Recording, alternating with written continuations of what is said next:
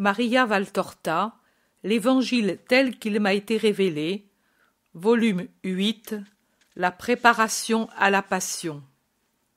Chapitre 1 Les Juifs chez Lazare. Un groupe nombreux et pompeux de Juifs sur des montures de luxe entre dans Béthanie. Ce sont des scribes et des pharisiens, sans compter quelques sadducéens et hérodiens, déjà vus une autre fois, si je ne me trompe, au banquet de la maison de Chouza, afin de tenter Jésus pour qu'il se proclame le roi. Ils sont suivis de serviteurs à pied. La cavalcade traverse lentement la petite ville, et le bruit des sabots sur le terrain durci, le tintement des harnachements, les voix des hommes attirent hors de chez eux les habitants qui regardent et avec une frayeur visible s'inclinent en salutation profonde pour ensuite se redresser et se réunir en groupes qui bavardent. Avez-vous vu Tous les synédristes de Jérusalem? Non, Joseph l'Ancien. Nicodème et d'autres n'y étaient pas. Et les pharisiens les plus connus? Et les scribes? Et celui qui était à cheval, qui était-ce Et certainement ils vont chez Lazare. Il doit être près de mourir. Je ne puis comprendre pourquoi le rabbi n'y est pas. Et comment veux-tu, puisqu'ils le cherchent pour le faire mourir, ceux de Jérusalem? Tu as raison, et de plus, certainement, ces serpents qui sont passés viennent pour voir si le rabbi est ici. Dieu soit loué qu'il n'y soit pas. Sais-tu ce qu'ils ont dit à mon époux au marché de Jérusalem? D'être prêt que bientôt lui va se proclamer roi et que nous devrons tous l'aider à faire. Comment ont-ils dit? Bah, une parole qui voulait dire comme si moi je disais que je renvoie tout le monde de la maison et que je deviens la maîtresse. Un complot? Une conjuration? Une révolte? demande-t-il et suggère-t-il. Un homme dit Oui, ils m'en ont parlé à moi aussi, mais je n'y crois pas. Mais ce sont des disciples du rabbi qui le disent. Hum, que le rabbi use de violence et destitue le tétrarque pour usurper un trône qui, avec justice ou non, appartient aux Hérodiens, je ne le crois pas. Tu ferais bien de dire à Joachim de ne pas croire à tous ces bruits. Mais sais-tu que celui qui l'aidera sera récompensé sur la terre et au ciel Moi, je serais bien contente que mon mari le soit. J'ai une quantité d'enfants, et la vie est difficile. Si on pouvait avoir une place parmi les serviteurs du roi d'Israël.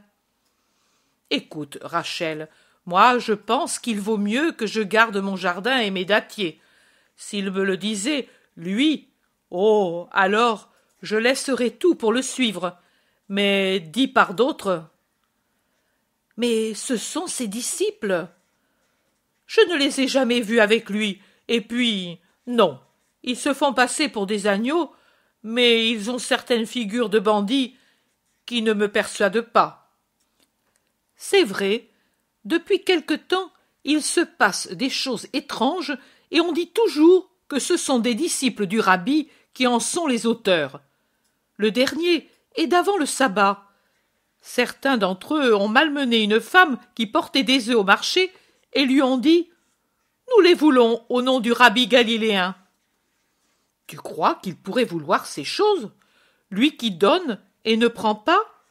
Lui qui pourrait vivre parmi les riches et préfère rester parmi les pauvres et donner son manteau, comme le disait à tout le monde cette lépreuse guérie qu'a rencontrée Jacob un autre homme, qui s'est joint au groupe et qui a écouté, dit Tu as raison. Et cette autre chose qu'on dit alors Que le rabbi nous fera arriver de grands malheurs, car les Romains nous puniront tous à cause de ces excitations Vous y croyez, vous? Moi, je dis, et je ne me trompe pas, car je suis vieux et sage. Moi, je dis que ceux qui nous disent à nous pauvres gens que le rabbi veut prendre le trône par la violence et chasser aussi les Romains, s'il pouvait en être ainsi, si c'était possible de le faire, aussi bien que ceux qui commettent des violences en son nom et que ceux qui poussent à la révolte en promettant des avantages pour l'avenir, comme ceux qui voudraient faire haïr le rabbi en tant qu'individu dangereux qui amènera des malheurs, je dis que tous ces gens sont des ennemis du rabbi, qui cherchent sa ruine pour triompher à sa place. N'y croyez pas. Ne croyez pas aux faux amis des pauvres gens. Voyez comme ils sont passés orgueilleusement? À moi, pour un peu, ils allaient me donner une volée de coups de bâton parce que je mettais du temps à faire rentrer les brebis et que je gênais leur marche. Nos amis ceux-là, jamais. Ce sont nos vampires, et que le Seigneur ne le veuille pas, des vampires pour lui aussi. Toi qui es près des champs de Lazare, sais-tu s'il est mort? Non, il n'est pas mort. Il est entre la mort et la vie. J'en ai demandé des nouvelles à Sarah, qui cueillait des feuilles de plantes aromatiques pour les lavages. Et alors, pourquoi ceux-ci sont-ils venus? Bah, ils ont tourné autour de la maison, sur l'arrière, sur les côtés, autour de l'autre maison du lépreux, et puis ils sont partis vers Bethléem.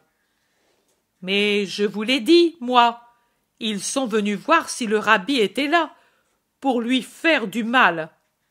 Sais-tu ce que c'était pour eux de pouvoir lui faire du mal? Et justement, dans la maison de Lazare? Dis donc, Nathan, cet Hérodien n'était-il pas celui qui autrefois était l'amant de Marie de Théophile? C'était lui. Il voulait peut-être se venger de cette façon sur Marie. Un jeune garçon arrive en courant. Il crie Que de gens dans la maison de Lazare je venais du ruisseau avec Lévi, Marc et Isaïe, et nous avons vu. Les serviteurs ont ouvert le portail et pris les montures, et Maxima est accouru à la rencontre des Juifs, et d'autres sont accourus avec de grandes inclinations. Marthe et Marie sont sorties de la maison avec leurs servantes pour les saluer. On voulait en voir davantage, mais ils ont fermé le portail et sont tous allés dans la maison. L'enfant est tout ému à cause des nouvelles qu'il apporte et de ce qu'il a vu. Les adultes en parlent entre eux. Chapitre 2 Les Juifs avec Marthe et Marie. Bien que brisée de douleur et de fatigue, Marthe est toujours la maîtresse de maison qui sait accueillir et recevoir, en faisant honneur avec cette distinction parfaite de la vraie maîtresse de maison. Ainsi, maintenant, après avoir conduit toute cette compagnie dans une des salles, elle donne des ordres pour que l'on apporte les rafraîchissements qui sont d'usage et pour que les hôtes aient tout ce qui peut être de confort. Les serviteurs circulent, mélangeant des boissons chaudes ou des vins précieux, et offrant des fruits magnifiques, des dattes blondes comme le topaze, du raisin sec, quelque chose qui ressemble à notre raisin de Damas, dont les grappes sont d'une perfection fantastique, du miel filant, le tout dans des amphores, des coupes, des plats, des plateaux précieux. Et Marthe veille attentivement pour que personne ne soit laissé de côté, et même, selon l'âge, et peut-être les individus dont les goûts lui sont connus, elle contrôle ce que les serviteurs offrent. Ainsi, elle arrête un serviteur qui allait vers Elchias avec une amphore remplie de vin et une coupe, et elle lui dit Toby, pas de vin, mais de l'eau de miel et du jus de date.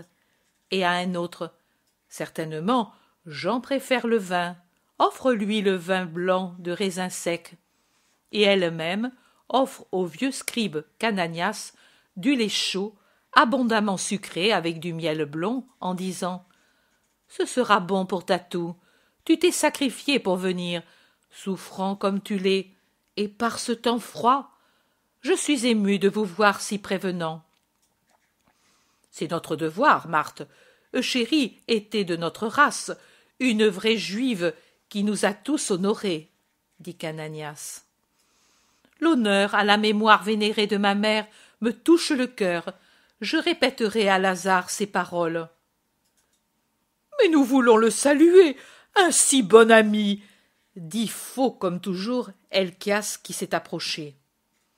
Le saluer, ce n'est pas possible, il est trop épuisé. Félix dit. Oh. Nous ne le dérangerons pas, n'est-ce pas, vous tous? Il nous suffit d'un adieu du seuil de sa chambre. Je ne puis, je ne puis vraiment pas. Nicomède s'oppose à toute fatigue et à toute émotion. Un regard à l'ami mourant ne peut le tuer, Marthe, dit Colas Sebona. Nous aurions trop de peine de ne pas l'avoir salué. Marthe est agitée, hésitante. Elle regarde vers la porte, peut-être pour voir si Marie vient à son aide. Mais Marie est absente. Les Juifs remarquent cette agitation, et Sadoc, le scribe, le fait remarquer à Marthe. On dirait que notre venue te trouble, femme. Non, non, pas du tout. Comprenez ma douleur. Cela fait des mois que je vis près d'un mourant, et je ne sais plus, je ne sais plus me comporter comme autrefois aux fêtes. Elchias dit. Oh. Ce n'est pas une fête. Nous ne voulions même pas pour nous tant d'honneur. Mais peut-être peut-être tu veux nous cacher quelque chose, et c'est pour cela que tu ne nous montres pas Lazare et que tu nous interdis sa chambre. Hé hé. On sait. Mais ne crains pas. La chambre d'un malade est un asile sacré pour quiconque, crois-le. Il n'y a rien à cacher dans la chambre de notre frère. Il n'y a rien de caché. Elle n'accueille qu'un mourant, auquel ce serait pitié d'épargner tout souvenir pénible. Et toi, Elchias, et vous tous, vous êtes pour Lazare des souvenirs pénibles, dit Marie de sa splendide voix d'orgue en apparaissant sur le seuil et en tenant écarté de la main le rideau pourpre. Marie. gémit Marthe suppliante pour l'arrêter. Rien, ma sœur, laisse-moi parler. Elle s'adresse aux autres. Et pour vous enlever tout doute que l'un de vous, ce sera un seul souvenir du passé qui revient pour l'affliger, vienne avec moi, si la vue d'un mourant ne le dégoûte pas, et la puanteur de la chair qui meurt ne lui donne pas la nausée. Et toi, tu n'es pas un souvenir affligeant? dit ironiquement l'Hérodien, que j'ai déjà vu je ne sais où, en quittant son coin et en se mettant en face de Marie. Marthe exhale un gémissement. Marie a le regard d'un aigle inquiet. Ses yeux lancent des éclairs. Elle se redresse hautaine, oubliant la fatigue et la douleur qui la courbaient, et avec l'expression d'une reine offensée, elle dit Oui, moi aussi, je suis un souvenir, mais non pas de douleur, comme tu dis. Je suis le souvenir de la miséricorde de Dieu. Et en me voyant, Lazare meurt en paix, car il sait qu'il remet son esprit entre les mains de l'infinie miséricorde.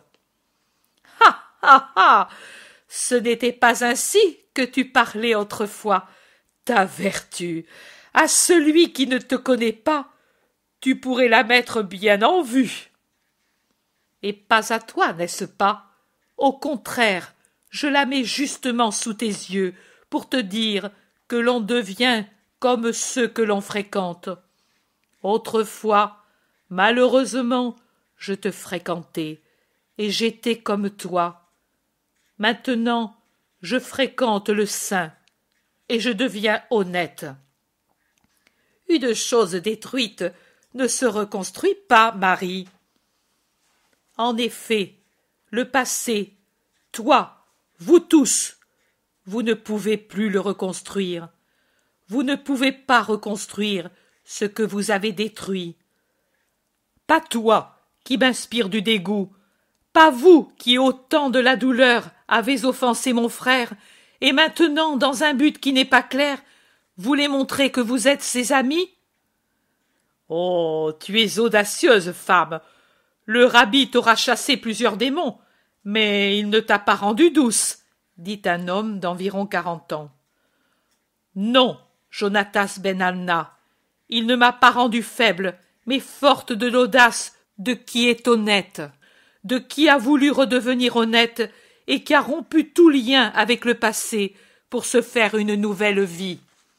Allons. Qui vient voir Lazare? Elle est impérieuse comme une reine. Elle les domine tous par sa franchise, impitoyable jusque contre elle-même. Marthe, au contraire, est angoissée. Elle a des larmes dans ses yeux qui fixent en suppliant Marie pour qu'elle se taise. Moi, je viens, dit avec un soupir de victime Elchias, faux comme un serpent.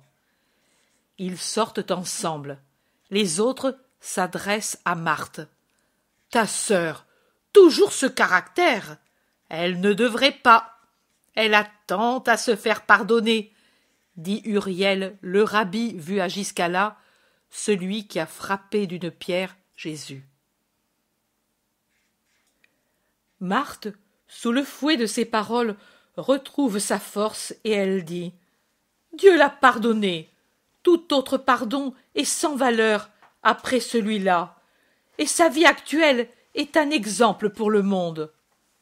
Mais l'audace de Marthe a vite fait de tomber, et elle fait place aux pleurs. Elle gémit tout en larmes. Vous êtes cruel envers elle et envers moi. Vous n'avez pas pitié, ni de la douleur passée, ni de la douleur actuelle. Pourquoi êtes-vous venu Pour offenser et faire souffrir? Non, femme, non, uniquement pour saluer le grand juif qui meurt, pas pour autre chose, pas pour autre chose. Tu ne dois pas mal interpréter nos intentions qui sont droites. Nous avons appris l'aggravation par Joseph et Nicodème, et nous sommes venus. Comme eux, les deux grands amis du rabbi et de Lazare, pourquoi voulez-vous nous traiter d'une manière différente, nous qui aimons comme eux le rabbi et Lazare? Vous n'êtes pas juste. Peux-tu peut-être dire que, ainsi que Jean, Éléazar, Philippe, Josué et Joachim ne sont pas venus prendre des nouvelles de Lazare, et que Manahan aussi n'est pas venu? Je ne dis rien, mais je m'étonne que vous soyez si bien informé de tout. Je ne pensais pas que même l'intérieur des maisons était surveillé par vous. Je ne savais pas qu'il existait un précepte nouveau en plus des six cent treize, celui d'enquêter, d'épier l'intimité des familles. Oh.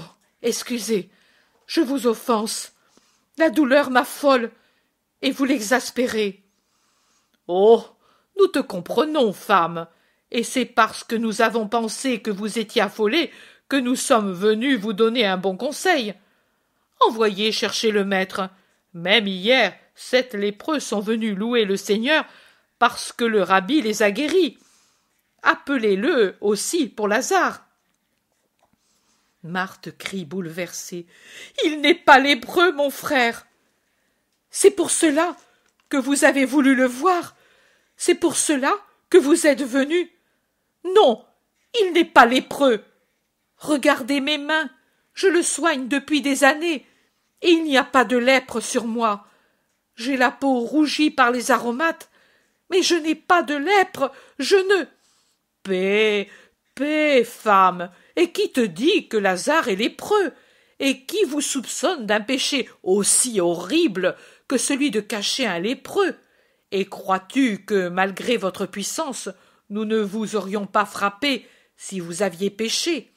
Même sur le corps d'un père et d'une mère, d'une épouse et des enfants, nous sommes capables de passer afin de faire respecter les préceptes. Je te le dis, moi, Jonatas d'Uziel. Archélaüs dit Mais certainement c'est ainsi.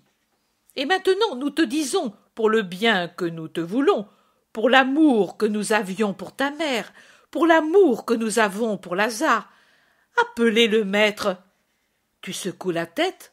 Veux-tu dire que désormais c'est trop tard? Comment Tu n'as pas foi en lui Toi, Marthe, disciple fidèle? C'est grave cela. Commences-tu, toi aussi, à douter? Tu blasphèmes, ô scribe. Moi, je crois au Maître comme au Dieu vrai. Et alors, pourquoi ne veux-tu pas essayer? Lui a ressuscité les morts. Du moins, c'est ce que l'on dit. Peut-être ne sais-tu pas où il est. Si tu veux, nous allons le chercher. Nous allons t'aider, nous, insinue Félix. Mais non, dit Sadoc pour l'éprouver. Certainement, dans la maison de Lazare, on sait où est le rabbi. Dis-le franchement, femme, et nous partirons à sa recherche, et nous te l'amènerons, et nous serons présents au miracle pour jouir avec toi, avec vous tous. Marthe est hésitante, presque tentée de céder. Les autres la pressent alors qu'elle dit Où il est, je ne le sais pas. Je ne le sais pas vraiment. Il est parti il y a plusieurs jours, et il nous a salués comme quelqu'un qui part pour longtemps.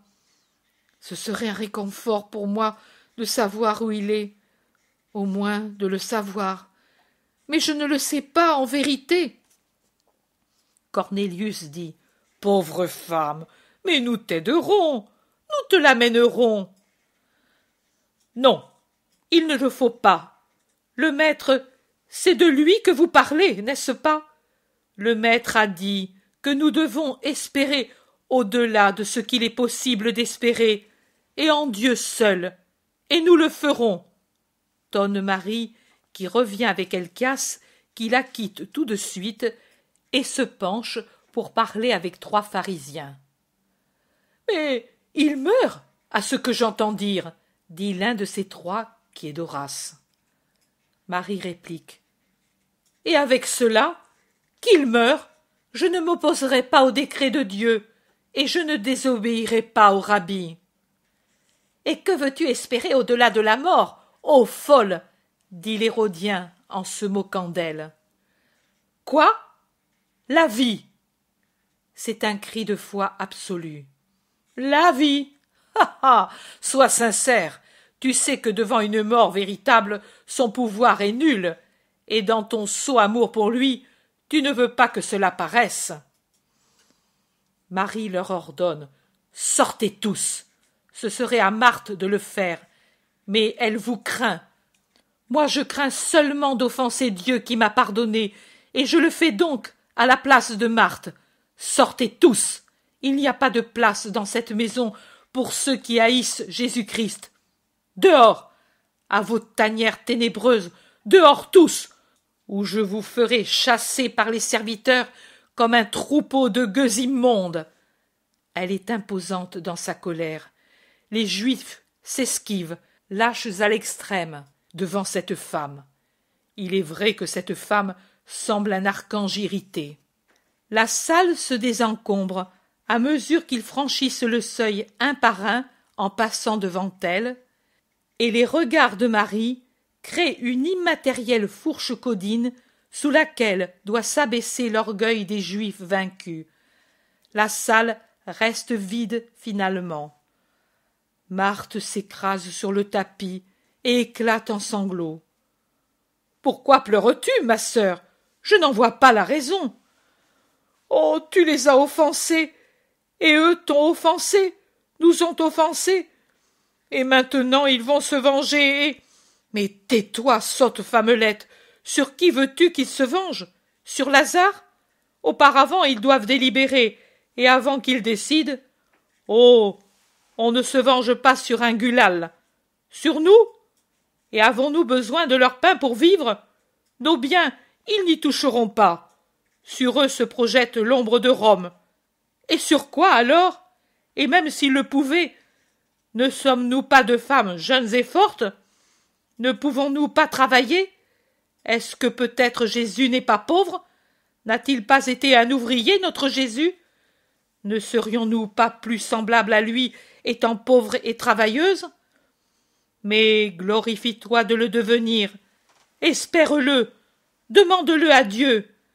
Et ce qu'ils t'ont dit.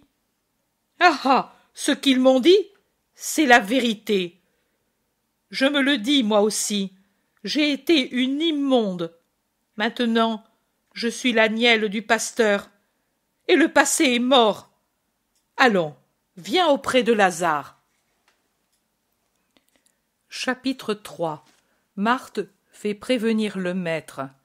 Je me trouve encore dans la maison de Lazare, et je vois que Marthe et Marie sortent dans le jardin pour accompagner un homme plutôt âgé, d'aspect très digne, et je dirais que ce n'est pas un hébreu, car il a le visage complètement rasé comme les Romains. Une fois qu'ils sont un peu éloignés de la maison, Marie lui demande Eh bien, Nicomède, que dis-tu de notre frère? Nous le voyons très malade. Parle. L'homme ouvre les bras dans un geste de commisération qui constate le caractère inéluctable du fait, et il dit en s'arrêtant. Il est très malade. Je ne vous ai jamais trompé depuis les premiers temps où je l'ai soigné. J'ai tout essayé, vous le savez, mais cela n'a pas servi. J'ai aussi espéré, oui, j'ai espéré qu'il pourrait au moins vivre en réagissant contre l'épuisement de la maladie grâce à la bonne nourriture et aux cordiaux que je lui préparais. J'ai essayé aussi des poisons indiqués pour préserver le sang de la corruption et pour soutenir les forces selon les vieux principes des grands maîtres de la médecine. Mais le mal est plus fort que les remèdes employés. Ces maladies sont une sorte de corrosion. Elles détruisent, et quand elles apparaissent à l'extérieur, l'intérieur des os est déjà envahi. Comme la sève d'un arbre monte du bas jusqu'au sommet, ainsi, dans ce cas, la maladie s'est étendue depuis le pied à tout le corps. Marthe dit en gémissant. Mais il n'a que les jambes de malade. Oui, mais la fièvre détruit là où vous pensez qu'il n'y a que santé. Regardez cette petite branche tombée de cet arbre. Elle paraît rongée ici, près de la cassure. Mais voilà. Il la brise entre ses doigts. Voyez-vous, sous l'écorce lisse, il y a la carie jusqu'à l'extrémité qui semble encore vivante parce qu'il y a encore des petites feuilles. Lazare, désormais, est mourant, pauvre sœur. Le Dieu de vos pères, les dieux et les demi-dieux de notre médecine n'ont rien pu faire, ou voulu faire. Je parle de votre Dieu. Et donc, oui, je prévois que désormais la mort est très proche, à cause aussi de l'augmentation de la fièvre, symptôme de la corruption entrée dans le sang, des mouvements désordonnés du cœur et de l'absence de stimulation et de réaction chez le malade et dans tous ses organes. Vous voyez, il ne se nourrit plus, il ne retient pas le peu qu'il prend, et il n'assimile pas ce qu'il retient. C'est la faim. Et croyez à un médecin qui vous est reconnaissant en souvenir de Théophile, et ce qu'il faut plutôt désirer, c'est la mort désormais. Ce sont des mots effroyables. Depuis des milliers d'années, ils détruisent l'homme, et l'homme n'arrive pas à les détruire. Les dieux seuls le pourraient si. Il s'arrête, les regarde, en passant ses doigts sur son menton rasé. Il réfléchit, puis il dit. Pourquoi n'appelez vous pas le Galiléen? C'est votre ami. Lui peut, car il peut tout. J'ai contrôlé des personnes qui étaient condamnées et qui sont guéries. Il sort de lui une force étrange, un fluide mystérieux qui ranime et rassemble les réactions dispersées et leur impose de vouloir guérir. Je ne sais pas. Je sais que je l'ai suivi aussi en restant mêlé à la foule et j'ai vu des choses merveilleuses. Appelez-le. Moi, je suis un gentil, mais j'honore le thaumaturge mystérieux de votre peuple, et je serais heureux si lui pouvait ce que moi je n'ai pas pu. Marie dit. Lui est Dieu, Nicomède. Il peut donc tout. La force que tu appelles fluide, c'est sa volonté de Dieu. Je ne me moque pas de votre foi. Au contraire, je la pousse à grandir jusqu'à l'impossible. Du reste, on lit que les dieux sont descendus parfois sur la terre. Moi, je n'y avais jamais cru, mais avec la science et la conscience d'homme et de médecin, je dois dire qu'il en est ainsi, car le Galiléen opère des guérisons que seul un Dieu peut opérer. Marie insiste. Non, pas un Dieu, Nicomède, le vrai Dieu. C'est bien, comme tu veux, et moi je croirai en lui et je deviendrai son disciple si je vois que Lazare ressuscite. Car désormais, plutôt que de guérison, c'est de résurrection qu'il faut parler. Appelez-le donc, et d'urgence, car si je ne suis pas devenu idiot, il mourra tout au plus d'ici le troisième crépuscule, à partir de celui-ci. J'ai dit tout au plus. Ce pourrait être avant désormais. Marthe dit. Oh. Si nous pouvions. Mais nous ne savons pas où il est. Moi, je le sais. C'est un de ses disciples qui me l'a dit et qui allait le rejoindre en accompagnant des malades. Et deux étaient des miens. Il est au-delà du Jourdain, près du gué. C'est ce qu'il a dit. Vous, peut-être, savez mieux l'endroit. Marie dit. Ah. Dans la maison de Salomon, certainement. C'est très loin? Non, Nicomède. Et alors? Envoyez-lui tout de suite un serviteur pour lui dire de venir. Je vais revenir plus tard, et je reste ici pour voir son action sur Lazare. Salut, Dominé, et réconfortez-vous mutuellement. Il s'incline et s'en va vers la sortie où un serviteur l'attend pour tenir son cheval et lui ouvrir le portail. Que faisons-nous, Marie? demande Marthe après avoir vu partir le médecin. Nous obéissons au maître.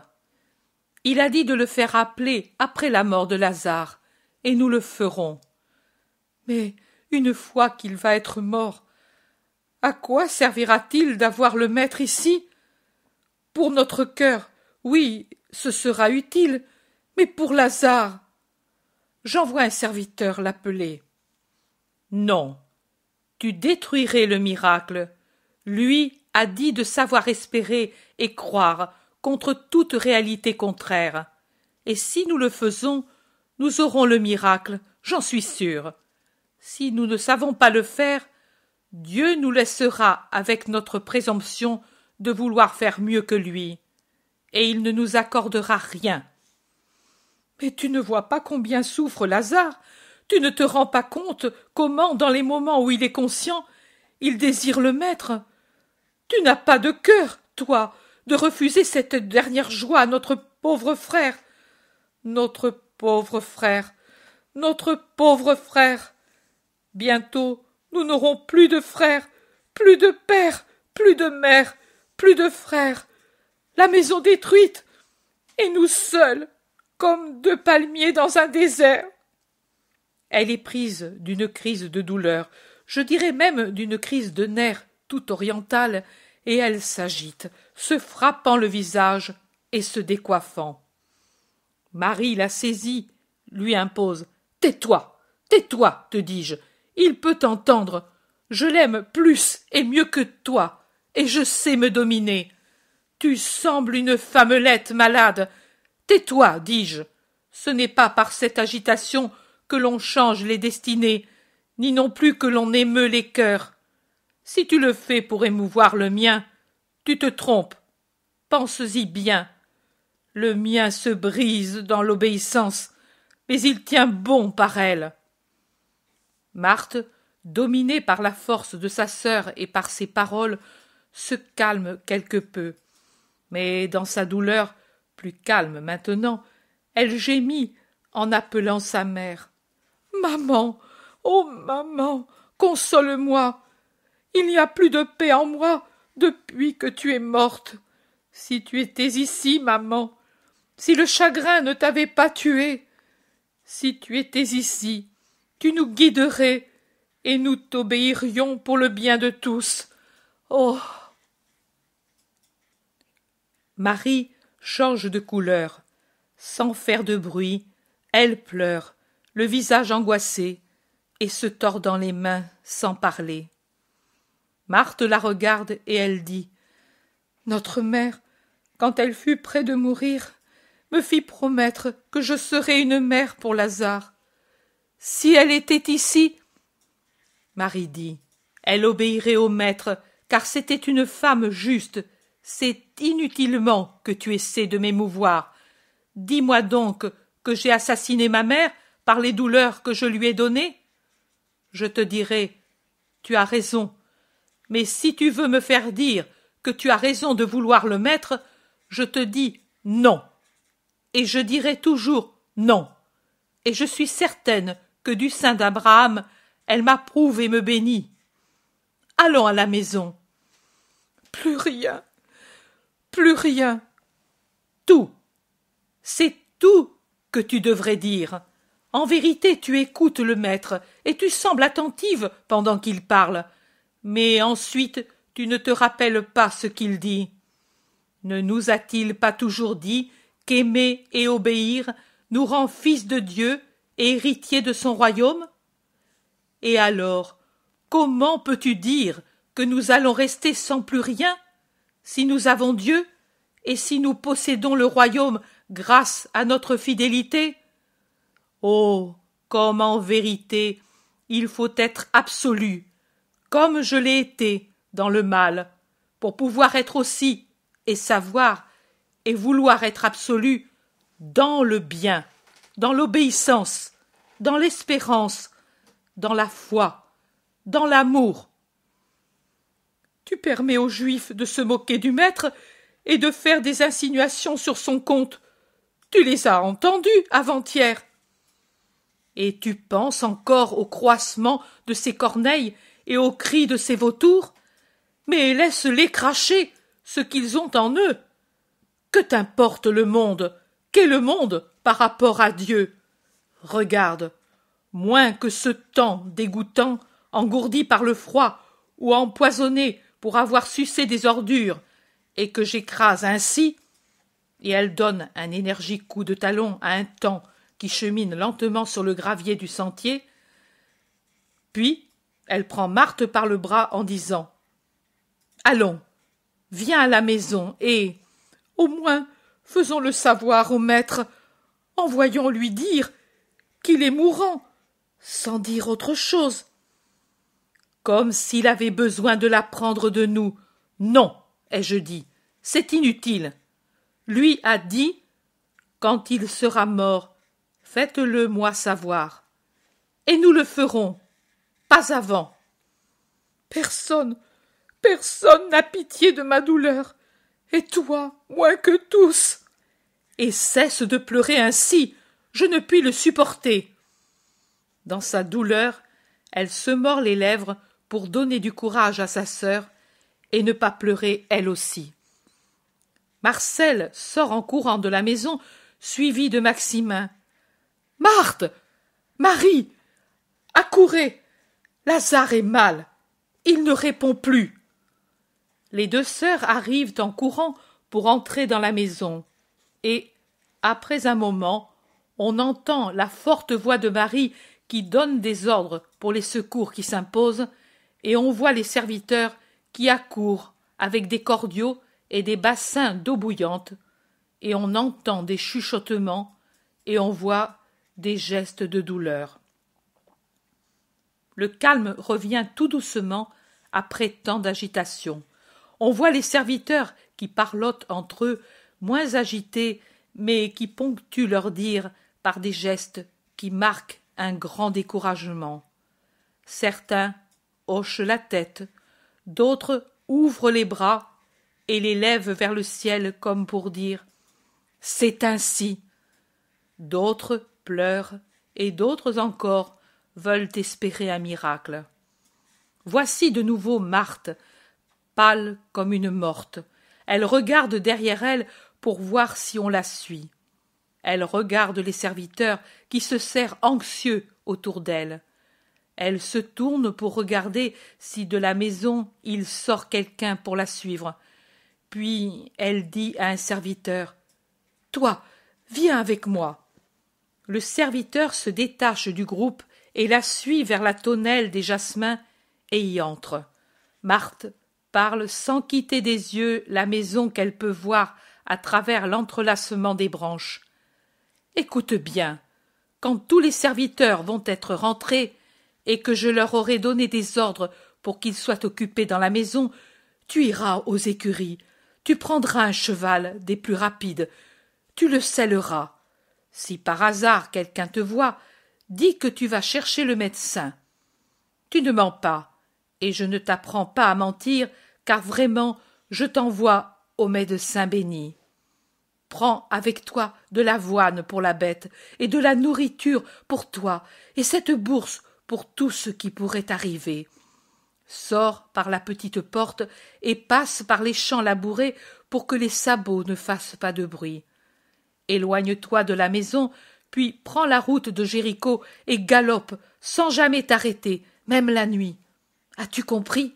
Sans jamais t'arrêter. La nouvelle lune éclairera ta route si l'obscurité vient pendant que tu galopes encore. Pense que la vie de ton maître est entre tes mains et dépend de ta rapidité. Je me fie à toi. Maîtresse, je te servirai comme un esclave fidèle. Marthe poursuit.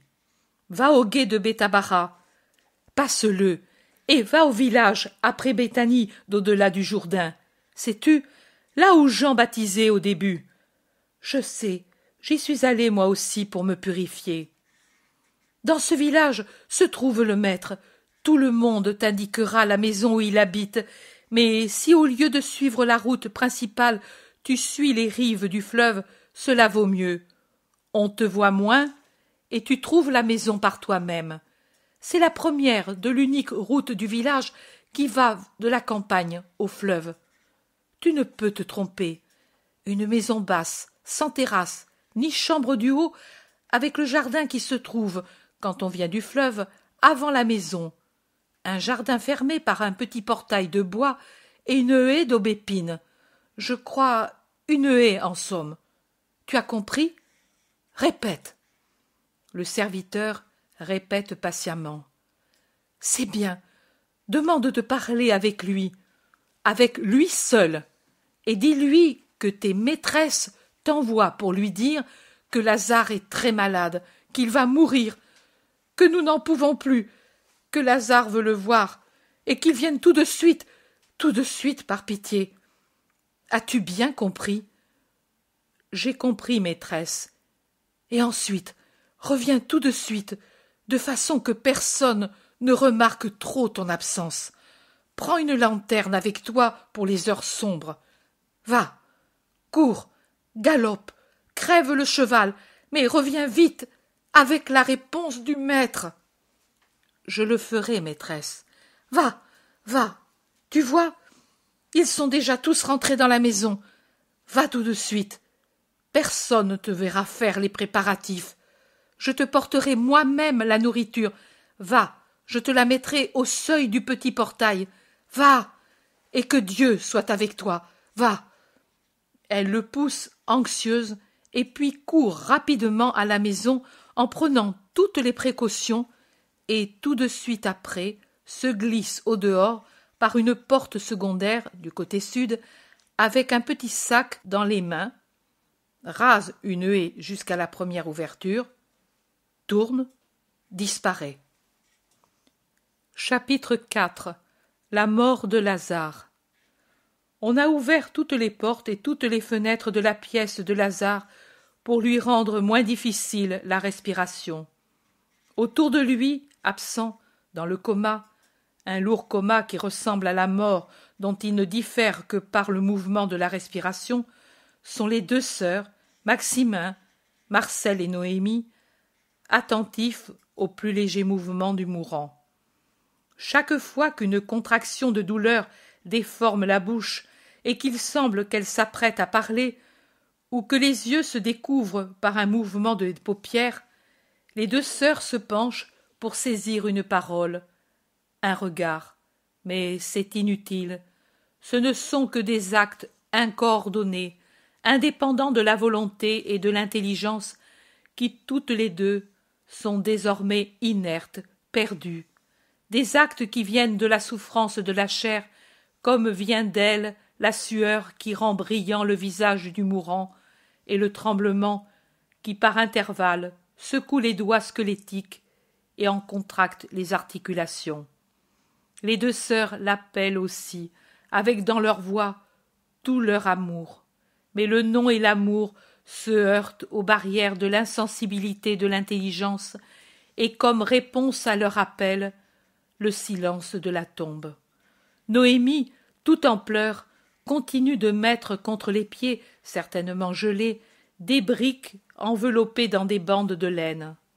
Marcel tient dans ses mains une coupe dans laquelle trempe un linge fin, dont Marthe se sert pour humecter les lèvres desséchées de son frère.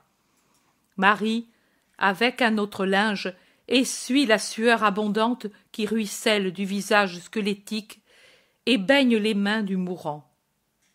Maximin, appuyé à un chiffonnier élevé et sombre près du lit du mourant, observe, debout, par derrière Marie penchée sur son frère. Rien d'autre, un silence absolu, comme s'ils étaient dans une maison vide, dans un lieu désert. Les servantes qui apportent les briques chaudes ont les pieds nus et marchent sans faire de bruit sur le dallage. Elles semblent des apparitions. Marie dit à un moment donné Il me semble que la chaleur revient dans les mains.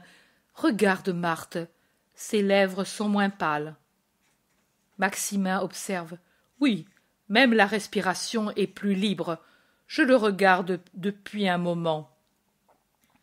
Marthe se penche et l'appelle doucement mais intensément. Lazare. Lazare. Oh.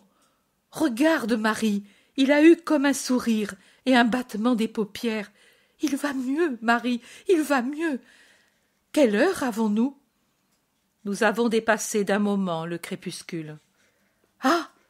Et Marthe se redresse en serrant ses mains sur sa poitrine, en levant les yeux dans un geste visible de muette mais confiante prière. Un sourire éclaire son visage.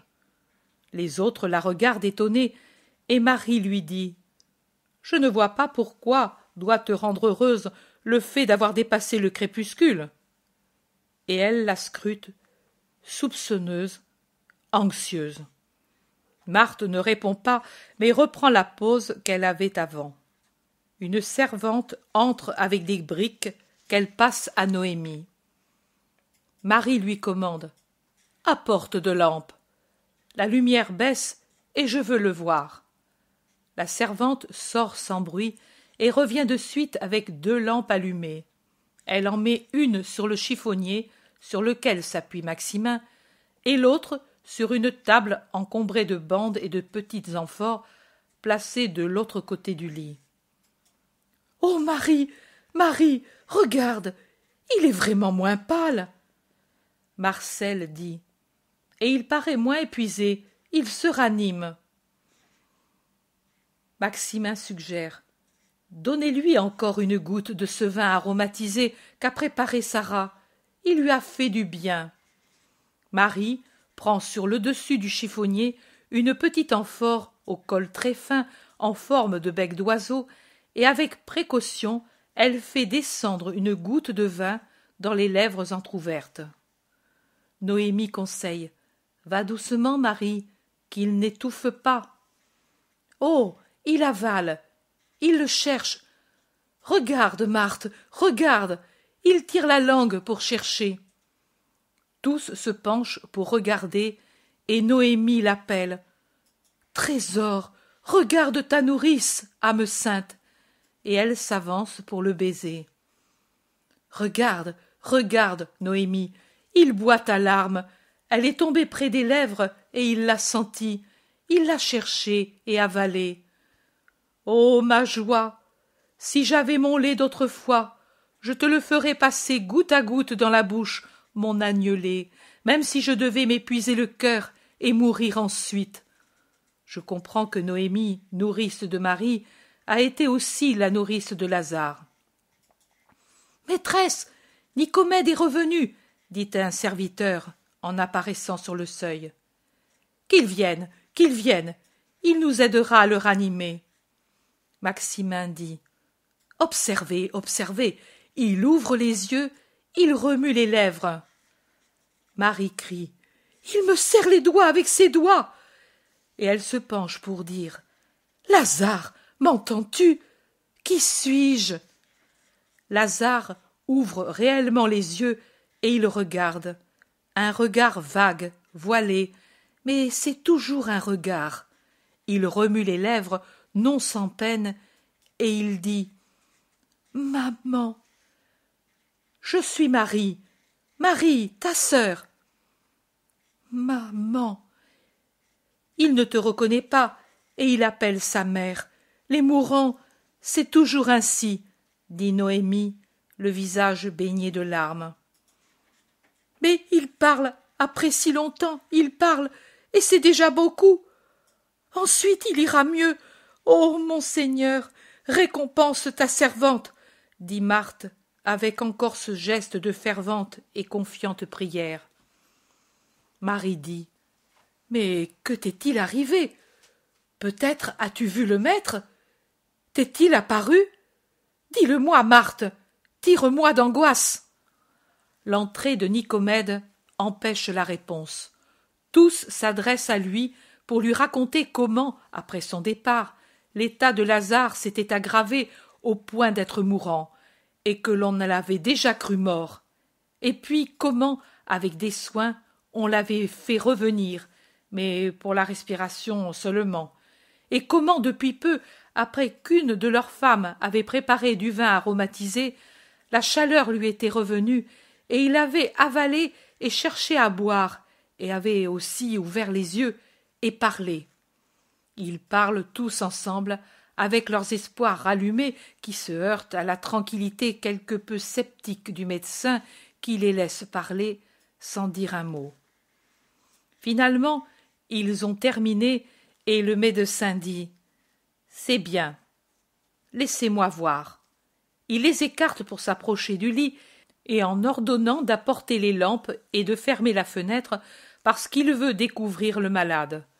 Il se penche sur lui, l'appelle, l'interroge, fait passer la lampe devant le visage de Lazare qui maintenant a les yeux ouverts et semble comme étonné de tout. Ensuite il le découvre, étudie sa respiration, les battements du cœur, la température et la rigidité des membres. Tous sont anxieux dans l'attente de ce qu'il va dire. Nicomède recouvre le malade, le regarde encore, réfléchit, puis il se retourne pour regarder ceux qui sont là, et il dit Il est indéniable qu'il a repris de la vigueur. Actuellement il va mieux que quand je l'ai vu. Mais ne vous faites pas d'illusions. Ce n'est qu'une rémission. J'en suis tellement certain, comme je l'étais, qu'il approche de sa fin, que, comme vous le voyez, je suis revenu après m'être dégagé de toute occupation, pour lui rendre la mort moins pénible pour autant qu'il m'ait permis de le faire, ou pour voir le miracle si. Avez-vous pourvu? Oui, oui, Nicomède, interrompt Marthe, et pour empêcher toute autre parole, elle dit. Mais n'avais tu pas dit que d'ici trois jours. Moi. Elle pleure. Nicomède dit Je l'ai dit, je suis un médecin, je vis au milieu des agonies et des pleurs, mais l'habitude de voir des douleurs ne m'a pas encore donné un cœur de pierre. Et aujourd'hui, je vous ai préparé par un terme suffisamment long et vague, mais ma science me disait que la solution était plus rapide, et mon cœur mentait pour vous tromper par pitié. Allons, Soyez courageuse. Sortez. On ne sait jamais jusqu'à quel point les mourants entendent. Il les pousse dehors, toutes en pleurs, en répétant Soyez courageuse, soyez courageuse. Près du mourant, il reste Maximin. Le médecin aussi s'est éloigné pour préparer des médicaments susceptibles de rendre moins angoissée l'agonie. Que dit-il? Je prévois très douloureuse. Fais-le vivre jusqu'à demain, il va faire nuit. Tu vois, ô Nicomède, qu'est-ce pour ta science de tenir une vie éveillée pour moins d'un jour? Fais-le vivre.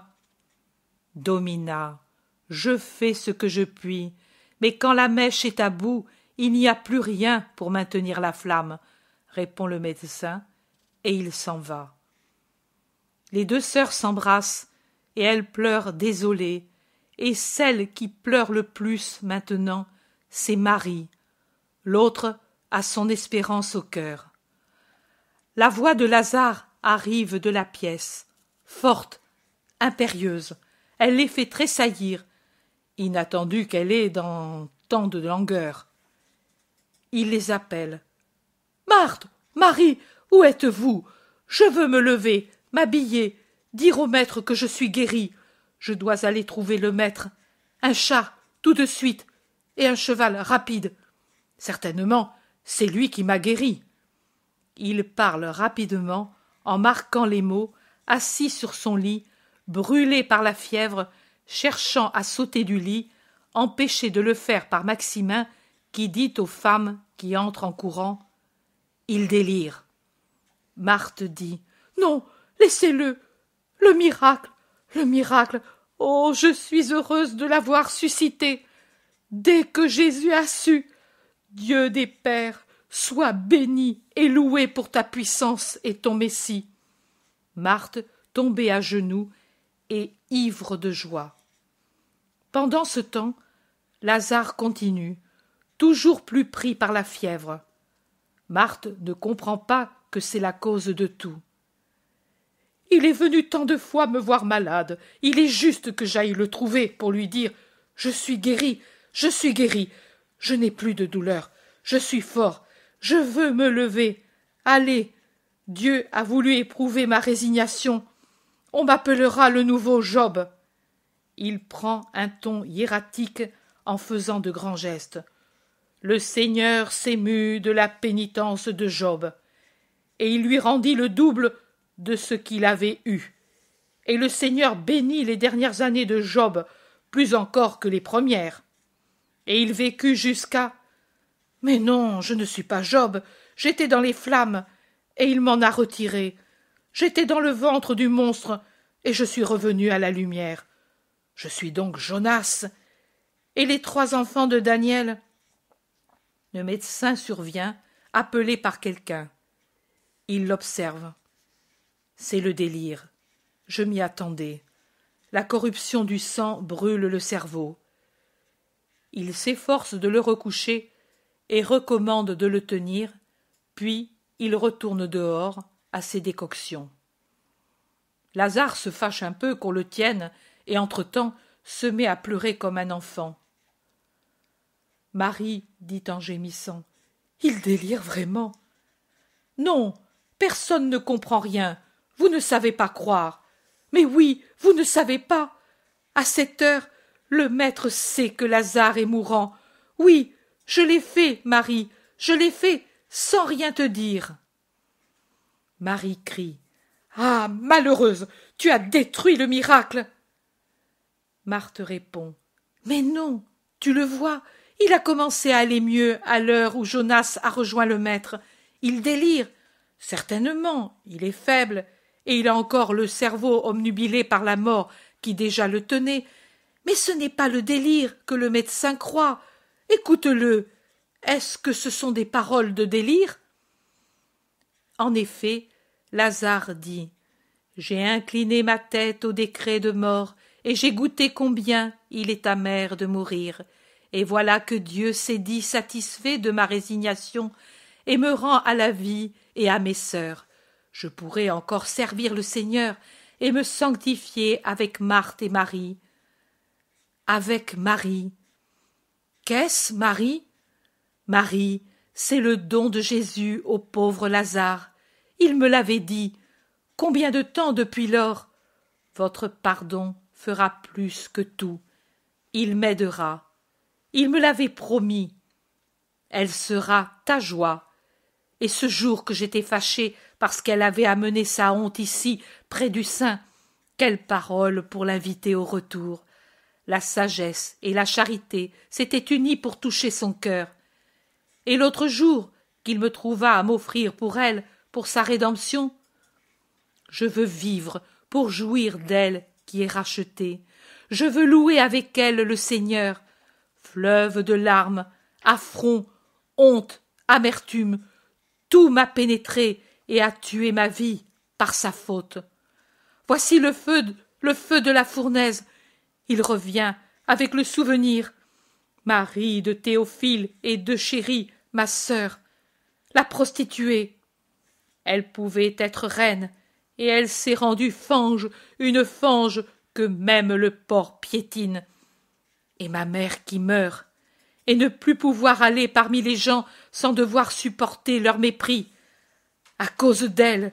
Où es-tu, malheureuse? Le pain te manquait, peut-être, pour que tu te vendes comme tu t'es vendue. Qu'as-tu sucé au sein de ta nourrice? Ta mère, que t'a-t-elle enseigné? L'une, la luxure, l'autre, le péché? Va-t'en, déshonneur de notre maison. Sa voix est un cri. Il semble fou. Marcel et Noémie se hâtent de fermer hermétiquement les portes et de descendre les lourds rideaux pour atténuer la résonnance, alors que le médecin, revenu dans la pièce, s'efforce inutilement de calmer le délire qui devient de plus en plus furieux. Marie, jetée à terre comme une loque, sanglote sous l'inexorable accusation du mourant qui continue. Un, deux, dix amants, l'opprobre d'Israël passait de bras en bras. Sa mère mourait, elle frémissait dans ses amours obscènes. Bête fauve, vampire, tu as sucé la vie de ta mère, tu as détruit notre joie. Marthe, sacrifiée à cause de toi, on n'épouse pas la sœur d'une courtisane. Moi, ah, moi, Lazare, cavalier, fils de Théophile, sur moi crachaient les gamins d'Ophèle. Voilà le complice d'une adultère et d'une immonde, disaient scribes et pharisiens, et ils secouaient leurs vêtements pour marquer qu'ils repoussaient le péché dont j'étais souillé à son contact. Voici le pécheur, celui qui ne sait pas frapper le coupable est coupable lui aussi, criaient les rabbis quand je montais au temple, et moi, je suais sous le feu des pupilles des prêtres. Le feu. Toi, tu vomissais le feu que tu avais en toi, car tu es un démon, Marie, tu es dégoûtante, tu es l'anathème, ton feu prenait tous, car il était fait de nombreux feux, et il y en avait pour les luxurieux qui paraissaient des poissons pris au tramail. Quand tu passais, pourquoi ne t'ai-je pas tué? Je brûlerais dans la géhenne pour t'avoir laissé vivre, en ruinant tant de familles, en donnant du scandale à mille. Qui dit Malheur à celui par qui vient le scandale. Qui le dit? Ah, le maître. Je veux le maître, je le veux, pour qu'il me pardonne. Je veux lui dire que je ne pouvais pas la tuer parce que je l'aimais. Marie était le soleil de notre maison. Je veux le maître. Pourquoi n'est-il pas ici? Je ne veux pas vivre, mais avoir le pardon du scandale que j'ai donné en laissant vivre le scandale. Je suis déjà dans les flammes. C'est le feu de Marie. Il m'a pris. Il prenait tout le monde, afin de donner de la luxure pour elle, de la haine pour nous, et brûler ma chair. Au loin ces couvertures, au loin tout. Je suis dans le feu. Il m'a pris chair et esprit. Je suis perdu à cause d'elle. Maître, maître, ton pardon. Il ne vient pas. Il ne peut venir dans la maison de Lazare. C'est une fosse à fumier à cause d'elle. Alors, je veux oublier tout. Je ne suis plus Lazare. Donnez-moi du vin. Salomon le dit. Donnez du vin à ceux qui ont le cœur déchiré, qu'ils boivent et oublient leur misère, et qu'ils ne se rappellent plus leur douleur. Je ne veux plus me rappeler. Ils disent tous Lazare est riche, C'est l'homme le plus riche de la Judée. Ce n'est pas vrai.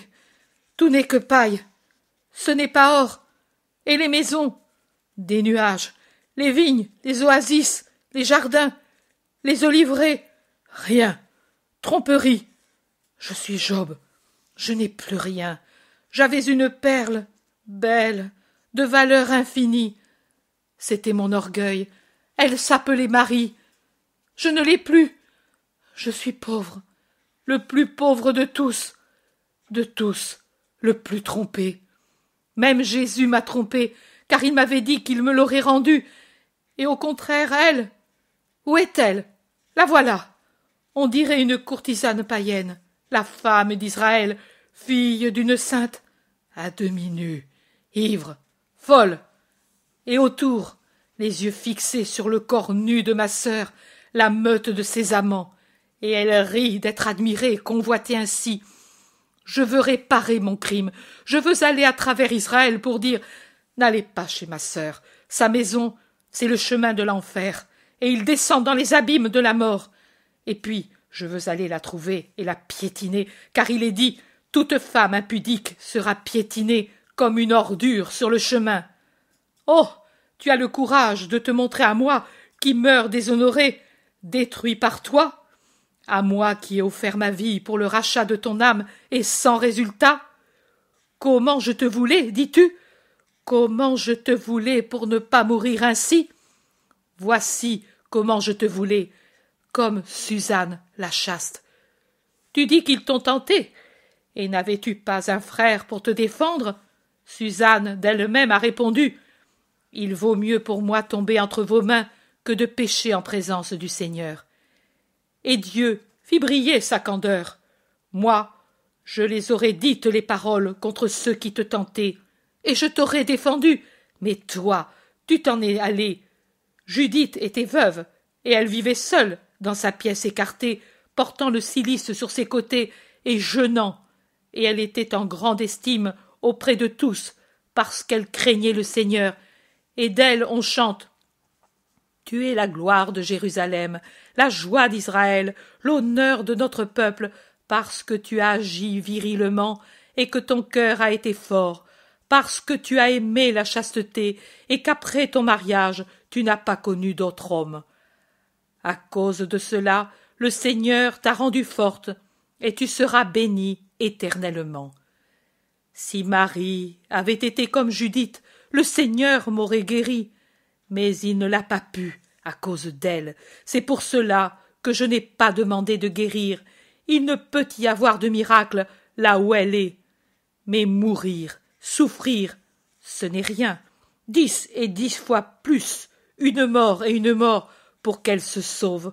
Ô Seigneur très haut, toutes les morts, toute la douleur, mais Marie sauvée, jouir d'elle une heure, une seule heure, d'elle redevenue sainte, pure comme dans son enfance, une heure de cette joie, me glorifier d'elle, la fleur d'or de ma maison, la gentille gazelle aux doux yeux, le rossignol du soir, l'amoureuse colombe. Je veux le mettre pour lui dire que je veux cela. Marie, Marie, viens, Marie. Quelle douleur à ton frère, Marie. Mais si tu viens, si tu te rachètes, ma douleur devient douce. Cherchez Marie. C'est la fin. Je meurs. Marie. Faites de la lumière, de l'air. Je. J'étouffe. Oh. Quelle chose je ressens. Le médecin fait un geste et dit. C'est la fin. Après le délire, la torpeur et puis la mort. Mais il peut avoir un réveil de l'intelligence. Approchez-vous, toi surtout. Il en aura de la joie. Et après avoir recouché Lazare, épuisé après tant d'agitation, il va trouver Marie qui n'a pas cessé de pleurer par terre en gémissant. Faites-le taire. Il la relève et l'amène au lit. Lazare a fermé les yeux, mais il doit souffrir atrocement ce n'est que frémissement et contraction. Le médecin essaie de le secourir avec des potions. Il se passe ainsi un certain temps. Lazare ouvre les yeux. Il paraît avoir oublié ce qu'il était auparavant, mais il est conscient. Il sourit à ses sœurs et cherche à prendre leurs mains, à répondre à leurs baisers. Il pâlit mortellement. Il gémit. J'ai froid. Et il claque des dents en cherchant à se couvrir jusqu'à la bouche. Il gémit. Nicomède, je ne résiste plus à la souffrance. Les loups m'écharnent les jambes et me dévorent le cœur. Quelle douleur. Et si l'agonie est ainsi, que sera la mort? Comment faire? Oh. Si j'avais le maître. Ici. Pourquoi ne me l'a t on pas amené? Je serais mort heureux sur son sein. Il pleure. Marthe regarde Marie sévèrement. Marie comprend son coup d'œil et, encore accablée par le délire de son frère, elle se trouve prise de remords. Elle se penche, agenouillée comme elle l'est, contre le lit, pour baiser la main de son frère, et elle gémit. C'est moi la coupable. Marthe voulait le faire depuis deux jours déjà, mais je n'ai pas voulu, car lui nous avait dit de ne le prévenir qu'après ta mort. Pardonne-moi toute la douleur de la vie. Je te l'ai donnée. Et pourtant, je t'ai aimé, et je t'aime, frère. Après le maître, c'est toi que j'aime plus que tous. Et Dieu voit que je ne mens pas. Dis-moi que tu m'absous du passé. Donne-moi la paix. Domina, rappelle le médecin. Le malade n'a pas besoin d'émotion. C'est vrai. Dis-moi que tu me pardonnes de t'avoir refusé Jésus. Marie, c'est pour toi que Jésus est venu ici, et c'est pour toi qu'il y vient, car tu as su aimer plus que tous. Tu m'as aimé plus que tous. Une vie de délices ne m'aurait pas, ne m'aurait pas donné la joie dont tu m'as fait jouir. Je te bénis, je te dis que tu as bien fait d'obéir à Jésus. Je ne savais pas. Je sais. Je dis. C'est bien. Aidez-moi à mourir. Noémie, tu étais capable de me faire dormir autrefois. Marthe, bénis ma paix. Maximin avec Jésus aussi pour moi. Ma part aux pauvres, à Jésus, pour les pauvres, et pardonnez à tous. Ah. Quel spasme de l'air, de la lumière. Tout tremble. Vous avez comme une lumière autour de vous, et elle m'éblouit quand je vous regarde. Parlez fort. Il a mis sa main gauche sur la tête de Marie, et il a abandonné la droite dans les mains de Marthe. Il halète. On le soulève avec précaution pour ajouter des oreillers et Nicomède lui fait prendre encore des gouttes de potion. Sa pauvre tête s'enfonce et retombe dans un abandon mortel. Toute sa vie est dans la respiration. Pourtant, il ouvre les yeux et regarde Marie qui soutient sa tête, et il lui sourit en disant Maman. Elle est revenue. Maman. Parle. Ta voix. Tu sais, le secret de Dieu. Ai-je servi le Seigneur Marie, d'une voix rendue blanche par la peine, murmure Le Seigneur te dit Viens avec moi, serviteur bon et fidèle, car tu as écouté toutes mes paroles et aimé le Verbe que j'ai envoyé. Je n'entends pas, plus fort. Marie répète plus fort. C'est vraiment maman. dit Lazare satisfait, et il abandonne sa tête sur l'épaule de sa sœur.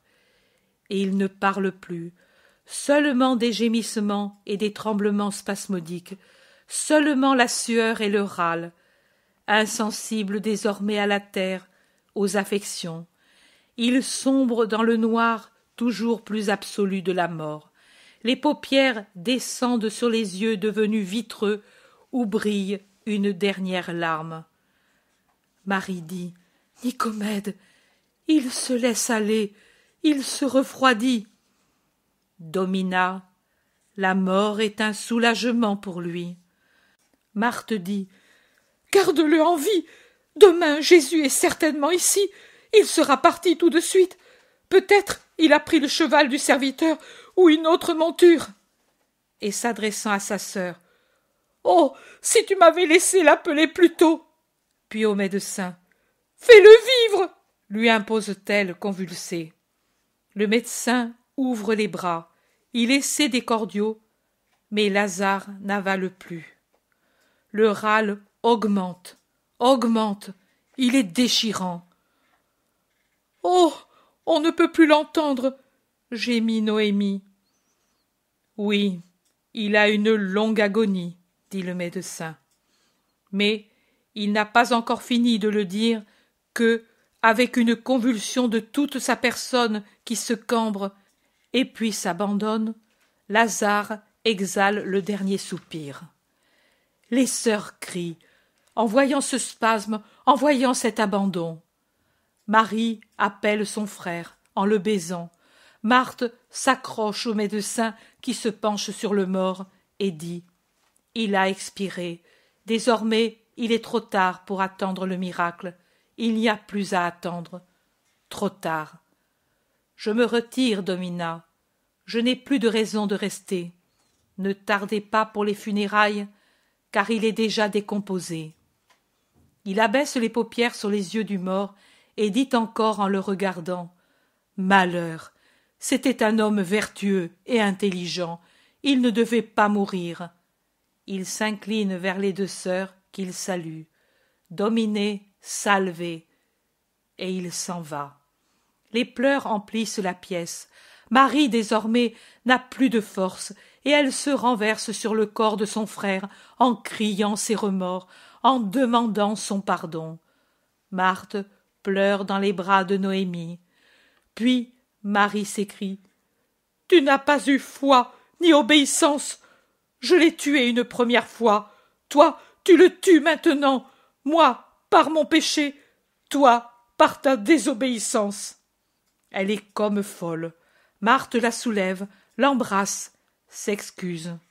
Maximin, Noémie, Marcel essaient de les ramener toutes les deux à la raison et à la résignation. Ils y parviennent en rappelant Jésus.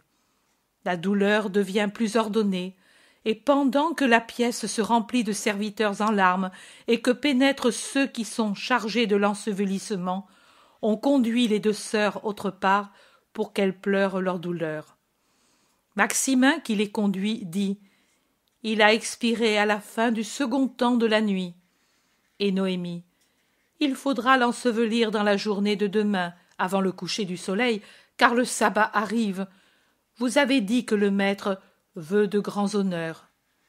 Marthe dit Oui, Maximin, à toi de t'en occuper. Moi je suis sotte. Maximin, qui se retire, dit Je vais envoyer les serviteurs à ceux qui sont loin et à ceux qui sont proches, et donner des ordres. Les deux sœurs pleurent embrassées. Elles ne se font plus de reproches mutuels. Elles pleurent. Elles essaient de se réconforter. Les heures passent. Le mort est préparé dans sa pièce.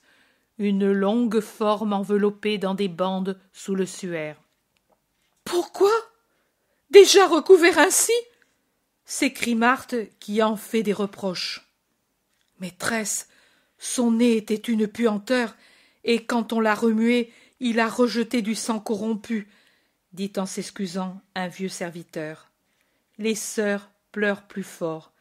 Lazare est déjà plus loin sous ses bandes. Un autre pas dans l'éloignement de la mort.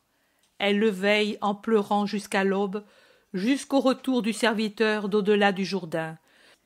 Du serviteur qui reste abasourdi, mais qui rapporte de la course qu'il a faite la réponse que Jésus vient. Marthe demande. Il a dit qu'il vient? Il n'a pas fait de reproche? Non, maîtresse. Il a dit Je viendrai. Dis-leur que je viendrai, et qu'elles aient foi. Et auparavant, il avait dit Dis-leur de rester tranquilles. Ce n'est pas une maladie mortelle, mais c'est la gloire de Dieu pour que sa puissance soit glorifiée en son Fils. C'est vraiment ce qu'il a dit? En es-tu sûre demande Marie. Maîtresse, tout le long de la route, j'ai répété les paroles. Marthe soupire. Va, va, tu es fatiguée, tu as tout bien fait, mais il est trop tard désormais. Et dès qu'elle reste avec sa sœur, elle éclate bruyamment en sanglots. Marthe, pourquoi? Oh, en plus de la mort, c'est la désillusion. Marie, Marie, tu ne réfléchis pas que cette fois le maître s'est trompé. Regarde Lazare, il est bien mort. Nous avons espéré au-delà de ce qui est croyable, et cela n'a pas servi. Quand je l'ai fait appeler, j'ai certainement mal fait. Lazare était déjà plus mort que vif, et notre foi n'a pas eu de résultat et de récompense. Et le maître nous fait dire que ce n'est pas une maladie mortelle. Le maître, alors, n'est plus la vérité. Il ne l'est plus. Oh. Tout. Tout. Tout est fini. Marie se tord les mains. Elle ne sait que dire. La réalité est la réalité. Mais elle ne parle pas. Elle ne dit pas un mot contre son Jésus. Elle pleure. Elle est vraiment à bout. Marthe a une idée fixe dans le cœur, celui d'avoir trop tardé. C'est ta faute, reproche-t-elle. Il voulait éprouver ainsi notre foi, obéir, oui, mais désobéir aussi à cause de notre foi, et lui montrer que nous croyons que lui seul pouvait et devait faire le miracle. Mon pauvre frère, et il l'a tant désiré. Au moins cela, le voir, notre pauvre Lazare.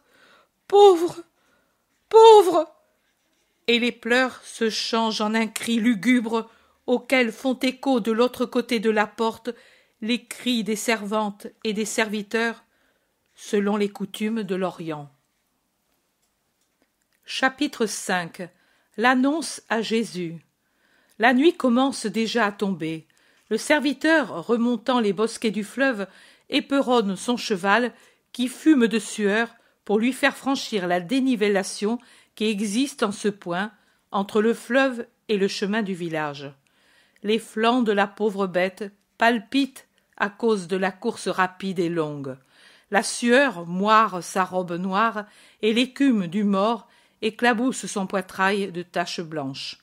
Il halète en cambrant son cou et en secouant sa tête. Le voilà sur le sentier, il a vite fait de rejoindre la maison. Le serviteur saute à terre, attache le cheval à la haie et appelle. De derrière la maison se présente la tête de Pierre et, de sa voix un peu rauque, il demande Qui appelle? Le maître est fatigué. Cela fait des heures qu'il n'est pas tranquille. Il fait presque nuit. Revenez demain. Je ne veux rien du maître, moi. Je suis en bonne santé et je n'ai qu'un mot à dire. Pierre s'avance en disant Et de la part de qui Si on peut le demander? Si je ne puis reconnaître à coup sûr, je ne fais passer personne, et surtout quelqu'un qui pue Jérusalem comme toi. Il s'est avancé lentement, rendu plus soupçonneux par la beauté du cheval mort, richement harnaché, que par l'homme.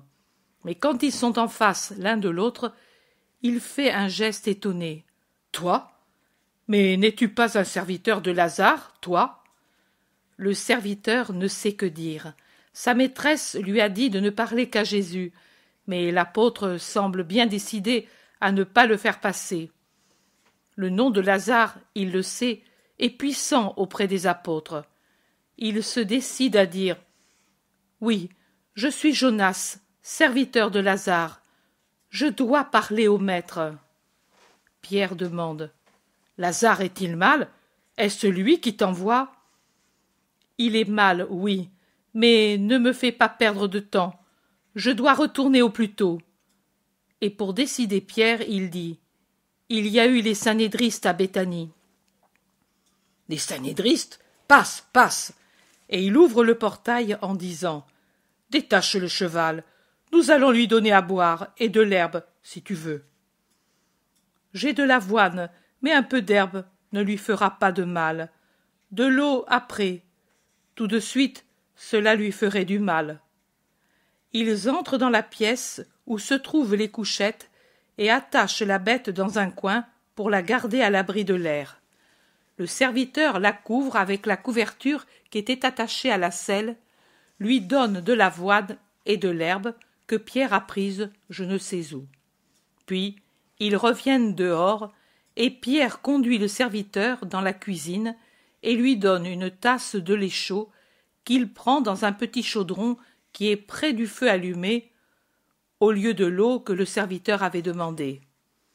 Pendant que le serviteur boit et se réchauffe auprès du feu, Pierre, qui s'abstient héroïquement de poser des questions, dit Le lait vaut mieux que l'eau que tu voulais. Et puisque nous en avons. Tu as tout fait en une étape? En une étape. Et je ferai ainsi au retour. Tu vas être fatigué. Et le cheval va tenir le coup Je l'espère. Et puis, au retour, je ne galoperai pas comme à l'aller. Mais il va faire nuit, bientôt. La lune commence déjà à se lever. Comment vas-tu faire au fleuve? J'espère y arriver avant qu'elle se couche.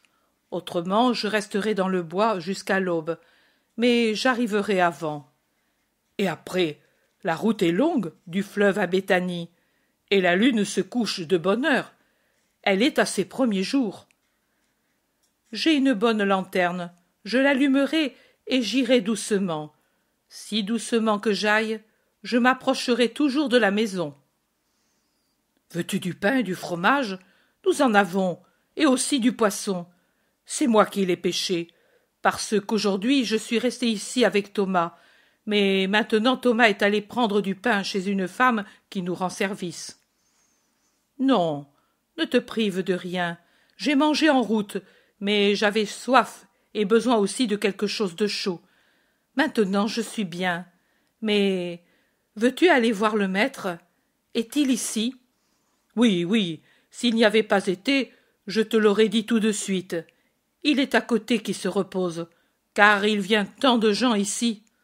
J'ai même peur que la chose fasse du bruit et vienne à alarmer les pharisiens. Prends encore un peu de lait. D'ailleurs, tu devras laisser manger le cheval et le faire reposer. Ses flancs battaient comme une voile mal tendue. Non, le lait, vous en avez besoin. Vous êtes si nombreux. Oui, mais sauf Jésus qui parle tant qu'il en a la poitrine fatiguée. Et les plus âgés, nous qui sommes robustes, nous mangeons des choses qui font travailler les dents. Prends. C'est celui des brebis laissé par le vieillard. Quand nous sommes ici, la femme nous l'apporte, mais si nous en voulons davantage, tous nous en donnent. Il nous aime bien ici, et il nous aide. Et dis-moi un peu, ils étaient si nombreux, les sanédristes Oh, presque tous, et d'autres avec eux, sadducéens, scribes, pharisiens, juifs de grande fortune, et aussi quelques hérodiens. Et qu'étaient-ils venus faire, ces gens de Abéthanie? Est-ce que Joseph et Nicodème y étaient? Non, ils étaient venus les jours d'avant, et Manahan aussi était venu. Ceux-ci n'étaient pas de ceux qui aiment le Seigneur. Et je le crois, il y en a tellement peu au Sanhédrin qu'il aime. Mais que voulait-il exactement? Saluer Lazare, ont-ils dit en entrant. Hum. Quel amour étrange. Ils l'ont toujours écarté pour tant de raisons. Bien, croyons-le aussi. Ils y sont restés longtemps? Assez. Et ils sont partis fâchés. Moi, je ne sers pas à la maison, et donc je ne servais pas aux tables, mais ceux qui étaient à l'intérieur pour servir disent qu'ils ont parlé avec les maîtresses et qu'ils ont voulu voir Lazare. C'est Elchias qui est allé voir Lazare et. La bonne peau, murmure Pierre entre ses dents. Qu'as-tu dit Rien, rien. Continue. Et il a parlé avec Lazare? Je crois. Il y est allé avec Marie. Mais ensuite, je ne sais pourquoi. Marie s'est agitée et les serviteurs, prêts à accourir des pièces voisines, disent qu'elle les a chassés comme des chiens. Vive elle Ce qu'il faut Et elle t'a envoyé le dire? Ne me fais pas perdre plus de temps, Simon de Jonas. Tu as raison. Viens. Il le conduit à une porte. Il frappe. Il dit Maître, il y a un serviteur de Lazare. Il veut te parler. Entre, dit Jésus. Pierre ouvre la porte, fait entrer le serviteur, ferme et se retire méritoirement près du feu pour mortifier sa curiosité. Jésus est assis sur le bord de sa couchette dans la petite pièce où il y a à peine de la place pour la couchette et la personne qui l'habite. Ce devait être auparavant un abri pour les vivres, car il y a encore des crochets au mur et des planches sur des chevilles. Jésus regarde en souriant le serviteur qui s'est agenouillé, et il le salue. La paix soit avec toi. Puis il ajoute. Quelle nouvelle m'apportes tu? Lève-toi et parle. Le serviteur répond à Jésus. Mes maîtresses m'envoient te dire d'y aller tout de suite, car Lazare est très malade, et le médecin dit qu'il va mourir. Marthe et Marie t'en supplient, et elles m'ont envoyé te dire Viens, car toi seul peux le guérir. Dis-leur de rester tranquille. Ce n'est pas une maladie mortelle, mais c'est la gloire de Dieu pour que sa puissance soit glorifiée en son Fils. Mais c'est très grave, maître. Sa chair est gangrénée, et il ne se nourrit plus. J'ai éreinté le cheval pour arriver plus tôt. Peu importe, c'est comme je dis. Mais viendras-tu? Je viendrai. Dis-leur que je viendrai, et qu'elles aient foi.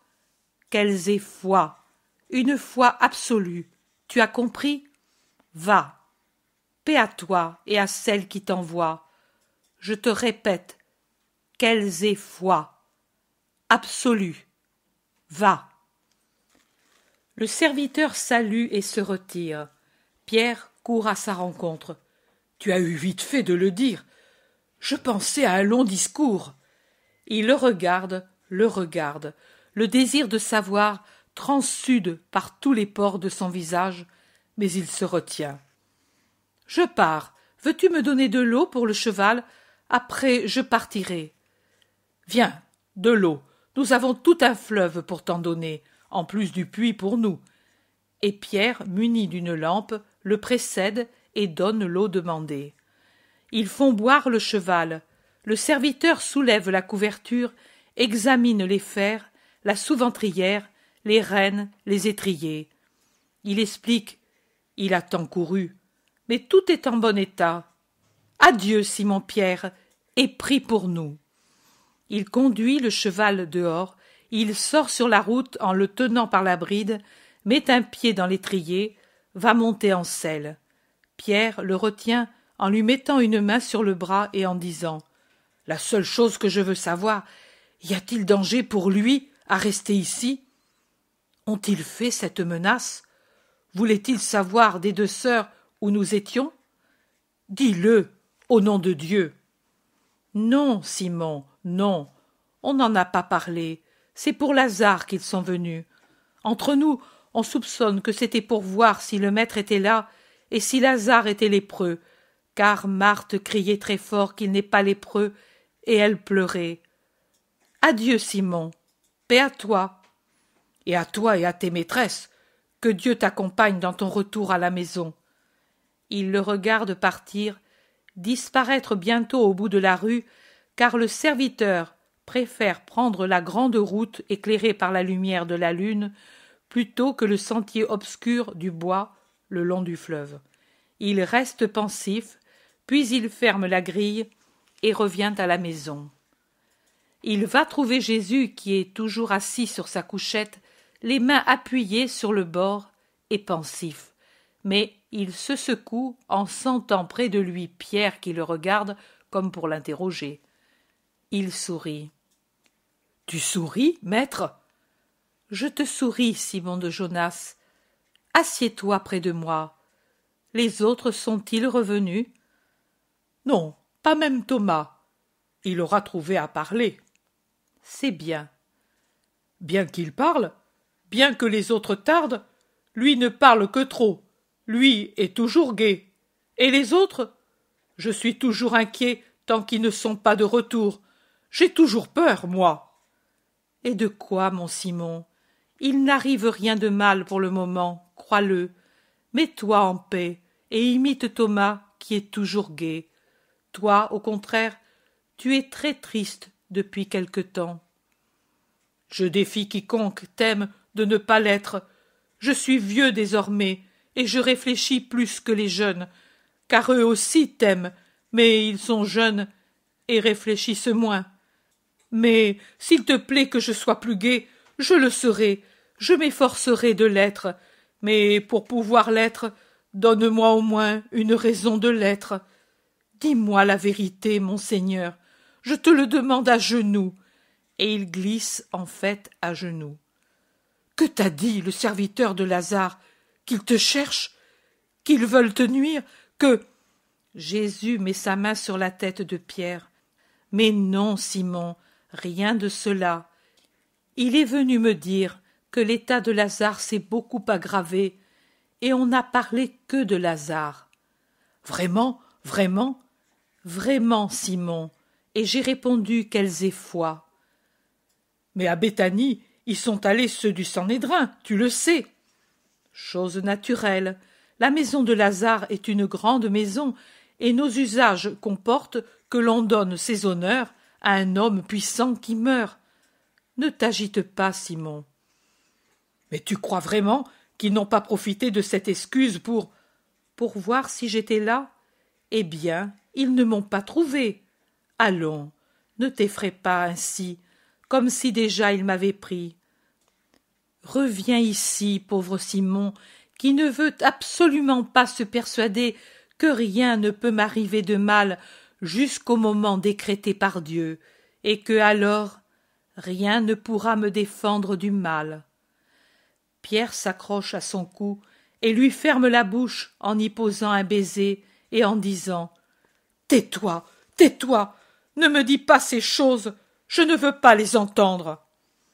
Jésus réussit à se dégager assez pour pouvoir parler, et il murmure. Tu ne veux pas les entendre, c'est une erreur. Mais je t'excuse.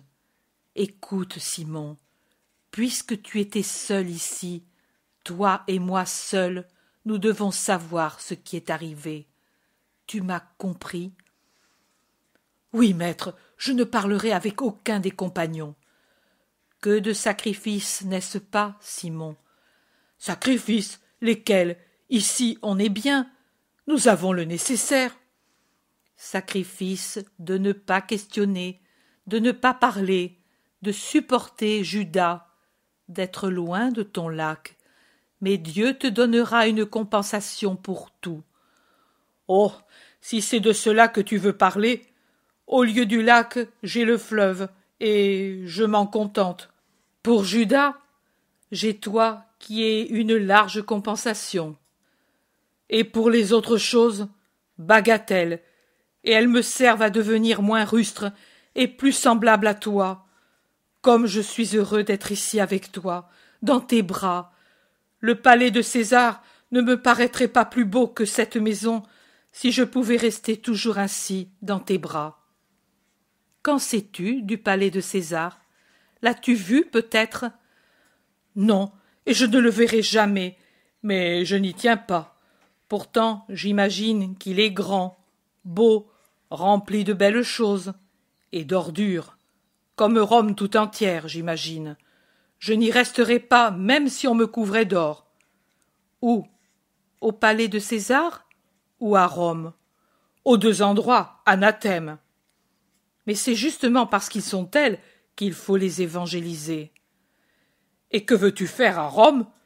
Ce n'est qu'un lupanar, rien à faire là-bas, à moins que tu y viennes. Toi, alors. J'y irai. Rome est la capitale du monde. Rome, une fois conquise, c'est le monde qui est conquis. Nous allons à Rome. Tu te proclames roi là-bas. Miséricorde et puissance de Dieu. Cela, c'est un miracle. Pierre s'est levé, et il reste les bras tendus devant Jésus qui sourit et lui répond. J'y irai dans la personne de mes apôtres. Vous me la conquerrez, et je serai avec vous. Mais à côté il y a quelqu'un. Allons, Pierre. Chapitre 6 Aux funérailles de Lazare. La nouvelle de la mort de Lazare doit avoir produit l'effet d'un bâton que l'on remue à l'intérieur d'une ruche. Jérusalem tout entière en parle.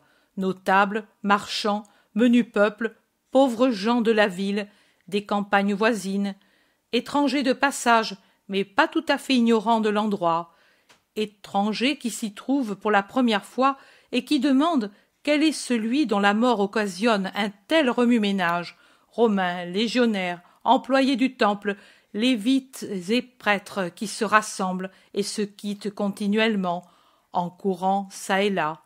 Groupe de gens qui en des termes et expressions différents parlent du fait certains louent d'autres pleurent d'autres se sentent plus mendiants qu'à l'ordinaire maintenant que leur bienfaiteur est mort. Quelqu'un gémit. Je n'aurai plus, jamais plus un maître comme lui. Certains énumèrent ses mérites, et d'autres mettent en lumière sa richesse et sa parenté, les fonctions et les charges de son père, la beauté et la richesse de sa mère, et sa naissance royale. D'autres, malheureusement, rappellent aussi des souvenirs familiaux sur lesquels il serait beau de laisser tomber un voile, surtout quand il s'agit d'un mort qui en a souffert. Les nouvelles les plus disparates sur la cause de la mort, sur l'emplacement du tombeau, sur l'absence du Christ de la maison de son grand ami et protecteur, justement cette circonstance, font parler les petits groupes. Et il y a deux opinions qui prévalent. L'une, c'est que cela est arrivé ou plutôt a été provoqué par l'attitude hostile des Juifs, sanédristes, pharisiens et gens de même acabit à l'égard du maître. L'autre, c'est que le maître, se trouvant en face d'une vraie maladie mortelle, s'est dérobé parce que dans ce cas, ses procédés frauduleux n'auraient pas réussi. Même sans être astucieux, il est facile de comprendre de quelle source vient cette dernière opinion. Elle heurte un grand nombre de gens qui répliquent Es-tu pharisien, toi aussi? Si oui, attention à toi, car avec nous on ne blasphème pas le saint, vipère maudite, engendrée par des hyènes mariées au Léviathan. Qui vous paie pour blasphémer le Messie Prise de bec, insultes, quelques coups de poing aussi, et des invectives mordantes résonnent dans les rues contre les pharisiens couverts de riches manteaux, et contre les scribes qui passent avec des airs de Dieu sans daigner regarder la plèbe qui vocifère pour et contre eux, pour et contre le maître, et des accusations. Combien? Quelqu'un dit que Jésus est un faux maître. C'est certainement un de ceux qui ont été achetés avec les deniers de ces serpents qui viennent de passer. Avec leurs deniers Avec les nôtres, dois-tu dire. C'est pour cela qu'ils nous plument. Mais où est-il que je veux voir si c'est un de ceux qui hier sont venus me parler? Il s'est enfui. Mais vive Dieu. Ici, il faut s'unir et agir. Ils sont trop impudents. Autre conversation. Je t'ai entendu et je te connais. Je dirai à qui de droit comment tu parles du tribunal suprême. J'appartiens au Christ, et la bave de démons ne me nuit pas. Dis-le même à Anna et Caïphe, si tu veux, et que cela serve à les rendre plus justes. Et plus loin. C'est moi, moi que tu traites de parjure et de blasphémateur, parce que je vais avec le Dieu vivant C'est toi le parjure et le blasphémateur qui l'offense et le persécute. Je te connais, sais-tu, je t'ai vu et entendu. Espion, vendu, saisissez-vous de lui. Et en attendant, il se met à lui appliquer sur la figure de ces gifles qui font rougir le visage osseux et verdâtre d'un juif.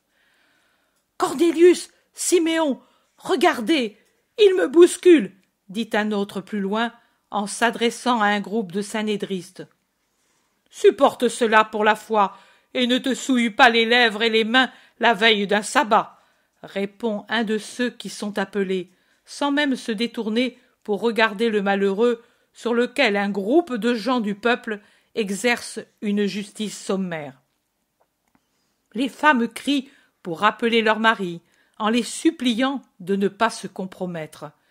Les légionnaires de patrouille font dégager les rues à coups de hampe et menacent de faire des arrestations et de prendre des sanctions. La mort de Lazare, le fait principal, donne l'occasion de passer à des faits secondaires qui défoulent la longue tension des cœurs. Les sanédristes, les anciens, les scribes, les sadducéens, les notables juifs passent indifférents, sournois, comme si toute cette explosion de petite colère, de vengeance personnelle, de nervosité, ne s'enracinait pas en eux. Plus les heures passent, et plus les passions fermentent, et plus les cœurs s'enflamment. Eux disent, écoutez un peu, que le Christ ne peut guérir les malades. Moi, j'étais lépreux, et maintenant je suis en bonne santé. Les connaissez-vous? Je ne suis pas de Jérusalem, mais jamais je ne les ai vus parmi les disciples du Christ depuis deux ans. Eux Fais-moi voir celui du milieu. Ah. Le scélérat. C'est lui qui, à la dernière lune, est venu m'offrir de l'argent au nom du Christ, en disant que lui prend des hommes en solde pour s'emparer de la Palestine. Et maintenant il dit. Mais pourquoi l'as tu laissé échapper? Vous avez compris, hein? Quel malandrin. Et pour un peu je me laissais prendre. Il avait raison, mon beau-père. Voilà Joseph l'Ancien avec Jean et Josué. Allons leur demander s'il est vrai que le maître veut rassembler des armées. Ils sont justes et sont au courant. Ils courent en masse vers les trois sanédristes et leur posent la question. Rentrez chez vous, hommes. Dans les rues, on pêche et l'on se nuit. Ne vous disputez pas, ne vous alarmez pas. Occupez-vous de vos affaires et de vos familles, N'écoutez pas ceux qui agitent des illusionnés, et ne vous laissez pas illusionner. Le maître est un maître, et non un guerrier. Vous le connaissez, et il dit ce qu'il pense. Il ne vous aurait pas envoyé d'autres pour vous dire de le suivre comme guerrier, s'il vous avait voulu tel. Ne faites pas de tort à lui, à vous et à votre patrie. Rentrez chez vous, hommes, rentrez chez vous, ne faites pas de ce qui est déjà un malheur, la mort d'un juste, une suite de malheurs. Retournez chez vous, et priez pour Lazare, qui faisait du bien à tout le monde, dit Joseph d'Arimatie, qui doit être très aimé et écouté par le peuple qui le connaît comme juste. Jean aussi, celui qui était jaloux, dit lui est un homme de paix, pas de guerre. N'écoutez pas les faux disciples. Rappelez-vous comme ils étaient différents les autres qui se disaient Messie. Rappelez-vous, confrontez, et votre justice vous dira que ces incitations à la violence ne peuvent venir de lui. À vos maisons, à vos maisons, auprès de vos femmes qui pleurent et de vos enfants apeurés. Il est dit Malheur aux violents et à ceux qui favorisent les rixes. Un groupe de femmes en larmes aborde les trois sanédristes et l'une d'elles dit Les scribes ont menacé mon homme, j'ai peur. Joseph, parle-leur. Je le ferai, mais que ton mari sache se taire. Croyez-vous, par ces agitations, rendre service au maître et honorer le mort? Vous vous trompez. Vous nuisez à l'un et à l'autre, répond Joseph, et il les laisse pour aller à la rencontre de Nicodème qui arrive par une rue, suivi de ses serviteurs. Je n'espérais pas te voir, Nicodème. Moi-même, je ne sais comment j'ai pu. Le serviteur de Lazare est venu après le chant du coq me dire le malheur. Et à moi plus tard. Je suis parti tout de suite. Sais-tu si le maître est à Béthanie? Non, il n'y est pas. Mon intendant de Bézéta y était à l'heure de tierce, et il m'a dit qu'il n'y est pas. Jean s'écrie. Moi, je ne comprends pas comment. Pour tous le miracle, et pas pour lui Joseph dit. C'est peut-être qu'à la maison il a donné déjà plus qu'une guérison. Il a racheté Marie et leur a rendu paix et honneur. Josué dit. Paix et honneur, des bons pour les bons, car beaucoup n'ont pas rendu et ne rendent pas honneur, même maintenant que Marie. Vous ne savez pas, il y a trois jours, Elchias y est allé avec beaucoup d'autres, et ils n'ont pas rendu honneur, et Marie les a chassés. Ils me l'ont dit, furieux, et je les ai laissés dire pour ne pas dévoiler mon cœur. Nicodème demande. Et maintenant, ils vont aux funérailles? Ils ont eu la vie et se sont réunis au temple pour discuter. Oh. Les serviteurs ont dû beaucoup courir ce matin à l'aurore. Pourquoi précipite t on ainsi les funérailles tout de suite après sexe parce que Lazare était déjà décomposé quand il est mort. Mon intendant m'a dit que, malgré les résines qui brûlent dans les pièces et les aromates répandus sur le mort, la puanteur du cadavre se sent dès le portique de la maison. Et puis, au couchant, le sabbat commence. Il n'était pas possible de faire autrement. Et tu dis qu'ils se sont réunis au temple? Pourquoi? Josué dit voilà. En réalité, la réunion était déjà fixée pour discuter sur Lazare. Ils veulent dire qu'il était lépreux. Cela, non. Lui, tout le premier, se serait isolé pour obéir à la loi, dit Joseph pour le défendre. Et il ajoute J'ai parlé avec le médecin. Il a absolument exclu la lèpre. Il était malade d'une consomption putride.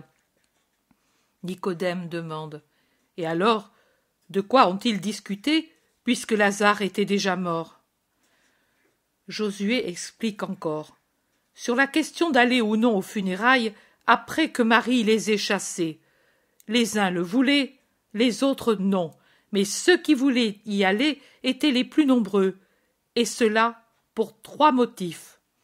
Voir si le maître y est, première raison, commune à tous, voir s'il fait le miracle, deuxième raison, la troisième, le souvenir des paroles récentes du maître au scribe près du Jourdain, non loin de Jéricho. Le miracle Quel miracle s'il est mort? Demande Jean avec un haussement d'épaules, et il termine en disant Toujours les mêmes qui cherchent l'impossible. Joseph fait remarquer Le maître a ressuscité d'autres morts. C'est vrai, mais s'il avait voulu le garder vivant, il ne l'aurait pas laissé mourir. La raison que tu as donnée avant est juste. Ils ont déjà eu un miracle. Oui, mais Uziel s'est souvenu, et avec lui Sadoc, d'un défi exprimé il y a plusieurs lunes. Le Christ a dit qu'il prouvera qu'il sait recomposer un corps en décomposition. Et Lazare est tel. Et Sadoc le scribe dit encore que, près du Jourdain, le rabbi lui a dit de lui-même qu'à la nouvelle lune il verrait s'accomplir la moitié du défi. Celui-ci, d'un corps décomposé qui revit et sans plus de tard ni de maladie. Et ils ont gagné, eux. Si cela arrive, il est certain que c'est parce qu'il y a le maître. Et aussi, si cela arrive, il n'y a plus de doute à son sujet. Joseph murmure. Pourvu que ce ne soit pas un mal. Un mal. Pourquoi? Les scribes et les pharisiens se persuaderont? Oh. Jean. Mais es tu donc un étranger pour pouvoir dire cela? Tu ne connais pas tes concitoyens. Quand donc la vérité les a t elle rendus saints? Cela ne te dit rien que l'on n'a pas apporté chez moi l'invitation à la réunion? Nicodème dit. Ni chez moi non plus. Ils doutent de nous et nous laissent souvent en dehors. Et il demande. Gamaliel y était-il? Il y avait son fils, et il viendra pour remplacer son père qui est souffrant à Gamala de Judée. Et que disait Siméon? Rien, absolument rien. Il a écouté et s'en est allé. Il y a un moment, il est passé avec des disciples de son père en allant à Béthanie. Ils sont presque à la porte qui ouvre sur le chemin de Béthanie, et Jean s'écrie Regarde, elle est gardée. Pourquoi donc? Et ils arrêtent ceux qui sortent. Il y a de l'agitation dans la ville. Oh. Elle n'est pas pourtant des plus fortes. Ils arrivent à la porte et sont arrêtés comme tous les autres. Joseph d'Arimathie dit Pour quelle raison, soldat? Je suis connu de toute l'Antonia, et vous ne pouvez dire du mal de moi. Je vous respecte, et je respecte vos lois. Ordre du centurion. Le chef va entrer dans la ville et nous voulons savoir qui sort par les portes et spécialement par celle-ci qui donne sur la route de Jéricho. Nous te connaissons, mais nous connaissons vos sentiments pour nous. Toi et les tiens, passez, et si vous avez de l'influence sur le peuple, dites-leur qu'il est bien pour eux de rester tranquilles. Ponce n'aime pas changer ses habitudes pour des sujets qui lui portent ombrage, et il pourrait être trop sévère. Un conseil loyal pour toi qui est loyal. Il passe. Joseph dit Tu entends? Je prévois de lourdes journées. Il faudra le conseiller aux autres plutôt qu'au peuple. La route pour Béthanie est remplie de gens qui vont tous dans la même direction, à Béthanie. Tous se rendent aux funérailles. On voit des sanédristes et des pharisiens mêlés à des sadducéens, et des scribes, et ceux-ci à des paysans, des serviteurs, des intendants des différentes maisons et des domaines que Lazare possède dans la ville et dans les campagnes, et plus on approche de Béthanie, plus il y a de gens qui débouchent des sentiers et des chemins dans la route principale. Voici Béthanie. Béthanie en deuil de son plus grand citoyen. Tous les habitants, avec leurs meilleurs habits, sont déjà en dehors des maisons qui sont fermées comme s'il n'y avait personne à l'intérieur, mais ils ne sont pas encore dans la maison du mort. La curiosité les retient près de la grille le long du chemin. Ils observent ceux qui passent parmi les invités, et ils échangent les noms et les impressions. Voici Nathanaël ben Faba. Oh. Le vieux Mattathias, parent de Jacob. Le fils d'Anna. Regarde-le avec Doras, Calachébona et Archélaüs. Oh. Comment ont-ils fait pour venir ceux de Galilée? Ils y sont tous. Regarde, Élie, Jocana, Ismaël, Uri, Joachim, Élie, Joseph, le vieux Canania avec Sadoc, Zacharie et Jocana sadducéens. Il y a aussi Siméon de Gamaliel, seul. Le rabbi n'est pas avec lui. Voilà Elchias, avec Naoum, Félix, Anna le scribe, Zacharie, Jonatas d'Uriel, seul, avec Éléazar, Trifon et Joazar. Bons ces derniers. Un autre des fils d'Anna, le plus jeune, il parle avec Simon Camite. Philippe avec Jean l'antipatride. Alexandre, Isaac et Jonas de Babaon. Sadoc. Jude, descendant des Assidéens, le dernier, je crois, de cette classe. Voici les intendants des divers palais. Je ne vois pas les amis fidèles. Que de gens. Vraiment, que de gens, tous importants, une partie avec un visage de circonstance, ou avec sur le visage les marques d'une vraie douleur. Le portail, tout grand ouvert, engloutit tout le monde, et je vois passer tous ceux qu'à diverses reprises j'ai vus bienveillants ou hostiles autour du maître. Sauf Gamaliel et le sanédriste Simon et j'en vois d'autres encore que je n'ai jamais vus ou que j'aurais vus sans savoir leur nom dans les discussions autour de Jésus. Ils passent des rabbins avec leurs disciples et des scribes en groupes compacts. Ils passent des juifs dont j'entends énumérer les richesses. Le jardin est plein de gens.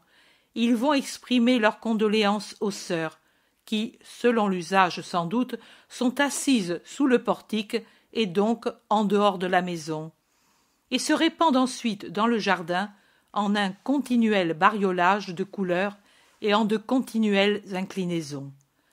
Marthe et Marie sont bouleversées. Elles se tiennent par la main comme deux fillettes effrayées du vide qui s'est fait dans leur maison, du rien qui emplit leur journée maintenant qu'elles n'ont plus Lazare à soigner. Elles écoutent les paroles des visiteurs, pleurent avec les vrais amis, leurs employés fidèles, s'inclinent devant les synédristes à l'air glacial, imposant, rigide, venus plutôt pour se faire voir que pour honorer le défunt. Elles répondent, lasses de répéter les mêmes choses des centaines de fois à ceux qui les interrogent sur les derniers moments de Lazare. Joseph, Nicodème, les amis les plus sûrs, se mettent à côté d'elles, sobres en paroles, mais manifestant une amitié plus réconfortante que de longs discours. Elchias revient avec les plus intransigeants avec lesquels il a parlé longuement, et il demande Ne pourrions-nous pas voir le mort? Marthe, avec tristesse, se passe la main sur le front et demande Quand donc cela se fait-il en Israël? Il est déjà préparé. Et des larmes descendent lentement de ses yeux. Ce n'est pas l'usage, c'est vrai, mais nous le désirerions. Les amis les plus fidèles ont bien le droit de voir une dernière fois l'ami. Même nous, ses sœurs, nous aurions eu ce droit, mais il a été nécessaire de l'embaumer tout de suite, et quand nous sommes revenus dans la chambre de Lazare, nous n'avons plus vu que sa forme enveloppée par les bandelettes. Vous devriez donner des ordres clairs. Ne pouviez-vous pas, ne pourriez-vous pas enlever le suaire de son visage? Oh. Il est déjà décomposé, et l'heure des funérailles est arrivée. Joseph intervient. Elchias, il me semble que nous, par excès d'amour, nous leur faisons de la peine. Laissons les sœurs en paix. Siméon, fils de Gamaliel, s'avance, empêchant la réponse d'Elchias. Mon père viendra dès qu'il le pourra. Je le représente. Il appréciait Lazare, et moi de même. Marthe s'incline en répondant Que l'honneur du rabbi pour notre frère soit récompensé par Dieu.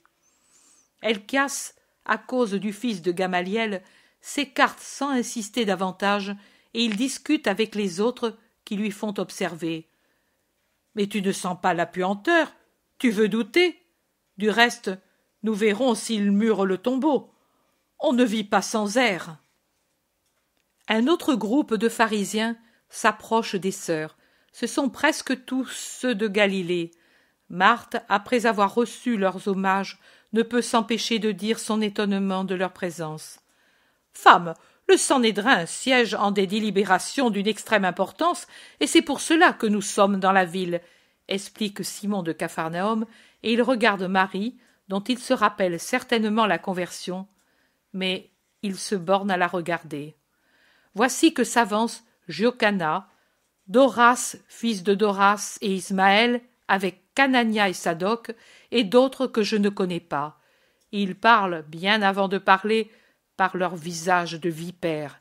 Mais ils attendent que Joseph s'éloigne avec Nicodème pour parler à trois juifs pour pouvoir blesser. C'est le vieux Canania qui, de sa voix éraillée de vieillard croulant, commence l'attaque. Qu'en dis-tu, Marie? Votre maître est le seul absent des nombreux amis de ton frère, singulière amitié, tant d'amour, tant que Lazare se portait bien, et de l'indifférence quand c'était le moment de l'aimer. Tous sont des miracles de lui, mais ici il n'y a pas de miracle. Qu'en dis-tu, femme, de pareilles choses? Il t'a trompé beaucoup, beaucoup, le beau rabbi galiléen. Hé ne disais-tu pas qu'il t'avait dit d'espérer au-delà de ce que l'on peut espérer? Tu n'as donc pas espéré, ou bien il ne sert à rien d'espérer en lui. Tu espérais dans la vie, as-tu dit? C'est vrai, lui se dit la vie, hé hé, mais là-dedans se trouve ton frère mort, et là-bas est déjà ouverte la bouche du tombeau. Et pas de rabbi, hé hé. Doras dit avec un sourire. Lui s'est donné la mort, pas la vie. Marthe incline son visage dans ses mains et pleure. C'est bien la réalité. Son espérance est bien déçue. Le rabbi n'est pas là. Il n'est même pas venu les réconforter. Et pourtant, il aurait pu être là maintenant. Marthe pleure. Elle ne sait plus que pleurer. Marie aussi pleure. Elle aussi est en face de la réalité. Elle a cru, elle a espéré au-delà de ce qui est croyable. Mais rien n'est arrivé, et déjà les serviteurs enlèvent la pierre de l'entrée du tombeau, car le soleil commence à descendre. Et le soleil descend vite en hiver, et c'est vendredi. Et tout doit être fait à temps, de façon que les hôtes ne doivent pas transgresser les lois du sabbat qui va bientôt commencer. Elle a tant espéré, toujours trop espéré, elle a consumé ses puissances dans cette espérance, et elle est déçue. Canania insiste. Tu ne me réponds pas. Es-tu convaincu à présent que lui est un imposteur qui vous a exploité et méprisé? Pauvre femme. Et il hoche la tête parmi ses comparses qui l'imitent en disant eux aussi Pauvre femme. Maximin s'approche. C'est l'heure. Donnez l'ordre. C'est à vous de le faire. Marthe s'écroule. On la secourt et on l'emporte à bras au milieu des cris des serviteurs qui comprennent que l'heure est venue de la descente dans le tombeau et qui entonnent les lamentations. Marie se tord convulsivement les mains. Elle supplie. Encore un peu. Encore un peu. Envoyez des serviteurs sur la route vers Ansémès et la fontaine sur toutes les routes, des serviteurs à cheval, qu'ils voient s'il vient. Mais tu espères encore, ô malheureuse. Mais que te faut-il pour te persuader qu'il vous a trahi et trompé? Il vous a haï et méprisé. C'en est trop. Le visage baigné de larmes, torturé et pourtant fidèle, dans le demi-cercle de tous les autres rassemblés pour voir sortir la dépouille, Marie proclame si Jésus de Nazareth a ainsi agi, c'est bien, et c'est un grand amour que le sien pour nous tous de Béthanie. Tout pour la gloire de Dieu et la sienne. Il a dit que de cela il en viendra de la gloire pour le Seigneur, parce que la puissance de son Verbe resplendira complètement. Exécute, Maximin. Le tombeau n'est pas un obstacle au pouvoir de Dieu. Elle s'écarte soutenue par Noémie qui est accourue, et elle fait un signe. La dépouille, dans ses bandelettes, sort de la maison, traverse le jardin entre deux haies de gens, au milieu des cris de deuil. Marie voudrait la suivre, mais elle chancelle. Elle se joint quand déjà tous sont vers le tombeau. Elle arrive juste pour voir disparaître la longue forme immobile dans la nuit du tombeau où rougissent les torches que tiennent haut les serviteurs pour éclairer les marches pour ceux qui descendent avec le mort. En effet, le tombeau de Lazare est plutôt enterré, peut-être pour utiliser des couches de roches souterraines. Marie crie, elle est déchirée, elle crie, et avec le nom de son frère, il y a celui de Jésus. Il semble lui arracher le cœur, mais elle ne dit que ces deux noms, et elle les répète jusqu'au moment où la lourde rumeur de la fermeture remise à l'entrée de la tombe lui dit que Lazare n'est plus sur la terre, même avec son corps. Alors elle cède et perd complètement connaissance. Elle s'abat sur celle qui la soutient et soupire encore, pendant qu'elle s'abîme et s'anéantit dans son évanouissement. Jésus. Jésus. On l'éloigne. Maximin reste pour congédier les hôtes et les remercier au nom de toute la parenté. Il reste pour s'entendre dire par tous qu'ils reviendront chaque jour pour le deuil. La foule s'écoule lentement. Les derniers à partir sont Joseph, Nicodème, Éléazar, Jean, Joachim, Josué. Au portail, ils trouvent Sadoc avec Uriel qui rit méchamment en disant des filles, et nous l'avons craint. Oh, il est bien mort, comme il puait malgré les aromates. Il n'y a pas de doute, non. Il n'y avait pas besoin d'enlever le suaire. Je crois qu'il y avait déjà les vers. Ils sont heureux.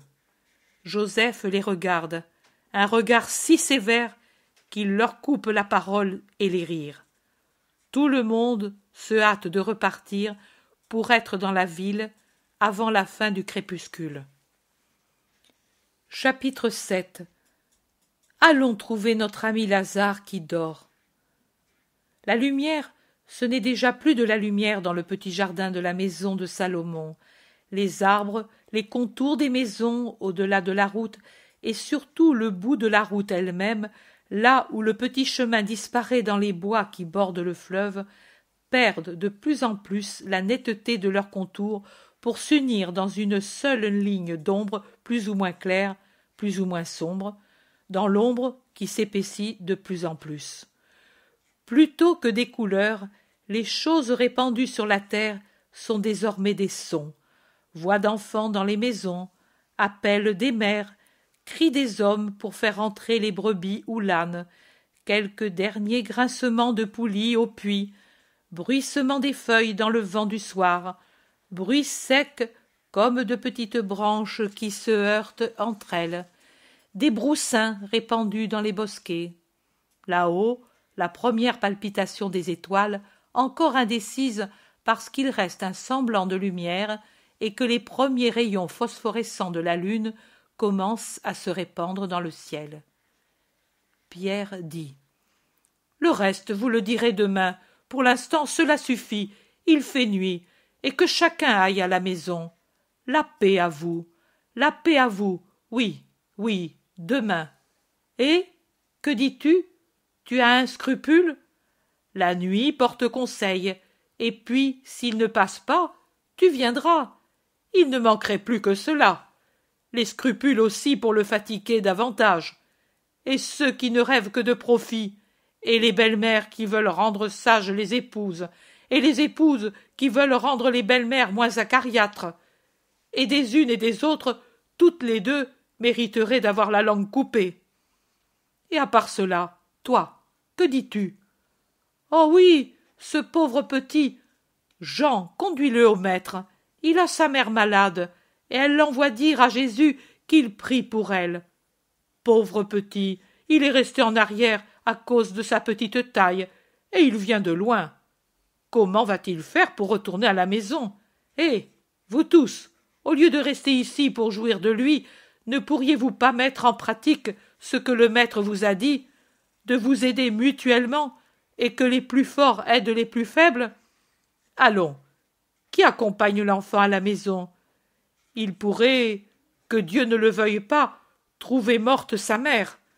Qu'au moins il la voie. Vous avez des ânes? Il fait nuit. Et quoi de plus beau que la nuit? Moi j'ai travaillé pendant des lustres à la lueur des étoiles, et je suis sain et robuste. Tu le conduis à la maison Dieu te bénisse, Ruben. Voici l'enfant. Le maître t'a-t-il consolé? Oui. Alors va, et sois heureux mais il faudra lui donner à manger. C'est peut-être depuis ce matin qu'il ne mange pas. Jean dit Le maître lui a donné du lait chaud, du pain et des fruits. Il les a dans sa tunicelle. Alors va avec cet homme. Il va te conduire à la maison avec l'âne. Finalement, les gens sont tous partis, et Pierre peut se reposer avec Jacques, Jude, l'autre Jacques et Thomas, qui l'ont aidé à renvoyer chez eux les plus obstinés.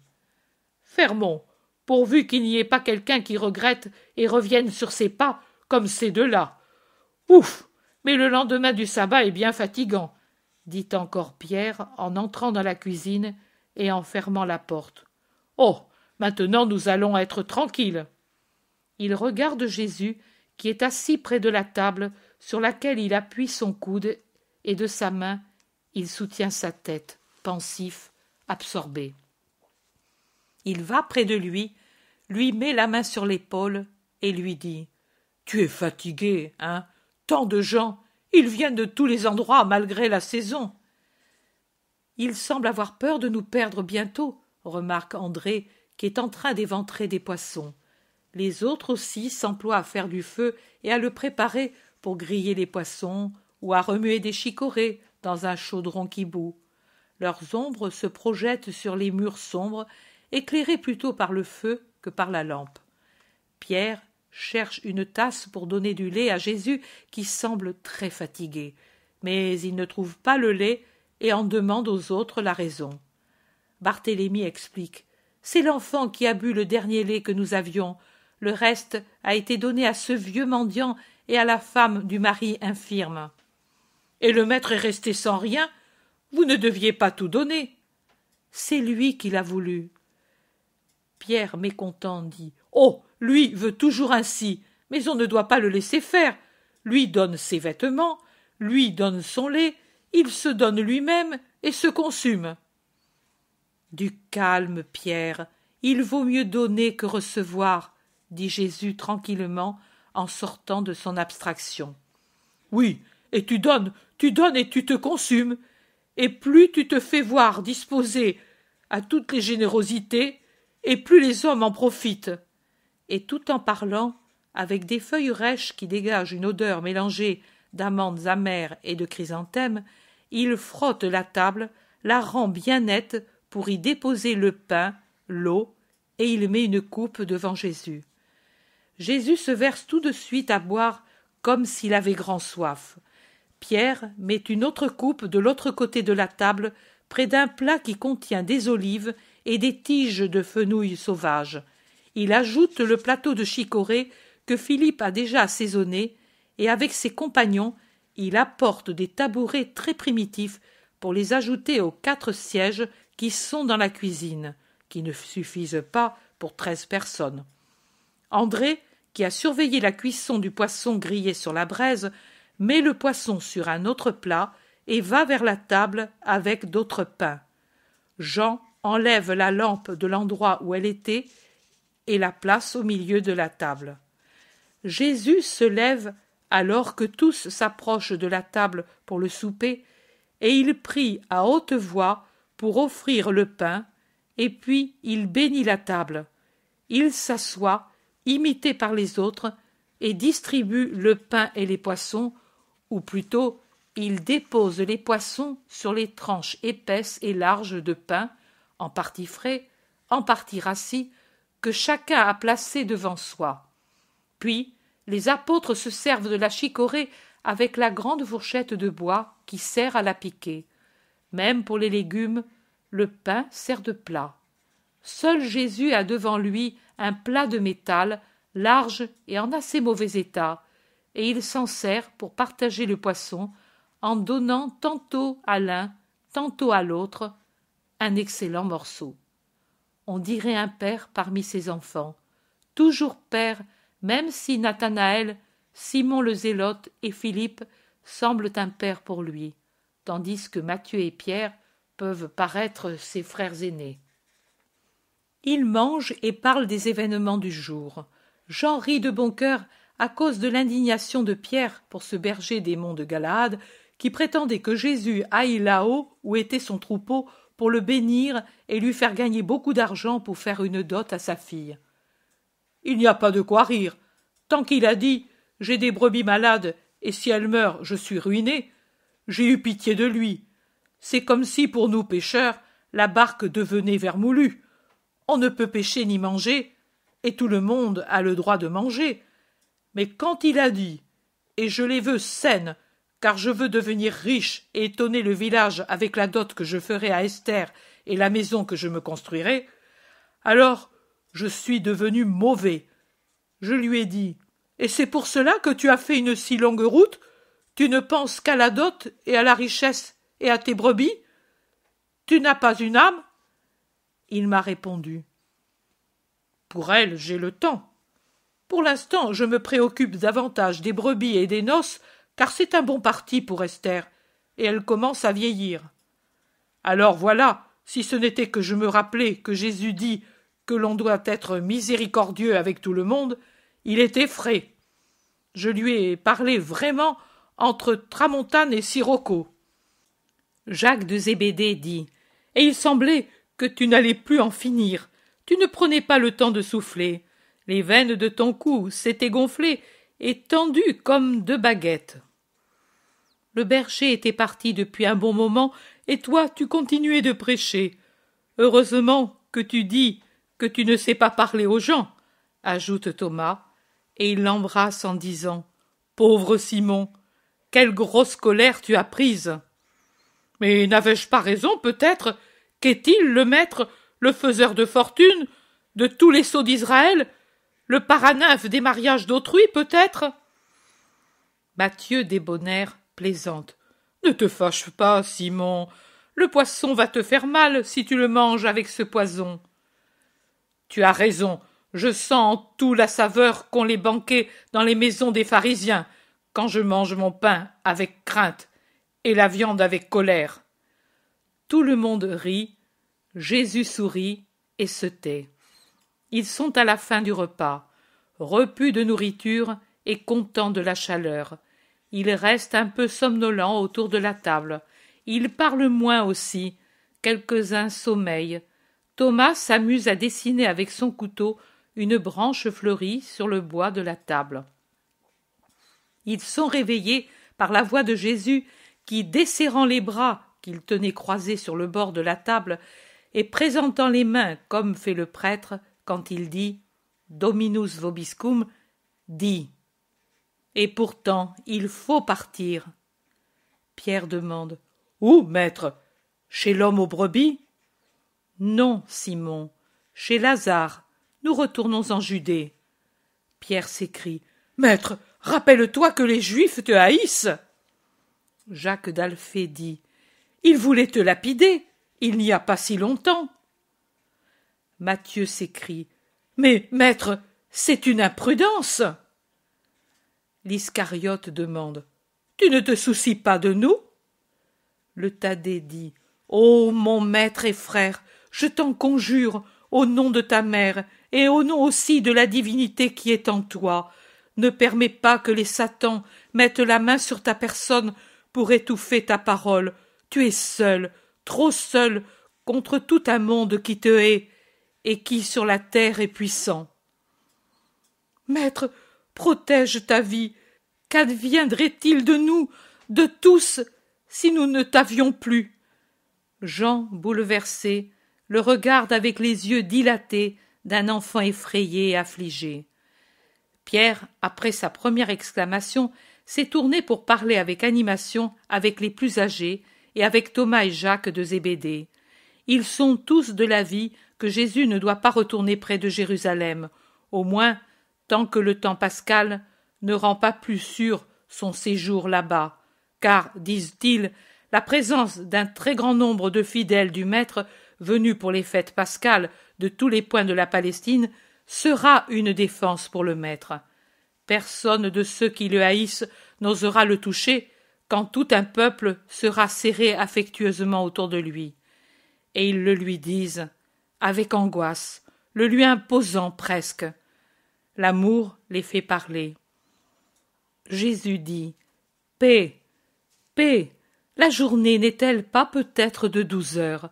Si quelqu'un marche de jour, il ne trébuche pas, car il voit la lumière de ce monde. Mais s'il marche de nuit, il trébuche, car il n'y voit pas. Je sais ce que je me fais, car j'ai la lumière en moi. Vous, laissez-vous guider par celui qui voit.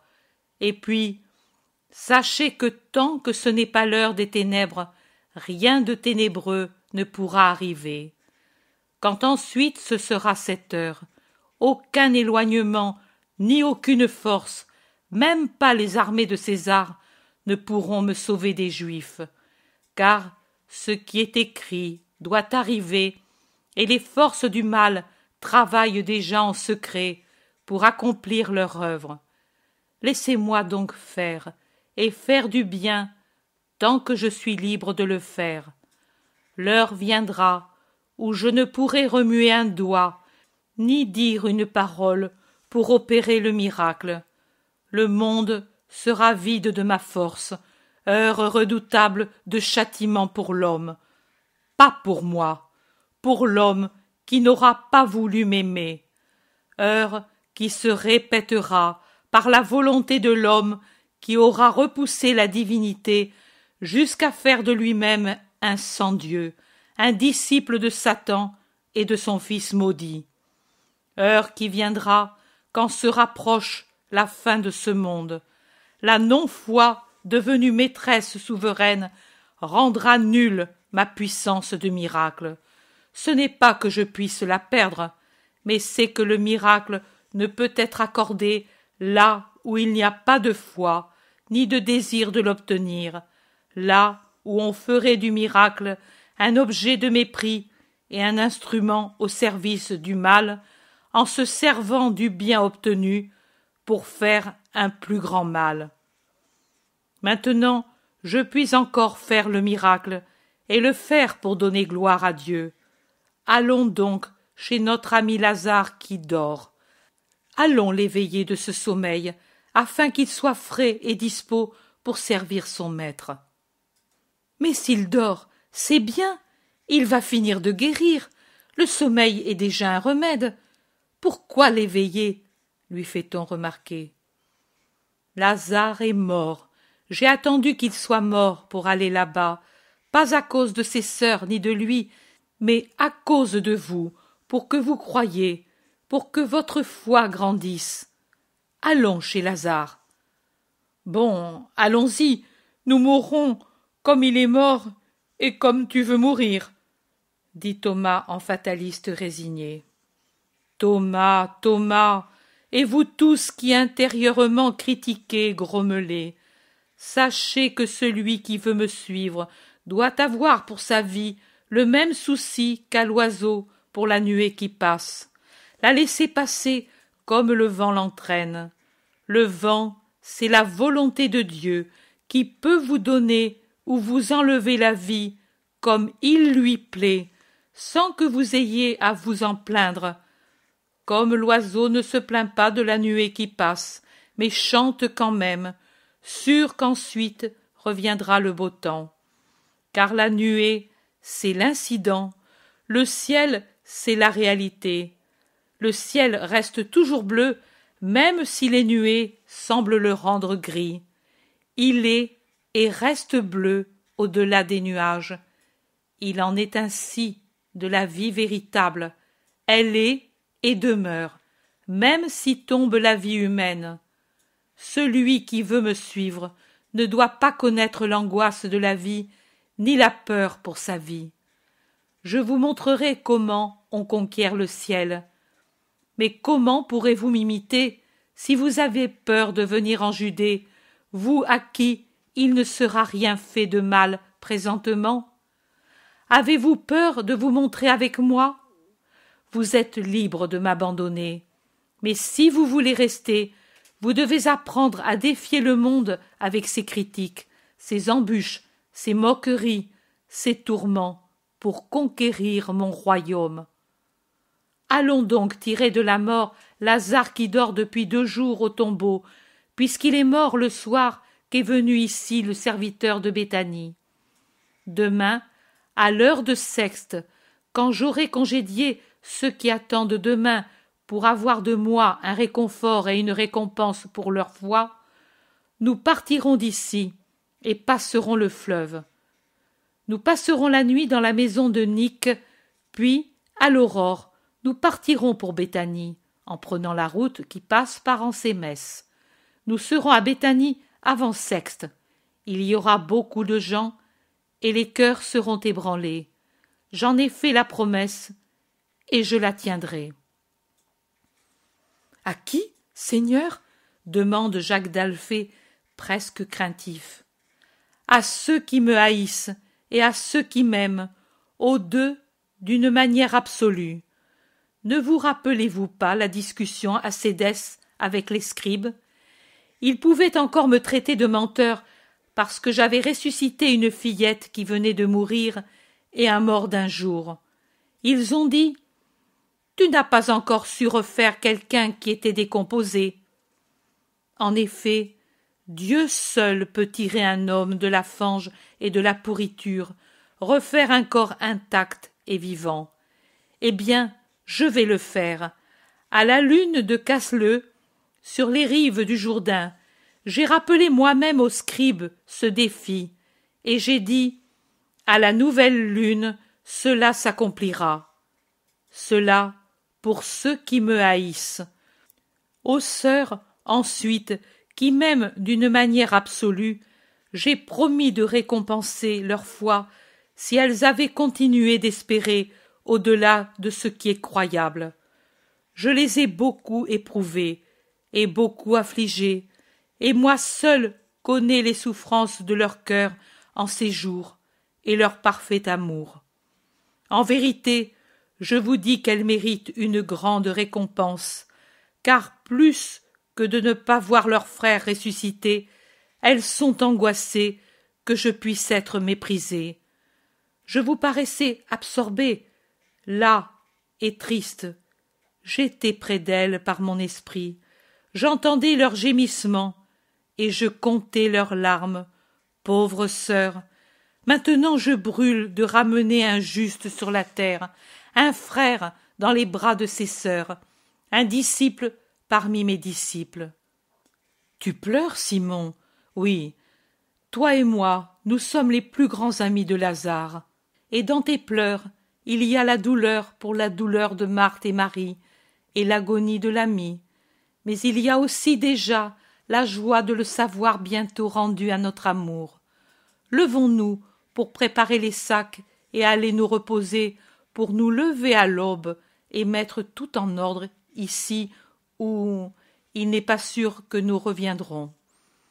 Il faudra distribuer aux pauvres ce que nous avons, et dire aux plus actifs d'empêcher les pèlerins de me chercher tant que je ne serai pas dans un autre lieu sûr.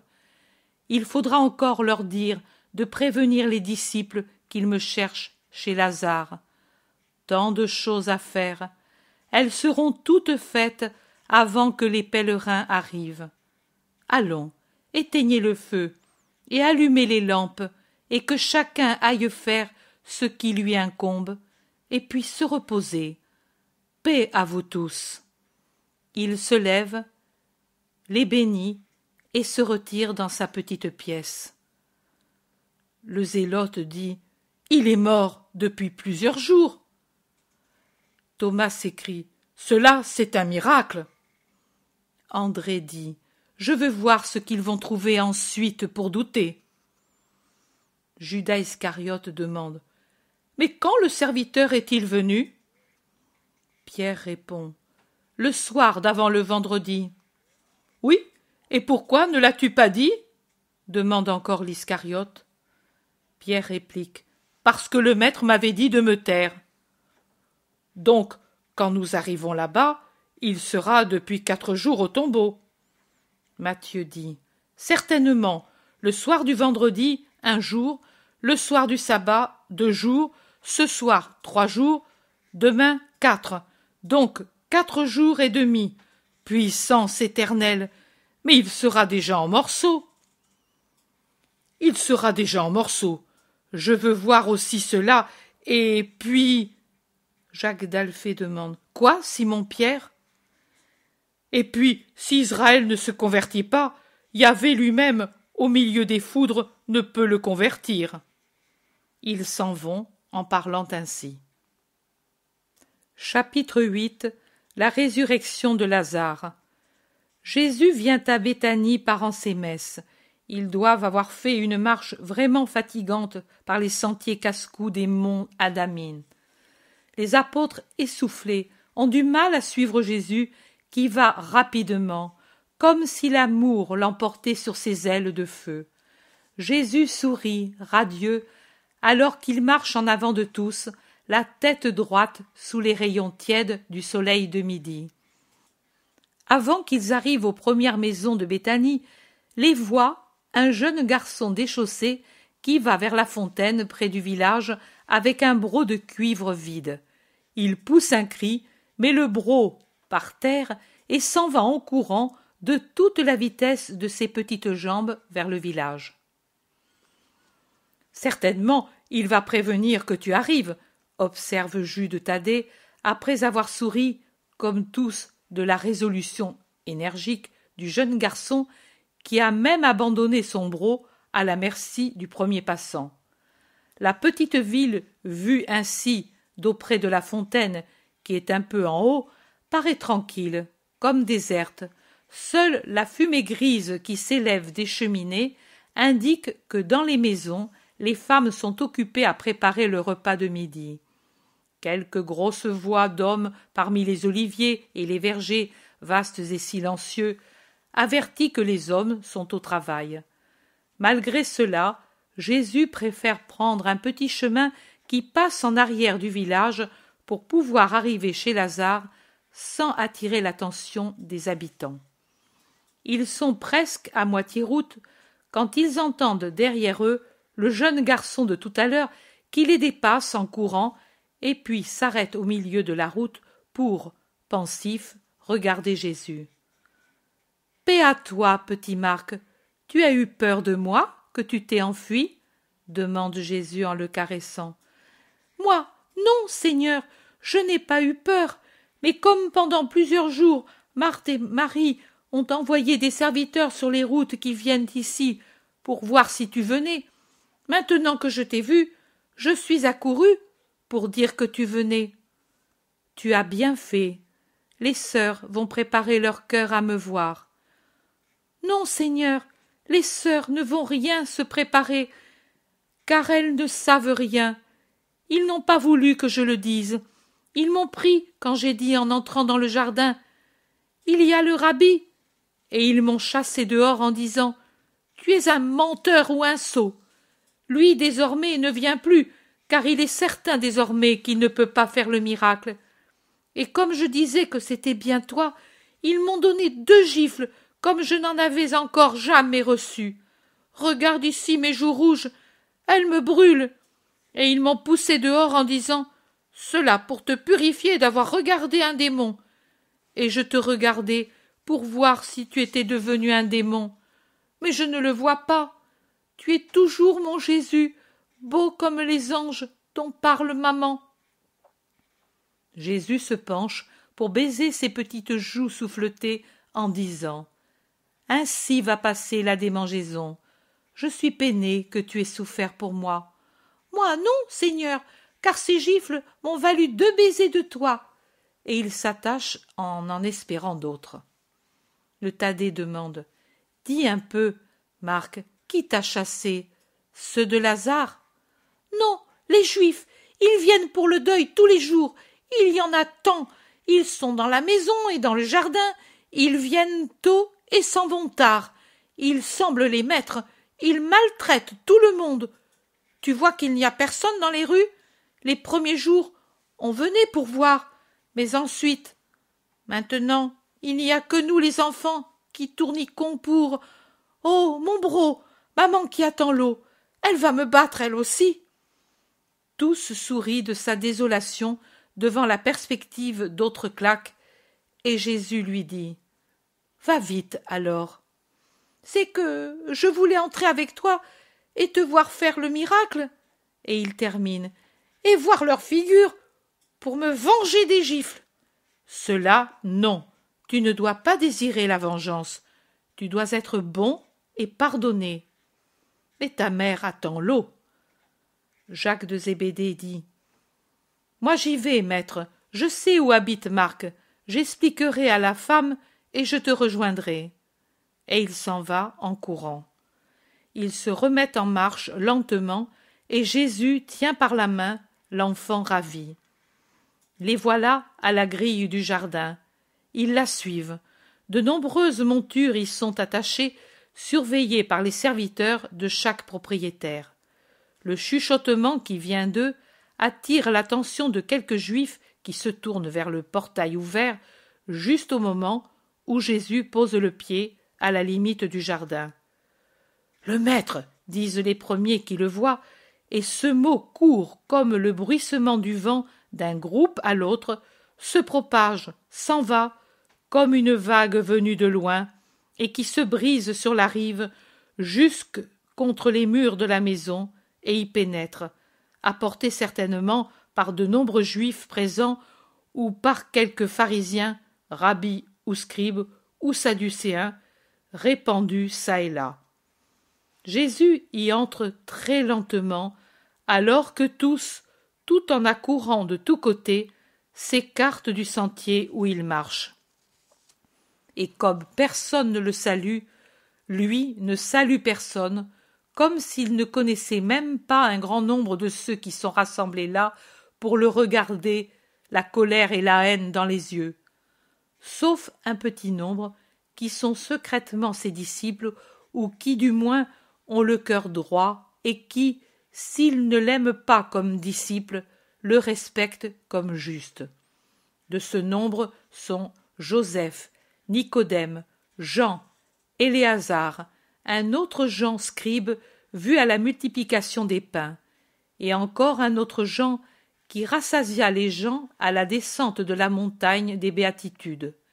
Gamaliel avec son fils, Josué, Joachim, Manahan, le scribe Joël d'Abia, rencontré au Jourdain dans l'épisode de Sabéa, Joseph Barnabé, disciple de Gamaliel, Chouza, qui regarde Jésus de loin, un peu intimidé de le revoir après sa méprise, ou peut-être retenu par le respect humain, et n'osant pas s'avancer comme ami. Il est certain qu'il n'est salué ni par les amis, ni par ceux qui l'observent sans rancœur, ni par ses ennemis. Et Jésus ne salue pas. Il a seulement fait une vague inclination en mettant le pied dans l'allée. Puis il a continué tout droit, comme s'il était étranger à la foule nombreuse qui l'entoure. Le jeune garçon marche toujours à son côté, dans ses vêtements de petit paysan, avec ses pieds nus d'enfant pauvre, mais le visage lumineux de quelqu'un qui est en fête, avec ses petits yeux noirs, vifs, bien ouverts, pour tout voir et pour défier tout le monde. Marthe sort de la maison au milieu d'un groupe de juifs venus pour rendre visite, et parmi lesquels se trouvent Elchias et Sadoc. De sa main, elle protège ses yeux las de pleurer, gênée par la lumière, pour voir où est Jésus. Elle le voit, elle se détache de ceux qui l'accompagnent et court vers Jésus à quelques pas du bassin rendu tout brillant par les rayons du soleil. Elle se jette aux pieds de Jésus après s'être inclinée, et elle les baise, et, en éclatant sanglots, elle dit Paix à toi, maître. Jésus aussi, dès qu'il l'a vue près de lui, lui a dit Paix à toi.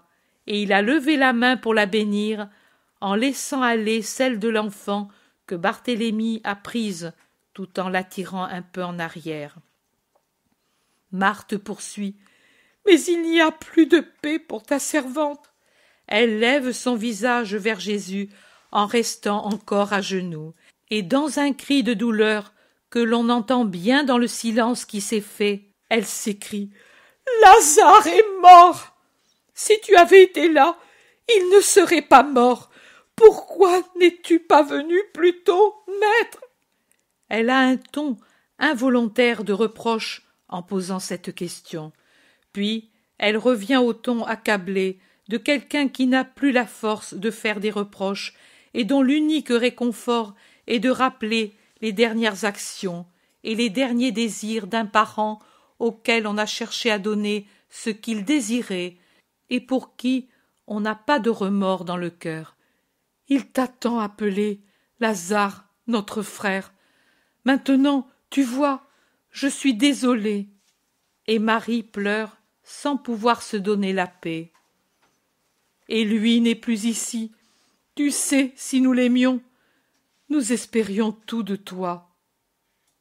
Un murmure de compassion pour la femme et de reproche à l'adresse de Jésus, un assentiment à la pensée sous-entendue, et tu pouvais nous exaucer car nous le méritions à cause de l'amour que nous avons pour toi, et toi au contraire tu nous as déçus, courent de groupe en groupe parmi des hochements de tête ou des regards moqueurs.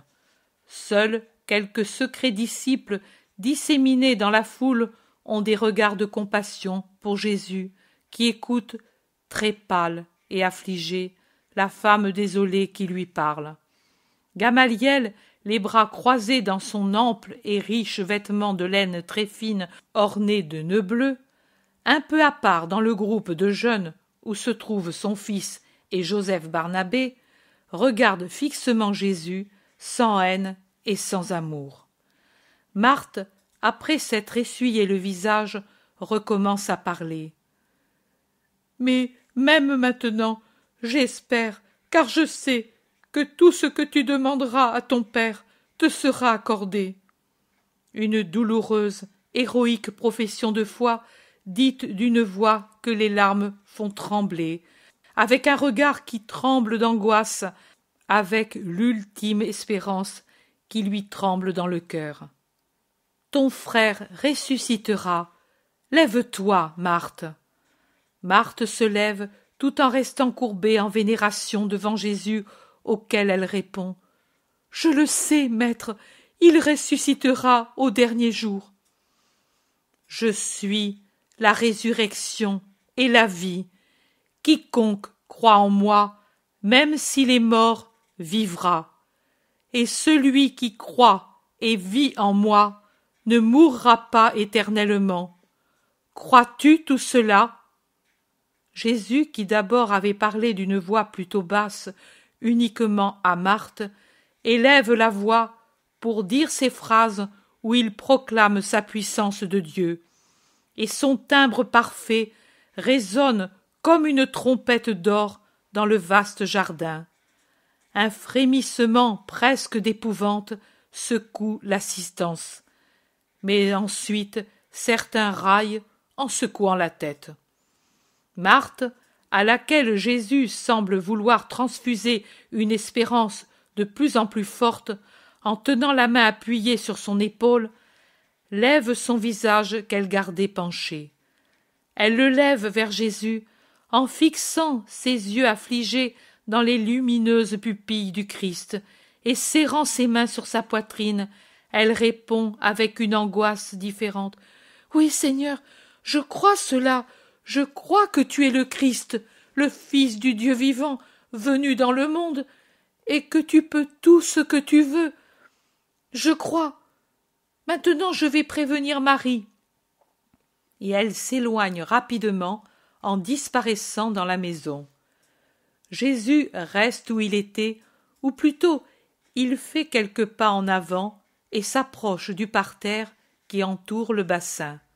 Le parterre est tout éclairé de ce côté par la fine poussière du jet d'eau qu'un vent léger pousse de ce côté comme un plumet d'argent, et il paraît se perdre, Jésus, dans la contemplation du frétillement des poissons sous le voile de l'eau limpide, dans leurs jeux qui mettent des virgules d'argent et des reflets d'or dans le cristal des eaux frappées par le soleil. Les Juifs l'observent, ils se sont involontairement séparés en groupes bien distincts. D'un côté, en face de Jésus, tous ceux qui lui sont hostiles, habituellement divisés entre eux par esprit sectaire, maintenant d'accord pour s'opposer à Jésus. À côté de lui, derrière les apôtres, auxquels s'est réunis Jacques de Zébédée, Joseph, Nicodème et les autres d'esprit bienveillant. Plus loin, Gamaliel, toujours à sa place et avec la même attitude, est seul, car son fils et ses disciples se sont séparés de lui pour se répartir entre les deux groupes principaux pour être plus près de Jésus. Avec son cri habituel Rabboni Marie sort de la maison en courant, les bras tendus vers Jésus. Elle se jette à ses pieds qu'elle baise en sanglotant divers juifs qui étaient dans la maison avec elle et qui l'ont suivie unissent à ses pleurs leurs pleurs d'une sincérité douteuse. Maximin aussi, Marcel, Sarah, Noémie, ont suivi Marie ainsi que tous ses serviteurs, et de fortes lamentations s'élèvent. Je crois que dans la maison il n'est resté personne. Marthe, en voyant pleurer ainsi Marie, redouble elle aussi ses pleurs. Paix à toi, Marie. Lève-toi. Regarde-moi. Pourquoi ces pleurs semblables à ceux des gens qui n'ont pas d'espérance? Jésus se penche pour dire doucement ces paroles, ses yeux dans les yeux de Marie, qui, restant à genoux, reposant sur ses talons, tend vers lui ses mains dans un geste d'invocation, et ne peut parler, tant elle sanglote. Ne t'ai-je pas dit d'espérer au-delà de ce qui est croyable pour voir la gloire de Dieu? Est-ce que par hasard ton maître est changé pour que tu aies raison d'être ainsi angoissée Mais Marie ne recueille pas les mots qui veulent déjà la préparer à une joie trop forte après tant d'angoisse, et elle crie, finalement maîtresse de sa voix. Ô Seigneur. Pourquoi n'es tu pas venu plus tôt? Pourquoi t'es tu tellement éloigné de nous? Tu le savais que Lazare était malade. Si tu avais été ici, il ne serait pas mort, mon frère. Pourquoi n'es tu pas venu? Je devais lui montrer encore que je l'aimais. Il devait vivre. Je devais lui montrer que je persévérais dans le bien. Je l'ai tant angoissé, mon frère. Et maintenant, maintenant que je pouvais le rendre heureux, il m'a été enlevé. Tu pouvais me le laisser, donner à la pauvre Marie la joie de le consoler après lui avoir donné tant de douleur. Ô Jésus. Jésus. Mon maître, mon sauveur, mon espérance. Et elle s'abat de nouveau, le front sur les pieds de Jésus, qui se trouve de nouveau lavé par les pleurs de Marie. Et elle gémit. Pourquoi as-tu fait cela, ô Seigneur? Même à cause de ceux qui te haïssent et se réjouissent de ce qui arrive. Pourquoi as-tu fait cela, Jésus?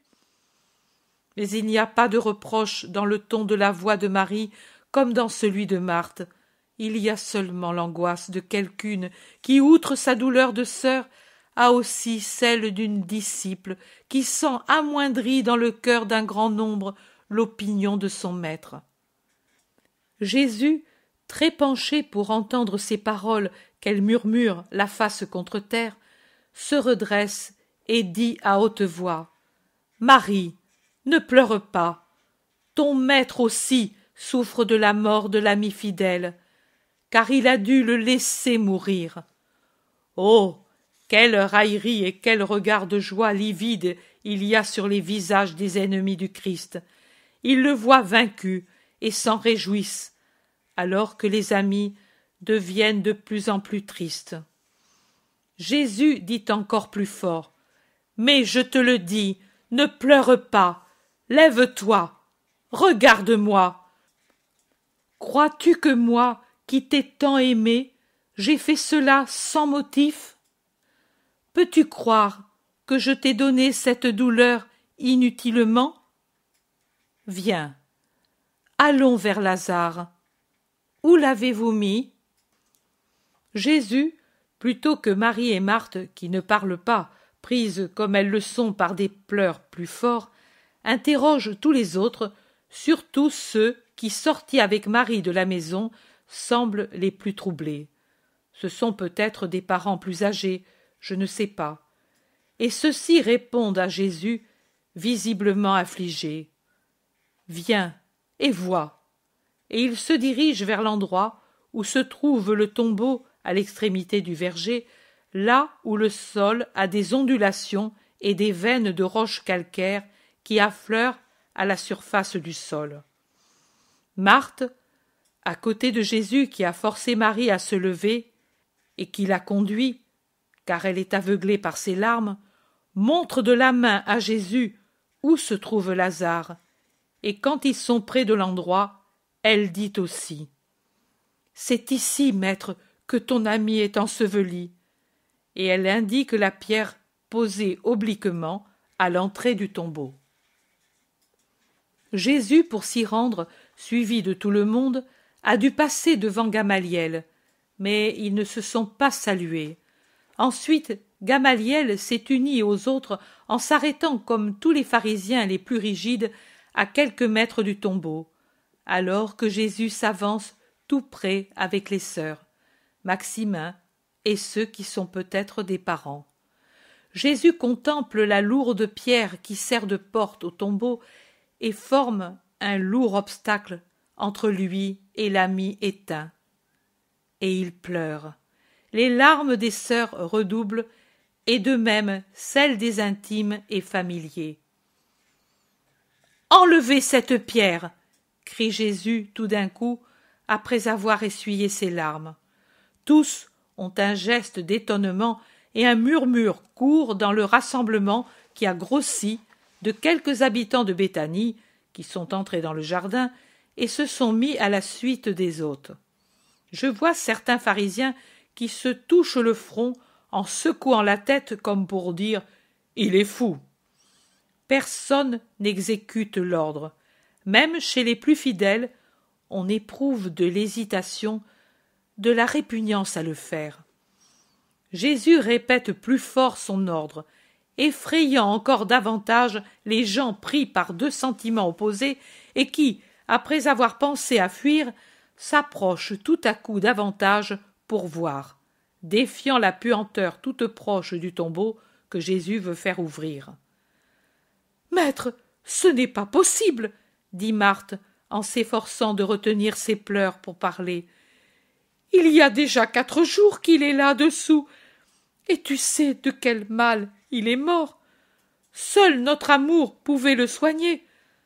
Maintenant, la puanteur est certainement plus forte malgré les onguents. Que veux-tu voir? Sa pourriture?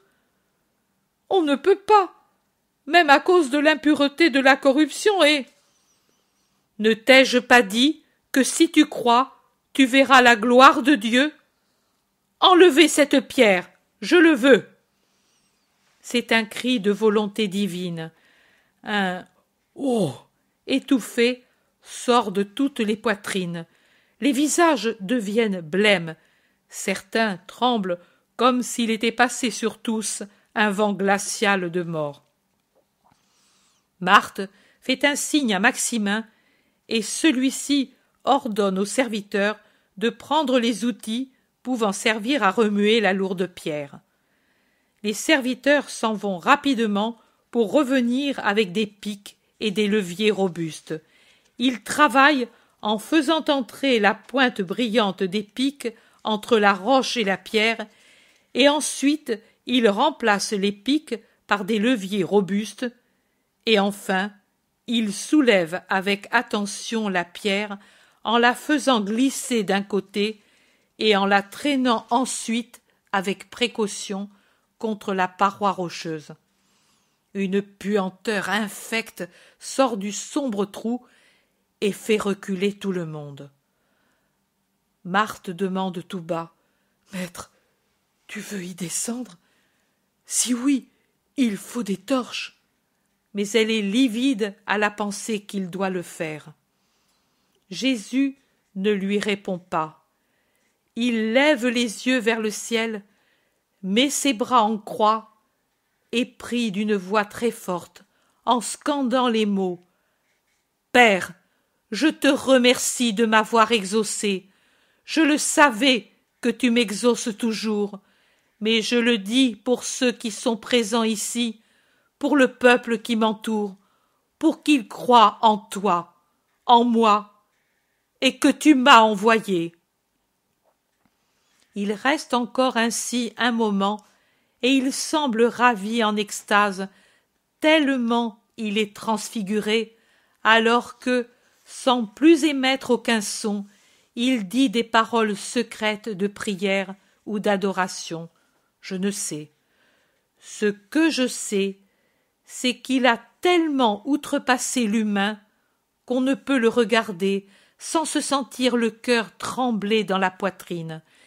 Il semble devenir lumière, en perdant son aspect corporel, se spiritualiser, grandir et même s'élever de terre, tout en gardant la couleur de ses cheveux, de ses yeux, de sa peau, de ses vêtements, au contraire de ce qui se passa à la transfiguration du Tabor, durant laquelle tout devint lumière et éclat éblouissant, il paraît dégagé de la lumière et que tout ce qui est de lui devient lumière. La lumière semble l'entourer d'un halo, en particulier son visage levé vers le ciel, certainement ravi dans la contemplation du Père. Il reste ainsi quelque temps, puis redevient lui, l'homme, mais d'une majesté puissante. Il s'avance jusqu'au seuil du tombeau, il déplace ses bras, que, jusqu'à ce moment, il avait gardé ouverts en croix, les paumes tournées vers le ciel, en avant, les paumes vers la terre, et par conséquent, les mains se trouvent déjà à l'intérieur du tunnel du tombeau, toutes blanches dans ce tunnel obscur. Il plonge le feu bleu de ses yeux, dont l'éclat miraculeux est aujourd'hui insoutenable dans cette obscurité muette, et d'une voix puissante, avec un cri plus fort que celui par lequel il commanda sur le lac au vent de tomber, d'une voix que je ne lui ai jamais entendue dans aucun miracle, il crie Lazare, viens dehors. L'écho répercute sa voix dans la cavité du tombeau et se répand ensuite à travers tout le jardin, se répercute contre les ondulations du terrain de Béthanie. Je crois qu'il s'en va jusqu'aux premiers escarpements au delà des champs et revient de là, répété et amorti, comme un ordre qui ne peut faillir. Il est certain que de tous les côtés on entend à nouveau Dehors Dehors Dehors Tous éprouvent un frisson plus intense, et si la curiosité les cloue tous à leur place, les visages pâlissent et les yeux s'écarquillent, alors que les bouches s'entr'ouvrent involontairement, avec déjà dans la gorge le cri de stupeur. Marthe, un peu en arrière et de côté, est comme fascinée en regardant Jésus. Marie, tombe à genoux, elle qui ne s'est jamais écartée de son maître, elle tombe à genoux, au bord du tombeau, une main sur sa poitrine pour calmer les palpitations de son cœur, l'autre qui inconsciemment et convulsivement tient un pan du manteau de Jésus, et on se rend compte qu'elle tremble, car le manteau a de légères secousses imprimées par la main qui le tient. Quelque chose de blanc semble émerger du plus profond du souterrain.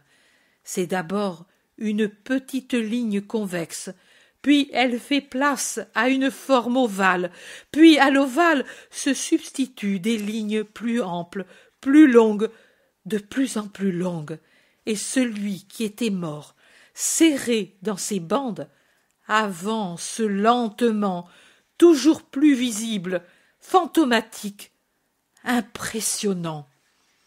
Jésus recule, recule insensiblement, mais continuellement à mesure que Lazare avance. La distance entre les deux reste donc la même. Marie est contrainte de lâcher le pan du manteau, mais elle ne bouge pas de l'endroit où elle est. La joie, l'émotion, tout la cloue à l'endroit où elle était. Un Oh de plus en plus net sort des gorges d'abord fermées par la douleur de l'attente. C'est d'abord un murmure à peine distinct qui se change en voix, et la voix devient un cri puissant. Lazare est désormais au bord du tombeau, et il s'arrête là, raide, muet, semblable à une statue de plâtre à peine ébauchée et donc informe une longue chose, mince à la tête, mince aux jambes, plus large au tronc, macabre comme la mort elle-même, spectrale, dans la blancheur des bandes, contre le fond sombre du tombeau. Au soleil qui l'enveloppe, les bandes paraissent çà et là laisser couler la pourriture. Jésus crie d'une voix forte. Débarrassez-le et laissez-le aller. Donnez-lui des vêtements et de la nourriture. Maître, dit Marthe, et elle voudrait peut-être en dire davantage, mais Jésus la regarde fixement, la subjuguant de son regard étincelant, et il dit Ici, tout de suite, tout de suite apportez un vêtement, habillez-le en présence de tout le monde, et donnez-lui à manger. Il commande, et ne se retourne jamais pour regarder ceux qui sont derrière et autour de lui.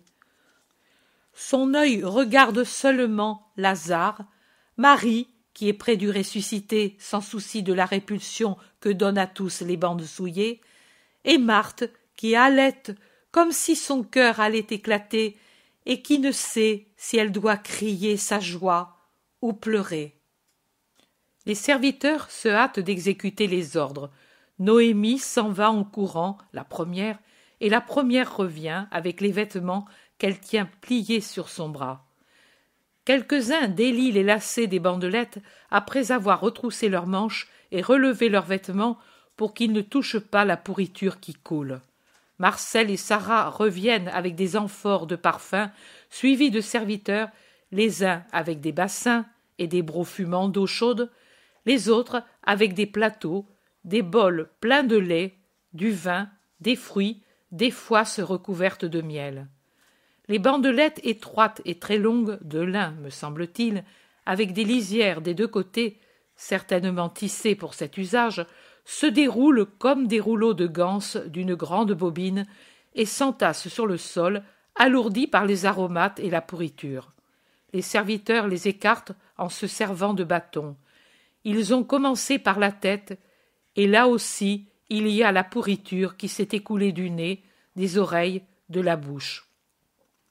Le suaire, placé sur le visage et tout trempé de ses souillures, est le visage de Lazare que l'on voit très pâle, squelettique, avec les yeux tenus fermés par des pommades mises dans les orbites, avec les cheveux collés et de même la barbiche du menton, en est tout souillé.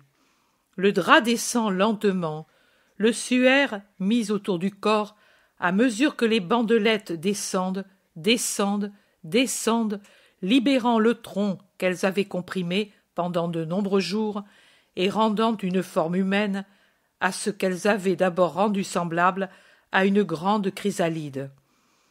Les épaules osseuses, les bras squelettiques, les côtes à peine couvertes de peau, le ventre creusé, apparaissent lentement. À mesure que les bandes tombent, les sœurs, Maximin, les serviteurs, s'empressent d'enlever la première couche de crasse et de baume et s'y appliquent en changeant continuellement l'eau rendue détergente par les aromates qu'on y a mis jusqu'à ce que la peau apparaisse nette. Lorsqu'on a dégagé le visage de Lazare et qu'il peut regarder, il dirige son regard vers Jésus avant même de regarder ses sœurs. Il oublie tout et s'abstrait de tout ce qui arrive pour regarder, avec un sourire d'amour sur ses lèvres pâles et une larme lumineuse au fond des yeux, son Jésus. Jésus aussi lui sourit et a une lueur de larmes dans le coin de l'œil. Mais, sans parler, il dirige le regard de Lazare vers le ciel. Lazare comprend et remue les lèvres dans une prière silencieuse. Marthe croit qu'il veut dire quelque chose sans avoir encore de voix, et elle demande que me dis-tu, mon Lazare? Rien, Marthe. Je remerciais le Très-Haut.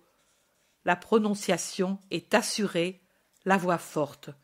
Les gens poussent de nouveau un Oh étonné. Désormais ils l'ont dégagé jusqu'aux hanches, libéré et propre, et ils peuvent le revêtir de la tunique courte, une sorte de chemisette qui dépasse l'aine pour retomber sur les cuisses. On le fait asseoir pour dégager ses jambes et les laver. Quand elles apparaissent, Marthe et Marie poussent un grand cri en montrant les jambes et les bandelettes. Sur les bandelettes qui serraient les jambes, et sur le suaire posé par-dessous, les écoulements purulents sont si abondants qu'ils forment des grosses gouttes sur les toiles. Mais les jambes, visiblement, sont tout à fait cicatrisées. Seules les cicatrices rouges bleuâtres indiquent où elles étaient gangrénées. Tous les gens crient plus fort leur étonnement. Jésus sourit, et aussi Lazare, qui regarde un instant ses jambes guéries, puis s'abstrait de nouveau pour regarder Jésus. Il semble ne pouvoir se rassasier de le voir. Les Juifs, pharisiens, sadducéens, scribes, rabbis s'approchent avec précaution pour ne pas souiller leurs vêtements. Ils regardent de tout près Lazare, ils regardent de tout près Jésus, mais ni Lazare ni Jésus ne s'occupent d'eux. Ils se regardent, et tout le reste est inexistant. Voilà que l'on met les sandales à Lazare. Il se lève agile, sûr de lui. Il prend le vêtement que Marthe lui présente et l'enfile tout seul, lit sa ceinture, ajuste les plis. Le voilà, maigre et pâle, mais semblable à tout le monde. Il se lave encore les mains et les bras jusqu'au coude après avoir retroussé ses manches, et puis, avec une nouvelle eau, il se lave de nouveau le visage et la tête jusqu'à ce qu'il se sente tout à fait net. Il essuie ses cheveux et son visage, rend la serviette au serviteur, et va tout droit vers Jésus. Il se prosterne, lui baise les pieds. Jésus se penche, le relève, le serre contre son cœur en lui disant Bien revenu, mon ami, que la paix soit avec toi et la joie. Vis pour accomplir ton heureuse destinée. Lève ton visage pour que je te donne le baiser de salutation. Il dépose un baiser sur les joues, et Lazare lui rend son baiser. C'est seulement après avoir vénéré et embrassé le maître que Lazare parle à ses sœurs et les embrasse. Puis il embrasse Maximin et Noémie qui pleurent de joie, et certains autres dont je crois qu'ils lui sont apparentés ou amis très intimes. Puis il embrasse Joseph, Nicodème, Simon le Zélote et quelques autres. Jésus va personnellement trouver un serviteur qui a sur les bras un plateau avec de la nourriture, et il prend une foisse avec du miel, une pomme, une coupe de vin, et il offre le tout à Lazare, après les avoir offerts et bénis, pour qu'il se restaure. Et Lazare mange avec l'appétit de quelqu'un qui se porte bien. Tout le monde pousse encore un Oh d'étonnement. Jésus semble ne voir que Lazare, mais en réalité il observe tout et tout le monde. Voyant qu'avec des gestes de colère, Sadoc, avec Elchias, Canania, Félix, Doras et Cornélius et d'autres sont sur le point de s'éloigner, il dit à haute voix Attends un moment, Sadoc, j'ai un mot à te dire, à toi et au tien. Il s'arrête avec une figure de criminel. Joseph d'Arimatie fait un geste effaré et fait signe aux zélotes de retenir Jésus. Mais lui est déjà en train d'aller vers le groupe haineux, et il dit à haute voix est-ce que cela te suffit, Sadoc, ce que tu as vu? Tu m'as dit un jour que pour croire tu avais besoin, toi et tes pareils, de voir recomposer, en bonne santé, un homme décomposé. Es-tu rassasié de la putréfaction que tu as vue? Es-tu capable de reconnaître que Lazare était mort et que maintenant il est vivant et sain comme il ne l'était pas depuis des années? Je le sais. Vous êtes venus ici pour les tenter, pour mettre en eux plus de douleur et le doute. Vous êtes venus ici pour me chercher, espérant me trouver caché dans la pièce du mourant. Vous êtes venus ici, non par un sentiment d'amour et le désir d'honorer celui qui s'était éteint, mais pour vous assurer que Lazare était réellement mort, et vous avez continué de venir, vous réjouissant toujours plus à mesure que le temps passait. Si les choses étaient allées comme vous l'espériez, comme désormais vous croyez qu'elles iraient, vous auriez eu raison de vous réjouir. L'ami qui guérit tout le monde, mais ne guérit pas l'ami. Le maître qui récompense la foi de tout le monde, mais pas celle de ses amis de Béthanie. Le Messie impuissant devant la réalité de la mort. Voilà ce qui vous donnait raison de vous réjouir. Mais voilà, Dieu vous a répondu. Nul prophète n'a jamais pu rassembler ce qui était décomposé en plus que mort. Dieu l'a fait. Voilà le témoignage vivant de ce que je suis. Il y eut un jour où Dieu prit de la boue, lui donna une forme et y insuffla l'esprit de vie, et ce fut l'homme. J'y étais pour dire que l'on fasse l'homme à notre image et à notre ressemblance, car je suis le Verbe du Père.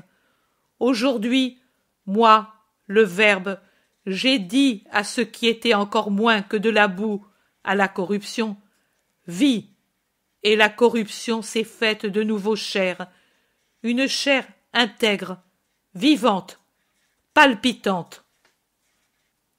La voici qui vous regarde, et à la chair j'ai réuni l'esprit qui gisait depuis des jours dans le sein d'Abraham. Je l'ai rappelé par ma volonté, car je puis tout, moi, le vivant, moi, le roi des rois, auquel sont soumises toutes les créatures et toutes les choses. Maintenant, que me répondez-vous? Il est devant eux, grand, fulgurant de majesté, vraiment juge et Dieu. Ils ne répondent pas. Lui insiste. Ce n'est pas encore assez pour croire, pour accepter l'inéluctable? Sadoc dit. Tu n'as tenu qu'une partie de la promesse. Ce n'est pas le signe de Jonas. Vous aurez aussi celui-là. J'ai promis, et je tiendrai ma promesse, dit le Seigneur. Un autre présent ici attend un autre signe, et il aura et comme c'est injuste, il l'acceptera. Vous, non. Vous resterez ce que vous êtes. Il fait un demi-tour sur lui-même, et il voit Simon, le sanédriste, fils d'Eliana. Il le fixe, le fixe. Il laisse de côté ceux de tout à l'heure, et arrivé en face de lui, il lui dit, à voix basse mais nette. C'est heureux pour toi que Lazare ne se rappelle pas son séjour parmi les morts. Qu'as-tu fait de ton père, Caïn? Simon s'enfuit en poussant un cri de peur qui se change en un hurlement de malédiction. Sois maudit, Nazaréen à laquelle Jésus répond. Ta malédiction monte vers le ciel, et du ciel le Très-Haut te la renvoie. Tu es marqué du signe, ô malheureux. Il revient en arrière parmi les groupes étonnés, presque effrayés. Il rencontre Gamaliel qui se dirige vers la route.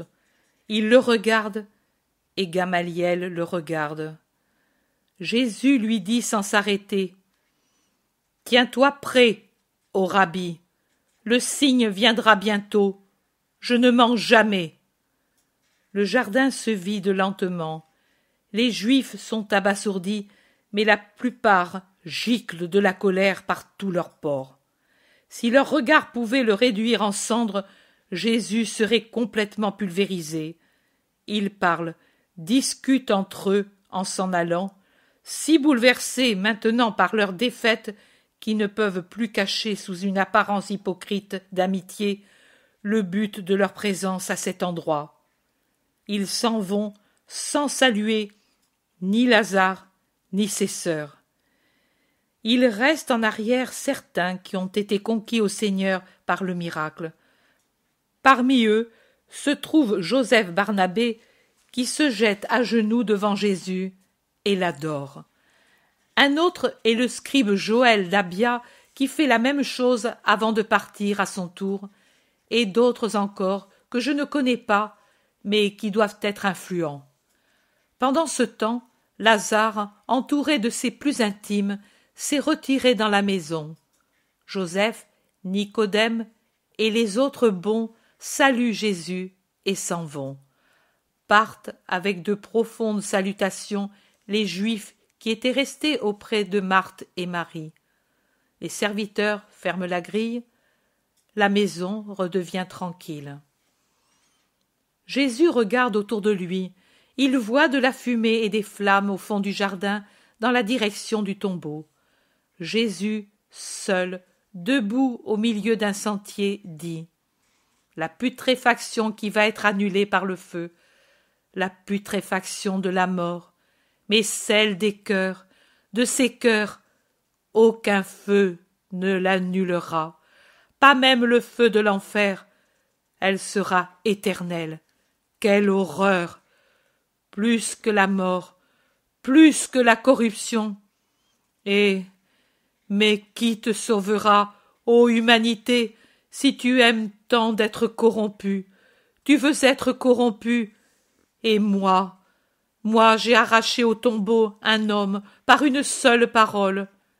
Et avec un flot de paroles et de douleurs, je ne pourrai arracher au péché l'homme, les hommes, des millions d'hommes.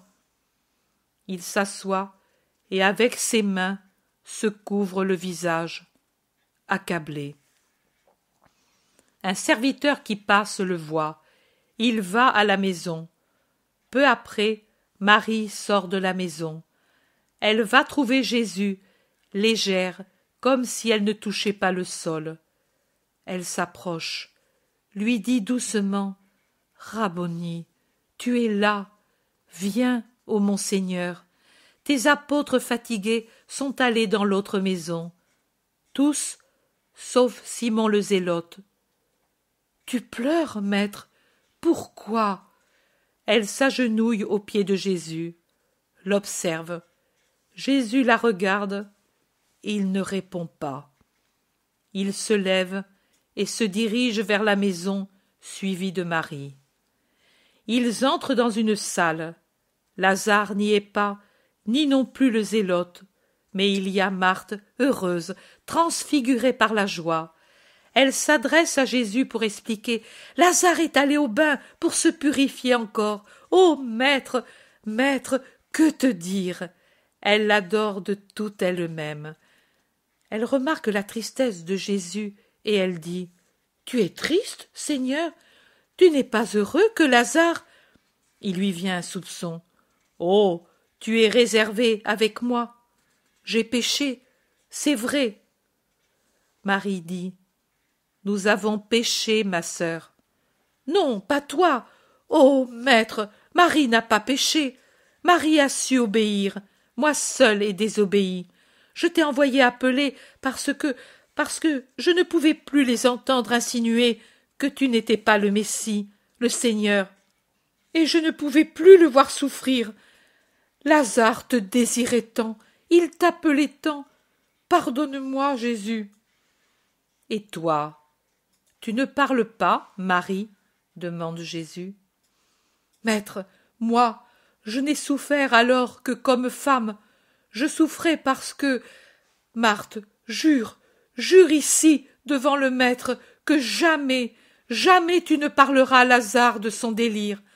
Mon maître, je t'ai connu tout à fait, ô divine miséricorde, dans les dernières heures de Lazare. Oh mon Dieu, comme tu m'as aimé, toi, toi qui m'as pardonné, toi, Dieu, toi, pur, toi, si mon frère qui pourtant m'aime, mais qui est homme, seulement homme, au fond de son cœur, ne m'a pas tout pardonné. Non, je m'exprime mal, il n'a pas oublié mon passé, et quand la faiblesse de la mort a émoussé en lui sa bonté que je croyais oublieuse du passé, il a crié sa douleur, son indignation pour moi. Oh. Marie pleure. Ne pleure pas, Marie. Dieu t'a pardonné et a oublié. L'âme de Lazare aussi a pardonné et a oublié, a voulu oublier. L'homme n'a pas pu tout oublier, et quand la chair a dominé par son dernier spasme la volonté affaiblie, l'homme a parlé. Je n'en éprouve pas d'indignation, Seigneur. Cela m'a servi à t'aimer davantage, et à aimer encore plus Lazare. Dès lors, moi aussi je t'ai désiré, car j'étais trop angoissée de penser que Lazare était mort sans paix à cause de moi. Et ensuite, ensuite, quand je t'ai vu méprisé par les Juifs, quand j'ai vu que tu ne venais pas, même après la mort, pas même après que je t'avais obéi en espérant au-delà de ce qui est croyable, en espérant jusqu'à ce que le tombeau s'ouvre, alors mon esprit aussi a souffert.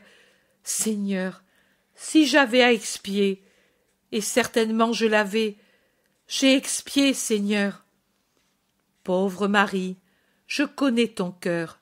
Tu as mérité le miracle, et que cela t'affermisse dans ton espérance et ta foi. Mon maître, j'espérerai et je croirai toujours désormais. Je ne douterai plus, jamais plus, Seigneur. Je vivrai de foi. Tu m'as donné la capacité de croire ce qui est incroyable. Jésus demande et toi, Marthe, as-tu appris? Non, pas encore. Tu es ma Marthe, mais tu n'es pas encore ma parfaite adoratrice. Pourquoi agis-tu au lieu de contempler? C'est plus sain. Tu vois? Ta force, parce qu'elle était trop tournée vers les choses terrestres, a cédé à la constatation de faits terrestres qui semblent parfois sans remède. En vérité, les choses humaines n'ont pas de remède si Dieu n'intervient pas. La créature, à cause de cela, a besoin de savoir croire et contempler, d'aimer jusqu'au bout des forces de l'homme tout entier, avec sa pensée, son âme, sa chair, son sang, et avec toutes les forces de l'homme. Je le répète, je te veux forte, Marthe, je te veux parfaite. Tu n'as pas su obéir parce que tu n'as pas su croire et espérer complètement. Et tu n'as pas su croire et espérer parce que tu n'as pas su aimer totalement. Mais moi, je t'en absous. Je te pardonne, Marthe. J'ai ressuscité Lazare aujourd'hui. Maintenant, je te donne un cœur plus fort. À lui, j'ai rendu la vie. À toi, j'infuse la force d'aimer, croire et espérer parfaitement. Maintenant, soyez heureuse et en paix. Pardonnez à ceux qui vous ont offensé ces jours-ci. Marie dit Seigneur, en cela j'ai péché. Il y a un instant, j'ai dit au vieux Canania qui t'avait méprisé les autres jours Qui a triomphé Toi ou Dieu? Ton mépris ou ma foi? Le Christ est le vivant, et il est la vérité. Moi je savais que sa gloire aurait resplendi plus grande. Et toi, vieillard, refais ton âme, si tu ne veux pas connaître la mort. Tu as bien parlé, mais ne discute pas avec les méchants, Marie, et pardonne. Pardonne si tu veux m'imiter. Voici Lazare, j'entends sa voix. En effet, Lazare rentre, vêtu à neuf et bien rasé, bien peigné, et la chevelure parfumée. Avec lui se trouvent Maximin et le zélote. Maître. Lazare s'agenouille encore pour l'adorer. Jésus lui met la main sur la tête et, sourit en disant L'épreuve est surmontée, mon ami, pour toi et pour tes sœurs. Maintenant, soyez heureux et forts pour servir le Seigneur. Que te rappelles-tu, ami, du passé? Je veux parler de tes derniers moments. Un grand désir de te voir et une grande paix au milieu de l'amour des sœurs. Et qu'est-ce qui t'affligeait le plus de quitter en mourant? Toi, Seigneur, et mes sœurs, toi, parce que je ne pouvais plus te servir, elles, parce qu'elles m'ont donné toute joie. Marie soupire. Oh. Moi, frère. Lazare dit. Toi, plus que Marthe, Tu m'as donné Jésus et la mesure de ce qu'est Jésus. Et Jésus t'a donné à moi. Tu es le don de Dieu, Marie. Tu le disais aussi en mourant, dit Marie, et elle étudie le visage de son frère. Parce que c'est ma constante pensée. Mais moi, je t'ai donné tant de douleur. La maladie aussi m'a donné de la douleur, mais par elle j'espère avoir expié les fautes du vieux Lazare et d'être ressuscité, purifié, pour être digne de Dieu. Toi et moi, tous deux ressuscités pour servir le Seigneur, et Marthe au milieu de nous, elle qui fut toujours la paix de la maison. Jésus dit Tu l'entends, Marie? Lazare dit des paroles de sagesse et de vérité. Maintenant je me retire et vous laisse à votre joie. Non, Seigneur, reste avec nous, ici, reste à Béthanie et dans ma maison, ce sera beau. Je resterai, je veux te récompenser de tout ce que tu as souffert. Marthe, ne sois pas triste. Marthe pense m'avoir affligée, mais ma peine n'est pas autant pour vous que pour ceux qui ne veulent pas se racheter. Eux haïssent de plus en plus, ils ont le venin dans le cœur. Eh bien, pardonnons.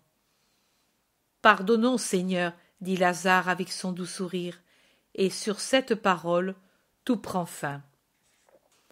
Jésus dit On peut mettre ici la dictée du 23 mars 1944 pour le commentaire de la résurrection de Lazare. En marge de la résurrection de Lazare et en rapport avec une phrase de saint Jean. Jésus dit Dans l'évangile de Jean, comme on le lit désormais depuis des siècles, il est écrit Jésus n'était pas encore entré dans le village de Béthanie. Jean chapitre 9 verset 30.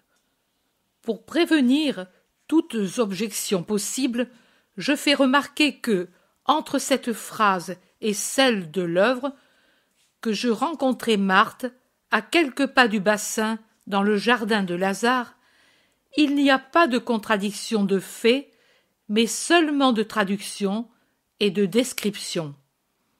Béthanie appartenait pour les trois quarts à Lazare, de même que Jérusalem lui appartenait en grande partie. Mais parlons de Béthanie. Comme elle appartenait pour les trois quarts à Lazare, on pouvait dire Béthanie de Lazare. Par conséquent, le texte ne serait pas erroné même si j'avais rencontré Marthe dans le village ou à la fontaine, comme certains veulent dire. Mais en réalité, je n'étais pas entré dans le village pour éviter qu'accourent les béthanites, tous hostiles aux gens du Sanhédrin. J'étais passé en arrière de Béthanie rejoindre la maison de Lazare, qui était à l'extrémité opposée pour qui entrait à Béthanie par Ansémès. Justement pour cela, Jean dit que Jésus n'était pas encore entré dans le village, et avec autant de justesse, le petit Jean dit que je m'étais arrêté près du bassin, fontaine pour les Hébreux, déjà dans le jardin de Lazare, mais encore très loin de la maison.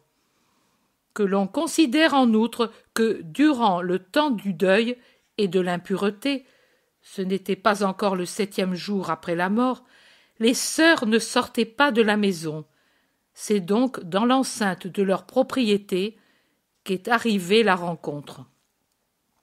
Notez que le petit Jean parle de la venue des Béthanites dans le jardin seulement quand déjà j'ordonne d'enlever la pierre. Auparavant, Béthanie ne savait pas que j'étais à Béthanie, et c'est seulement quand le bruit s'en est répandu qu'ils sont accourus chez Lazare. Chapitre 9 Réflexion sur la résurrection de Lazare. Jésus dit J'aurais pu intervenir à temps pour empêcher la mort de Lazare, mais je n'ai pas voulu le faire. Je savais que cette résurrection aurait été une arme à double tranchant, car j'aurais converti les Juifs dont la pensée était droite, et rendu plus haineux ceux dont la pensée n'était pas droite de ceux-ci et après ce dernier coup de ma puissance serait venue ma sentence de mort. Mais j'étais venu pour cela, et désormais l'heure était mûre pour que cela s'accomplisse. J'aurais pu aussi accourir tout de suite, mais j'avais besoin de persuader par la résurrection d'une putréfaction déjà avancée les incrédules plus obstinés. Et mes apôtres aussi, qui, destinés à porter ma foi dans le monde, avaient besoin de posséder une foi soutenue par des miracles de première grandeur. Chez les apôtres, il y avait tant d'humanité, je l'ai déjà dit. Ce n'était pas un obstacle insurmontable, c'était au contraire une conséquence logique de leur condition d'homme appelé à m'appartenir à un âge déjà adulte. On ne change pas une mentalité, une tournure d'esprit du jour au lendemain. Et moi, dans ma sagesse, je n'ai pas voulu choisir et éduquer des enfants et les faire grandir selon ma pensée pour en faire mes apôtres. J'aurais pu le faire, mais je n'ai pas voulu le faire pour que les âmes ne me reprochent pas d'avoir méprisé ceux qui ne sont pas innocents et qu'elles ne portent à leur décharge et à leur excuse que moi aussi j'aurais signifié par mon choix que ceux qui sont déjà formés ne peuvent changer. Non, tout peut se changer quand on le veut, et moi, en effet, avec des pusillanimes, des querelleurs, des usuriers, des sensuels, des incrédules, j'ai fait des martyrs et des saints, des évangélisateurs du monde. Seul celui qui ne voulut pas ne changea pas. J'ai aimé et j'aime les petitesses et les faiblesses. Tu en es un exemple, pourvu que se trouve en elles la volonté de m'aimer et de me suivre. Et de ces riens, je fais mes privilégiés, mes amis, mes ministres. Je m'en sers toujours, et c'est un miracle continuel que j'opère, pour amener les autres à croire en moi, à ne pas tuer les possibilités de miracle. Comme elle est languissante maintenant, cette possibilité, comme une lampe à laquelle l'huile manque, elle agonise et meurt, tuée par le manque ou l'absence de foi dans le Dieu du miracle. Il y a deux formes d'exigence dans la demande du miracle. À l'une, Dieu se soumet avec amour. À l'autre, il tourne le dos avec indignation. La première est celle qui demande comme j'ai enseigné à demander, sans défiance et sans découragement, et qui ne pense pas que Dieu ne puisse pas l'écouter, parce que Dieu est bon, et que celui qui est bon exauce, parce que Dieu est puissant et peut tout. Cela, c'est de l'amour, et Dieu exauce celui qui aime. L'autre forme, c'est l'exigence des révoltés qui veulent que Dieu soit leur serviteur et se plient à leur méchanceté et leur donne ce que ne lui donne pas l'amour et l'obéissance. Cette forme est une offense que Dieu punit par le refus de ses grâces. Vous vous plaignez que je n'accomplisse plus des miracles collectifs. Comment pourrais-je les accomplir? Où sont les collectivités qui croient en moi? Où sont les vrais croyants? Combien y a-t-il de vrais croyants dans une collectivité? Comme des fleurs qui survivent dans un bois brûlé par un incendie, je vois de temps à autre un esprit croyant. Le reste, Satan l'a brûlé par ses doctrines, et il les brûlera de plus en plus. Je vous prie, pour vous conduire surnaturellement, de garder présente à vos esprits ma réponse à Thomas. On ne peut être mes vrais disciples si on ne sait pas donner à la vie humaine le poids qu'elle mérite en tant que moyen pour conquérir la vraie vie et non en tant que fin. Celui qui voudra sauver sa vie en ce monde perdra la vie éternelle. Je l'ai dit et je le répète. Que sont les épreuves? La nuée qui passe, le ciel reste et vous attend au-delà de l'épreuve. Moi, j'ai conquis le ciel pour vous par mon héroïsme. Vous devez m'imiter. L'héroïsme n'est pas réservé seulement à ceux qui doivent connaître le martyr. La vie chrétienne est un perpétuel héroïsme, car c'est une lutte perpétuelle contre le monde, le démon et la chair. Je ne vous force pas à me suivre, je vous laisse libre, mais je ne veux pas d'hypocrite.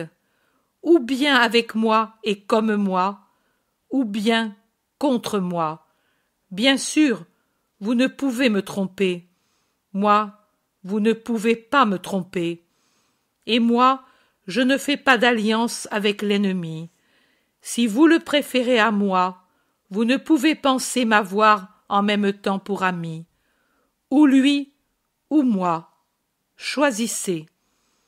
La douleur de Marthe est différente de celle de Marie à cause de l'esprit différent des deux sœurs et de la conduite différente qu'elles ont eue. Heureux ceux qui se conduisent de manière à n'avoir pas le remords d'avoir affligé quelqu'un qui maintenant est mort et qui ne peut plus se consoler des douleurs qu'on lui a données.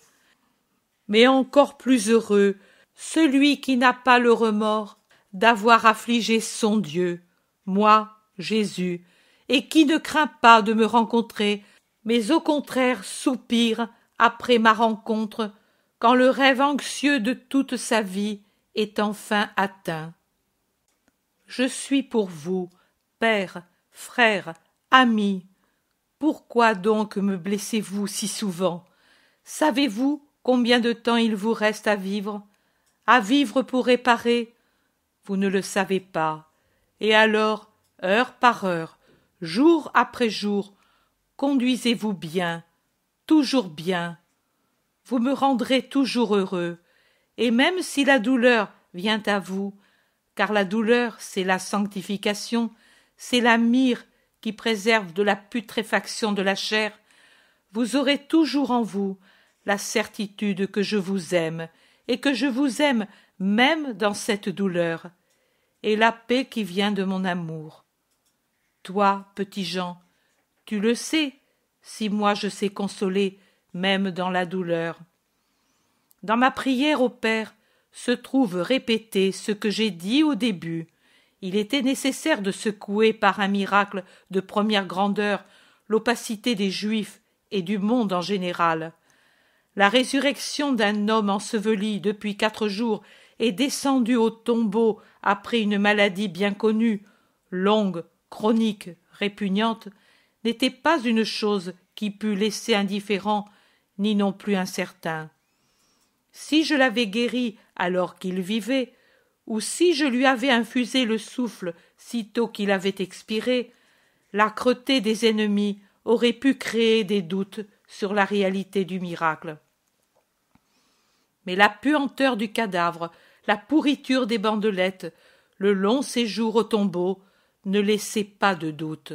Et miracle dans le miracle, j'ai voulu que Lazare fût dégagé et purifié en présence de tout le monde, pour que l'on vît que non seulement la vie, mais l'intégrité des membres était revenue là où auparavant l'ulcération de la chair avait répandu dans le sang les germes de mort. Quand je fais grâce, je donne toujours plus que vous ne demandez. J'ai pleuré devant la tombe de Lazare, et on a donné à ces pleurs tant de noms. Pourtant, sachez que les grâces s'obtiennent par la douleur mêlée à une foi assurée dans l'Éternel.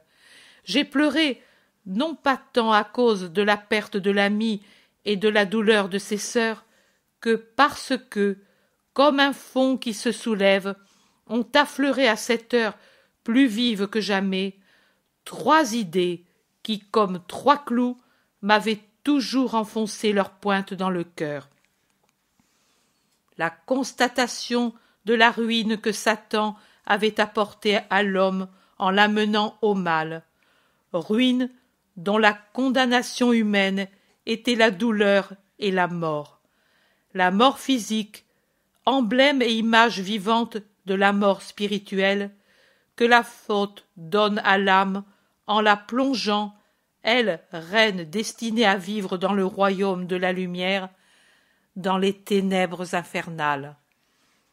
La persuasion que même ce miracle, mis pour ainsi dire comme le corollaire sublime de trois années d'évangélisation, n'aurait pas convaincu le monde judaïque de la vérité que je lui avais apportée, et qu'aucun miracle n'aurait fait du monde à venir un converti au Christ.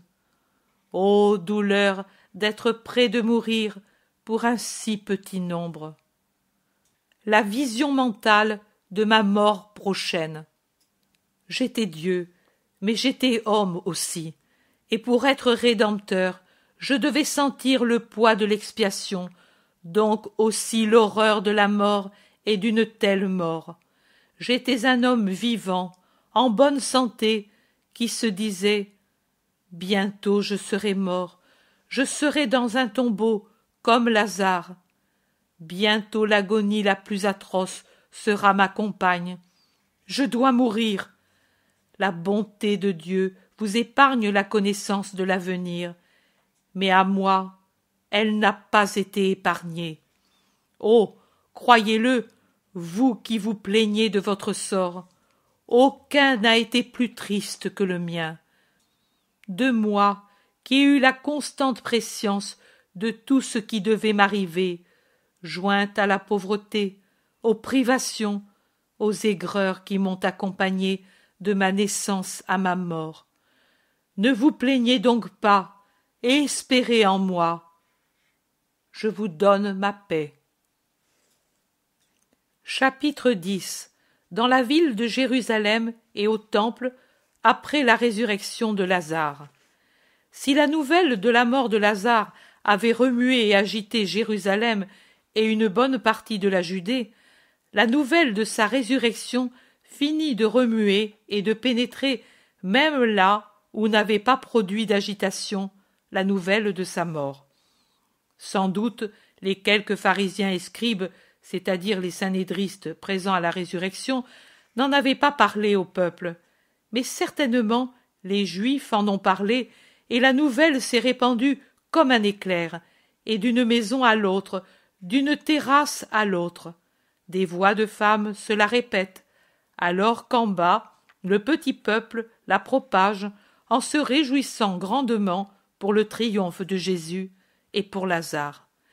Les gens remplissent les rues en courant çà et là, croyant toujours arriver les premiers pour donner la nouvelle, mais restent déçus, car on la connaît à Ophel comme à Bézéta, dans Sillon comme au Sixte. On la connaît dans les synagogues et dans les magasins, au temple et dans le palais d'Hérode. On la connaît à l'Antonia, et de l'Antonia, elle se répand dans les postes de garde, aux portes ou vice versa. Elle emplit les palais comme les taudis. Le rabbi de Nazareth a ressuscité Lazare de Béthanie qui est mort la veille du vendredi et a été mis au tombeau avant le début du sabbat et ressuscité à l'heure de sexte d'aujourd'hui. Les acclamations hébraïques au Christ et au Très-Haut se croisent avec celles variées des Romains. Par Jupiter, par Pollux, par Libitina, etc. Les seuls que je ne vois pas dans la foule qui parle dans les rues sont ceux du Sanhédrin. Je n'en vois pas un seul, alors que je vois Chouza et Manahan qui sortent d'un splendide palais et que j'entends Chouza qui dit Grand, grand, j'ai envoyé tout de suite la nouvelle à Jeanne. Il est réellement Dieu. Et Manahan lui répond Hérode, venu de Jéricho pour présenter ses hommages, au maître. Ponce Pilate semble fou dans son palais, alors qu'Hérodiade est furieuse et le pousse à donner des ordres pour arrêter le Christ. Elle tremble de sa puissance. lui de ses remords. Il claque des dents en disant aux plus fidèles de le défendre des spectres. Il s'est enivré pour se donner du courage, et le vin lui tourne dans la tête en lui faisant voir des fantômes. Il crie que le Christ a aussi ressuscité Jean, qui lui crie maintenant aux oreilles les malédictions de Dieu. Je me suis enfui de cette géhenne, je me suis contenté de lui dire Lazare a été ressuscité par Jésus de Nazareth. Garde-toi de le toucher, car il est Dieu. Je le garde dans cette peur pour qu'il ne cède pas à la volonté homicide de sa femme. Chouza dit Moi, je devrais y aller au contraire. Je dois y aller. Mais avant, j'ai voulu passer chez Eliel et Elkana. Ils vivent à part, mais ce sont toujours de grandes voix en Israël. Et Jeanne est contente que je les honore. Et moi Une bonne protection pour toi, c'est vrai, mais jamais telle que l'amour du maître. C'est l'unique protection qui ait de la valeur. Chouza ne réplique rien. Il réfléchit. Je les perds de vue. De Bézéta arrive en toute hâte Joseph d'Arimatie. On l'arrête. C'est un groupe d'habitants incrédules qui se demandent s'il faut croire la nouvelle, et il l'interroge. Joseph d'Arimatie répond. C'est vrai, c'est vrai. Lazare est ressuscité, et il est guéri aussi. Je l'ai vu de mes yeux. Mais alors, il est vraiment le Messie? Ses œuvres sont telles, sa vie est parfaite, c'est le temps, Satan le combat, que chacun conclut dans son cœur ce qu'est le Nazaréen, dit Joseph prudemment et aussi avec exactitude. Il salue et s'en va. Ils discutent et finissent par conclure. Il est vraiment le Messie. Un légionnaire parle dans un groupe. Si je le puis, demain, je vais à Béthanie. Par Vénus et Mars, mes dieux préférés, je pourrais faire le tour de l'orbe des déserts brûlants aux terres glacées germaniques, mais me trouver là où ressuscite quelqu'un mort depuis des jours, cela ne m'arrivera plus. Je veux voir comme est quelqu'un qui revient de la mort. Il sera noirci par l'eau des fleuves d'outre-tombe. S'il était vertueux, il sera blême après avoir bu l'eau céruléenne des Champs-Élysées. Il n'y a pas de Styx là-bas. Il nous dira comment sont les prairies d'asphodèle de l'Hadès. Je viens, moi aussi. Si Ponce le veut. Oh, bien sûr qu'il le veut. Il a expédié tout de suite un courrier à Claudia pour qu'elle vienne. Claudia aime ces choses. Je l'ai entendu plus d'une fois avec les autres et avec ces affranchis grecs discuter de l'âme et de l'immortalité. Claudia croit au Nazaréen. Pour elle, il est plus grand que tout autre homme. Oui, mais pour Valéria, il est plus qu'un homme, c'est Dieu, une espèce de Jupiter et d'Apollon pour la puissance et la beauté, disent-elles. Et il est plus sage que Minerve. L'avez-vous vu? Moi, je suis venu ici pour la première fois avec Ponce, et je ne sais pas. Je crois que tu es arrivé à temps pour voir beaucoup de choses. Tout à l'heure, Ponce criait d'une voix de stentor. Ici tout doit changer. Ils doivent comprendre que c'est Rome qui commande et que tous sont asservis. Et plus ils sont grands, plus ils sont asservis, parce que plus dangereux. Je crois que c'est à cause de cette tablette qui lui avait été apportée par le serviteur d'Anna. Bien sûr, il ne veut pas les écouter, et il nous change tous car il ne veut pas d'amitié entre nous et eux.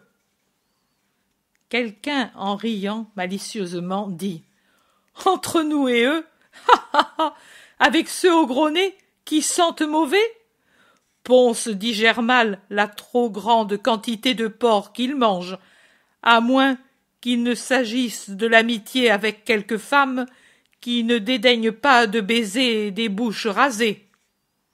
C'est un fait que depuis les troubles des tabernacles, il a demandé et obtenu le changement de toutes les troupes et qu'il nous faut partir. C'est vrai, on a déjà signalé à Césarée l'arrivée de la galère qui transporte Longin et sa centurie. De nouveaux gradés, de nouvelles troupes, et tout cela à cause de ces crocodiles du temple. J'étais bien ici. Celui qui vient d'arriver en Palestine dit Moi, j'étais mieux à Brindisi, mais je m'habituerai. Ils s'éloignent, eux aussi. Des gardes du temple passent avec des tablettes de cire. Les gens les observent et disent Le Sanhédrin se réunit d'urgence. Que veulent-ils faire? Quelqu'un répond Montons au temple et voyons. Ils se dirigent vers la rue qui va au Moria. Le soleil disparaît derrière les maisons de Sion et les monts de l'Occident. Le soir tombe et va bientôt débarrasser les rues des curieux.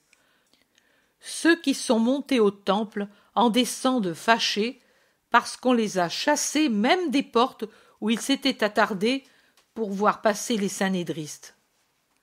L'intérieur du temple, vide, désert, enveloppé par la lumière de la lune, paraît immense. Les sanédristes se rassemblent lentement dans la salle du Sanhédrin. Ils y sont tous, comme pour la condamnation de Jésus. Pourtant, ne s'y trouvent pas ceux qui alors faisaient office de greffiers. Il n'y a que les sanédristes, en partie à leur place, en partie en groupe près des portes. Caïphe entre avec sa figure et son corps de crapaud obèse et méchant, et il va à sa place.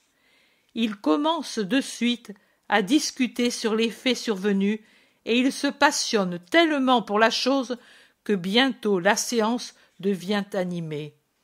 Ils quittent leur place, descendent dans l'espace vide en gesticulant et en parlant à haute voix. Quelques-uns conseillent le calme et de bien réfléchir avant de prendre des décisions.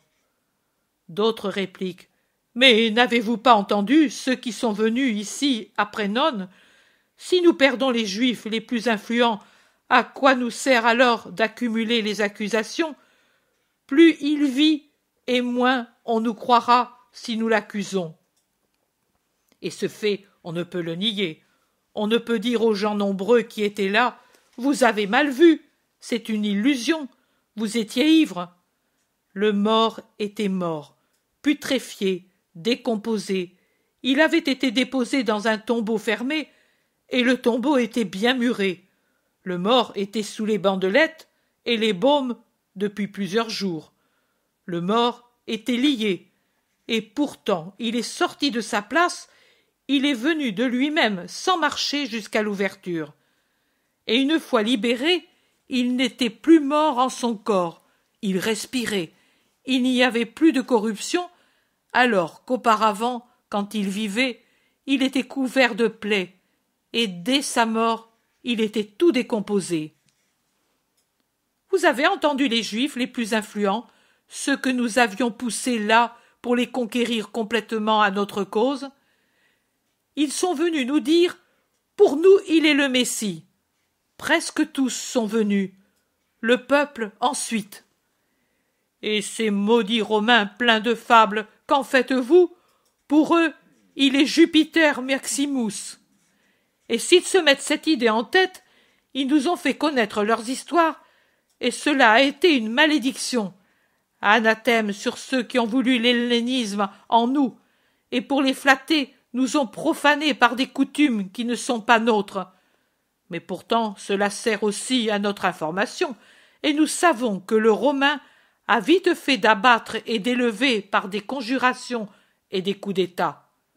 Or, si certains de ces fous s'enthousiasment pour le Nazaréen et le proclament César, et par conséquent divin, qui pourra le toucher? Mais non. Qui veut qu'il fasse cela? Eux se rient de lui et de nous.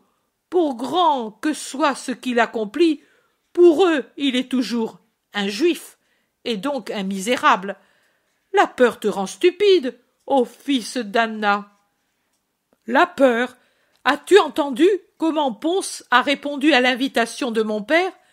Il est bouleversé, te dis-je, il est bouleversé par ce dernier fait, et il craint le Nazaréen. Malheureux que nous sommes. Cet homme est venu pour notre ruine. Si au moins nous n'y étions pas allés, et si nous n'avions pas presque commandé au plus puissant des Juifs d'y aller, si Lazare était ressuscité sans témoin. Eh bien, qu'est-ce que cela aurait changé?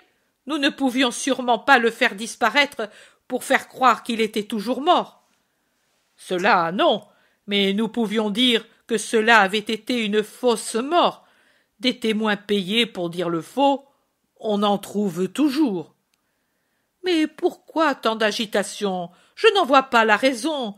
A-t-il par hasard provoqué le Sanhédrin et le pontificat? Non. Il s'est borné à accomplir un miracle. Il s'est borné. Mais tu es sot ou vendu à lui, Éléazar Il n'a pas provoqué le Sanhédrin et le pontificat. Et que veux-tu de plus? Les gens.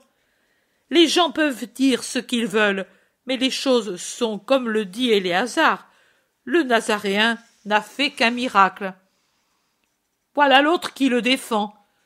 Tu n'es plus injuste, Nicodème. Tu n'es plus injuste. C'est un acte contre nous. Contre nous, comprends-tu? Plus rien ne persuadera la foule. Ah. Malheureux que nous sommes. Moi, aujourd'hui, j'ai été bafoué par certains juifs. Moi, bafoué, moi.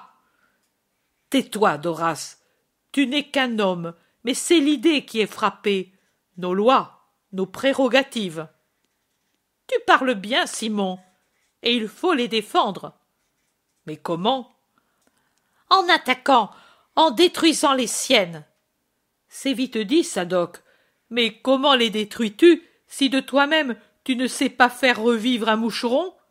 Ici, il nous faudrait un miracle plus grand que le sien, mais aucun de nous ne peut le faire parce que celui qui parle ne sait pas dire pourquoi. Joseph d'Arimatie termine la phrase. Parce que nous sommes des hommes, seulement des hommes. Il se jette sur lui en demandant. Et lui, qui est-il alors? L'homme d'Arimatie répond avec assurance. Il est Dieu. Si j'avais encore des doutes, mais tu n'en avais pas. Nous le savons, Joseph. Nous le savons. Dis-le donc ouvertement que tu l'aimes. Gamaliel dit. Il n'y a rien de mal que Joseph l'aime.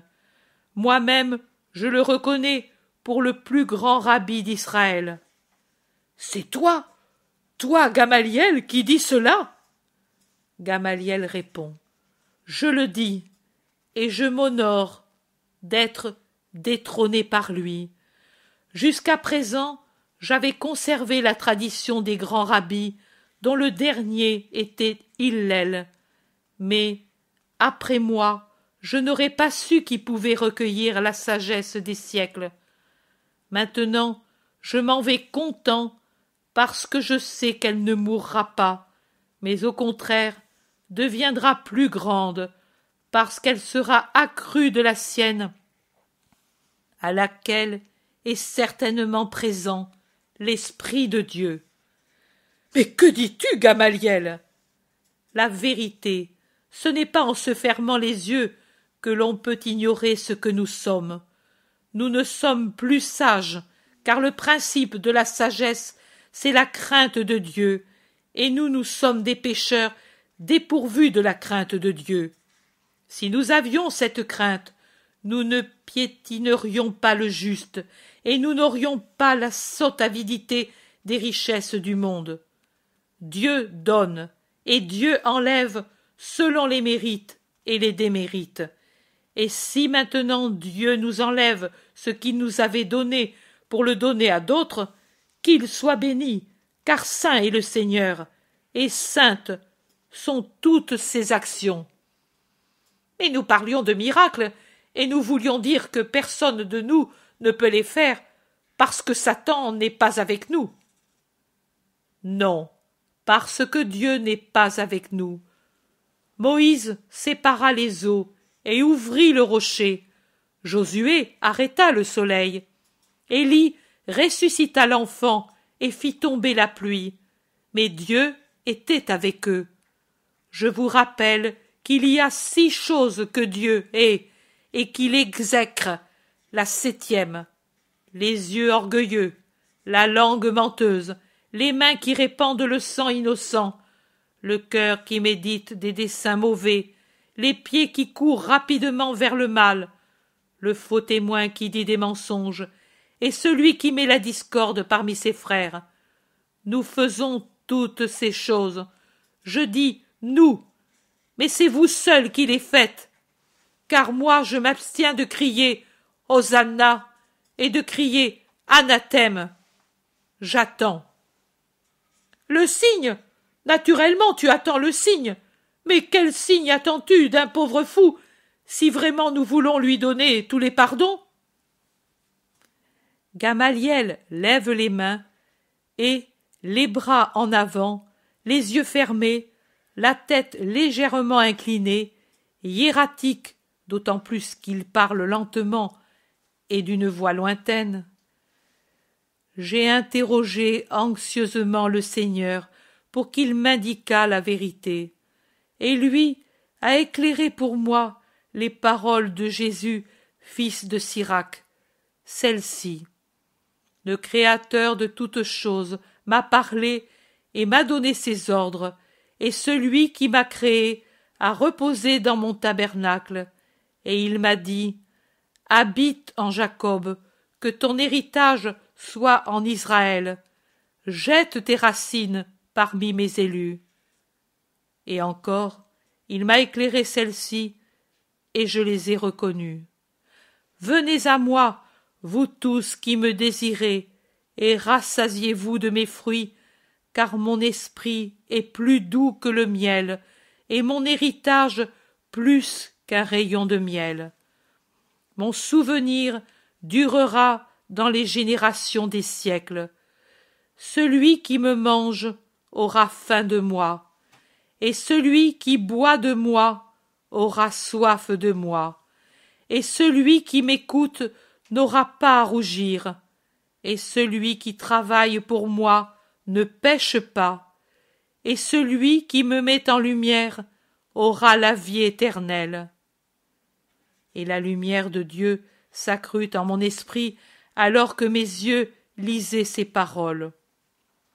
Ce sont toutes ces choses que contient le livre de la vie, le testament du Très-Haut, la doctrine de la vérité.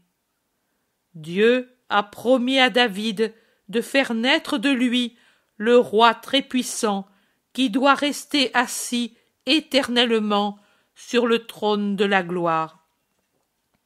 Lui regorge de sagesse, comme le fison et le tigre au des nouveaux fruits l'Euphrate regorge d'intelligence, et il croit, comme le Jourdain, au temps de la moisson.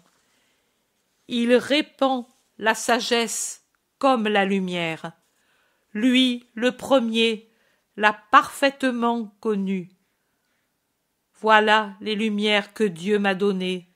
Mais hélas, que dis-je Que la sagesse qui est parmi nous est trop grande pour que nous la comprenions et que nous accueillions une pensée plus vaste que la mer et un conseil plus profond que le grand abîme. Et nous l'entendons crier Comme un canal d'eau immense, j'ai jailli du paradis et j'ai dit J'arroserai mon jardin. Et voilà que mon canal devient un fleuve, et le fleuve une mer. Comme l'aurore, je diffuse à tous ma doctrine, et je la ferai connaître à ceux qui sont le plus loin. Je pénétrerai dans les parties les plus basses. Je jetterai mon regard sur ceux qui dorment. J'éclairerai ceux qui espèrent dans le Seigneur. Et je répandrai encore ma doctrine comme une prophétie. Et je la laisserai à ceux qui cherchent la sagesse.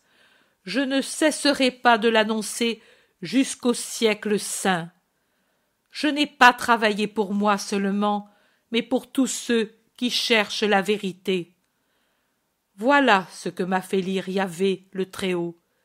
et il abaisse les bras en relevant la tête. Mais alors, pour toi, il est le Messie, dis-le. Gamaliel dit. Ce n'est pas le Messie. Il ne l'est pas. Mais alors, qu'est-il pour toi? Un démon? Non. Un ange? Non. Le Messie? Non. Il est celui qui est. Tu délires? Il est Dieu? Il est Dieu pour toi, ce fou? Il est celui qui est. Dieu sait ce qu'il est. Nous voyons ses œuvres. Dieu voit aussi ses pensées. Mais il n'est pas le Messie, car pour nous, Messie veut dire roi. Lui n'est pas, ne sera pas roi, mais il est saint, et ses œuvres sont celles d'un saint. Et nous, nous ne pouvons pas lever la main sur l'innocent sans commettre un péché. Moi, je ne souscrirai pas au péché. Et par ces paroles, tu l'as presque appelé l'attendu. C'est ce que j'ai dit. Tant qu'a duré la lumière du Très-Haut, je l'ai vu telle. Puis, quand m'a abandonné la main du Seigneur, moi qui avais été élevé dans sa lumière, je suis redevenu homme.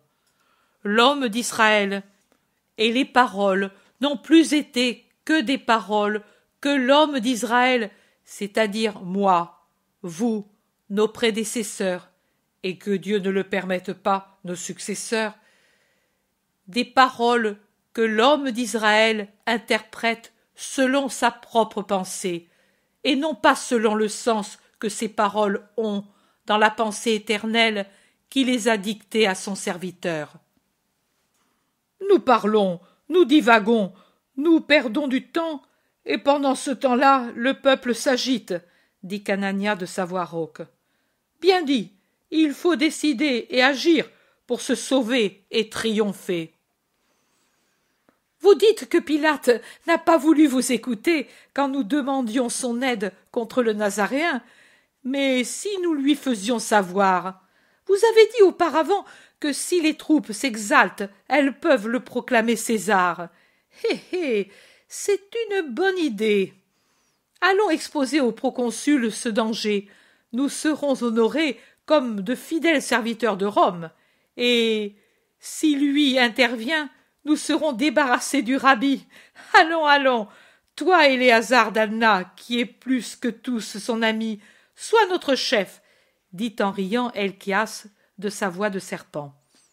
Il y a un peu d'hésitation, mais ensuite un groupe des plus fanatiques sort pour se rendre à l'Antonia. Caïphe reste avec les autres. À cette heure, ils ne seront pas reçus, objecte quelqu'un. Non, au contraire, c'est la meilleure. Ponce est toujours de bonne humeur quand il a bu et mangé, comme boit et mange un païen. Je les laisse là à discuter, et pour moi s'éclaire la scène de l'Antonia. Le parcours est fait vite et sans difficulté, tant est limpide la clarté de la lune qui contraste grandement avec la lumière rouge des lampes allumées dans le vestibule du palais prétorien.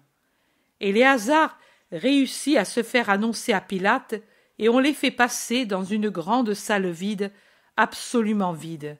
Il n'y a qu'un siège massif avec un dossier bas, couvert d'un drap pourpre qui ressort vivement dans la blancheur absolue de la salle. Ils se tiennent en groupe, un peu craintifs, transis de froid, debout sur le marbre blanc du pavé. Il ne vient personne. Le silence est absolu. Pourtant, par intervalles, une musique lointaine rompt ce silence. Pilate est à table, certainement avec des amis, cette musique vient du triclinium. Il y aura des danses en l'honneur des hôtes. Corrompu, demain je me purifierai. La luxure transpire de ces murs, dit avec dégoût Elchias. Pourquoi es-tu venu alors? C'est toi qui l'as proposé, lui réplique Éléazar. Pour l'honneur de Dieu et le bien de la patrie, je sais faire n'importe quel sacrifice, et c'est un grand sacrifice je m'étais purifié pour m'être approché de Lazare, Et maintenant, journée terrible aujourd'hui. Pilate ne vient pas. Le temps passe, et les hasards, habitués à l'endroit, essaient les portes. Elles sont toutes fermées. La crainte s'empare de ceux qui sont présents. Des histoires effrayantes reviennent à l'esprit. Ils regrettent d'être venus. Ils se sentent déjà perdus. Finalement, du côté qui est opposé à eux, qui sont près de la porte par laquelle ils sont entrés, et par conséquent près de l'unique siège de la pièce, voilà que s'ouvre une porte et qu'entre Pilate avec un vêtement tout blanc comme la salle. Il entre en parlant avec des invités. Il rit. Il se tourne pour commander à un esclave qui soulève un rideau au-delà de la sortie de jeter des essences dans un brasier et d'apporter des parfums et de l'eau pour les mains, et qu'un esclave vienne avec un miroir et des peignes. Il ne s'occupe pas des Hébreux, c'est comme s'ils n'existaient pas. Ceux-ci sont en colère, mais n'osent pas bouger. Là-bas, pendant ce temps, on apporte des brasiers, on répand des résines sur le feu, on verse de l'eau parfumée sur les mains des Romains. Un esclave, par des mouvements adroits, peigne les cheveux selon la mode des riches Romains de l'époque, et les Hébreux s'énervent. Les Romains rient entre eux et plaisantent en regardant de temps en temps le groupe qui attend là-bas, au fond, et quelqu'un parle à Pilate qui ne s'est jamais tourné pour regarder. Mais Pilate hausse les épaules avec un geste d'ennui et bat des mains pour appeler un esclave auquel il ordonne à haute voix d'apporter des friandises et de faire entrer les danseuses. Les Hébreux, scandalisés, frémissent de colère. Pensez à un Elchias obligé de voir des danseuses. Son visage est un poème de souffrance et de haine. Les esclaves arrivent avec des friandises dans des coupes précieuses, et derrière les danseuses couronnées de fleurs et à peine couvertes de toiles si légères qu'elles semblent des voiles, les chairs très blanches transparaissent à travers les vêtements légers, teints de rose et bleu clair, quand elles passent devant les brasiers allumés et les lampes nombreuses posées au fond. Les Romains admirent la grâce des corps et des mouvements, et Pilate redemande un pas de danse qui lui a plu particulièrement. Elchias, imité par ses compagnons, se tourne indigné contre le mur pour ne pas voir les danseuses voler comme des papillons dans un balancement d'habits inconvenants. Une fois finie la courte danse, Pilate les congédie en mettant dans la main de chacune une coupe remplie de friandises où il jette nonchalamment un bracelet. Finalement, il daigne se tourner pour regarder les Hébreux, et il dit à ses amis d'un air ennuyé et maintenant, je devrais passer du rêve à la réalité, de la poésie à l'hypocrisie, de la grâce aux ordures de la vie. Misère d'être proconsul. Salut, ami, ayez compassion de moi. Il reste seul, et lentement il s'approche des Hébreux. Il s'assoit, observe ses mains bien soignées, et découvre sous un ongle quelque chose qui ne va pas. Il s'en occupe et s'en préoccupe en sortant de son vêtement une fine baguette d'or avec laquelle il remédie au grand dommage d'un ongle imparfait. Puis il fait la grâce de tourner lentement la tête. Il ricane à la vue des Juifs encore inclinés servilement et leur dit Vous, ici, et soyez bref, je n'ai pas de temps à perdre à des choses sans importance. Les Hébreux s'approchent dans une attitude toujours servile jusqu'à ce qu'un assez, pas trop près, les cloue au sol. Parlez et redressez-vous. Il ne convient qu'à des animaux de rester courbés vers le sol. Et il rit. Les Hébreux se redressent sous le mépris et se tiennent plastronnants. Donc, parlez. Vous avez voulu absolument venir. Maintenant que vous êtes ici, parlez. Nous voulions te dire pour autant que nous sachions, nous sommes des serviteurs fidèles de Rome. Ah. Ah. Ah. Des serviteurs fidèles de Rome, je le ferai savoir au divin César, et il en sera heureux. Il sera heureux. Parlez, farceurs, et faites vite. Les sanédristes trépignent, mais ne réagissent pas. Elchias prend la parole au nom de tous. Tu dois savoir, ô Ponce, qu'aujourd'hui, à Béthanie, un homme a été ressuscité. Je le sais. C'est pour me dire cela que vous êtes venu. Je le savais déjà depuis plusieurs heures. Il a de la chance de savoir déjà ce que c'est que mourir et ce que c'est que l'autre monde. Et que puis-je y faire si Lazare de Théophile est ressuscité? Peut-être il m'a apporté un message de l'Hadès. Il est ironique. Non, mais sa résurrection est un danger. Pour lui, certainement, le danger de devoir mourir de nouveau. Opération peu agréable. Eh bien, que puis-je y faire? Suis-je Jupiter, moi? Un danger non pour Lazare, mais pour César. Pour dominer Mais peut-être ai-je bu Vous avez dit pour César? Et en quoi Lazare peut-il nuire à César? Vous craignez peut-être que la puanteur de son tombeau puisse corrompre l'air que respire l'impérator? Rassurez-vous, c'est trop loin. Ce n'est pas cela, c'est que Lazare, en ressuscitant, peut faire détrôner l'impérator. Détrôner? C'est plus grand que le monde. Mais alors, ce n'est pas moi qui suis ivre, mais vous. Peut-être l'épouvante vous a bouleversé l'esprit, voire ressuscité. Je crois, je crois que cela peut troubler.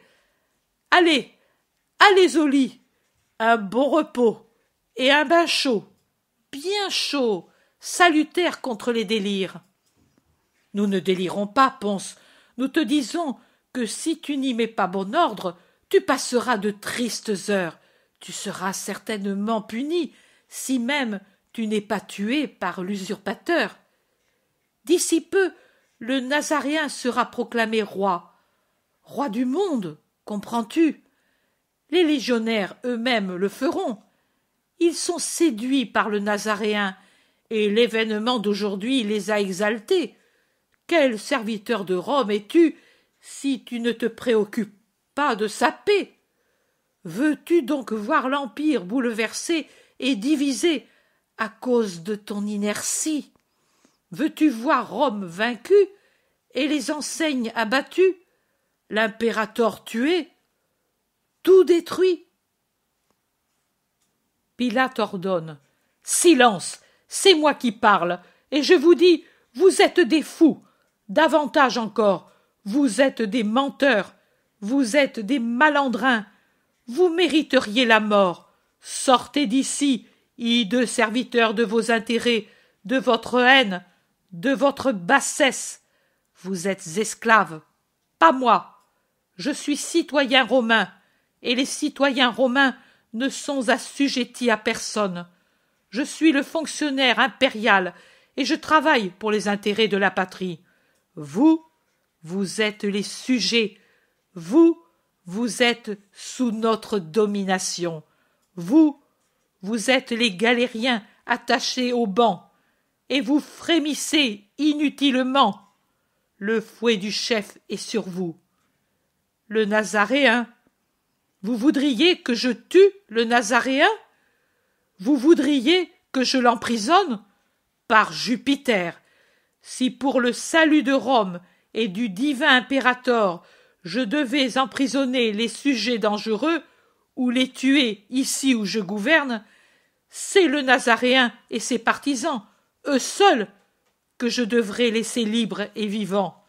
Allez, dégagez, et ne revenez plus jamais devant moi, turbulents, fauteurs de troubles, voleurs et complices de voleurs.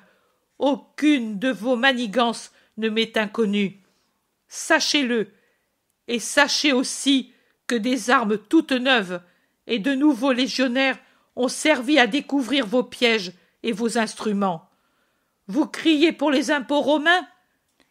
Mais que vous a coûté Melchias de Galaad et Jonas de Cytopolis et Philippe de Soko et Jean de Béthavène et Joseph de Ramaoth et tous les autres qui vont bientôt être pris? Et n'allez pas près des grottes de la vallée, car il s'y trouve plus de légionnaires que de pierres, et les lois et la galère sont les mêmes pour tous. Pour tous, vous comprenez? Pour tous. Et j'espère vivre assez pour vous voir tous enchaînés, esclaves parmi les esclaves, sous le talon de Rome. Sortez, allez, et rapportez ma réponse.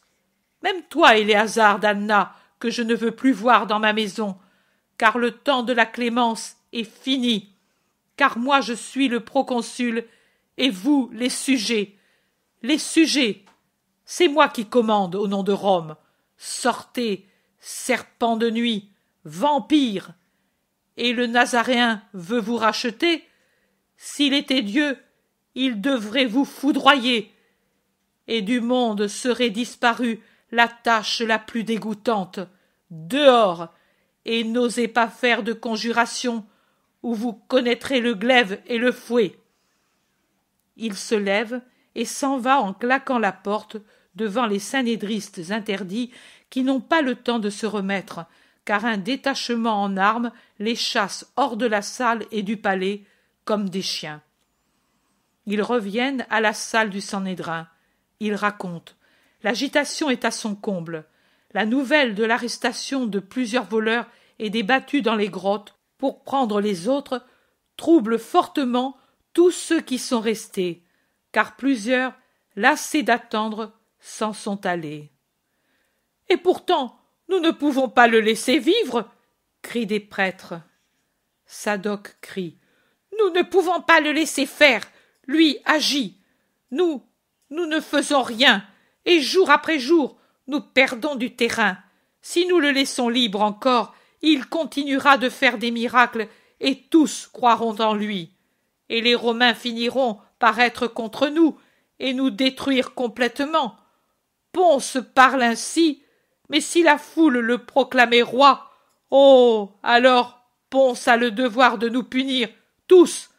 Nous ne devons pas le permettre. C'est bien, mais comment? La voie légale romaine a failli. Ponce est sûr du Nazaréen. Notre voie légale est rendue impossible. Lui ne pêche pas. Caïphe insinue. On invente la faute si elle n'existe pas. Mais c'est un péché de faire cela, jurer ce qui est faux, faire condamner un innocent. C'est trop, disent la plupart avec horreur. C'est un crime, car ce sera la mort pour lui. Eh bien, cela vous effraie? Vous êtes des sots et n'y comprenez rien. Après ce qui est arrivé, Jésus doit mourir. Vous ne réfléchissez pas, vous tous, qu'il vaut mieux qu'il meure un homme plutôt qu'un grand nombre? Par conséquent, que lui meure pour sauver son peuple, pour que ne périsse pas toute la nation. Du reste, lui dit qu'il est le sauveur. Qu'il se sacrifie donc pour sauver tout le monde, dit Caïphe, odieux par sa haine froide et astucieuse. Mais Caïphe réfléchit, euh, lui. J'ai parlé. L'esprit du Seigneur est sur moi, le grand prêtre. Malheur à qui ne respecte pas le pontife d'Israël. Les foudres de Dieu sur lui. C'est assez attendu. C'est assez discuté. J'ordonne et décrète que quiconque sait où se trouve le Nazaréen vienne dénoncer l'endroit et anathème sur qui n'obéira pas à ma parole. Mais Anna, objecte certains. Anna m'a dit Tout ce que tu feras sera saint. Levons la séance. Vendredi, entre tierce et sexte, tous ici pour délibérer. J'ai dit tous. faites-le savoir aux absents, et que soient convoqués tous les chefs de famille et de classe, toute l'élite d'Israël. Le Sanhédrin a parlé. Allez. Il se retire le premier, là d'où il était venu, alors que les autres prennent d'autres directions, et ils sortent du temple en parlant à voix basse pour rentrer chez eux. Chapitre 11 Jésus à Béthanie. Il fait bon rester ainsi, au repos, dans l'amour des amis et près du Maître, dans les journées ensoleillées qui annoncent déjà un précoce sourire de printemps, à regarder les champs qui ouvrent leurs sillons à un verdoiement innocent des grains qui poussent, à regarder les prés qui rompent le vert uniforme de l'hiver avec les premières fleurettes multicolores, à regarder les haies qui, dans les endroits les plus ensoleillés, présentent déjà le sourire des boutons qui s'ouvrent, à regarder les amandiers qui déjà moussent à leur sommet avec les premières fleurs qui éclosent. Et Jésus en jouit, et de même les apôtres, et aussi les trois amis de Béthanie. Elle semble si loin la malveillance, la douleur, la tristesse, la maladie, la mort, la haine, l'envie, tout ce qui est peine, tourment, préoccupation sur la terre. Les apôtres tous jubilent et le montrent. Ils disent leur conviction, oh si sûre, si triomphante, que désormais Jésus a vaincu tous ses ennemis, que sa mission continuera désormais sans obstacle, qu'il sera reconnu comme Messie, même par ceux qui s'obstinaient davantage à le nier. Et ils parlent un peu exaltés, rajeunis, tant ils sont heureux, en faisant des projets pour l'avenir, en rêvant, en rêvant tellement et si humainement.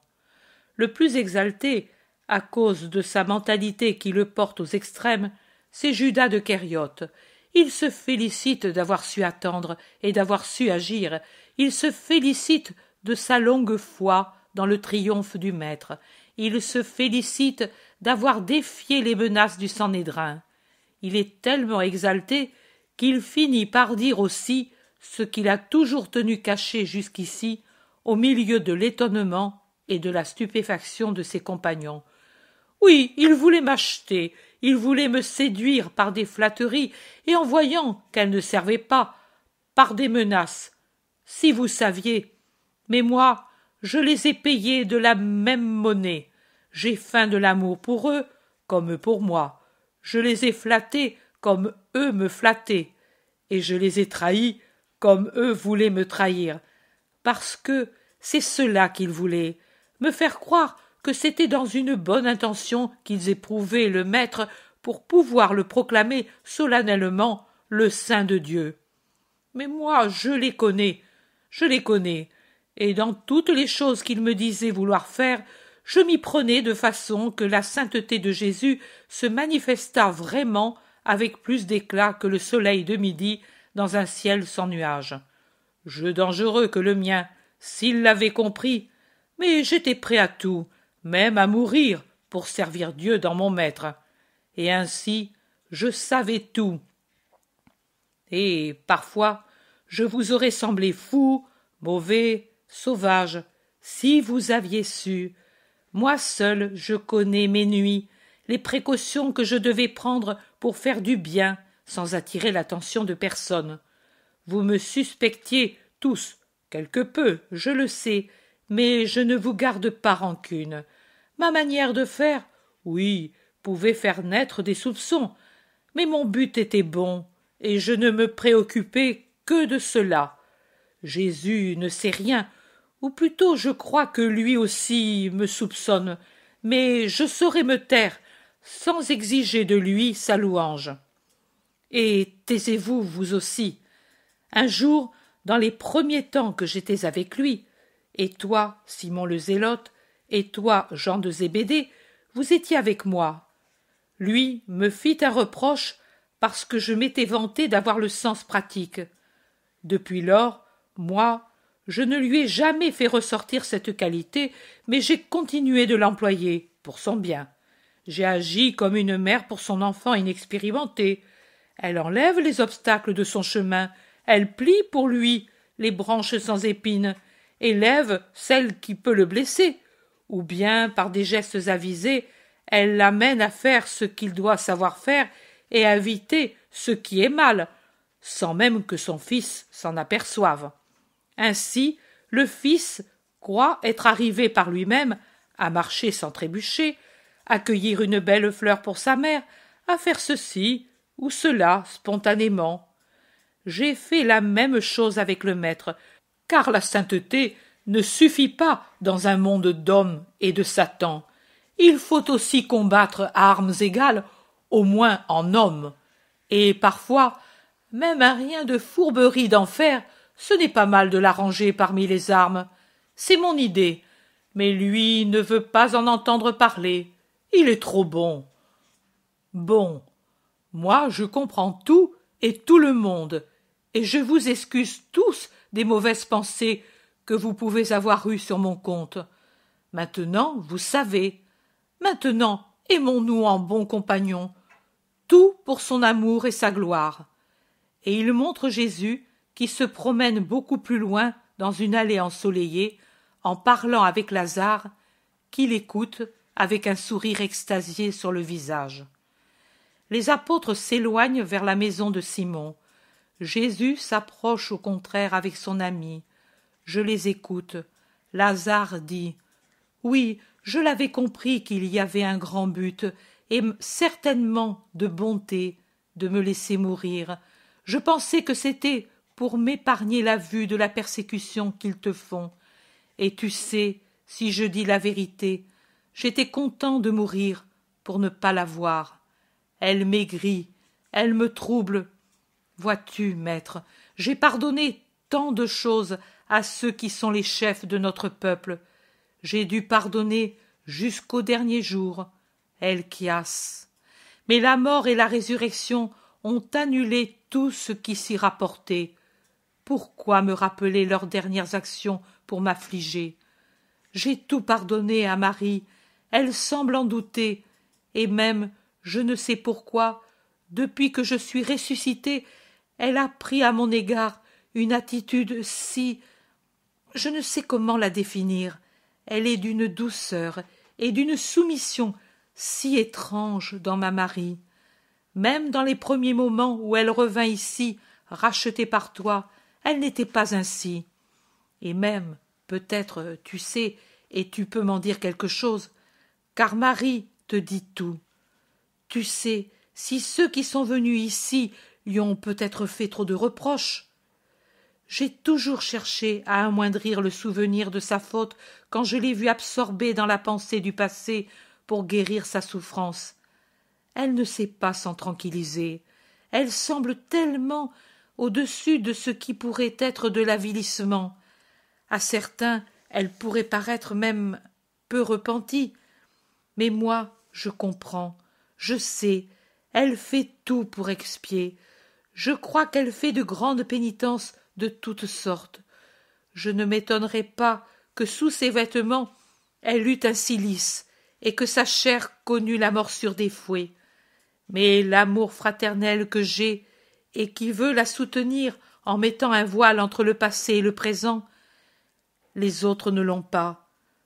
Tu sais si peut-être elle a été maltraitée par ceux qui ne savent pas pardonner, et elle a tant besoin de pardon? Jésus répond Je ne sais pas, Lazare. Marie ne m'en a pas parlé. Elle m'a dit seulement d'avoir beaucoup souffert en entendant les pharisiens insinuer que je n'étais pas le Messie, parce que je ne te guérissais pas, ou que je ne te ressuscitais pas. Et elle ne t'a rien dit de moi? Tu sais, j'avais si mal. Je me rappelle que ma mère, à ces derniers moments, révéla des choses qui étaient passées inaperçues à Marthe et à moi. Ce fut comme si le fond de son âme et de son passé était revenu à la surface dans les derniers soulèvements du cœur. Moi, je ne voudrais pas. Mon cœur a tant souffert pour Marie, et s'est tant efforcé de ne lui donner jamais l'impression de ce que j'ai souffert à cause d'elle.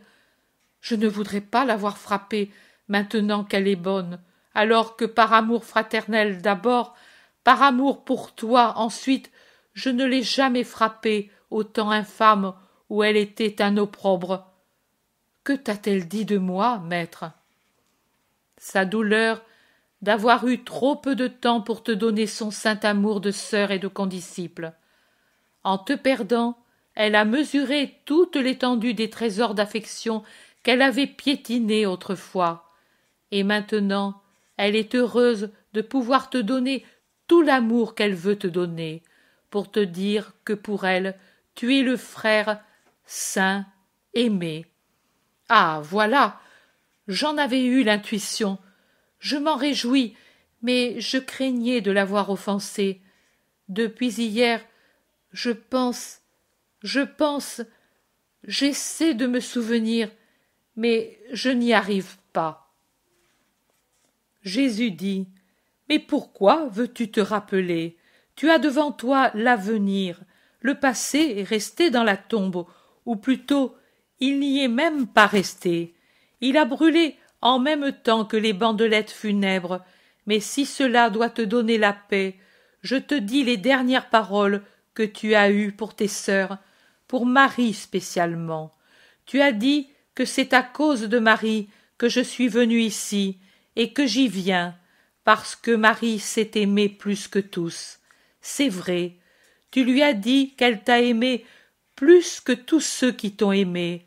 Cela aussi est vrai, car elle t'a aimé en se renouvelant par amour pour Dieu et pour toi.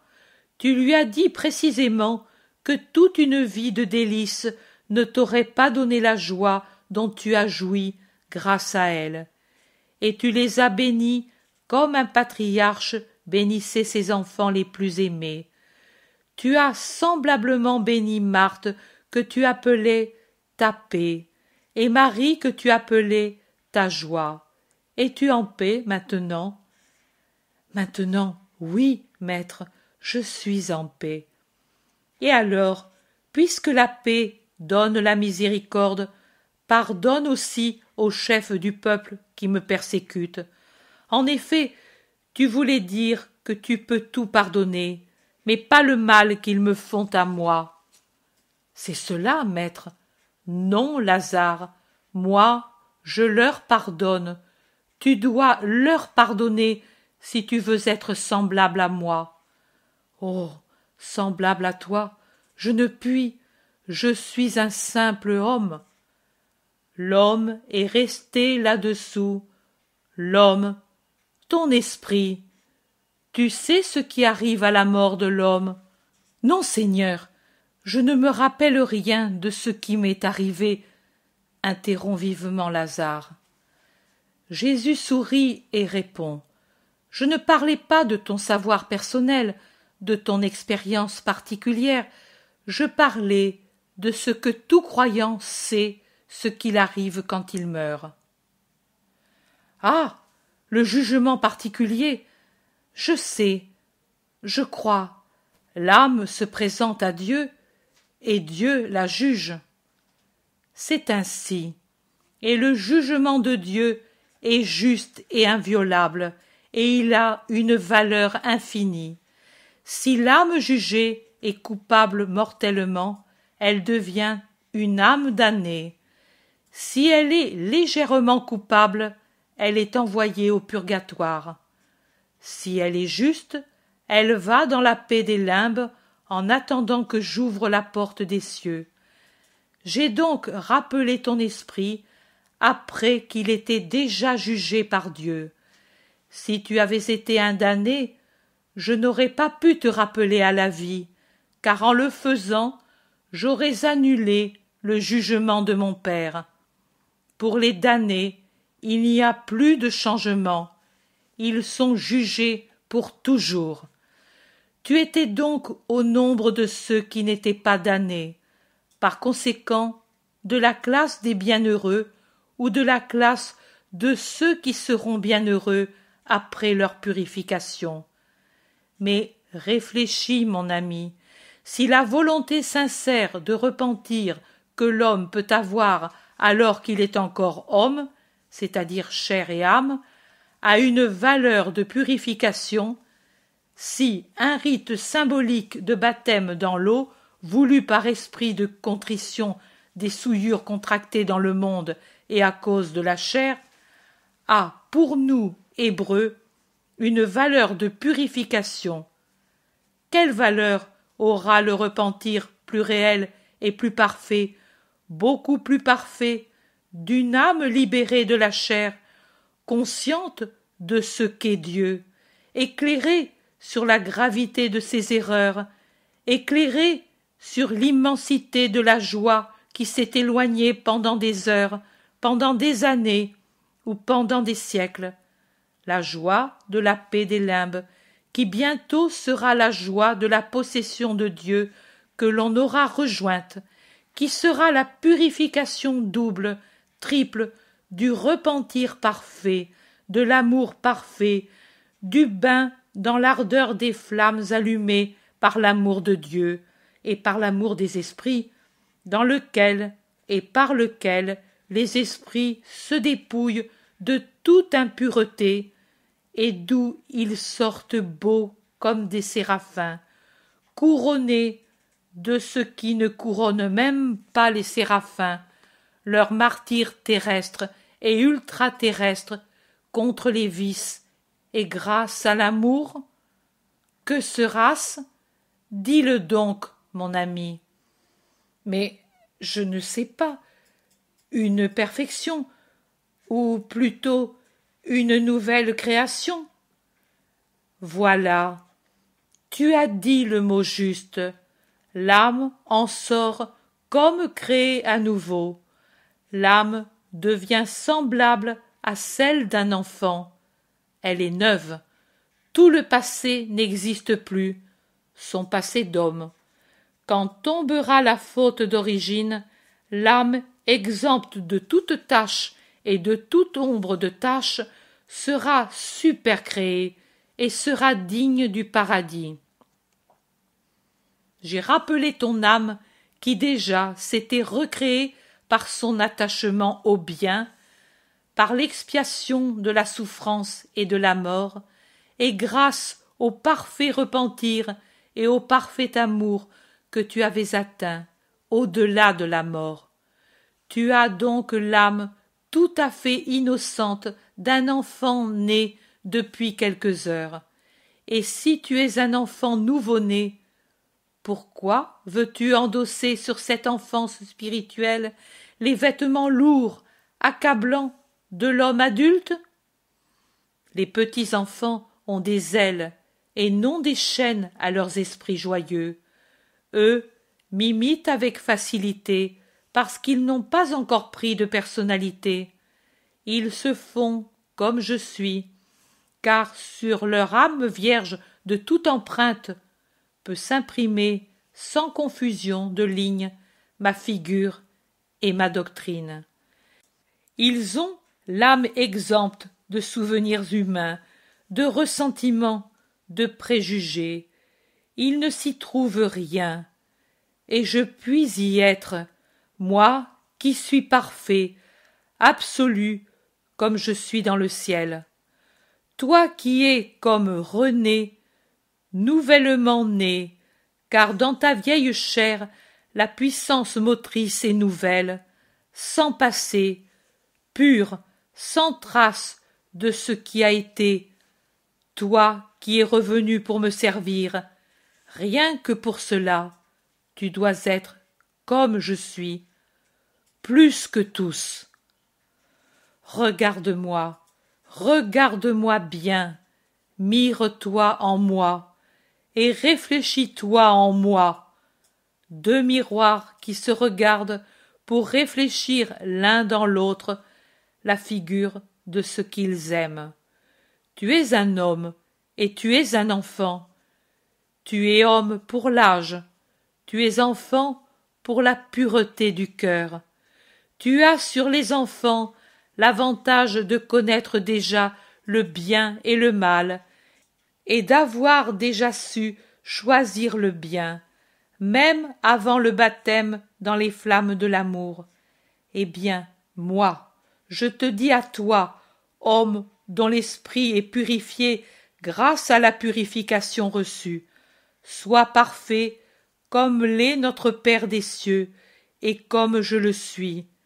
Sois parfait, c'est-à-dire sois semblable à moi qui t'ai aimé au point d'aller contre toutes les lois de la vie et de la mort, du ciel et de la terre, pour avoir de nouveau sur la terre un serviteur de Dieu, et pour moi un véritable ami, et au ciel un bienheureux, un grand bienheureux. Je le dis à tous, soyez parfaits. Et eux, pour la plupart, n'ont pas le cœur que tu avais, digne du miracle, digne d'être pris comme instrument pour une glorification de Dieu en son Fils bien-aimé. Et eux n'ont pas tes dettes d'amour envers Dieu. Je puis le dire, je puis l'exiger de toi. Et en premier lieu, j'exige que tu n'aies pas de rancœur pour ceux qui m'ont offensé et m'offensent. Pardonne, pardonne, Lazare. Tu as été plongé dans les flammes allumées par l'amour. Tu dois être amour pour ne plus jamais connaître autre chose que l'étreinte amoureuse de Dieu. Et en agissant ainsi, j'accomplirai la mission pour laquelle tu m'as ressuscité En agissant ainsi, tu l'accompliras. Cela suffit, Seigneur, je n'ai pas besoin d'en demander et d'en savoir davantage. Te servir était mon rêve, si je t'ai servi même dans le rien que peut faire celui qui est malade et mort, et si je pourrais te servir dans tout ce que peut faire quelqu'un qui a recouvré la santé, mon rêve est réalisé, et je ne demande rien de plus. Que tu sois béni, Jésus, mon Seigneur et mon Maître, et qu'avec toi soit béni celui qui t'a envoyé. Béni soit toujours le Seigneur, Dieu Tout-Puissant. Ils s'en vont vers la maison, s'arrêtent de temps en temps pour observer le réveil des arbres. Jésus lève un bras et cueille, grand comme il est, une petite touffe de fleurs à un amandier qui se chauffe au soleil contre le mur méridional de la maison. Marie sort de la maison et les voyant s'approche pour entendre ce que dit Jésus. Tu vois, Lazare, à ceci aussi le Seigneur a dit Sortez, et ils ont obéi pour servir le Seigneur. Quel mystère que la germination. Il paraît impossible que du tronc dur et de la dure semence puissent sortir des pétales si fragiles et des tiges si tendres et se changer en fruits ou en arbre est-ce une erreur maître de dire que la sève ou le germe c'est comme l'âme de la plante ou de la semence? Ce n'est pas une erreur car c'est la partie vitale. En eux elle n'est pas éternelle créée pour chaque espèce le premier jour que les arbres et les blés le furent chez l'homme elle est éternelle ressemblant à son créateur créée chaque fois pour chaque nouvel homme qui est conçu. Mais c'est par elle que la matière vit. C'est pour cela que je dis que c'est seulement par l'âme que l'homme vit. Non seulement vit ici, mais au-delà. Il vit par son âme. Nous, Hébreux, nous ne faisons pas de dessins sur les tombeaux comme les font les gentils mais si nous les faisions, nous devrions toujours dessiner non pas le flambeau éteint, la clepsydre vide ou un autre symbole de fin, mais bien la semence jetée dans le sillon qui fleurit en épis. C'est en effet la mort de la chair qui libère l'âme de son écorce et la fait fructifier dans les parterres du Seigneur. La semence, l'étincelle vitale que Dieu a mise dans notre poussière et qui devient épi si nous savons par la volonté et aussi par la douleur rendre fertile la motte qui l'enserre. La semence, le symbole de la vie qui se perpétue. Mais Maximin t'appelle. J'y vais, maître. Il sera venu des régisseurs. Tout était arrêté ces derniers mois. Maintenant, ils s'empressent de me rendre leur compte. Que tu approuves d'avance, car tu es un bon maître. Et parce que sont de bons serviteurs. Le bon maître fait les bons serviteurs. Alors je deviendrai certainement un bon serviteur, car j'ai en toi un maître parfait. Et il s'en va en souriant, agile, si différent du pauvre Lazare qu'il était depuis des années. Marie reste avec Jésus. Et toi, Marie, deviendras-tu une bonne servante de ton Seigneur? C'est toi qui peux le savoir, Rabboni. Moi, moi je sais seulement que j'ai été une grande pécheresse. Jésus sourit. Tu as vu Lazare, lui aussi était un grand malade, et ne te semble-t-il pas que maintenant il soit bien sain C'est ainsi, Rabboni, tu l'as guéri. Ce que tu fais est toujours total.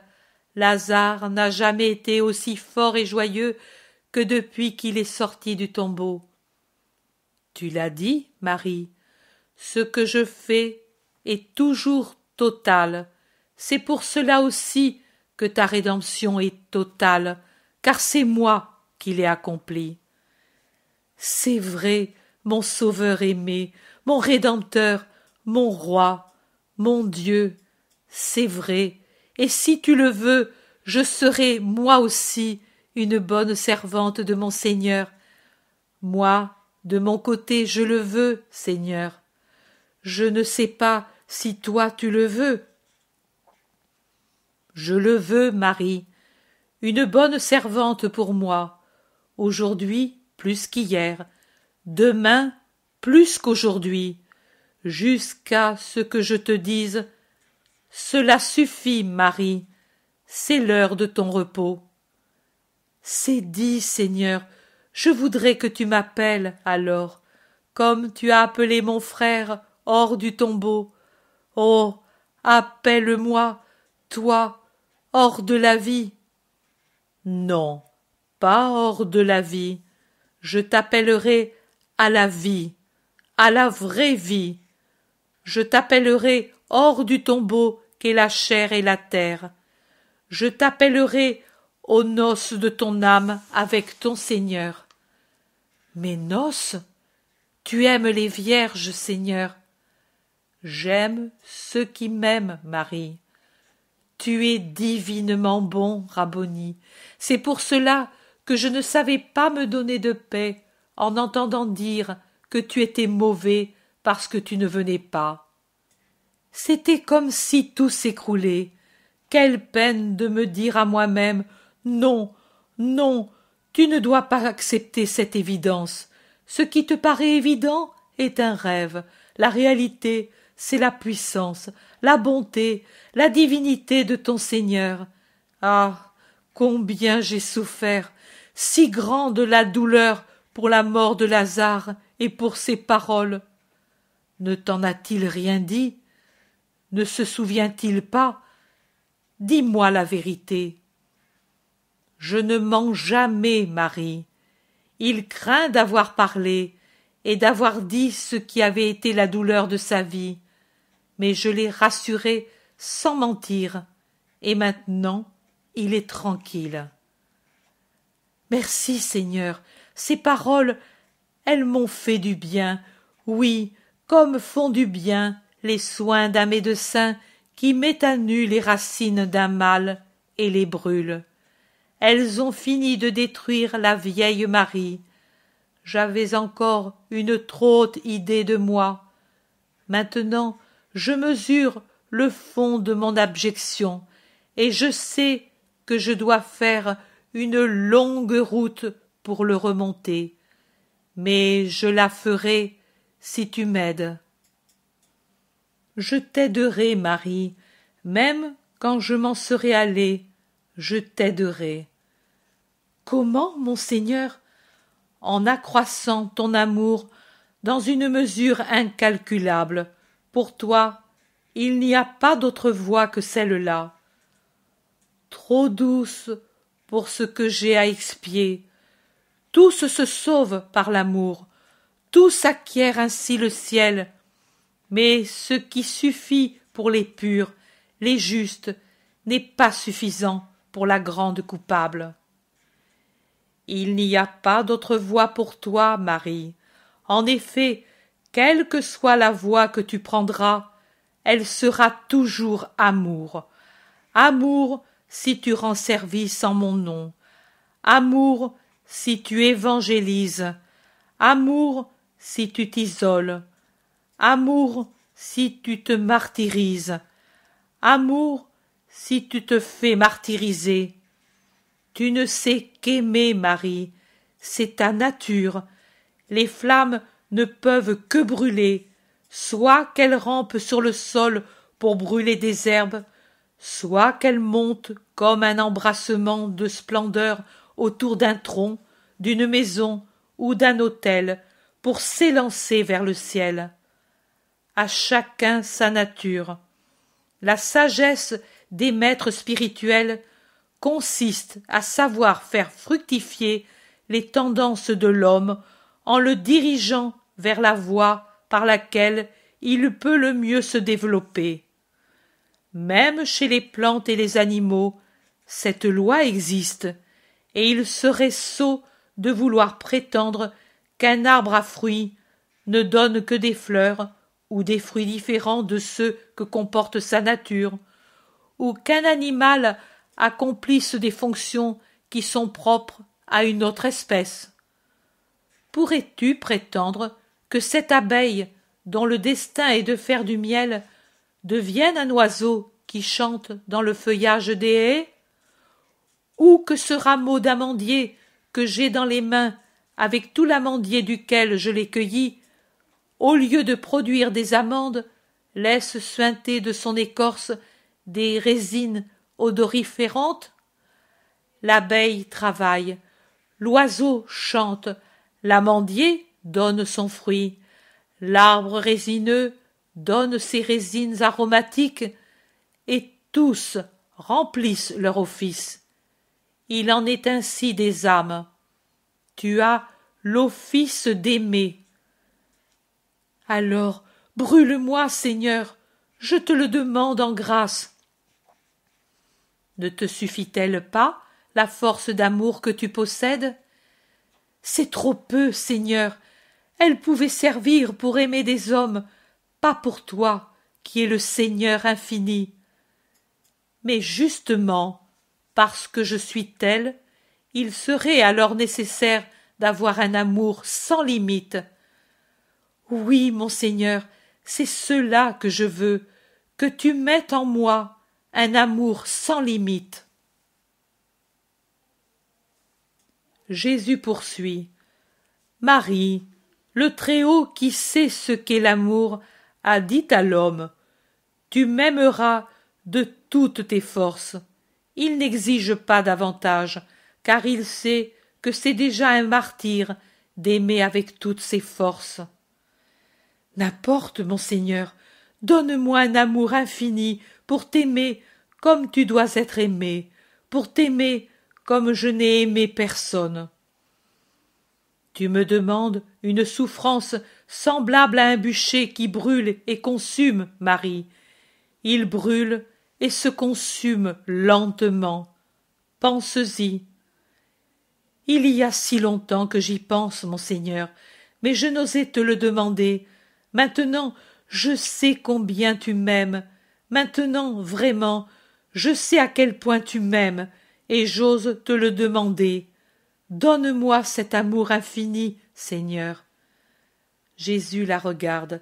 Elle est devant lui, encore amaigrie par les veilles et les souffrances, avec un vêtement modeste et une coiffure simple, comme une fillette sans malice, avec un visage pâle, où s'allume le désir, les yeux suppliants et pourtant déjà étincelant d'amour, déjà plus séraphin que femme. C'est vraiment la contemplatrice qui demande le martyr de la contemplation absolue. Jésus lui dit un seul mot après l'avoir bien regardé comme pour mesurer sa volonté. Oui. Ah. Mon Seigneur. Quelle grâce de mourir d'amour pour toi. Elle tombe à genoux pour baiser les pieds de Jésus. Lève toi, Marie, prends ces fleurs, ce seront celles de tes noces spirituelles. Sois douce comme le fruit de l'amandier, pure comme sa fleur, et lumineuse comme l'huile que l'on extrait de son fruit quand on l'allume, et parfumée comme cette huile quand saturée d'essence on la répand dans les banquets ou sur la tête des rois, parfumée par tes vertus.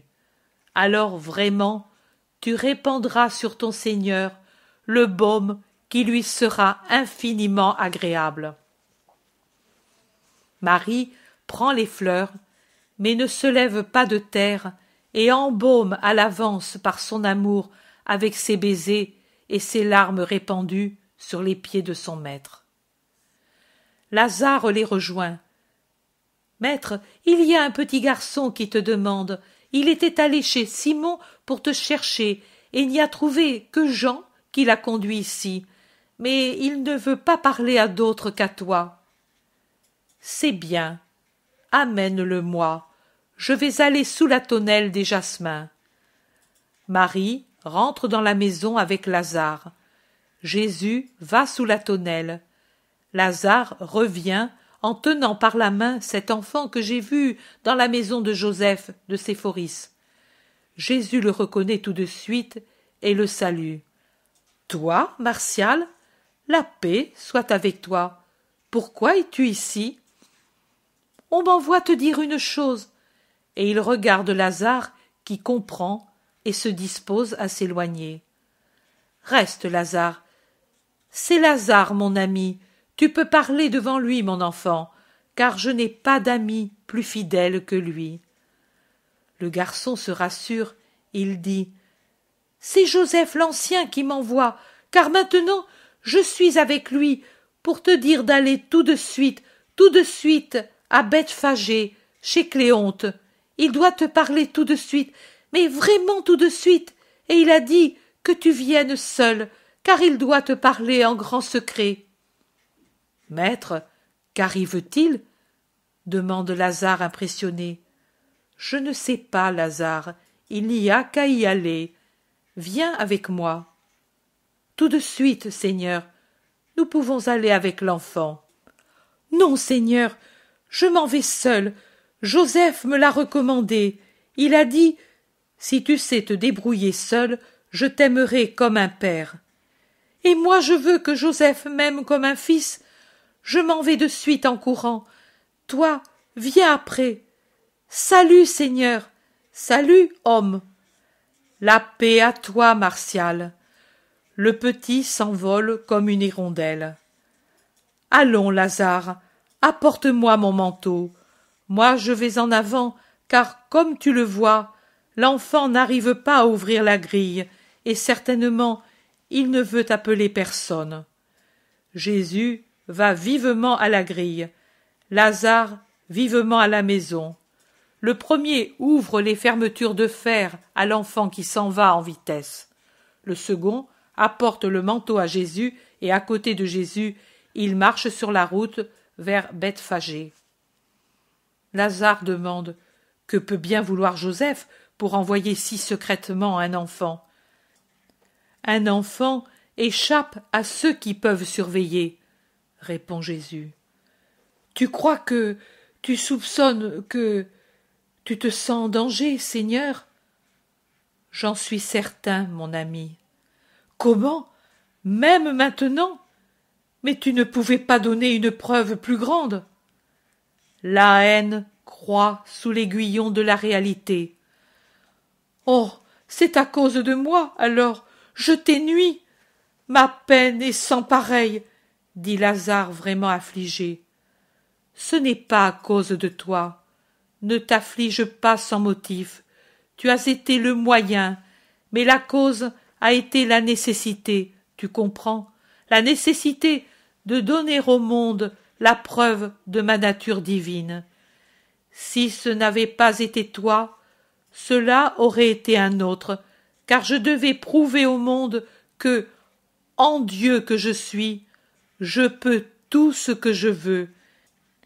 Et ramener à la vie quelqu'un qui est mort depuis plusieurs jours et déjà décomposé, ce ne peut être l'œuvre que de Dieu.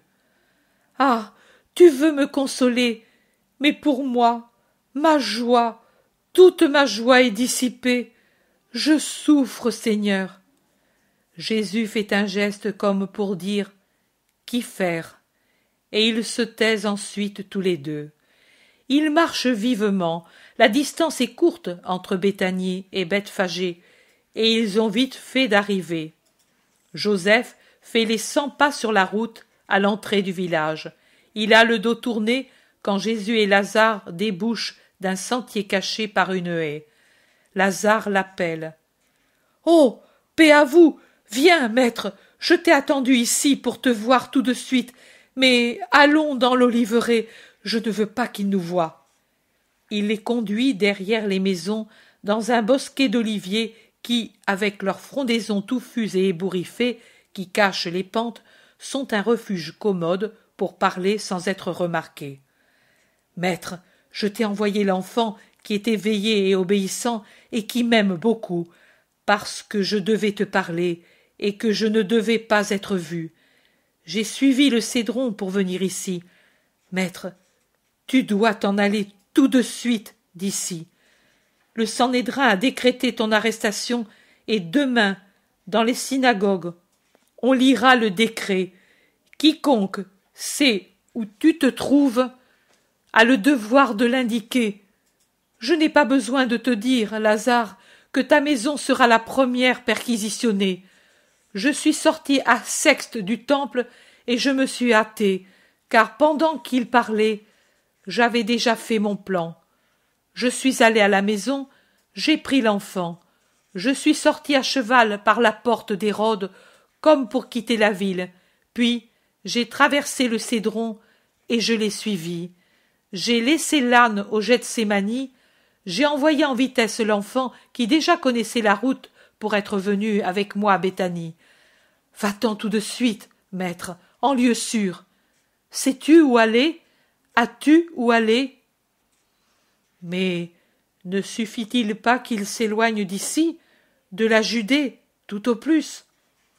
Cela ne suffit pas, Lazare. Ils sont furieux. Il faut qu'il aille où eux ne vont pas. Mais ils vont partout, eux. Tu ne voudrais pas que le maître quitte la Palestine? Mais que dois-je te dire? Le Sanhédrin le veut. C'est à cause de moi, n'est-ce pas? Dis-le. Hum. Oui, à cause de toi. Plutôt parce que tous se convertissent à lui. Et eux ne veulent pas de cela. Mais c'est un crime. C'est un sacrilège. C'est. Jésus, pâle, mais calme, lève la main pour imposer le silence, et il dit Tais-toi, Lazare, chacun fait son travail. Tout est écrit. Je te remercie, Joseph, et je te certifie que je m'en vais. Va, va, Joseph, qu'il ne remarque pas ton absence. Que Dieu te bénisse. Par Lazare, je te ferai savoir où je suis. Va, je te bénis, toi, Nicodème et tous ceux qui ont le cœur droit. Ils l'embrassent et ils se séparent. Jésus revient avec Lazare par l'oliveraie à Béthanie, alors que Joseph va vers la ville. Lazare angoissé demande Que vas-tu faire, maître? Je ne sais pas. Ces jours-ci, les femmes disciples arrivent avec ma mère. J'aurais voulu les attendre. À cause de cela, moi je les accueillerai en ton nom, et je pourrai te les conduire. Mais toi, en attendant, où vas-tu? Dans la maison de Salomon, je ne crois pas, ni chez les disciples connus. Demain, tu dois partir tout de suite. J'aurais un endroit, mais je voudrais attendre ma mère. Son angoisse commencerait trop tôt si elle ne me trouvait pas. Où iras-tu, maître? À Éphraïm. En Samarie? En Samarie. Les Samaritains sont moins Samaritains que beaucoup d'autres, et ils m'aiment. Éphraïm est à la frontière. Oh. C'est pour être contre les Juifs qu'ils te feront honneur et qu'ils te défendront. Mais attends, ta mère ne peut venir que par la route de la Samarie ou par celle du Jourdain.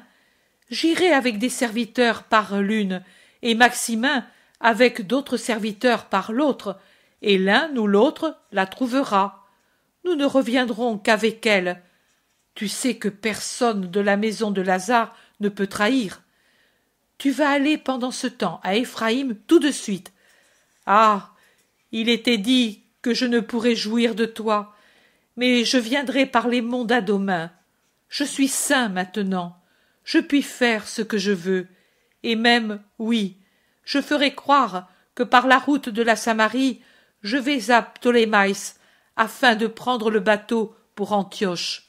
Tout le monde sait que j'y ai des terres. Mes sœurs resteront à Béthanie. Toi, oui. Maintenant je vais faire préparer deux chars, et vous irez à Jéricho avec eux. Puis, à l'aube de demain, vous reprendrez le chemin à pied.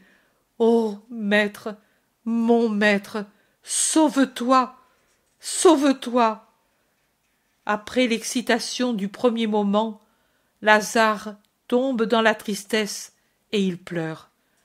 Jésus soupire, mais ne dit rien. Que devrait-il dire? Les voilà à la maison de Simon. Ils se séparent. Jésus entre dans la maison. Les apôtres, déjà étonnés que le Maître soit parti sans rien dire, se serrent autour de Jésus qui leur dit Prenez les vêtements, faites les sacs, nous devons partir tout de suite d'ici. Faites vite, et rejoignez-moi chez Lazare. Thomas demande Même les vêtements mouillés Ne pouvons-nous pas les reprendre à notre retour?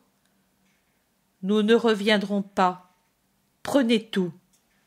Les apôtres s'en vont en se parlant par leurs regards. Jésus va prendre ses affaires dans la maison de Lazare et salue les sœurs consternées. Les chars sont vite prêts, des chars lourds, couverts, tirés par des chevaux robustes. Jésus prend congé de Lazare, de Maximin, des serviteurs qui sont accourus. Il monte sur les chars qui attendent à une sortie postérieure. Les conducteurs fouettent les animaux et le voyage commence par la même route par laquelle Jésus est venu pour ressusciter Lazare quelques jours auparavant. Chapitre 12 En allant à Éphraïm. Au commencement de l'aurore fraîche et limpide, les champs qui entourent la maison de Nick sont tout un verdoiement de grains nouveaux de quelques centimètres, d'une couleur délicate comme celle d'une très claire émeraude. Plus près de la maison, le verger, encore dépouillé, paraît encore plus sombre et plus massif en face de la délicatesse des jeunes pousses et d'un ciel aérien d'une sérénité paradisiaque. La maison toute blanche sous le premier soleil est couronnée par le vol des colombes. Nick est déjà levé et elle pourvoit avec sollicitude à ce que les partants aient ce qui peut leur donner des forces pour la route.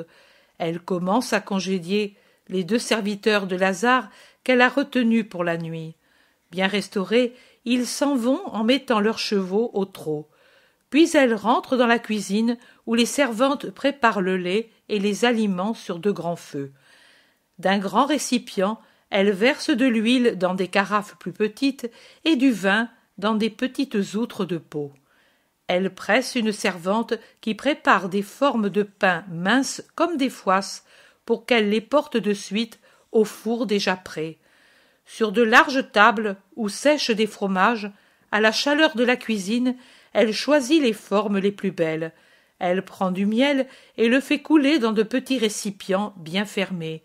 Puis elle fait des paquets avec tous ces aliments, et l'un d'eux contient un chevreau entier ou un agneau la servante sort de la broche sur laquelle il rôtissait. Un autre contient des pommes, rouges comme du corail, un autre d'olives toutes préparées, un autre encore de raisins secs, puis un paquet d'orge mondé. Elle est en train de fermer ce dernier dans un petit sac quand Jésus entre dans la cuisine en saluant toutes celles qui s'y trouvent. Maître, paix à toi, déjà levé. J'aurais dû l'être plus tôt, mais mes disciples étaient si fatigués que je les ai laissés dormir un peu plus. Que fais-tu, Nick? Je prépare. Cela ne sera pas lourd, tu vois. Douze charges, et j'ai calculé les forces de ceux qui vont les porter. Et moi? Oh, maître, tu as déjà ton fardeau. Et dans les yeux de Nick brille une larme. Viens dehors, Nick, nous allons parler en paix. Ils sortent et s'éloignent de la maison. Mon cœur pleure, maître. Je le sais, mais il faut être fort, fort en pensant qu'on ne m'a pas fait souffrir. Oh. Cela jamais. Mais j'avais cru pouvoir rester près de toi, et c'est pour cela que j'étais venu à Jérusalem. Autrement, je serais resté ici, où j'ai ma campagne. Lazare aussi, et Marie et Marthe croyaient pouvoir rester avec moi. Et tu vois. Je le vois, oui, je le vois. À Jérusalem, je n'y vais plus maintenant que tu n'y es pas. Je serai plus près de toi en restant ici, et je pourrai t'aider. Tu as déjà tant donné. Ce n'est rien ce que j'ai donné. Je voudrais pouvoir porter ma maison où tu vas, mais je viendrai, certainement, je viendrai voir ce qui te manque. Maintenant, c'est juste ce que tu m'as dit de faire. Je vais rester ici, jusqu'à ce qu'il soit persuadé que tu n'y es pas. Mais après Jésus l'interrompt. La route est longue et pénible pour une femme, et très peu sûre. Oh. Je n'ai pas peur. Je suis trop vieille pour plaire comme femme, et je ne porte pas de trésor pour être une proie. Les voleurs sont meilleurs que beaucoup qui se croient saints, et qui sont des voleurs qui veulent te dérober la paix et la liberté. Ne les pas, Nick. Cela est plus pénible pour moi que toute autre chose, mais j'essaierai de ne pas haïr par amour pour toi. J'ai pleuré toute la nuit, Seigneur. Je t'entendais aller et venir dans la maison, inlassable comme une abeille. Tu me semblais une mère en peine pour son fils persécuté. Ne pleure pas. Ce sont les coupables qui doivent pleurer, pas toi. Dieu est bon avec son Messie. Aux heures les plus tristes, il me fait toujours trouver près de moi un cœur maternel. Et comment vas-tu faire avec ta mère? Tu m'avais dit qu'elle serait bientôt venue. Elle viendra à Éphraïm. Lazare se charge de l'avertir. Voici Simon de Jonas et mes frères. Ils savent? Rien encore, Nick. Je le leur dirai quand nous serons loin. Et moi, je te dirai quand je viendrai ce qui se passe ici et à Jérusalem.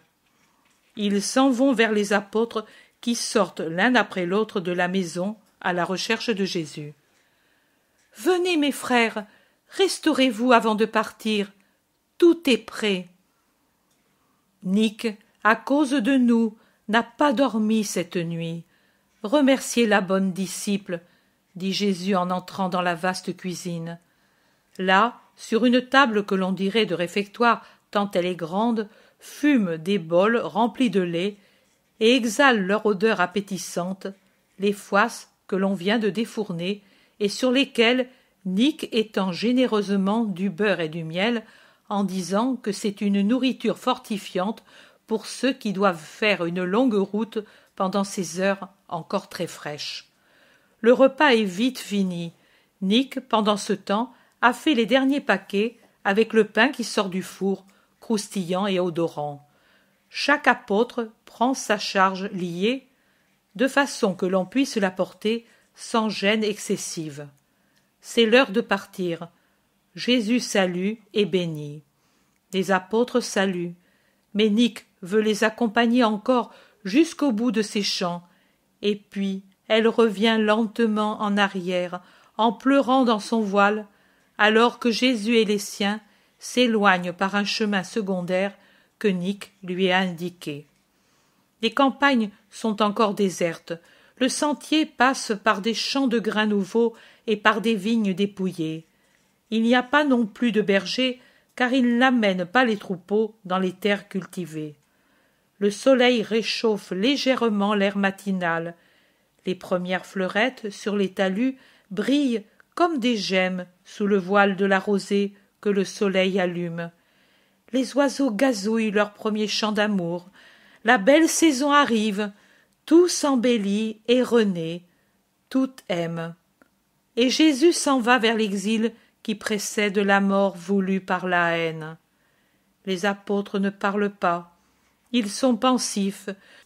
Le départ subit les a désorientés. Ils étaient si sûrs d'être désormais tranquilles.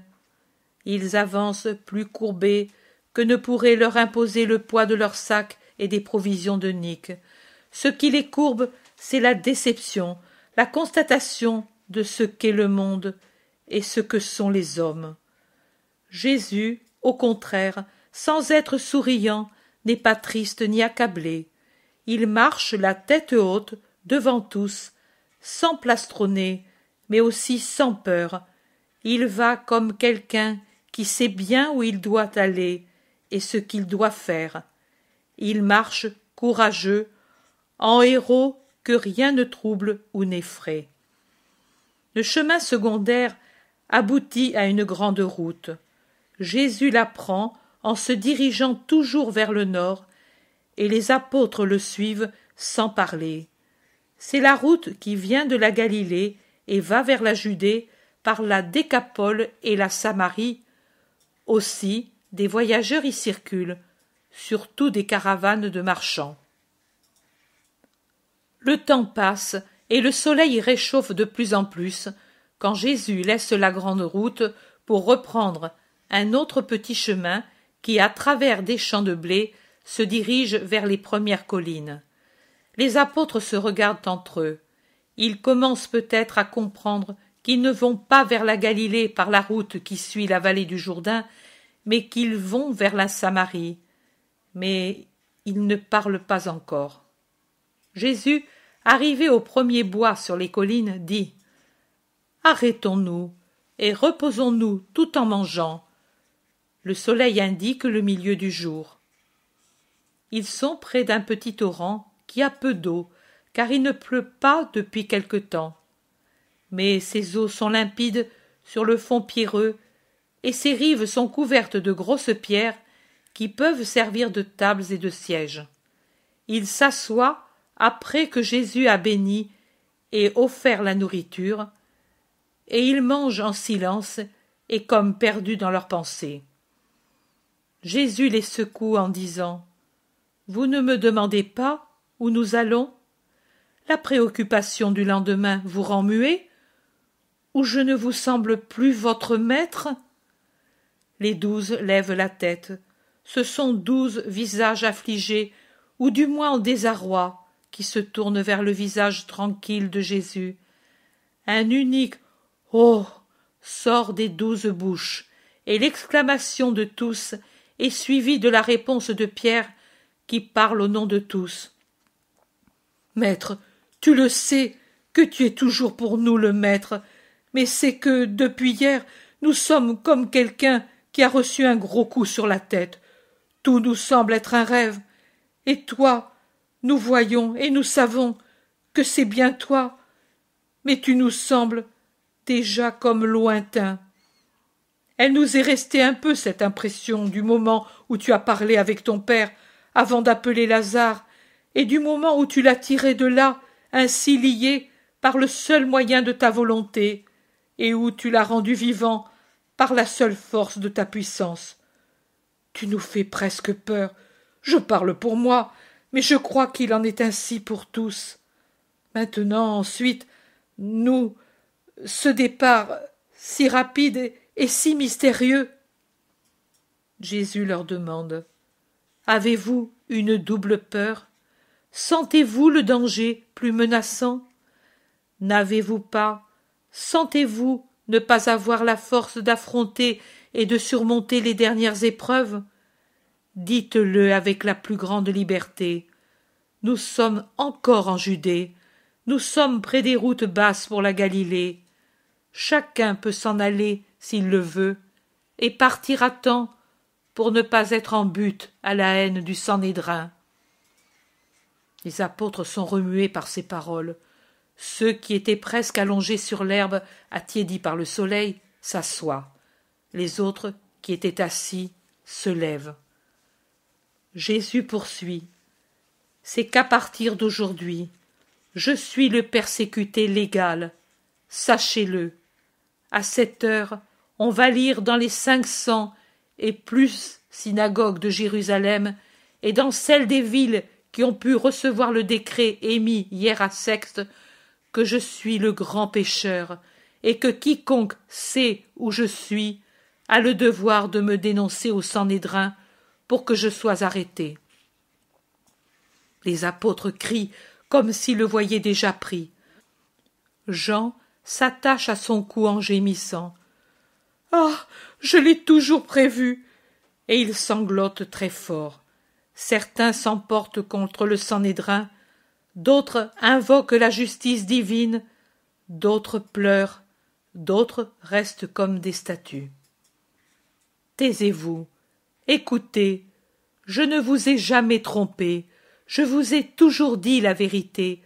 Quand je l'ai pu, je vous ai défendu et protégé. Votre présence près de moi m'a été agréable comme celle des fils. Je ne vous ai pas caché non plus ma dernière heure, dangers, ma passion, mais c'étaient des choses qui me concernaient exclusivement. Maintenant ce sont vos dangers, votre sécurité, celle de vos familles qu'il faut considérer. Je vous prie de le faire avec une liberté absolue. Ne les considérez pas à travers l'amour que vous avez pour moi, à travers le choix que j'ai fait de vous. Supposez, puisque je vous délie de toute obligation envers Dieu et son Christ, supposez que nous venons de nous rencontrer ici pour la première fois, et que vous, après m'avoir écouté, vous mesurez s'il vous convient ou non de suivre l'inconnu dont les paroles vous ont impressionné. Imaginez que vous m'entendez et me voyez pour la première fois, et que je vous dise Faites attention, que je suis persécuté et haï, et que celui qui m'aime et me suit est persécuté et haï, comme moi, dans sa personne, dans ses intérêts, dans ses affections. Faites attention que la persécution peut se terminer même par la mort, et la confiscation des biens de famille. Réfléchissez, décidez, et je vous aimerai pareillement, même si vous me dites Maître, je ne peux plus venir avec toi. Vous vous attristez? Non, vous ne devez pas. Nous sommes de bons amis qui décident avec la paix et avec l'amour ce qu'il y a à faire, avec une compassion réciproque. Moi, je ne puis vous laisser aller au devant de l'avenir sans vous faire réfléchir. Je ne vous mésestime pas, je vous aime tous, mais je suis le maître. Il est évident que le maître connaît ses disciples. Je suis le pasteur, et il est évident que le pasteur connaît ses agneaux. Je sais que mes disciples, amenés à une épreuve, sans y être préparés suffisamment, non seulement dans la sagesse qui vient du Maître, et qui est donc bonne et parfaite, mais aussi dans la réflexion qui doit venir d'eux, pourraient faillir, ou du moins ne pas triompher comme des athlètes dans un stade. Se mesurer et mesurer est une sage mesure toujours, dans les petites choses et dans les grandes. Moi, pasteur, je dois dire à mes agneaux, voilà que maintenant je m'avance dans un pays de loups et de vautours. Avez-vous la force d'aller parmi eux? Je pourrais aussi vous dire déjà qui n'aura pas la force de supporter l'épreuve, bien que je puisse vous rassurer et vous assurer qu'aucun de vous ne tombera de la main des bourreaux qui sacrifieront l'agneau de Dieu. Ma capture est d'une telle valeur qu'elle leur suffira. Pourtant, je vous dis, réfléchissez. Autrefois, je vous disais, ne craignez pas ceux qui tuent. Je vous disais, celui qui, après avoir mis la main à la charrue, se retourne pour considérer le passé et ce qu'il pourrait perdre ou acquérir, n'est pas apte à ma mission. Mais c'étaient des règles pour vous donner la mesure de ce que c'était que d'être mes disciples, et des règles pour l'avenir qui viendra, quand je ne serai plus le maître. Mais que seront maîtres mes fidèles? Elles vous étaient données pour vous donner une âme forte, mais même cette force qu'il est indéniable que vous ayez atteinte par rapport au rien que vous étiez, je parle de votre esprit, est encore trop peu par rapport à la grandeur de l'épreuve. Oh. Ne pensez pas en votre cœur. Le maître est scandalisé par nous. Je ne suis pas scandalisé. Je vous dis même que vous ne devez pas et ne devrez pas vous scandaliser de votre faiblesse. Dans tous les temps à venir, parmi les membres de mon Église, aussi bien agneaux que pasteurs, il y aura des personnes qui seront au-dessous de la grandeur de leur mission. Il y aura des époques où des pasteurs idolâtres et des fidèles idolâtres ne seront plus de vrais pasteurs et de vrais fidèles. Époque d'éclipse de l'esprit de foi dans le monde, mais une éclipse n'est pas la mort d'un astre, c'est uniquement un obscurcissement momentané plus ou moins partiel de l'astre. Après, sa beauté réapparaît et semble plus lumineuse. Ainsi en sera-t-il de mon bercail. Je vous dis, réfléchissez. Je vous le dis comme maître, comme pasteur et ami. Je vous laisse discuter entre vous en toute liberté. Je vais là-bas, dans ce bosquet, pour prier. Un par un, vous viendrez me dire votre pensée, et moi, je bénirai votre sincère honnêteté, quelle qu'elle soit et je vous aimerai pour ce que déjà jusqu'ici vous m'avez donné. Adieu. Il se lève et s'en va. Les apôtres sont abasourdis, perplexes, remués. Au début, ils ne savent même plus parler. Puis Pierre le premier dit Que m'engloutisse l'enfer si moi je veux le quitter. Je suis sûr de moi. Même s'il venait contre moi tous les démons qui sont dans la géhenne, avec le Léviathan en tête, je ne m'écarterai pas de lui par peur. Philippe dit. Et moi non plus.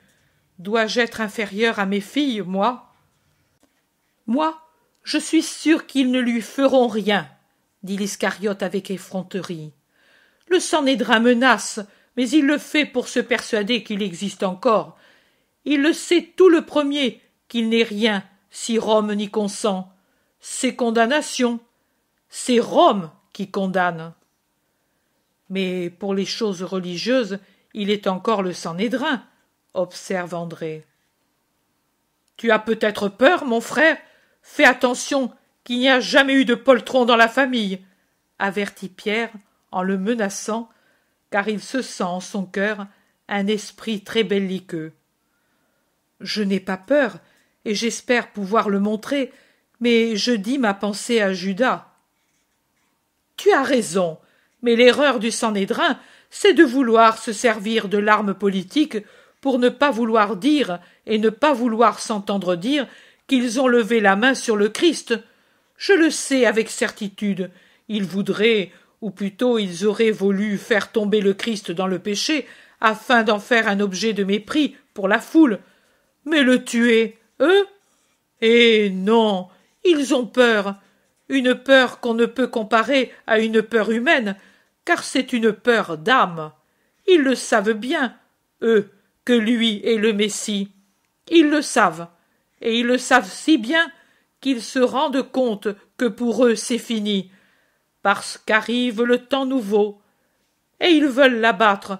Mais l'abattre, eux? Non. Aussi, ils cherchent une raison politique pour que ce soit le proconsul, pour que ce soit Rome qui l'abatte. Mais le Christ ne nuit pas à Rome, et Rome ne lui nuira pas. Et le Sanhédrin hurle en vain. Alors, tu restes avec lui Mais certainement, plus que tous. Le zélote dit Moi, je n'ai rien à perdre ou à gagner en restant ou en partant. J'ai seulement le devoir de l'aimer, et je le ferai. Moi, je le reconnais pour le Messie, et par conséquent je le suis, dit Nathanaël. Moi aussi, je le crois tel du moment que Jean-Baptiste me l'a indiqué comme tel, dit Jacques de Zébédée.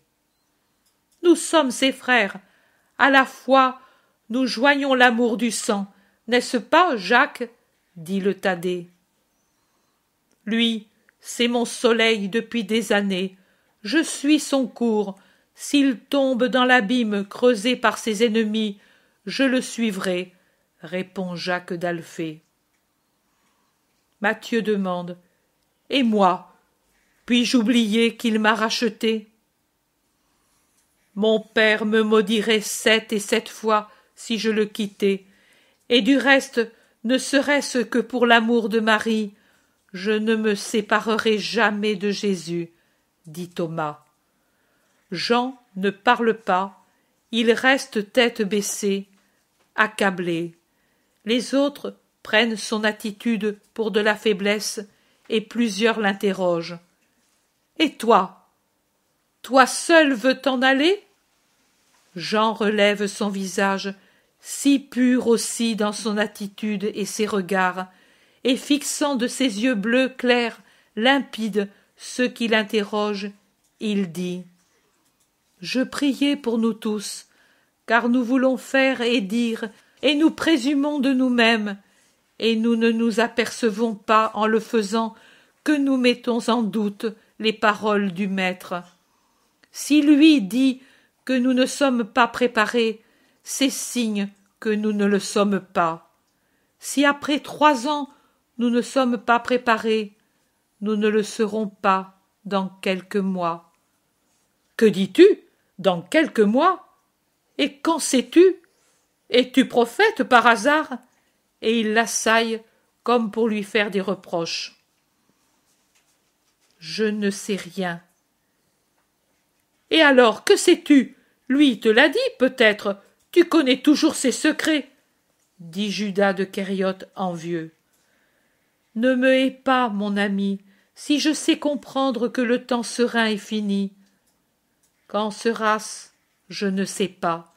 Je sais que ce sera lui le dit. Combien de fois il l'a dit. Nous, nous ne voulons pas croire, mais la haine des autres confirme ces paroles. Et alors je prie, car il n'y a rien d'autre à faire. Priez Dieu qu'il nous rende forts. Tu ne te souviens pas, Judas, qui nous a dit d'avoir prié le Père pour avoir la force dans les tentations? Toute force vient de Dieu. J'imite mon maître comme il est juste de le faire. Pierre demande. Mais en somme, tu restes? Et où veux-tu que j'aille si je ne reste pas avec lui, qui est ma vie et mon bien? Mais puisque je suis un pauvre enfant, le plus misérable de tous, je demande tout à Dieu, le Père de Jésus et le nôtre. C'est dit. Donc, nous restons tous. Allons le trouver. Sûrement, il est triste. Notre fidélité le rendra heureux.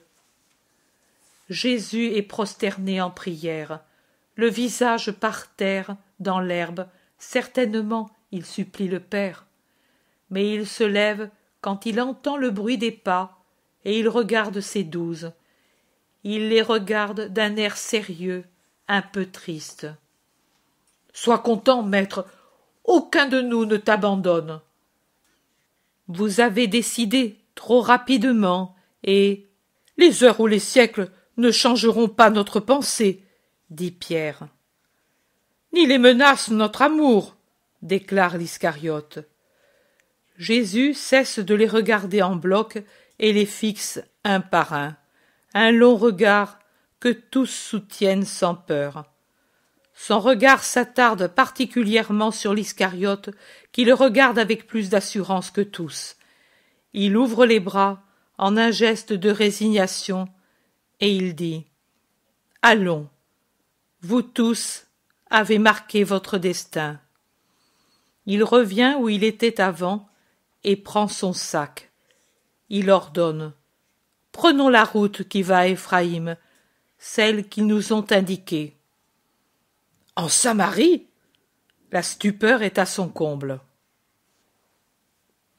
Jésus dit En Samarie, à sa frontière du moins. Jean aussi alla dans ces parages pour vivre jusqu'à l'heure marquée pour sa prédication du Christ. Jacques de Zébédée objecte. Il ne se sauva pas de cette façon. Je ne cherche pas à me sauver, mais à sauver, et je sauverai jusqu'à l'heure marquée. C'est vers les brebis les plus malheureuses que va le pasteur persécuté, pour que elles, les abandonnées, aient leur part de sagesse pour les préparer au temps nouveau. Il va de son pas rapide, après la halte qui a servi à se reposer et à respecter le sabbat, car il veut arriver avant que la nuit rende les sentiers impraticables. Quand ils arrivent au petit torrent qui vient d'Éphraïm et va vers le Jourdain, Jésus appelle Pierre et Nathanaël, et il leur donne une bourse en disant Allez en avant et cherchez Marie de Jacob. Je me rappelle que Malachie m'avait dit qu'elle était la plus pauvre de l'endroit, bien qu'elle ait une grande maison, maintenant qu'elle n'y a plus ses fils et ses filles. Nous resterons chez elle donnez-lui une bonne somme pour qu'elle nous loge tout de suite, sans faire mille discours. Vous connaissez la maison, cette grande maison ombragée par quatre grenadiers, qui est presque près du pont sur le torrent. Nous la connaissons, maître, nous allons faire comme tu dis. Ils s'en vont vivement, et Jésus les suit lentement avec les autres. De la cuvette que le torrent divise en deux moitiés, on voit le village qui blanchit aux dernières lueurs du jour et aux premières clartés de la lune. Il n'y a pas âme qui vive quand ils arrivent à la maison déjà toute blanchie par la lune. Seul le torrent se fait entendre dans le silence du soir. Quand on se retourne en arrière et qu'on regarde l'horizon, on voit une grande partie du ciel étoilé qui se penche sur une grande étendue de terrain dévalant vers la plaine déserte qui descend au Jourdain. Une paix profonde règne sur la terre. Il frappe à la porte. Pierre ouvre. Tout est fait, Seigneur. La vieille femme a pleuré en se voyant donner de l'argent. Elle n'avait plus la moindre pièce. Je lui ai dit Ne pleure pas, femme. Où est Jésus de Nazareth? Il n'y a plus de douleur. Elle m'a répondu Je le sais, j'ai souffert pendant toute ma vie, et maintenant j'étais vraiment aux limites de la souffrance. Mais le ciel s'est ouvert pour moi sur mon soir, et il m'amène l'étoile de Jacob pour me donner la paix. Maintenant, elle est à côté, qui prépare les pièces fermées depuis si longtemps. Hum, c'est bien peu, mais la femme paraît très bonne. La voilà, femme, le rabbi est ici se présente une petite vieille amaigrie aux doux yeux mélancoliques elle s'arrête confuse à quelques pas de jésus elle est intimidée paix à toi femme je ne te dérangerai pas beaucoup. Moi, je voudrais, je voudrais que tu marches sur le cœur pour te rendre plus douce l'entrée dans ma pauvre maison. Entre, Seigneur, et que Dieu entre avec toi. Elle a repris son souffle et de la hardiesse sous la lumière du regard de Jésus. Ils entrent tous et ferment la porte. La maison est vaste comme une hôtellerie et vide comme un endroit abandonné. Seule la cuisine est gaie, à cause d'un feu qui flambe dans le foyer au milieu de la pièce. Barthélemy, qui était en train d'alimenter le feu, se retourne et dit en souriant Réconforte cette femme, maître, elle est affligée de ne pas pouvoir t'honorer. Ton cœur me suffit, femme, ne te soucie de rien. Demain nous aviserons. Je suis un pauvre, moi aussi. Apportez-lui les provisions. Entre pauvres, on partage le pain et le sel, sans honte et avec un amour fraternel. Pour toi, femme, c'est un amour filial, car tu pourrais être ma mère, et je t'honore comme telle. La femme verse des larmes silencieuses de vieille femme affligée, en essuyant ses yeux à son voile, et elle murmure. J'avais trois garçons et sept filles. Un garçon a été emporté par le torrent, et un autre par la fièvre. Le troisième m'a abandonné. Cinq des filles ont pris le mal du père, et elles sont mortes. La sixième est morte en enfantant, et la septième. Ce que la mort n'a pas fait, le péché l'a fait. Dans ma vieillesse, je ne suis pas honoré par mes enfants, et cela me fait si. Dans le village ils sont bons, mais pour la pauvre femme. Toi tu es bon pour la mère. J'ai une mère, moi aussi, et en toute femme qui est mère, j'honore la mienne. Mais ne pleure pas. Dieu est bon. Et foi, et les enfants qui te restent pourront revenir vers toi un jour. Les autres sont en paix. Je pense que c'est un châtiment parce qu'ils sont de cet endroit. Et foi, Dieu est plus juste que les hommes. Reviennent les apôtres qui étaient allés dans les pièces avec Pierre. Ils apportent les vivres. Ils réchauffent l'agneau rôti par Nick et la portent sur la table. Jésus offre et bénit, et il veut que la petite vieille soit avec eux, au lieu de rester dans son coin, à manger la chicorée de son souper. L'exil aux confins de la Judée est commencé. Chapitre 13 Le premier jour à Éphraïm. Maître, paix à toi, disent Pierre et Jacques de Zébédée qui reviennent à la maison chargés de brocs remplis d'eau. Paix à vous. D'où venez-vous? Jacques de Zébédée explique du torrent. Nous avons pris de l'eau et nous en prendrons encore pour le ménage puisque nous sommes au repos. Et il n'est pas juste que la petite vieille se fatigue pour nous. Elle est à côté à faire du feu pour chauffer l'eau. Mon frère est allé dans le bosquet prendre du bois. Comme il ne pleut pas depuis quelque temps il brûle comme de la bruyère. Pierre dit oui mais c'est que bien qu'il fit à peine jour, ils nous ont vus au torrent et dans le bois. Et pensaient que j'étais allé au torrent pour ne pas aller à la fontaine. Et pourquoi, Simon de Jonas? Parce qu'à la fontaine il y a toujours des gens, et ils pouvaient nous reconnaître et accourir ici.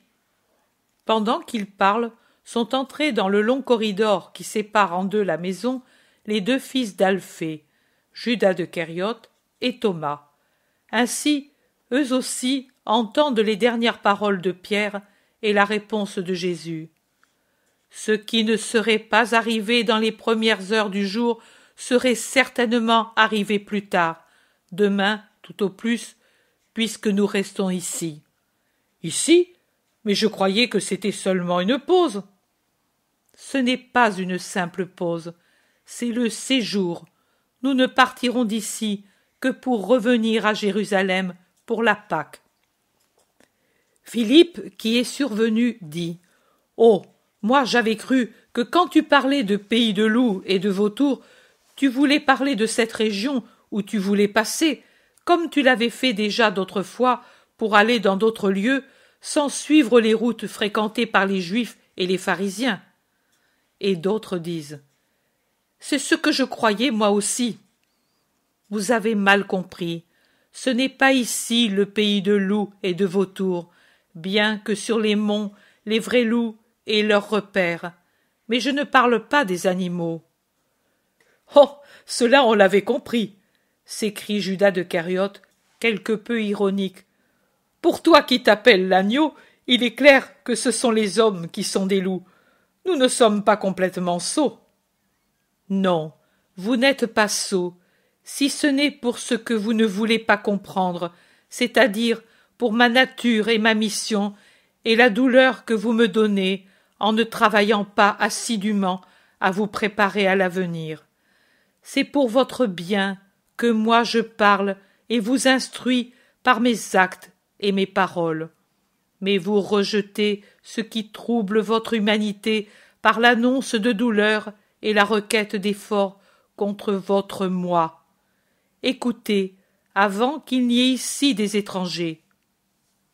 Maintenant, je vais vous diviser en deux groupes de cinq, et vous irez, sous la conduite de votre chef de groupe, à travers les campagnes voisines, comme dans les premiers temps où je vous envoyais. Rappelez-vous tout ce que je vous ai dit alors et mettez-le en pratique.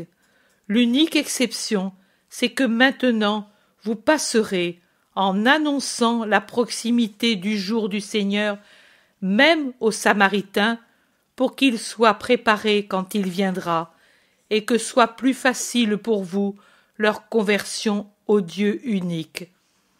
Soyez pleins de charité et de prudence, exempts de préjugés. Vous voyez et vous verrez davantage que ce qui nous est refusé dans d'autres lieux nous est permis ici. Par conséquent, soyez bons avec ceux qui, innocents, paient pour les fautes de leur père. Pierre sera le chef de Jude d'Alphée, Thomas, Philippe et Matthieu. Jacques d'Alphée sera le chef d'André, Barthélemy, Simon le Zélote et Jacques de Zébédée. Judas de Kériote et Jean restent avec moi. Ce sera ainsi à partir de demain. Aujourd'hui, nous nous reposerons en faisant ce qui nous prépare au jour à venir. Le sabbat nous le passerons unis. Faites en sorte, par conséquent, d'être ici avant le sabbat, pour repartir ensuite quand il sera passé. Ce sera le jour de l'amour entre nous, après avoir aimé le prochain dans le troupeau sorti du bercail paternel. Que chacun de vous aille à ses occupations. Il reste seul et se retire dans une pièce au fond du corridor. Dans toute la maison, on entend des pas et des voix, bien que tous soient dans les pièces et qu'on ne voit personne en dehors de la petite vieille qui traverse plusieurs fois le corridor pour aller à ses occupations, dont l'une d'elles est certainement le pain, car elle a les cheveux enfarinés et les mains couvertes de pâte. Jésus sort après un moment et il monte sur la terrasse de la maison.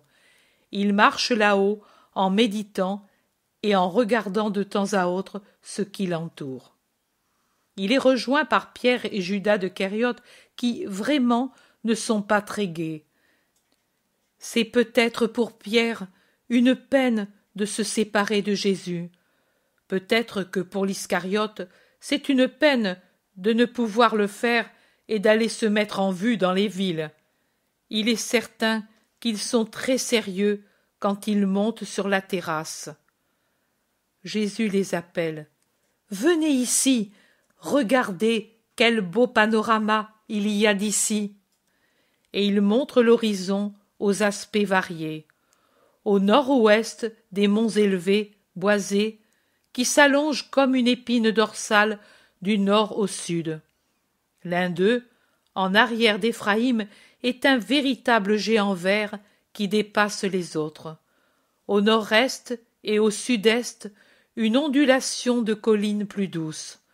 Le village est dans une cuvette verte avec des fonds lointains, sans relief entre les deux chaînes, l'une plus haute, l'autre plus basse, qui du centre de la région descendent vers la plaine du Jourdain. Par une échancrure entre les monts plus bas, on entrevoit cette plaine verte au-delà de laquelle se trouve le Jourdain bleu. Au cœur du printemps, ce doit être un pays magnifique, entièrement vert et fertile. Pour le moment, les vignes et les vergers interrompent par leur couleur sombre le vert des champs de blé, où les tiges tendres sortent des sillons et des pâturages nourris par un sol fertile.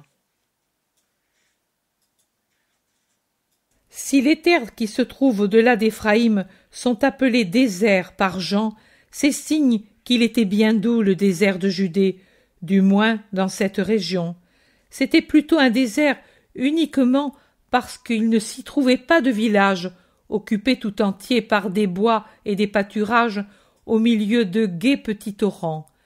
Il était bien différent des terres qui avoisinent la mer morte, qui, à juste titre, peuvent déjà être appelées déserts à cause de leur aridité, de l'absence de végétation, si on excepte les touffes de plantes basses, épineuses, tordues, couvertes de sel, qui poussent entre les rochers et les sables remplis de sel. Mais ce doux désert qui se trouve au-delà d'Éphraïm sur d'assez longs espaces est orné de vignes, d'oliviers et de vergers, et maintenant sourit au soleil les amandiers épars çà et là, avec leurs touffes d'un blanc rosé, sur les pentes qui seront bientôt couvertes par les festons des vignes, d'où sort une nouvelle frondaison.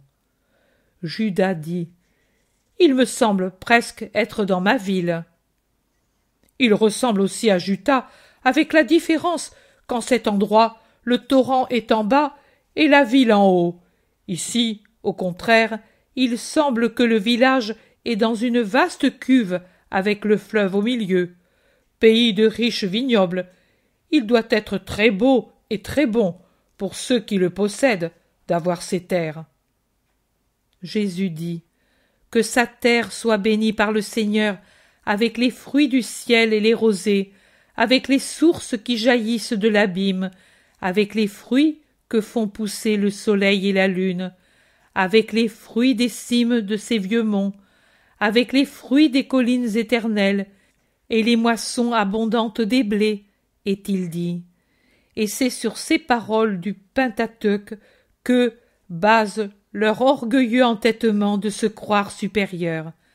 Ainsi en est-il.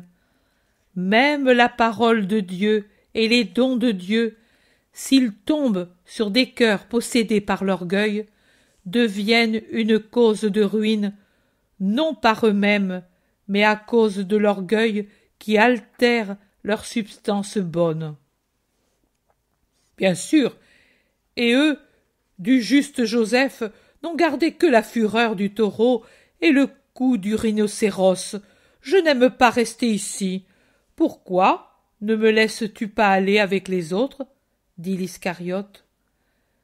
Tu n'aimes pas rester avec moi? demande Jésus en cessant d'observer le paysage et en se tournant pour observer Judas. Avec toi, si, mais pas avec ceux d'Éphraïm. La belle raison. Et nous, alors, qui irons à travers la Samarie ou la Décapole, en effet, nous ne pourrons aller que dans ces régions dans le temps prescrit d'un sabbat au sabbat suivant. Irons-nous par hasard parmi des saints? dit Pierre en faisant des reproches à Judas qui ne répond pas. Jésus calmement dit Que t'importe de qui tu es voisin si tu sais tout aimer à travers moi Aime-moi dans le prochain, et tout endroit sera pareil pour toi. Judas ne répond pas non plus à Jésus. Pierre reprend. Et pensez que moi, je dois aller. Je resterai si volontiers ici, moi, d'autant plus pour ce que je sais faire. Choisis au moins pour chef Philippe ou ton frère, maître. Moi, quand il s'agit de dire faisons ceci, allons à cet endroit, je sais encore, mais si je dois parler, je gâterai tout. L'obéissance te fera tout bien faire. Ce que tu feras me plaira. Alors, si cela te plaît à toi, cela plaît à moi aussi. Il me suffit de te faire plaisir. Mais voilà, je l'avais dit. Voilà qu'arrive la moitié de la ville. Regarde, le chef de la synagogue, les notables, leurs femmes, les enfants et le peuple. Descendons à leur rencontre, commande Jésus, et il se hâte de descendre par l'escalier en jetant un appel aux autres apôtres pour qu'ils sortent avec lui de la maison. Les habitants d'Éphraïm s'avancent avec les signes de la plus juste déférence, et après les salutations de règle, quelqu'un, peut-être le chef de la synagogue, parle au nom de tous. Que béni soit le Très-Haut pour cette journée, et béni son prophète qui est venu à nous, parce qu'il aime tous les hommes, au nom du Dieu Très-Haut. Béni sois-tu, Maître et Seigneur, qui t'es souvenu de notre cœur et de nos paroles, et qui est venu te reposer parmi nous. Nous t'ouvrons nos cœurs et nos maisons en demandant ta parole pour notre salut. Béni soit ce jour, car par lui il verra le désert fructifier, celui qui sait l'accueillir avec un esprit droit. Tu as bien parlé, Malachi. Celui qui sait accueillir avec un esprit droit, celui qui vient au nom de Dieu, verra fructifier son désert et devenir domestique les arbres robustes mais sauvages qui s'y trouvent.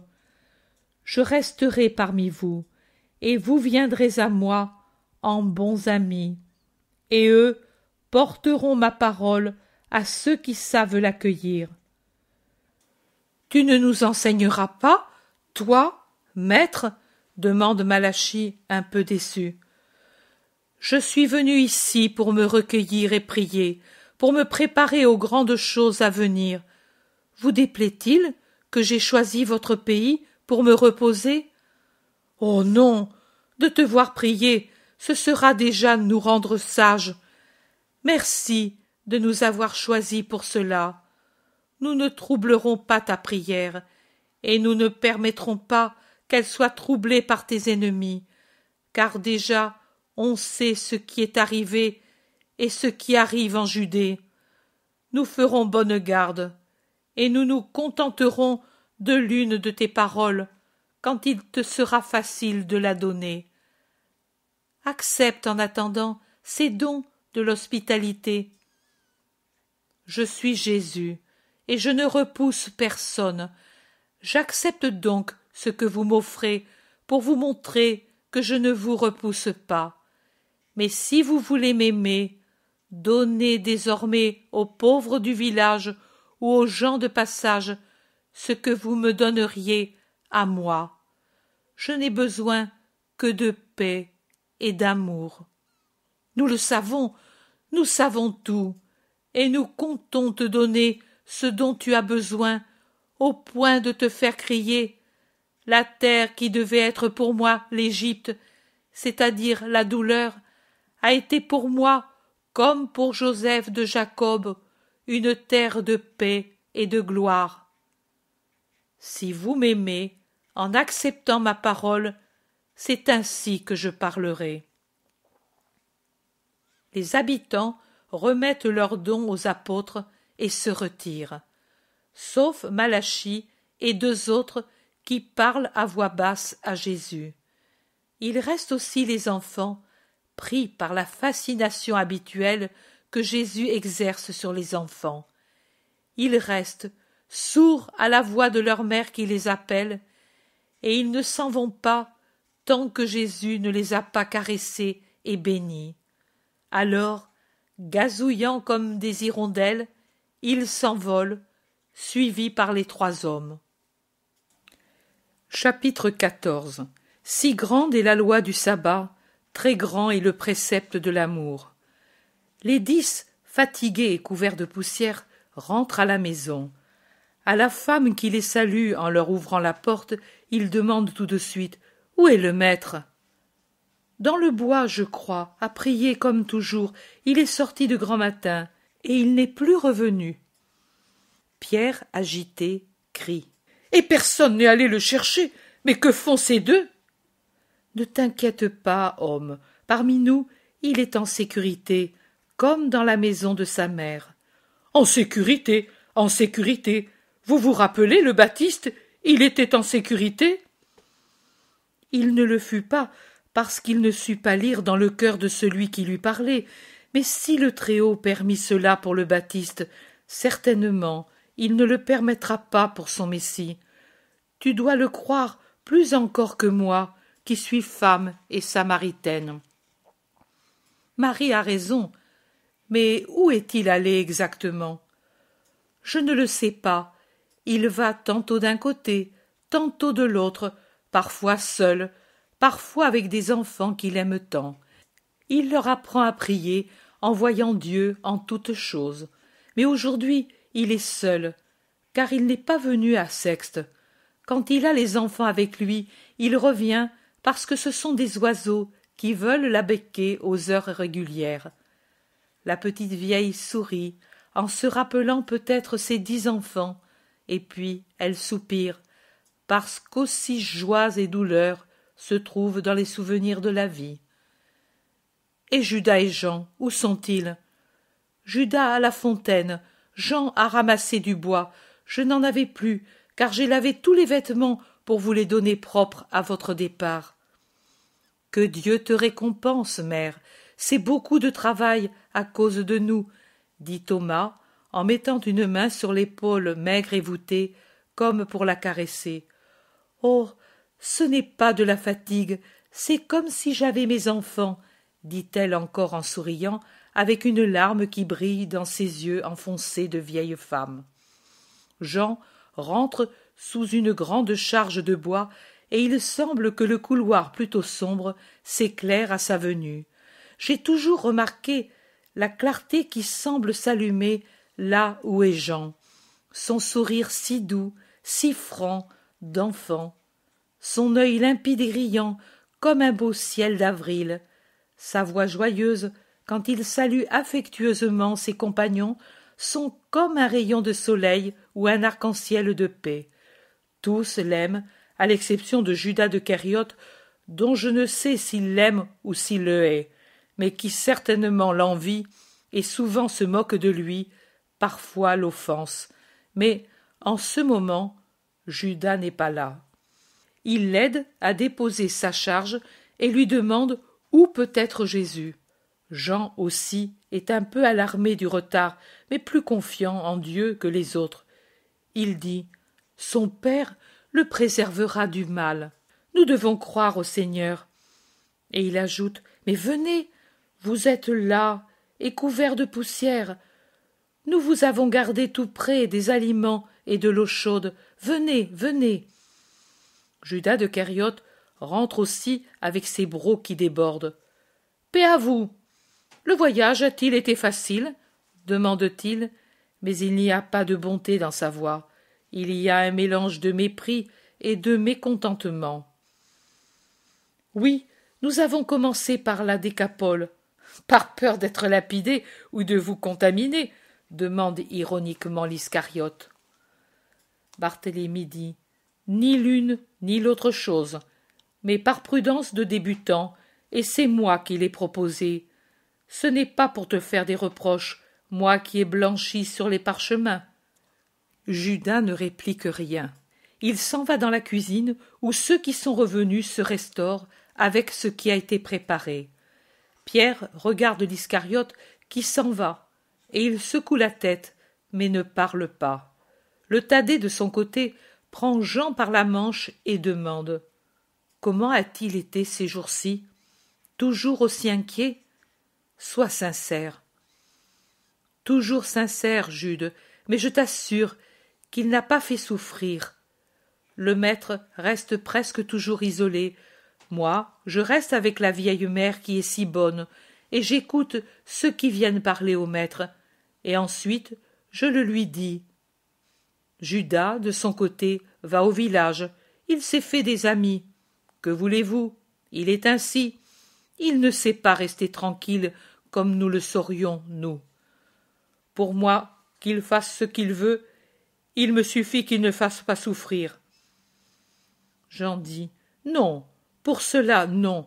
Il s'ennuie certainement, mais voilà le maître, j'entends sa voix, il parle avec quelqu'un.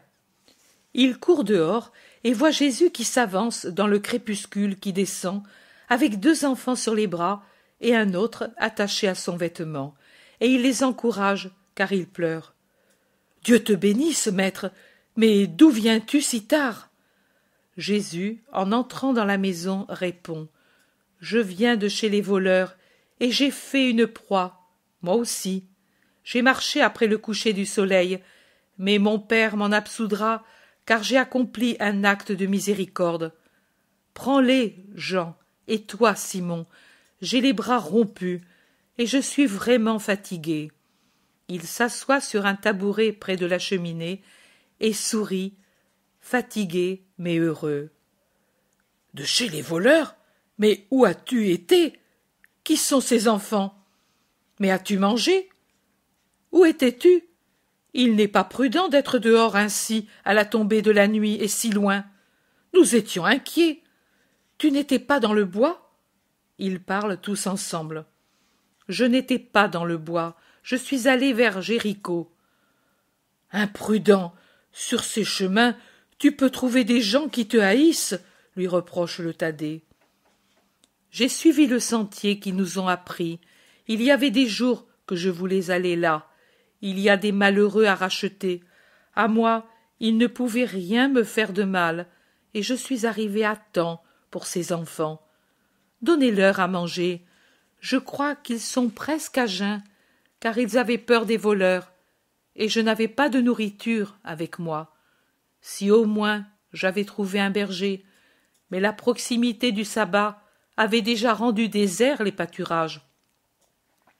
Bien sûr, il n'y a que nous qui ne respectons pas le sabbat depuis quelque temps, observe Judas de Kériote, toujours blessant. Comment parles-tu? Qu'est-ce que tu insinues? lui demande-t-il. Je dis que cela fait deux sabbats que nous travaillons après le coucher du soleil. Jésus dit Judas, tu sais pourquoi nous devions marcher le dernier sabbat. Le péché n'appartient pas toujours à celui qui l'accomplit, mais aussi à celui qui force à l'accomplir. Et aujourd'hui, je le sais. Tu veux me dire qu'aujourd'hui aussi j'ai violé le sabbat. Je te réponds que si grande est la loi du repos sabbatique, très grand est le précepte de l'amour. Je ne suis pas tenu à me justifier à tes yeux, mais je le fais pour t'apprendre la mansuétude, l'humilité et la grande vérité que, devant une nécessité sainte, on doit savoir appliquer la loi avec souplesse d'esprit. Notre histoire possède des exemples de cette nécessité. Je suis allé à l'aurore vers les monts Adomain, car je sais que là il y a des malheureux dont l'âme est rendue lépreuse par le crime. J'espérais les rencontrer, leur parler, revenir avant le coucher du soleil. Je les ai trouvés, mais je n'ai pu leur faire le discours prévu, car il y avait autre chose à dire. Ils avaient trouvé ces trois enfants qui pleuraient sur le seuil d'un pauvre bercail de la plaine, ils étaient descendus de nuit pour voler des agneaux, et aussi pour tuer le berger s'il avait résisté. La faim est cruelle sur les monts en hiver, et quand ce sont des cœurs cruels qui en souffrent, elle rend les hommes plus féroces que des loups. Ces enfants étaient donc là, avec un pastoureau à peine plus âgé qu'eux, et effrayés comme eux. Le père des enfants, je ne sais pour quelle raison, était mort pendant la nuit. Il avait peut-être été mordu par quelque animal, ou son cœur avait faibli. Il était froid sur la paille, près des brebis. L'aîné s'en aperçut, car il dormait à côté de lui. Ainsi les voleurs, là où ils auraient peut-être tué, trouvèrent un mort et quatre enfants en pleurs. Ils abandonnèrent le mort et poussèrent en avant les brebis et le pastoureau, et comme chez les plus farouches il peut y avoir une pitié qui ne meurt pas facilement, ils recueillirent aussi les enfants. Je les ai trouvés en train de discuter sur ce qu'ils devaient faire. Les plus féroces voulaient tuer le pastoureau de dix ans, dangereux témoin de leur vol et de leur refuge. Les moins durs voulaient le renvoyer en le menaçant, tout en retenant le troupeau. Tous, ensuite, voulaient garder les enfants plus petits. Pour en faire quoi? Mais ils n'ont pas de famille. La mère est morte, c'est pour cela que le père les avait emmenés avec lui au pâturage d'hiver, et maintenant il remontait, en traversant ces montagnes, vers sa maison déserte. Pouvais-je laisser les petits aux voleurs pour qu'ils les rendissent semblables à eux? Je leur ai parlé. En vérité, je vous dis qu'ils m'ont compris plus que beaucoup d'autres. Ils ont si bien compris qu'ils m'ont laissé les enfants et qu'ils accompagneront demain le pastoureau sur la route de Sichem, car dans ces campagnes demeurent les frères de leur mère. En attendant, j'ai recueilli les enfants, et je les garderai avec nous jusqu'à l'arrivée des parents. Et tu t'imagines que les voleurs dit l'Iscariote, et il rit. Je suis certain qu'ils ne toucheront pas un cheveu du petit berger. Ce sont des malheureux. Nous ne devons pas juger pourquoi ils le sont, mais nous devons essayer de les sauver. Une bonne action peut être le commencement de leur salut.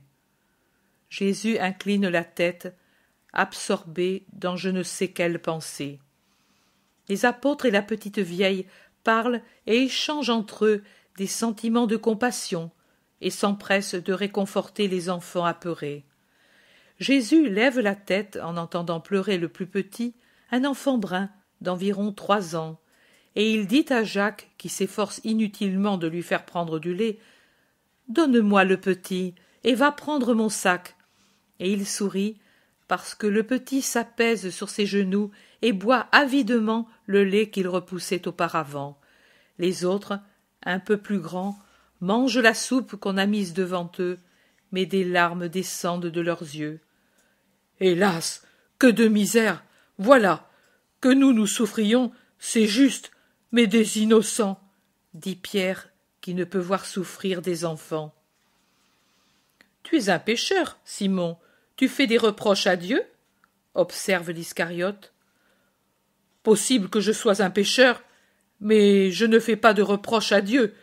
Je dis seulement, Maître, pourquoi les enfants doivent-ils souffrir? Eux n'ont pas de péché. Tous sont des péchés, au moins le péché originel, dit l'Iscariote. Pierre ne lui répond pas. Il attend la réponse de Jésus. Jésus, qui berce l'enfant, maintenant repu et somnolent, répond. Simon, la douleur est la conséquence de la faute. Bien. Alors, quand tu auras enlevé la faute, les enfants ne souffriront plus? Ils souffriront encore, ne t'en scandalise pas, Simon. Il y aura toujours la douleur et la mort sur la terre. Même les plus purs souffrent et souffriront. Et même ce seront eux qui souffriront pour tous. Les hosties propitiatoires pour le Seigneur. Mais pourquoi? Je ne comprends pas. Nombreuses sont les choses que l'on ne comprend pas sur la terre. Sachez croire au moins que ce sont des choses voulues par l'amour parfait, et quand la grâce rendue aux hommes fera connaître aux plus saints d'entre eux les vérités cachées, on verra alors que ce seront justement les plus saints qui voudront être victimes, car ils auront compris la puissance de la douleur. L'enfant dort. Marie, l'emmènes-tu avec toi? Certainement, maître. Pour l'enfant apeuré, court sommeil et beaucoup de pleurs, et pour l'oiseau sans nid est nécessaire l'aile maternelle, dit-on chez nous. Il est grand mon lit, maintenant que je suis seule à l'occuper. Je vais y porter les enfants, et je veillerai sur eux. Eux aussi vont oublier leur douleur dans le sommeil. Venez, que nous les portions au lit. Elle prend le plus petit des genoux de Jésus et s'en va, suivie de Pierre et Philippe, alors que Jacques de Zébédée revient avec le sac de Jésus. Jésus l'ouvre et fouille à l'intérieur. Il en retire un lourd vêtement, le déplie, en observe la taille. Il n'est pas satisfait. Il cherche le manteau, foncé comme le vêtement, le met de côté et ferme le sac pour le rendre à Jacques. Pierre revient avec Philippe. La petite vieille est restée avec les trois enfants, et Pierre voit tout de suite les vêtements dépliés mis de côté. Il dit Tu veux changer de vêtements, maître? Là, comme tu l'es, un bain chaud devrait te remettre en forme. Il y a de l'eau, et nous allons réchauffer les vêtements. Puis nous souperons, et irons nous reposer. Cette histoire des pauvres enfants m'a tout à fait remué. Jésus sourit, mais ne répond pas à la question. Il dit seulement Louons le Seigneur, qui m'a fait arriver à temps pour sauver les innocents. Puis, fatigué, il se tait. La petite vieille rentre avec les vêtements des enfants. Il faudrait les changer. Ils sont déchirés et couverts de boue. Mais je n'ai plus les vêtements de mes fils pour les changer. Je les laverai demain. Non, mère, après le sabbat, tu vas coudre trois petits vêtements dans ceux-ci qui sont à moi. Mais Seigneur, sais-tu que tu n'as plus maintenant que trois vêtements?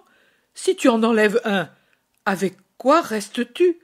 Lazare n'est pas ici, comme quand tu as donné ton manteau à la lépreuse, dit Pierre. Laisse faire, il en reste deux, et c'est déjà trop pour le Fils de l'homme. Prends, Marie, demain, au coucher du soleil, tu commenceras ton travail, et le persécuté aura la joie de secourir le pauvre dont il comprend les peines. Chapitre 15 Le jour suivant.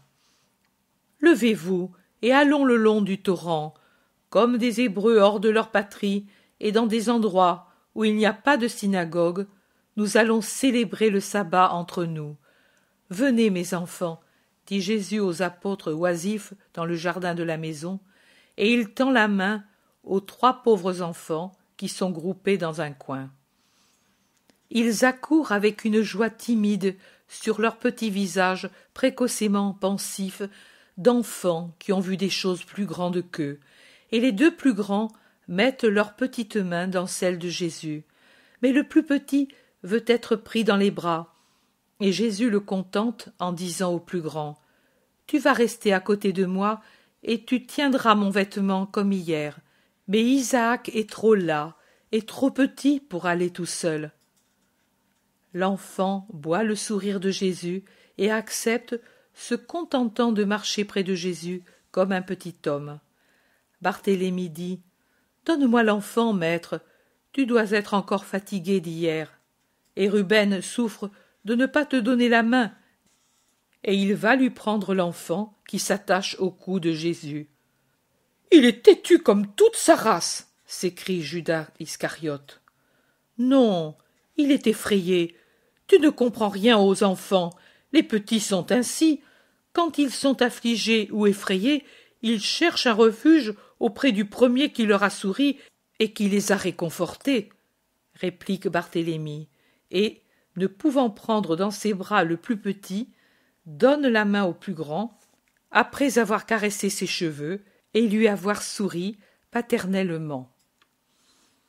Ils sortent de la maison où il ne reste que la femme et vont au-delà du village en suivant le torrent.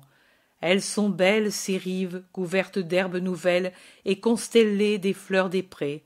L'eau est limpide et babille entre les rochers, et bien qu'elle soit peu abondante, elle fait entendre des notes de harpe et bruit en se brisant contre les cailloux plus gros épars sur le fond sableux, ou en s'insinuant entre les découpures de quelques îles minuscules couvertes de roseaux. Des arbres, près de la rive, les oiseaux s'envolent avec des trilles, joyeux, ou bien se posent sur une branche en plein soleil et chantent leur première chanson printanière, ou descendent gracieux et vifs pour chercher des insectes et des vers dans le sol, ou pour boire près des rives. Deux tourterelles sauvages prennent leur bain dans une anse de la rive et se becquettent en roucoulant, puis s'envolent en emportant dans leur bec un flocon de laine laissé par quelques brebis sur une branche d'aubépine qui fleurit au sommet. Elles font ainsi pour faire leur nid, dit le plus grand des enfants. Elles ont sûrement des tourtereaux. Il baisse la tête bas, très bas, et après avoir esquissé un léger sourire aux premières paroles, il pleure sans bruit, en essuyant ses yeux avec sa main. Barthélemy le prend dans ses bras, comprenant la blessure que les deux tourterelles ont faite en s'occupant de leur nid. Et Barthélemy soupire avec sa bonne âme de père de famille. L'enfant pleure sur son épaule, et l'autre, le second, voyant ses larmes, se met à pleurer à son tour, imité par le troisième, qui appelle son père de sa petite voix d'enfant qui commence à parler. Iscariote observe. Aujourd'hui, ce sera cela notre prière du sabbat. Tu aurais pu les laisser à la maison. La femme est plus indiquée que nous dans ces cas. Et. Mais si elle ne fait que pleurer elle aussi, comme du reste j'ai bonne envie de le faire moi aussi, car ce sont des choses qui font pleurer, lui répond Pierre en prenant dans ses bras le second enfant. Le zélote confirme. Oui, ce sont des choses qui font pleurer, c'est vrai, et Marie de Jacob, pauvre vieille affligée, n'est pas très capable de consoler. Nous aussi, il ne semble pas que l'on y réussisse beaucoup. Le seul qui pouvait les consoler, c'était le maître, et il ne l'a pas fait. Il ne l'a pas fait. Et que devait-il faire de plus? Il a persuadé les larrons. Il a fait plusieurs milles avec les enfants dans les bras. Il s'est occupé d'avertir leurs parents. Toute chose secondaire, lui qui est celui qui commande même à la mort, pouvait, ou plutôt devait, descendre au bercail et ressusciter le berger. Il l'a bien fait pour Lazare, qui n'était utile à personne. Ici, un père, et de plus un veuf, des enfants qui restent seuls, cette résurrection s'imposait. Je ne te comprends pas, maître. Et nous, nous ne comprenons pas, toi, qui es si respectueux. Paix, paix. Judas ne comprend pas. Il n'est pas le seul à ne pas comprendre les raisons de Dieu et les conséquences du péché.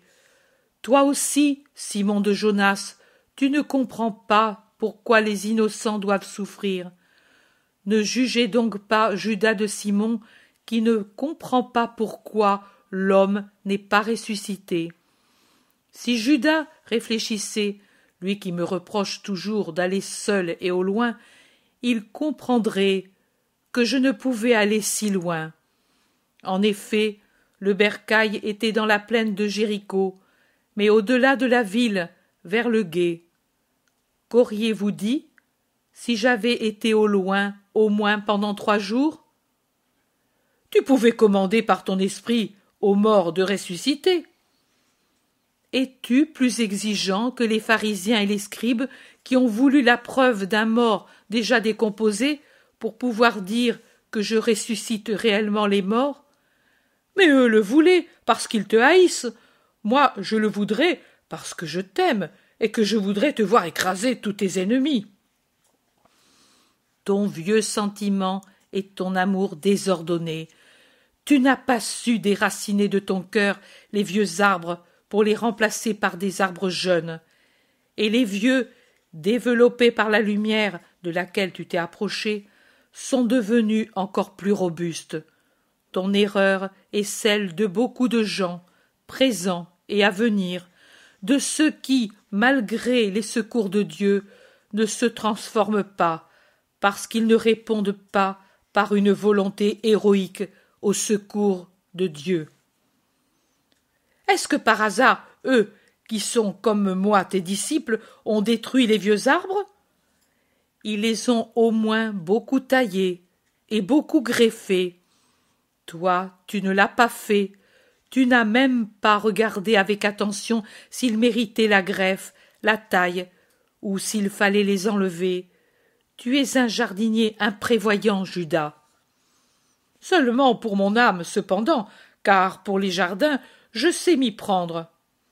Tu sais t'y prendre pour toutes les choses de la terre. Tu sais faire. Je voudrais te voir capable de la même façon pour les choses du ciel. Mais ta lumière devrait faire d'elle-même toutes sortes de prodiges en nous. N'est-elle pas bonne, peut-être, si elle fertilise le mal et lui donne de la force, alors elle n'est pas bonne. Et c'est sa faute si nous ne devenons pas bons. Thomas dit. Parle pour toi, ami. Moi je ne trouve pas que le maître ait rendu plus fortes mes tendances mauvaises. Et moi non plus.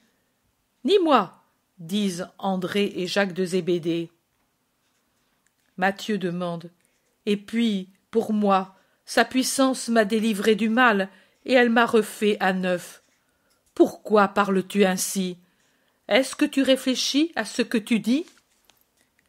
Pierre est sur le point de parler, mais il préfère s'en aller, et il se met à marcher vivement avec l'enfant à son cou en imitant le balancement d'une barque pour le faire rire. Et, en passant, il prend par un bras le Thaddée et lui crie Allons là-bas dans cette île, elle est remplie de fleurs, comme une corbeille. Venez, Nathanaël, Philippe, Simon, Jean. Un bon saut et on y est. Le torrent, ainsi divisé, n'est plus que deux ruisseaux de chaque côté de l'île.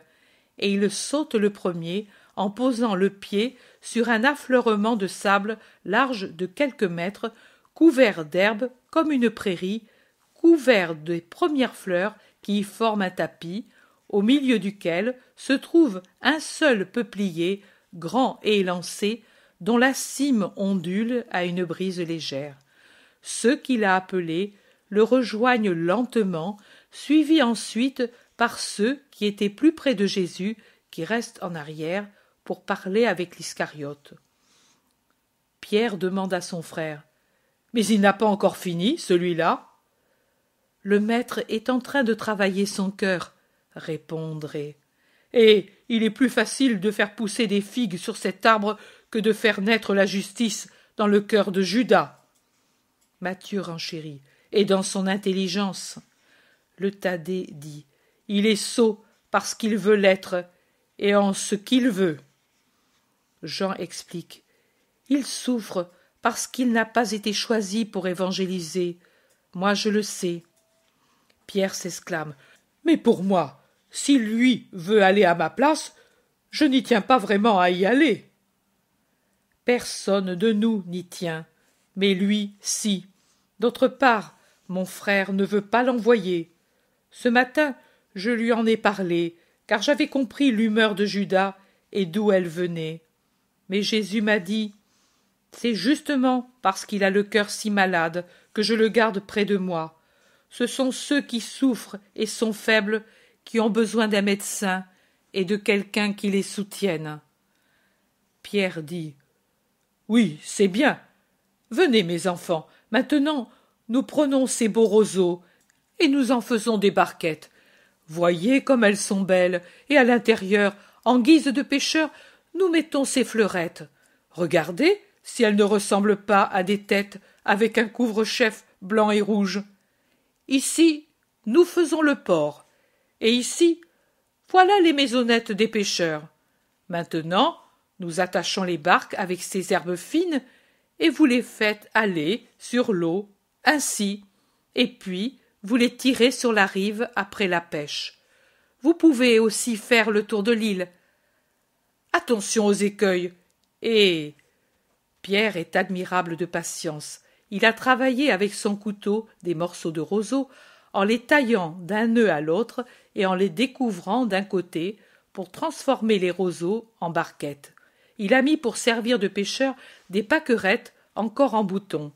Il a creusé dans le sable un port lilliputien et fait des maisonnettes avec le sable humide et atteint son but d'amuser les enfants. Il s'assoit satisfait en murmurant Pauvres enfants. Jésus met le pied sur l'île justement quand les deux enfants commencent leur jeu, et il les caresse en déposant à terre le plus petit qui s'associe au jeu de ses frères. Je suis à vous, et maintenant parlons de Dieu, car parler de Dieu et parler à Dieu, c'est se préparer à la mission. Et après avoir prié, c'est-à-dire parler à Dieu, nous parlerons de Dieu qui est présent dans toutes les choses afin d'instruire pour les choses bonnes. Allons, levez-vous et prions. Et il entonne des psaumes en hébreu auxquels s'associent les apôtres.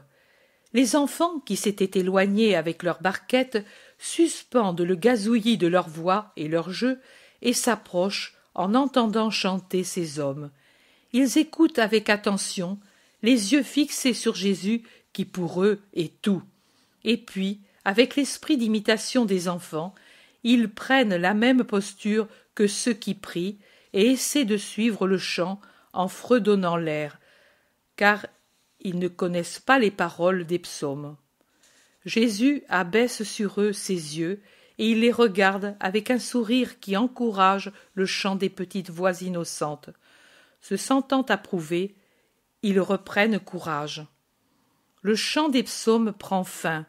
Jésus s'assoit sur l'herbe et commence à parler.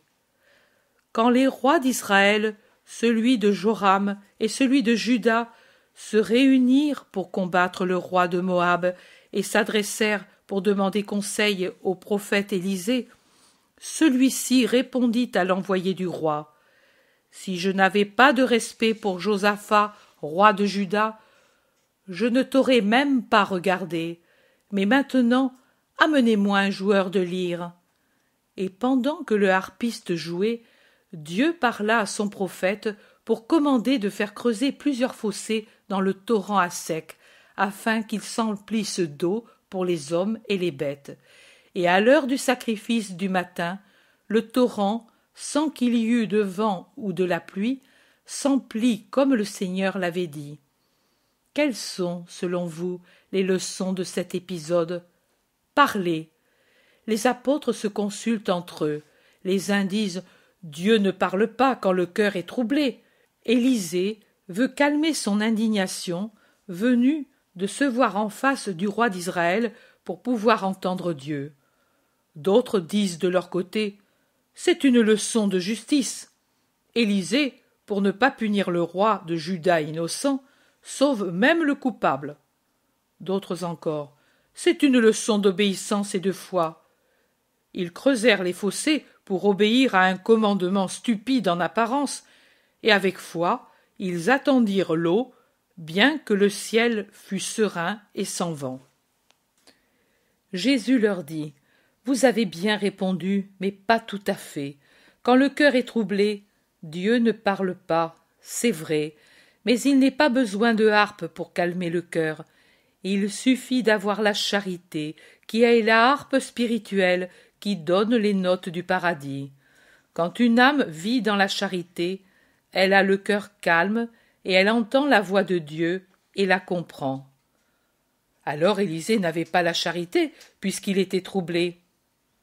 Élisée est du temps de la justice. Il faut savoir transporter au temps de la charité les épisodes anciens et les voir non pas à la lumière des foudres, mais à celle des astres. Vous appartenez au temps nouveau. Pourquoi donc si souvent êtes-vous plus irascible et plus troublé que ceux des temps anciens? Dépouillez-vous du passé, je le répète, même s'il ne plaît pas à Judas de l'entendre répéter. Déracinez, taillez, greffez, plantez de nouveaux arbres, renouvelez-vous, creusez les fossés de l'humilité, de l'obéissance, de la foi. Ces rois surent le faire, et ils étaient deux contre pas de Judas, et ils n'entendirent pas Dieu, mais le prophète de Dieu leur répétait les volontés du Très-Haut. Ils seraient morts de soif par suite du manque d'eau s'ils n'avaient pas su obéir. Ils obéirent, et l'eau remplit les fossés qu'ils avaient creusés, et non seulement ils échappèrent à la soif, mais ils vainquirent les ennemis. Je suis l'eau de la vie. Creusez des fossés dans vos cœurs pour pouvoir me recevoir. Et maintenant, écoutez. Je ne fais pas de longs discours. Je vous donne des pensées pour que vous les méditiez. Vous serez toujours comme ces enfants, et même moins qu'eux, car eux sont innocents, et que vous ne l'êtes pas, et donc elle est plus trouble en vous, la lumière spirituelle, si vous ne vous habituez pas à méditer. Vous écoutez toujours et ne retenez jamais, car votre intelligence est en sommeil au lieu d'être active. Écoutez donc. Quand la Sunamite perdit son fils, elle voulut aller trouver le prophète, bien que son mari lui dit que ce n'était pas le premier du mois et que ce n'était pas le sabbat. Mais elle savait qu'elle devait y aller car certaines choses ne souffrent pas de retard. Et parce qu'elle sut comprendre spirituellement les choses, elle eut son fils ressuscité. Que dites-vous de ce fait? Iscariote dit que c'est un reproche pour moi à propos du sabbat. Tu vois donc, ô Judas, que quand tu veux, tu sais comprendre. Ouvre donc ton esprit à la justice. Oui, mais tu n'as pas violé le sabbat pour ressusciter l'homme. J'ai fait davantage. J'ai empêché la ruine, la mort de ses enfants, la vraie mort, et j'ai rappelé au voleur que Oh. Attends pour te consoler d'avoir fait quelque chose. Moi, je ne crois pas qu'il t'ait obéi. Si le maître le dit. Élisée lui-même dans le récit de la Sunamite dit Le Seigneur l'a tenu secret. On ne sait pas donc toujours tout des prophètes, réplique l'Iscariote. De Thaddée observe. Notre frère est plus qu'un prophète. Je le sais, c'est le Fils de Dieu, mais c'est aussi l'homme. Comme tel, il peut être sujet à ne pas savoir des choses secondaires comme celles d'une conversion et d'un retour. Maître, sais-tu vraiment toujours, toujours tout? Je me le demande souvent, insiste l'Iscariote avec un désir tenace. Jésus demande Et dans quel esprit? Pour te donner la paix? Pour te donner un conseil? Pour te donner du tourment? Mais je ne saurais, je me le demande et.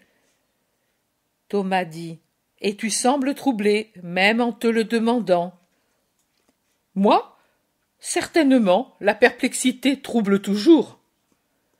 Pierre dit. Que de subtilité. Moi, je ne me préoccupe pas tant. Je crois sans chercher, et je ne suis troublé et angoissé par rien. Mais laissons parler le maître. Elle ne me plaît pas à moi, cette leçon. Dis-nous une belle parabole, maître. Elle plaira aussi aux enfants. J'ai encore une chose à demander, celle-ci. Que signifie pour vous la farine qui enlève l'amertume à la soupe des fils des prophètes? C'est un profond silence qui répond à la question. Et quoi? Vous ne savez pas répondre? Matthieu, peu sûr de lui, dit Peut-être la farine absorbe l'amertume. Tout aurait été amer, même la farine. Philippe suggère Par un miracle du prophète qui ne voulait pas mortifier le serviteur. Aussi, mais pas pour cela seulement. Le Seigneur voulut faire briller la puissance du prophète même sur les choses matérielles, dit le zélote. Oui, mais ce n'est pas encore la juste signification. Les vies des prophètes anticipent ce qui sera dans la plénitude des temps, dans mon temps.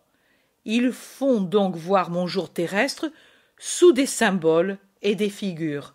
Donc, silence. Ils se regardent. Puis, Jean baisse la tête, son visage s'enflamme, et il sourit. Pourquoi ne dis-tu pas ce que tu penses, Jean lui demande Jésus. Ce n'est pas manquer à l'amour que de parler, puisque tu ne le fais pas pour mortifier quelqu'un. Je pense que cela veut dire ceci. Au temps de la fin de la vérité et de la disette de la sagesse, celui où tu es venu, tous les arbres sont retournés à l'état sauvage et ont donné des fruits amers, immangeables, comme empoisonnés pour les fils des hommes, qui de cette façon les cueillent en vain et les préparent en vain pour s'en nourrir. Mais la bonté de l'Éternel t'envoie, toi, farine de grains de choix. Et toi, par ta perfection, tu enlèves le poison de toute nourriture en leur rendant leur bonté première et en rendant bons de nouveau les arbres des Écritures que les siècles ont dénaturés et les palais des hommes que la concupiscence a corrompus. Dans ce cas, celui qui commande d'apporter la farine et la verse dans la soupe amère, c'est ton Père. Et toi, tu es la farine qui se sacrifie afin de se faire nourriture pour les hommes. Et après que tu auras été consommé, il n'y aura plus rien d'amer dans le monde, car tu auras rétabli l'amitié avec Dieu. Je puis m'être trompé? Non, tu ne t'es pas trompé. C'est le symbole. Pierre étonné demande. Oh. Et comment as tu fait pour y penser? C'est Jésus qui lui répond. Je te le dis, avec tes paroles mêmes de tout à l'heure, un beau saut, et l'on est sur l'île paisible de la spiritualité. Mais il faut avoir le courage de faire le saut, en abandonnant la rive, le monde, sauter sans se demander s'il y a quelqu'un qui peut rire de la gaucherie de notre saut, ou se moquer de notre simplisme de préférer au monde un îlot solitaire. Sauter sans avoir peur de se blesser, ou de se mouiller, ou d'être déçu. Quitter tout pour se réfugier en Dieu, s'établir sur l'île séparée du monde, et en sortir uniquement pour distribuer à ceux qui sont restés sur la rive les fleurs et les eaux pures recueillies dans l'île de l'esprit, où il y a un arbre unique, celui de la sagesse. En restant près de lui, loin des bruits fracassants du monde, on en saisit toutes les paroles et on devient maître en sachant être disciple. Cela aussi est un symbole. Mais maintenant, nous allons raconter une belle parabole pour les enfants. Venez ici, tout près. Les trois enfants vont si près qu'ils s'assoient bonnement sur ses jambes. Jésus les entoure de ses bras et il commence à raconter. Un jour, le Seigneur Dieu dit Je vais faire l'homme, et l'homme vivra dans le paradis terrestre où se trouve le grand fleuve qui ensuite se divise en quatre, qui sont le Fison, le Géon, l'Euphrate et le Tigre, qui parcourent la terre. Et l'homme sera heureux, car il possédera toutes les beautés et tout ce qui est bon dans la création, et mon amour pour la joie de son esprit. Et c'est ce qu'il fit. C'était comme si l'homme se trouvait sur une grande île, mais encore plus fleurie que celle-ci, et avec des arbres de toutes espèces, et avec tous les animaux. Et tout au-dessus était l'amour de Dieu qui servait de soleil à l'âme, et la voix de Dieu était dans les vents, plus mélodieuse qu'un chant d'oiseau. Mais voilà que dans cette belle île fleurie, au milieu de toutes les bêtes et de toutes les plantes, entra en rampant un serpent différent de ceux qui avaient été créés par Dieu et qui étaient bons, sans dents venimeuses, sans férocité dans les replis de leur corps flexible. Même ce serpent s'était vêtu d'une peau aux couleurs de gemmes comme celle des autres. Il s'était même fait plus beau que ceux-ci, au point de paraître un grand collier de roi qui avançait en glissant au milieu des arbres splendides du jardin. Il alla s'enrouler autour d'un arbre qui s'élevait au milieu du jardin, un bel arbre solitaire, beaucoup plus grand que celui-ci, et couvert de feuilles et de fruits merveilleux. Et le serpent paraissait un bijou autour du bel arbre, il brillait au soleil, et tous les animaux le regardaient, car personne ne se souvenait de l'avoir vu créé, ni de l'avoir vu avant ce moment. Mais personne ne s'en approchait. Tous, au contraire, s'éloignaient de l'arbre maintenant qu'il avait le serpent autour de son tronc.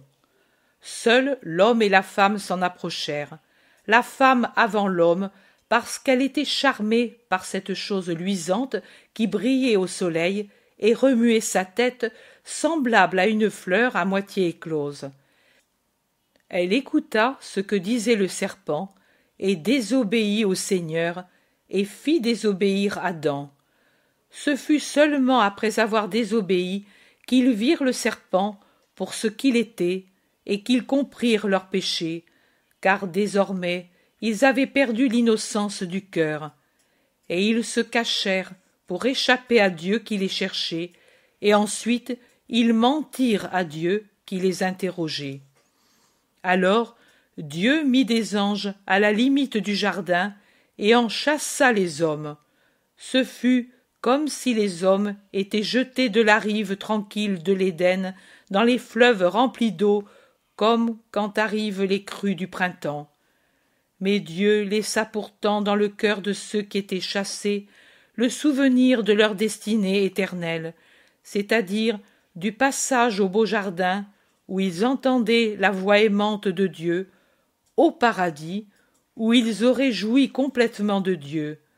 Et avec ce souvenir, il leur laissa le saint aiguillon de remonter vers le lieu perdu par une vie de justice. Mais, mes enfants, vous avez expérimenté tout à l'heure que tant que la barque descend en suivant le courant, sa marche est facile, alors que, quand elle le remonte, elle a du mal à rester en surface, à ne pas être bousculée par l'eau, à ne pas faire naufrage au milieu des herbes et du sable ou des pierres du cours d'eau. Si Simon Pierre n'avait pas attaché vos barquettes avec les joncs de la rive, vous les auriez perdues toutes, comme il est arrivé à Isaac parce qu'il a lâché le jonc. La même chose arrive aux hommes jetés sur les courants de la terre. Ils doivent rester toujours entre les mains de Dieu, en lui confiant leur volonté, qui est comme le jonc, aux mains du bon Père qui est dans les cieux, et qui est le Père de tous, et spécialement des innocents. Et ils doivent avoir l'œil vigilant pour éviter les herbes et les joncs, les pierres, les tourbillons et la boue qui pourraient retenir, briser ou engloutir la barque de leur âme en arrachant le fil de la volonté qui les tient unis à Dieu. Car le serpent, qui n'est plus dans le jardin, est maintenant sur la terre, et cherche justement à faire naufrager les âmes, cherche à les empêcher de remonter par l'Euphrate, le Tigre, le Géon et le Fison, au grand fleuve qui court dans le paradis éternel et alimente les arbres de la vie et du salut, qui portent les fruits perpétuels dont jouiront tous ceux qui ont su remonter le courant pour se réunir à Dieu et ses anges sans avoir jamais plus à souffrir de rien. Maman disait cela aussi, dit le plus grand des enfants. Oui, elle le disait, gazouille le plus petit. Tu ne peux pas le savoir, moi si, parce que je suis grand, mais si tu dis des choses qui ne sont pas vraies, tu n'entreras pas dans le paradis. Le cadet objecte. Cependant, le père disait qu'il n'y avait rien de vrai. Parce que lui ne croyait pas au Seigneur de maman. Jacques d'Alphée demande. Il n'était pas samaritain, ton père? Non, il était d'un autre endroit. Mais maman était samaritaine, et nous sommes samaritains, car elle nous voulait comme elle, et elle nous parlait du paradis et du jardin, mais pas si bien que toi. Moi, j'avais peur du serpent et de la mort, car maman disait que le serpent c'était le diable, et parce que le père disait que la mort finit tout. À cause de cela, j'étais si malheureux d'être seul, et je disais aussi qu'il est inutile d'être bon désormais, car quand il y avait le père et la mère, on les faisait heureux par notre bonté. Mais maintenant, il n'y avait plus personne à qui faire plaisir par notre bonté. Maintenant, au contraire, je sais, et je serai bon. Je n'enlèverai jamais mon fil des mains de Dieu de peur d'être emporté par les eaux de la terre. Le second enfant perplexe demande Mais, maman, elle est allée en haut ou en bas Que veux-tu dire, mon enfant? demande Mathieu. Je dis Où est-elle? Est-elle allée au fleuve du paradis éternel? Espérons-le, mon enfant, si elle était bonne. C'était une Samaritaine, dit avec mépris l'Iscariote. Et alors, il n'y a pas de paradis pour nous, parce que nous sommes Samaritains? Alors, nous n'aurons pas Dieu, nous? Lui l'a appelé le Père de tous. À moi, orphelin, il me plaisait de penser que j'ai encore un Père. Mais s'il n'y en a pas pour nous, et attristé, il baisse la tête. Dieu est le Père de tous, mon enfant. Est-ce que par hasard je t'ai moins aimé parce que tu es samaritain? Je t'ai disputé au larron, et je te disputerai au démon, de la même façon que je lui disputerai le petit-fils du grand prêtre du temple de Jérusalem, si lui ne considérait pas comme un opprobre le Sauveur sauve son enfant. Et même je te dispute encore plus, parce que tu es seul et malheureux. Il n'y a pas de différence pour moi entre l'esprit d'un juif et celui d'un samaritain. Et d'ici peu, il n'y aura plus de séparation entre la Samarie et la Judée, car le Messie aura un peuple unique qui portera son nom, et dans lequel seront tous ceux qui l'aimeront. Le plus grand des enfants dit Moi je t'aime, Seigneur, mais me portes-tu auprès de ma mère? Le cadet dit Tu ne sais pas où elle est. Il a dit, cet homme, qu'il y a seulement lieu d'espérer. Moi je ne le sais pas, mais le Seigneur le sait. Il a su où nous étions, et nous, au contraire, nous ne savions même pas où nous étions avec des larrons. Il voulait nous tuer. La terreur revient sur le petit visage du cadet. Le grand dit Les larrons étaient comme des démons, mais lui nous a sauvés parce que nos anges l'ont appelé.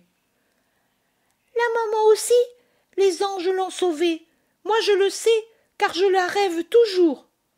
Tu es un menteur, Isaac. Tu ne peux la rêver. Tu ne t'en souviens pas. Le petit pleure en disant Non, non, moi je la rêve, je la rêve, moi. Jésus dit Ne traite pas ton frère de menteur, Ruben.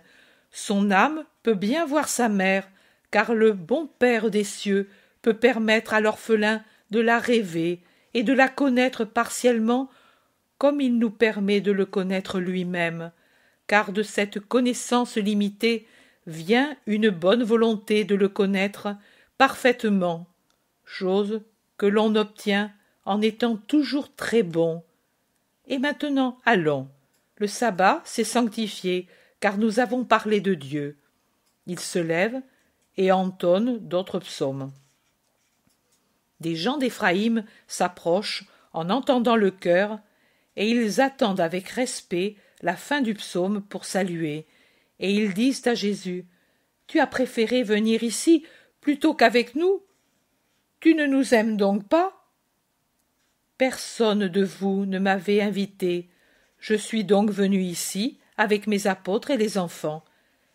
C'est vrai, mais nous croyons que ton disciple t'avait dit notre désir. Jésus regarde Jean et Judas. Et Judas répond j'ai oublié de le dire hier, et aujourd'hui, avec ses enfants, je n'y ai plus pensé. Jésus, pendant ce temps, quitte la petite île et passe le bras d'eau minuscule pour aller près de ceux d'Éphraïm. Les apôtres le suivent, alors que les enfants s'attardent à délier les deux barquettes de roseaux qui restent, et à Pierre, qui les questionne, ils expliquent. Nous voulons les garder pour nous rappeler la leçon. Et moi, je l'ai perdu, et je ne me souviendrai pas, et je n'irai pas au paradis, dit en pleurant le plus petit. Attends, ne pleure pas, je te fais tout de suite une barquette. Bien sûr, toi aussi tu dois te rappeler la leçon, et il faudrait que tous nous en fassions une avec son jonc attaché à la proue pour nous rappeler. Ce serait plus utile pour nous, hommes, que pour vous, enfants. Hélas. Et Pierre taille et fait la barquette avec son jonc. Il prend dans ses bras, en une seule brassée, les trois enfants, et il saute le ruisseau pour aller près de Jésus. Ce sont eux? demande Malachie d'Éphraïm. Ce sont eux. Et ils sont de Sichem? C'est ce que disait le pastoureau, que ses parents étaient des campagnes. Pauvres enfants, mais si les parents ne venaient pas, que ferais-tu? Je les garderai avec moi, mais ils viendront. C'est larron Ne viendront-ils pas eux aussi? Ils ne viendront pas, mais n'ayez pas de crainte pour eux, même s'ils venaient. C'est moi qui les volerai, et non pas eux qui vous voleraient. Je leur ai déjà enlevé leurs quatre proies, et j'espère avoir arraché un peu de leur âme au péché, au moins pour l'un d'eux. Nous t'aiderons pour ces enfants. Tu nous le permettras, cela. Oui. Et ce n'est pas parce qu'ils sont de votre région, mais parce que ce sont des innocents, et l'amour pour les innocents est le chemin qui conduit rapidement à Dieu. Mais toi seul ne fais pas de distinction entre innocent et innocent. Un juif n'aurait pas recueilli ces petits samaritains, ni non plus un galiléen. Nous ne sommes pas aimés, et le manque d'amour pour nous, ils l'ont aussi pour ceux qui ne savent même pas encore ce que c'est que d'être samaritain et juif, et cela est cruel. Oui, mais il n'en sera plus ainsi quand on suivra ma loi, tu le vois, Malachie. Ils sont dans les bras de Simon Pierre, de mon frère et de Simon le Zélote. Aucun d'eux n'est samaritain, ni père. Et pourtant, tu ne sers pas tes enfants contre ton cœur avec autant d'amour que le font mes disciples pour les orphelins de Samarie. Voilà quelle est l'idée messianique. Réunir tout le monde dans l'amour. C'est la vérité de l'idée messianique un seul peuple sur la terre sous le sceptre du Messie, un seul peuple dans le ciel sous le regard d'un seul Dieu. Il s'éloigne, en parlant, vers la maison de Marie de Jacob. Chapitre 16 La nuit du même jour. Jésus est seul dans une petite pièce. Assis sur sa couchette, il réfléchit ou prie. Un lumignon à huile sur une étagère éclaire la pièce de sa petite flamme jaunâtre palpitante. Il doit faire nuit, car il n'y a aucun bruit dans la maison ni sur le chemin. Seul le bruissement du torrent paraît plus fort au dehors de la maison, dans le silence de la nuit. Jésus lève la tête pour regarder la porte. Il écoute.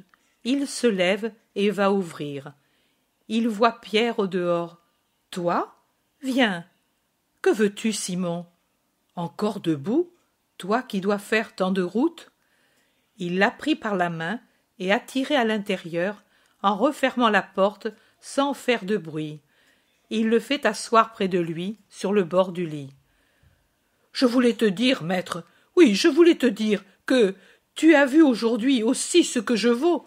Je ne suis capable que d'amuser de pauvres enfants, de consoler une petite vieille de rétablir la paix entre deux bergers qui sont en désaccord pour une agnelle qui a perdu son lait.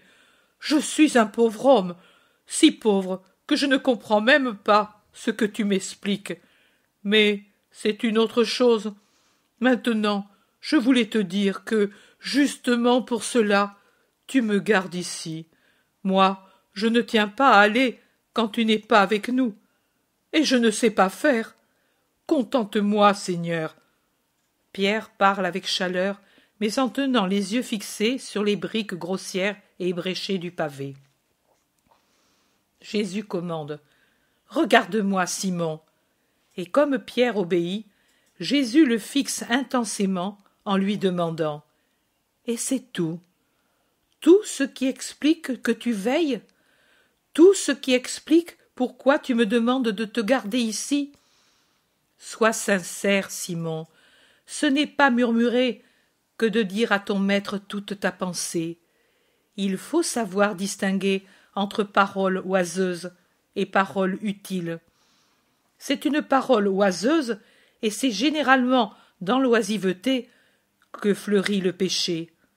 Quand on parle des manquements d'autrui à quelqu'un qui n'y peut rien. Alors, c'est simplement un manque de charité, même si les choses dites sont vraies.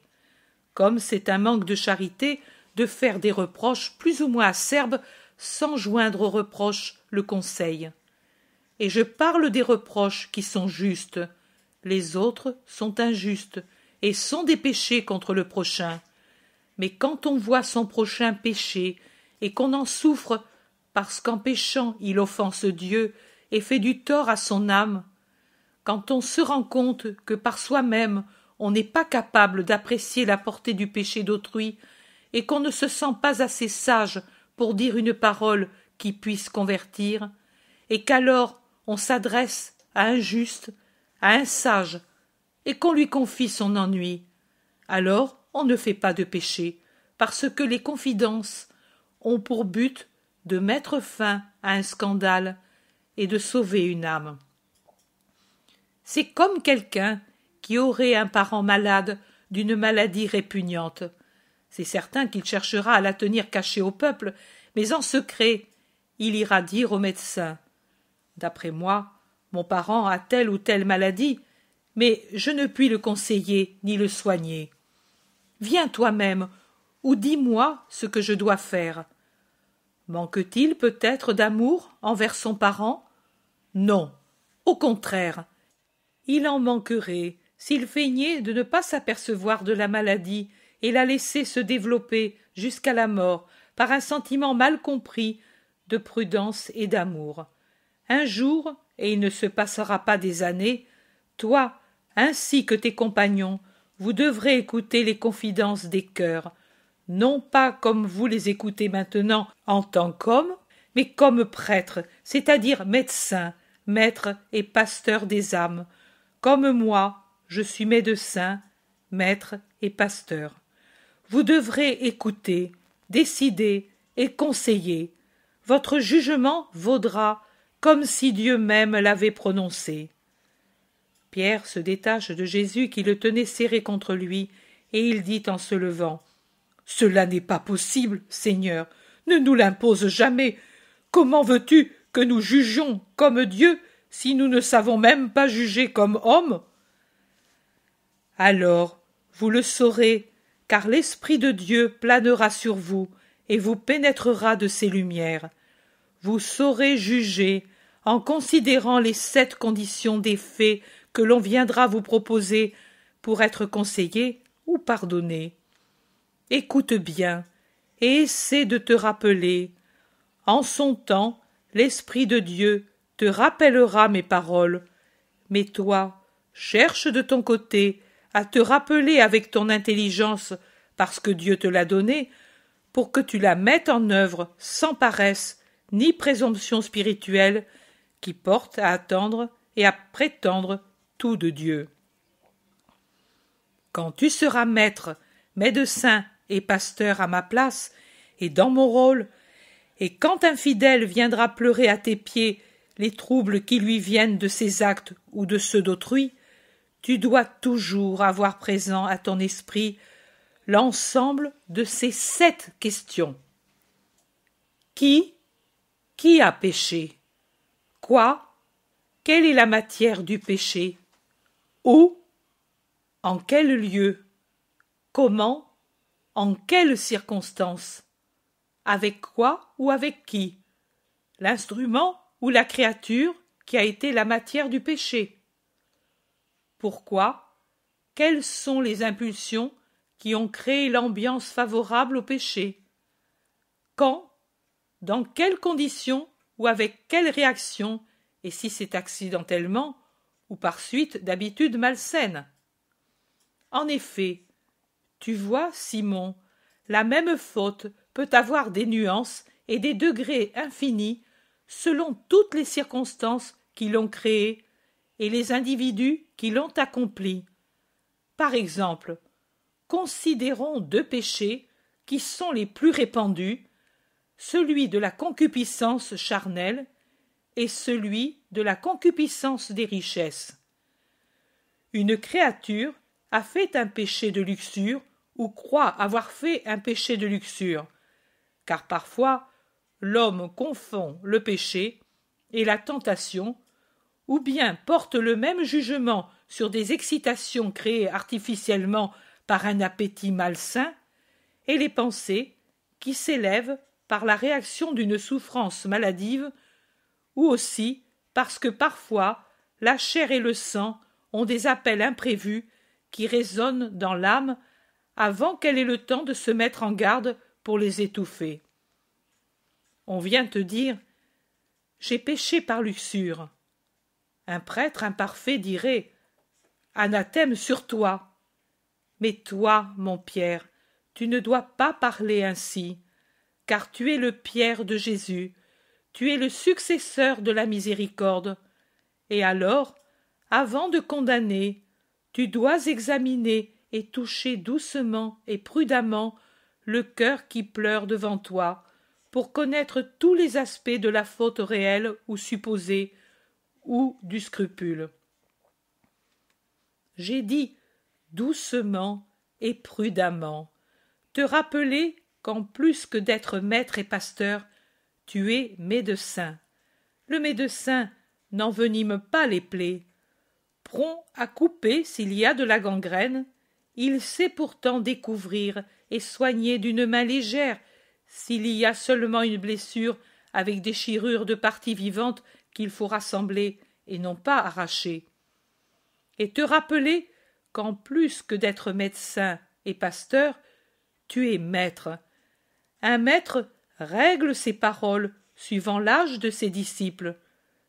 Il serait scandaleux, ce pédagogue, qui, à de jeunes enfants, révélerait les lois animales que les innocents ignorent, en leur donnant ainsi des connaissances et des malices prématurées.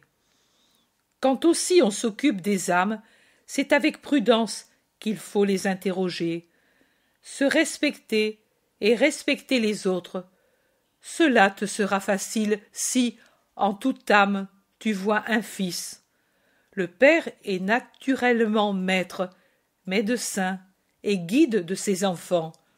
Aussi, quelle que soit la créature qui est devant toi, troublée par une faute ou par la crainte d'avoir fauté, aime-la d'un amour de père, et tu sauras juger sans blesser et sans scandaliser. Me suis-tu oui, maître, je comprends très bien. Je devrais être prudent et patient, persuadé de découvrir les blessures, mais regarder par moi-même, sans attirer l'attention d'autrui sur elles, et seulement quand je verrai qu'il y a réellement une blessure, dire Tu vois, tu t'es fait du mal pour ceci ou cela.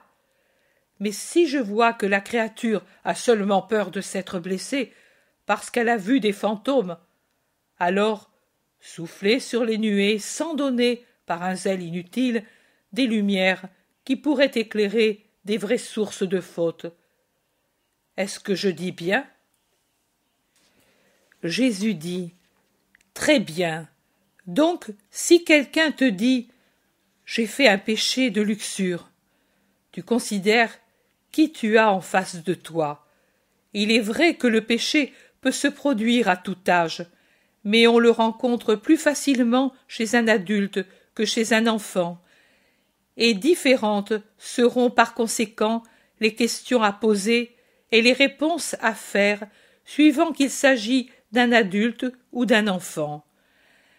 Vient à la suite de la première enquête la seconde sur la matière du péché, et puis la troisième sur l'endroit du péché, la quatrième sur les circonstances du péché, et la cinquième sur les complices possibles du péché, la sixième sur le pourquoi du péché, et la septième sur le moment et le nombre du péché. Tu verras que généralement, alors que pour un adulte et un adulte vivant dans le monde, à chaque question, tu verras correspondre une circonstance qui implique la réalité de la faute. Pour ceux qui sont enfants par l'âge ou l'esprit, à de nombreuses questions, tu devras te répondre. Ici, il y a de la fumée, pas de faute réelle. Et même, tu verras parfois, au lieu de fange, il y a un lys qui tremble d'avoir été éclaboussé par la boue et qui confond la goutte de rosée descendue dans son calice avec l'éclaboussure de la boue. Âme si désireuse du ciel qu'elle craigne comme une tache jusqu'à l'ombre d'une nuée qui les met pour un moment dans l'obscurité en s'interposant entre eux et le soleil mais passe ensuite sans laisser de traces sur leur candide corolle. Âme tellement innocente et désireuse de le rester que satan effrayé par des imaginations ou en excitant les aiguillons de la chair ou la chair elle-même, en profitant de réelles maladies de la chair. Ces âmes doivent être consolées et soutenues, car ce ne sont pas des pécheresses, mais des martyrs. Rappelle-le toi toujours.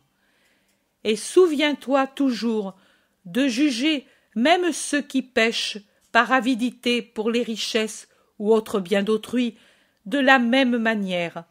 En effet, si c'est une faute maudite d'être avide et sans pitié en volant le pauvre, et contre la justice en faisant tort aux citoyens, aux serviteurs ou au peuple, moins grave, beaucoup moins grave est la faute de celui à qui on a refusé du pain et qui en dérobe au prochain pour passer sa faim et celle de ses enfants. Rappelle-toi aussi bien, pour le luxurieux, que pour le voleur, il faut de la mesure quand on juge le nombre des fautes, les circonstances et leur gravité, et aussi de la mesure pour apprécier le degré de connaissance du pécheur pour le péché commis au moment où il le commettait. En effet, celui qui agit en pleine connaissance pêche davantage que celui qui agit par ignorance, et celui qui agit en consentant librement pêche davantage que celui qui est poussé au péché. En vérité, je te dis que parfois il y aura des actes qui auront l'apparence du péché et qui seront un martyr et auront la récompense donnée pour un martyr souffert et rappelle-toi surtout, dans tous les cas, avant de condamner, que toi aussi tu as été un homme et que ton maître, que personne n'a jamais pu trouver en état de péché, n'a jamais condamné personne qui se fût repenti d'avoir péché. Pardonne septante fois sept, et même septante fois septante, les péchés de tes frères et de tes enfants, parce que fermer les portes du salut à un malade seulement parce qu'il est retombé dans sa maladie, c'est vouloir le faire mourir. As-tu compris? J'ai compris. Cela, je l'ai vraiment compris. Et alors, dis-moi maintenant tout ce que tu penses. Eh oui, je te le dis, parce que je vois que vraiment tu connais tout, et je comprends que ce n'est pas murmurer que de te dire d'envoyer Judas à ma place, car il souffre de ne pas aller. Je te le dis, non pour te dire qu'il est envieux et me scandaliser à son propos, mais pour lui donner la paix, et te donner la paix, car cela doit être bien pénible pour toi d'avoir toujours si près ce vent d'orage. Judas s'est encore plaint. Eh oui, il a dit que chacune de tes paroles est pour lui une blessure, même ce que tu as dit pour les enfants. Il dit qu'en vérité, c'est pour lui que tu as dit qu'Ève alla à l'arbre parce qu'il lui plaisait cette chose brillante comme une couronne de roi. Moi, vraiment, je n'avais trouvé aucun rapport. Mais je suis ignorant. Barthélemy et le zélote, au contraire, ont dit que vraiment Judas a été touché au plus vif, car il est ensorcelé par tout ce qui brille et séduit la vanité. Et il pourrait avoir raison, car ils sont sages. Sois bon avec tes pauvres apôtres, maître. Fais plaisir à Judas, et à moi avec lui. De toute façon, tu le vois, je sais seulement amuser les enfants et être un enfant dans tes bras. Il se serre contre son Jésus, qu'il aime vraiment de toutes ses forces. Non, je ne puis te faire plaisir, n'insiste pas. Toi, justement, parce que tu es ce que tu es, tu vas à la mission. Lui, justement, parce qu'il est comme il est, reste ici. Mon frère aussi m'en avait parlé, et malgré mon amour pour lui, je lui ai répondu non. Même si ma mère m'en priait, je ne céderai pas. Ce n'est pas une punition, mais un remède. Et Judas doit le prendre.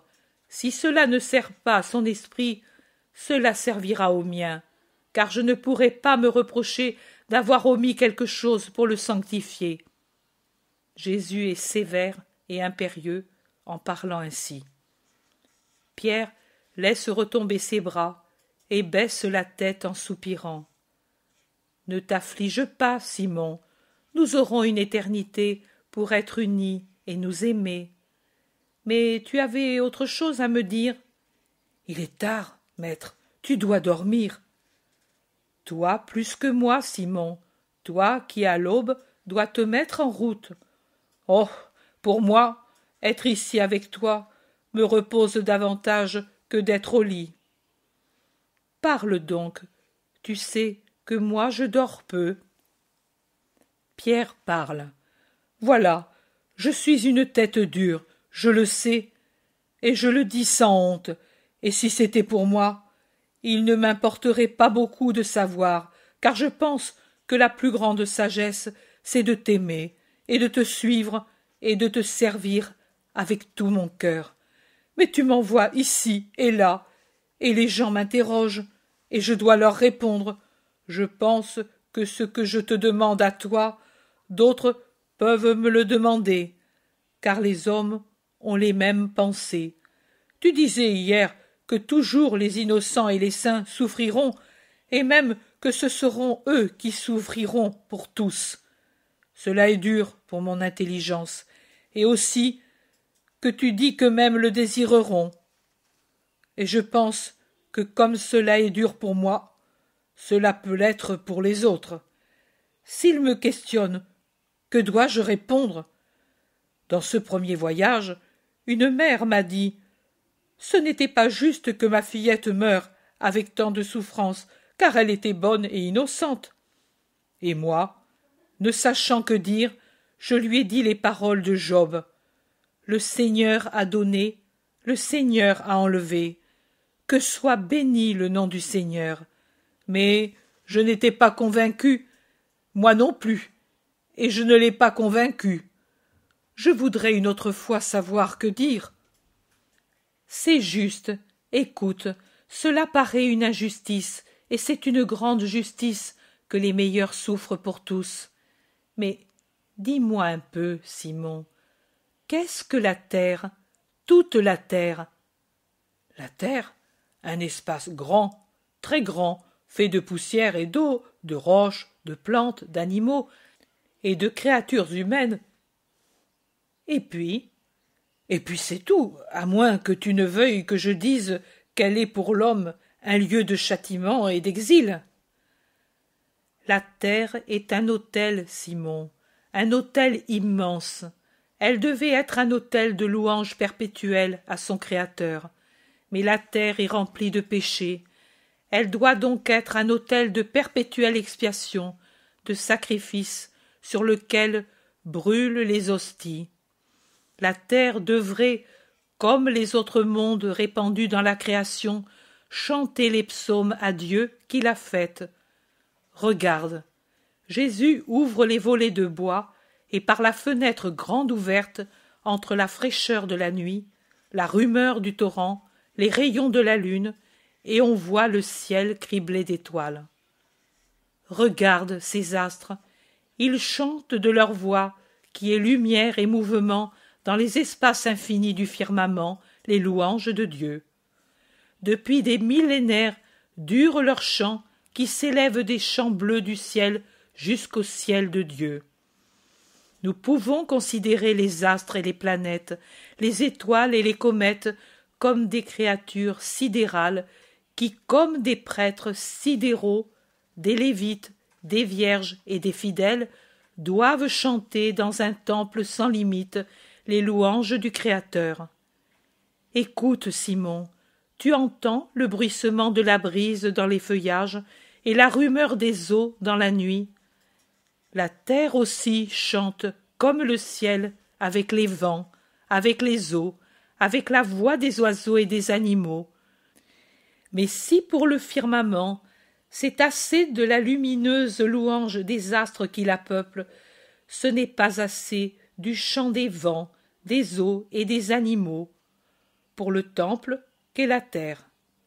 Car sur elle il n'y a pas seulement les vents, les eaux et les animaux qui chantent inconsciemment les louanges de Dieu, mais elle a aussi l'homme, la créature parfaite, au-dessus de tout ce qui est vivant, dans le temps et dans le monde, doué de matière comme les animaux, les minéraux et les plantes, et d'esprit comme les anges du ciel, et destinée comme eux, si elle est fidèle dans l'épreuve, à connaître et à posséder Dieu, avec la grâce d'abord, avec le paradis ensuite.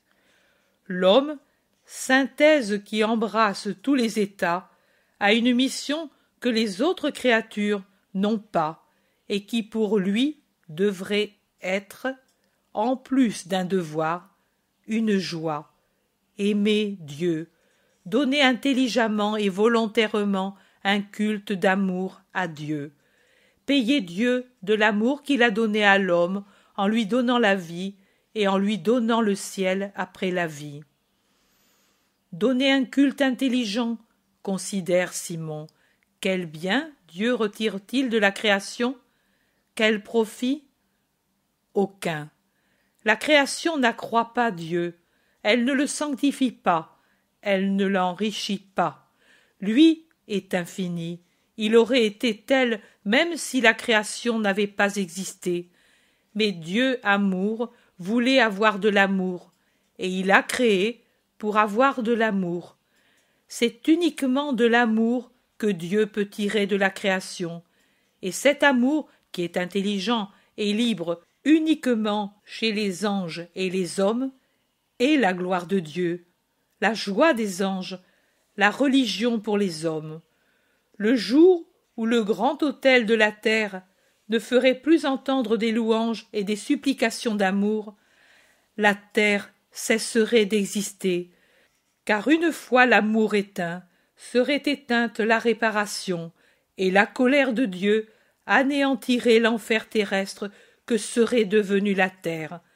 Donc la terre, pour exister, doit aimer. Et de plus, la terre doit être le temple qui aime et prie avec l'intelligence des hommes. Mais dans le temple, dans tout temple, quelles victimes offre-t-on? Les victimes pures, sans tache ni tare. Elles seules sont agréables au Seigneur, elles et les prémices, car au père de la famille il faut donner les choses les meilleures, et à Dieu, père de la famille humaine, il faut donner les prémices de toutes choses et les choses choisies. Jésus poursuit. Mais j'ai dit que la terre a un double devoir de sacrifice, celui de la louange et celui de l'expiation. En effet, l'humanité qui la couvre a péché chez les premiers hommes et ne cesse de pécher, en ajoutant au péché de manque d'amour pour Dieu les mille autres de ses attachements aux voies du monde, de la chair et de Satan. Coupable, coupable humanité, qui ayant la ressemblance avec Dieu, ayant en propre l'intelligence et des secours divins, et pécheresse toujours, et toujours plus. Les astres obéissent, les plantes obéissent, les éléments obéissent, les animaux obéissent, et comme ils savent, louent le Seigneur. Les hommes n'obéissent pas, et ne louent pas suffisamment le Seigneur. Voici alors la nécessité d'âmes hosties, qui aiment et expient pour tous. Ce sont les enfants qui, innocents et ignorants, paient l'amer châtiment de la douleur pour ceux qui ne savent que pécher. Ce sont les saints qui volontairement se sacrifient pour tous. D'ici peu, un an ou un siècle, c'est toujours peu par rapport à l'éternité, on ne célébrera plus d'autres holocaustes sur l'autel du grand temple de la terre que celui des hommes victimes consumés avec le sacrifice perpétuel, hostie avec l'hostie parfaite. Ne te bouleverse pas, Simon. Je ne dis pas que j'établirai un culte semblable à celui de Moloch, de Baal et d'Astarté. Ce sont les hommes eux-mêmes qui nous immoleront. Tu comprends? Nous immolerons, et nous irons joyeusement à la mort, afin d'expier et d'aimer pour tous. Et puis viendront les temps où les hommes n'immoleront plus les hommes, mais toujours il y aura des victimes pures que l'amour consumera avec la grande victime dans le sacrifice perpétuel. Je dis l'amour de Dieu et l'amour pour Dieu. En vérité, elles seront les hosties du temps et du temple à venir. Non pas les agneaux et les boucs, les veaux et les colombes, mais le sacrifice du cœur est celui qui plaît à Dieu. David en a eu l'intuition, et dans le temps nouveau, temps de l'esprit et de l'amour, seul ce sacrifice sera agréable. Considère, Simon, que si un Dieu a dû s'incarner pour apaiser la justice divine pour le grand péché, pour les nombreux péchés des hommes, dans le temps de la vérité, seuls les sacrifices des esprits des hommes peuvent apaiser le Seigneur. Tu penses, mais pourquoi, lui, le Très-Haut, a-t-il donné l'ordre d'immoler les petits des animaux et les fruits des plantes? Moi, je te le dis, c'est parce qu'avant ma venue, l'homme était un holocauste souillé, et parce qu'on ne connaissait pas l'amour. Maintenant, il sera connu, et l'homme qui connaîtra l'amour, parce que je rendrai la grâce par laquelle l'homme connaît l'amour, sortira de la léthargie, se souviendra, comprendra, vivra, remplacera les boucs et les agneaux, devenant hostie d'amour et d'expiation, pour imiter son maître et rédempteur. La douleur jusqu'à présent châtiment se changera en amour parfait, et bienheureux seront ceux qui l'embrasseront par amour parfait. Mais les enfants, tu veux dire ceux qui ne savent pas encore s'offrir?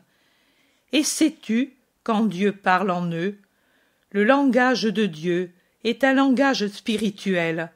L'âme le comprend, et l'âme n'a pas d'âge.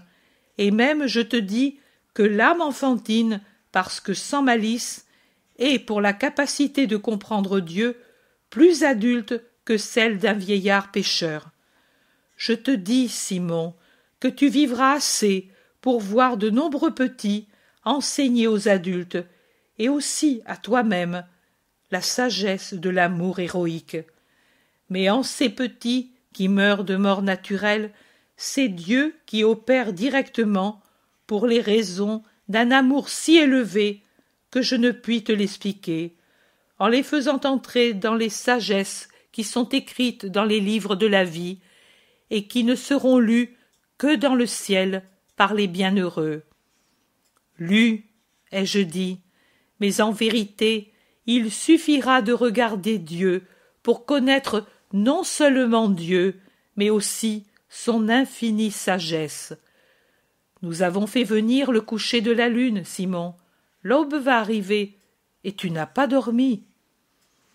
N'importe, maître, j'ai perdu quelques heures de sommeil, et j'ai acquis tant de sagesse, et je suis resté avec toi. Mais si tu le permets maintenant, je m'en vais, non pour dormir, mais pour revenir sur tes paroles.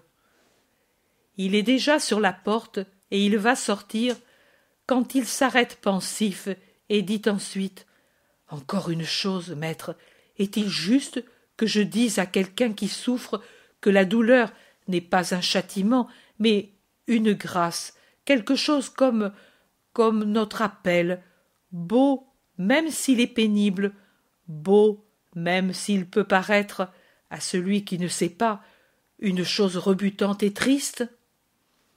Tu peux le dire, Simon, c'est la vérité. La douleur n'est pas un châtiment quand on sait l'accueillir et en user avec justice. La douleur est comme un sacerdoce, Simon, un sacerdoce ouvert à tous, un sacerdoce qui donne un grand pouvoir sur le cœur de Dieu, et un grand mérite. Né avec le péché, il sait apaiser la justice. En effet, Dieu sait faire servir au bien même ce que la haine a créé pour donner la douleur. Moi, je n'ai pas voulu d'autre moyen pour annuler la faute, car il n'y a pas de moyen plus grand que celui-là. Chapitre 17 Au cours d'un sabbat à Éphraïm. Ce doit être un autre sabbat, car les apôtres sont de nouveau réunis dans la maison de Marie de Jacob. Les enfants sont encore parmi eux, à côté de Jésus, près du foyer. C'est justement cela qui fait dire à Judas Iscariote En attendant, une semaine est passée et les parents ne sont pas venus. Et il rit en hochant la tête. Jésus ne lui répond pas. Il caresse le cadet. Judas interroge Pierre et Jacques d'Alphée. Et vous dites que vous avez fait les deux routes qui conduisent à Sichem? Jacques d'Alphée répond. Oui, mais cela était inutile, à bien réfléchir. Certainement, les larrons ne passent pas par les routes fréquentées, maintenant, surtout que les détachements romains ne cessent de les parcourir.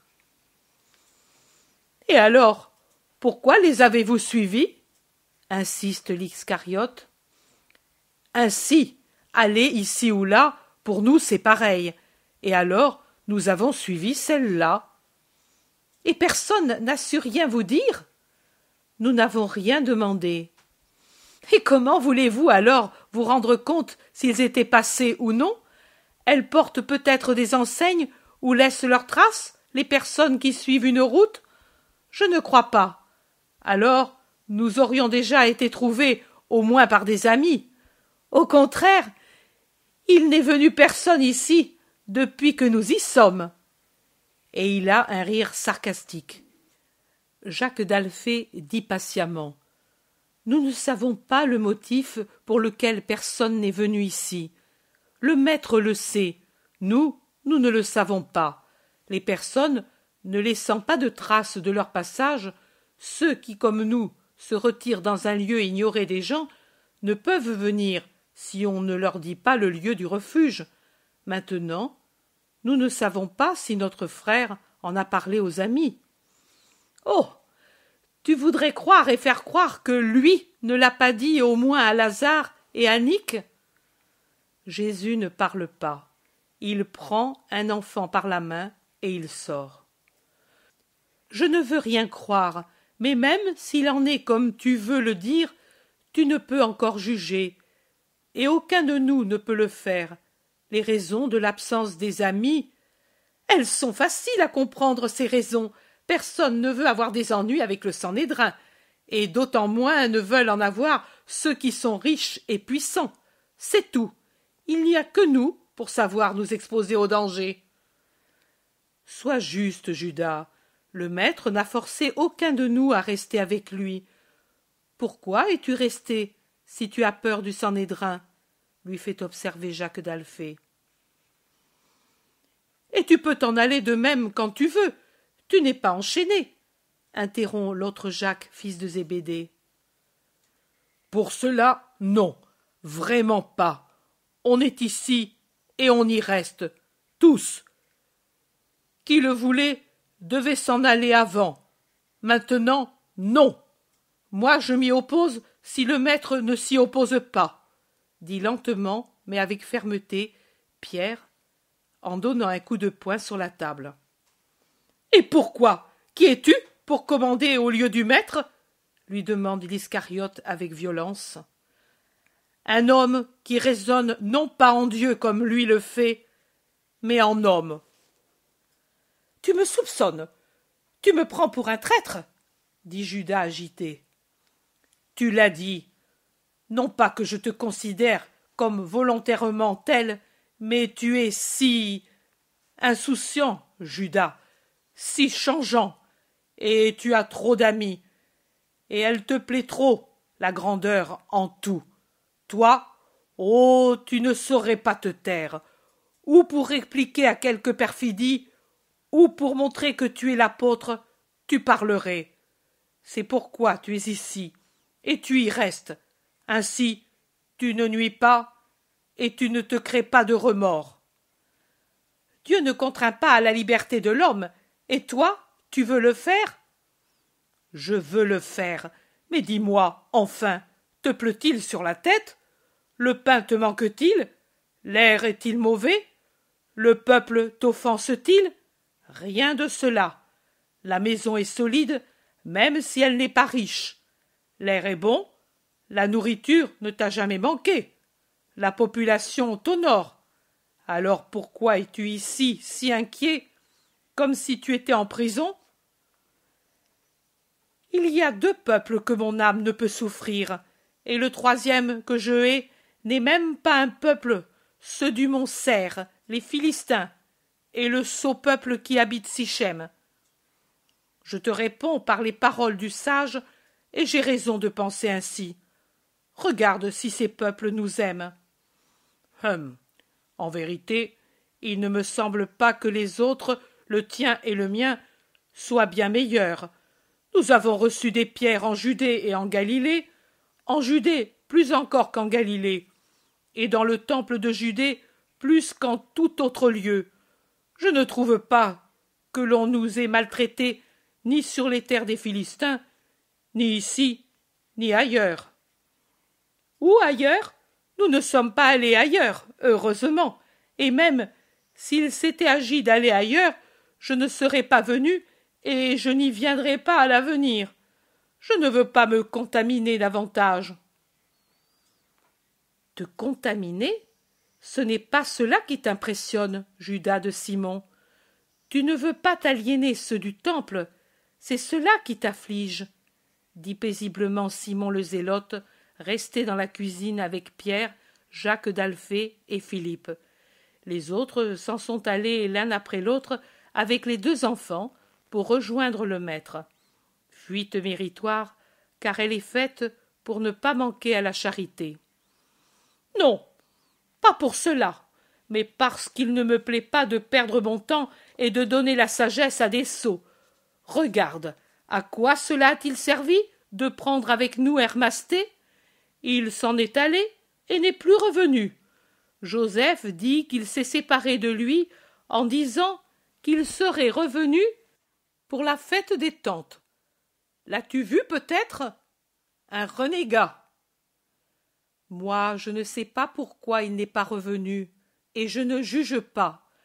Mais pourtant, je te demande, est-il par hasard le seul qui ait abandonné le maître et même lui est devenu hostile? N'y a-t-il pas des renégats parmi nous juifs et parmi les Galiléens? Peux-tu le soutenir? Non, c'est vrai, mais moi, enfin, je suis mal à l'aise ici. Si on savait que nous sommes ici, si on savait que nous traitons avec les Samaritains jusqu'à entrer dans leur synagogue le sabbat, lui veut le faire. Malheur si on le savait. L'accusation serait justifiée. Nathanaël dit. Et le maître condamné, veux-tu dire? Mais il l'est déjà. Il l'est déjà avant qu'on le sache. Il a été condamné même après avoir ressuscité un juif en Judée. Il est haï et accusé d'être samaritain et ami des publicains et des prostituées. Il l'est depuis toujours. Et toi, plus que tous, tu sais s'il ne l'est pas. Que veux-tu dire, Nathanaël? Que veux-tu dire? Que moi j'y suis pour quelque chose? Que puis-je savoir de plus que vous? Il est très agité. Pierre dit Mais mon garçon, tu me fais l'effet d'un rat entouré d'ennemis. Mais tu n'es pas un rat, et nous ne sommes pas armés de bâtons pour te capturer et te tuer. Pourquoi tant d'angoisse? Si ta conscience est en paix, pourquoi t'agites-tu pour d'innocentes paroles? Que dit Barthélemy pour que tu t'agites ainsi? N'est-il pas vrai, peut-être, que personne plus que nous, ces apôtres qui dormons près de lui et vivons avec lui, nous pouvons savoir et témoigner que lui n'aime pas le samaritain, le publicain, le pécheur, la courtisane, mais leurs âmes, et qu'il se préoccupe d'elles seules. Et seul le Très-Haut peut savoir quel effort le Très-Pur doit faire pour approcher ce que nous, hommes et pécheurs, nous appelons ordures, alors qu'il va avec les Samaritains, les publicains et les courtisanes Tu ne comprends pas et ne connais pas encore Jésus, mon garçon. Toi, moins que les Samaritains eux-mêmes, les Philistins, les Phéniciens, et autant d'autres que tu veux. Termine Pierre, et ses dernières paroles sont empreintes de tristesse. Judas ne parle plus, et les autres aussi se taisent. La petite vieille rentre pour dire Ils sont dans la rue, les gens de la ville. Ils disent que c'est l'heure de la prière du sabbat et que le maître a promis de parler. Je vais le dire, femme. Et toi, dis à ceux d'Éphraïm que nous allons venir, lui répond Pierre, et il sort dans le jardin pour prévenir Jésus. Le zélote dit à Judas Toi, que fais-tu? Tu viens. Si tu ne veux pas venir, éloigne-toi. Sors avant que lui soit affligé par ton refus. Je viens avec vous. Ici on ne peut pas parler. Il semble que je sois le plus grand pécheur. Toutes mes paroles sont mal comprises. Jésus, qui rentre dans la cuisine, empêche toute autre parole. Ils sortent dans la rue en se joignant à ceux d'Éphraïm et ils entrent avec eux dans la ville, ne s'arrêtant que quand ils sont devant la synagogue. Malachie est sur la porte, il salue et invite à entrer. Je ne relève pas de différence entre le lieu de prière des Samaritains et ceux que j'ai vus dans d'autres régions. Toujours les mêmes lampes, les mêmes pupitres et les mêmes étagères avec les rouleaux dessus, la place du chef ou de celui qui enseigne à sa place, sinon qu'ici il y a beaucoup moins de rouleaux que dans les autres synagogues. Nous avons déjà fait nos prières en t'attendant. Si tu veux parler, quel rouleau demandes-tu, maître? Je n'en ai besoin d'aucun. En outre, tu n'aurais pas ce que je veux expliquer, répond Jésus. Et puis il se tourne vers les gens et commence son discours. Quand les Hébreux furent renvoyés dans leur patrie par Cyrus, roi des Perses, afin de reconstruire le temple de Salomon détruit cinq décennies auparavant, l'autel fut rétabli sur ses bases, et sur lui brûla l'Holocauste journalier soir et matin, et l'Holocauste spécial des premiers de chaque mois, et celui des solennités consacrées au Seigneur, ou les holocaustes des offrandes individuelles. Ensuite, après que l'on eut rétabli ce qui était indispensable et imposé pour le culte, ils mirent la main la seconde année du retour à ce que l'on pourrait appeler le cadre du culte, son extérieur. La chose n'était pas coupable parce qu'elle était toujours faite pour honorer l'Éternel, mais elle n'était pas indispensable, car le culte que l'on rend à Dieu, c'est l'amour pour Dieu, et l'amour se manifeste et se consume dans le cœur, non pas par les pierres taillées, les bois précieux, l'or et les parfums. Tout cela est de l'extérieur propre à satisfaire l'orgueil d'une nation ou d'une ville plus qu'à honorer le Seigneur. Dieu veut un temple de l'esprit. Il ne se contente pas d'un temple de murs et de marbre, mais vide d'esprit rempli d'amour. En vérité, je vous dis que le temple d'un cœur pur et plein d'amour est le seul que Dieu aime et dans lequel il fait sa demeure avec ses lumières, et que ce sont de sottes estimations celles qui répartissent les régions et les villes d'après la beauté particulière de leur lieu de prière. Pourquoi rivaliser en fait de richesse et d'ornement dans les maisons où on invoque Dieu? Est-ce que par hasard le fini peut satisfaire l'infini? Fut-il même dix fois plus beau que le temple de Salomon et que les palais royaux réunis?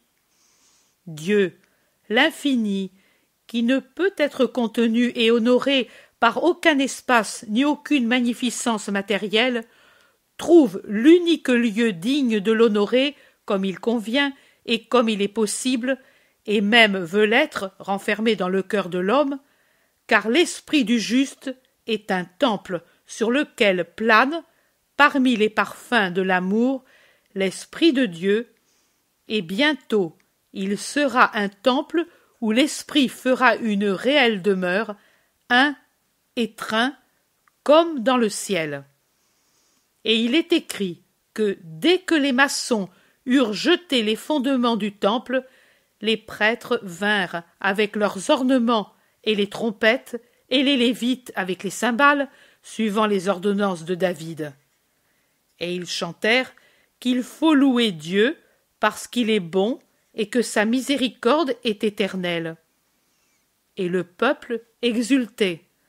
Mais beaucoup de prêtres, de chefs, de lévites et d'anciens versèrent un déluge de larmes en pensant au temple qui existait auparavant.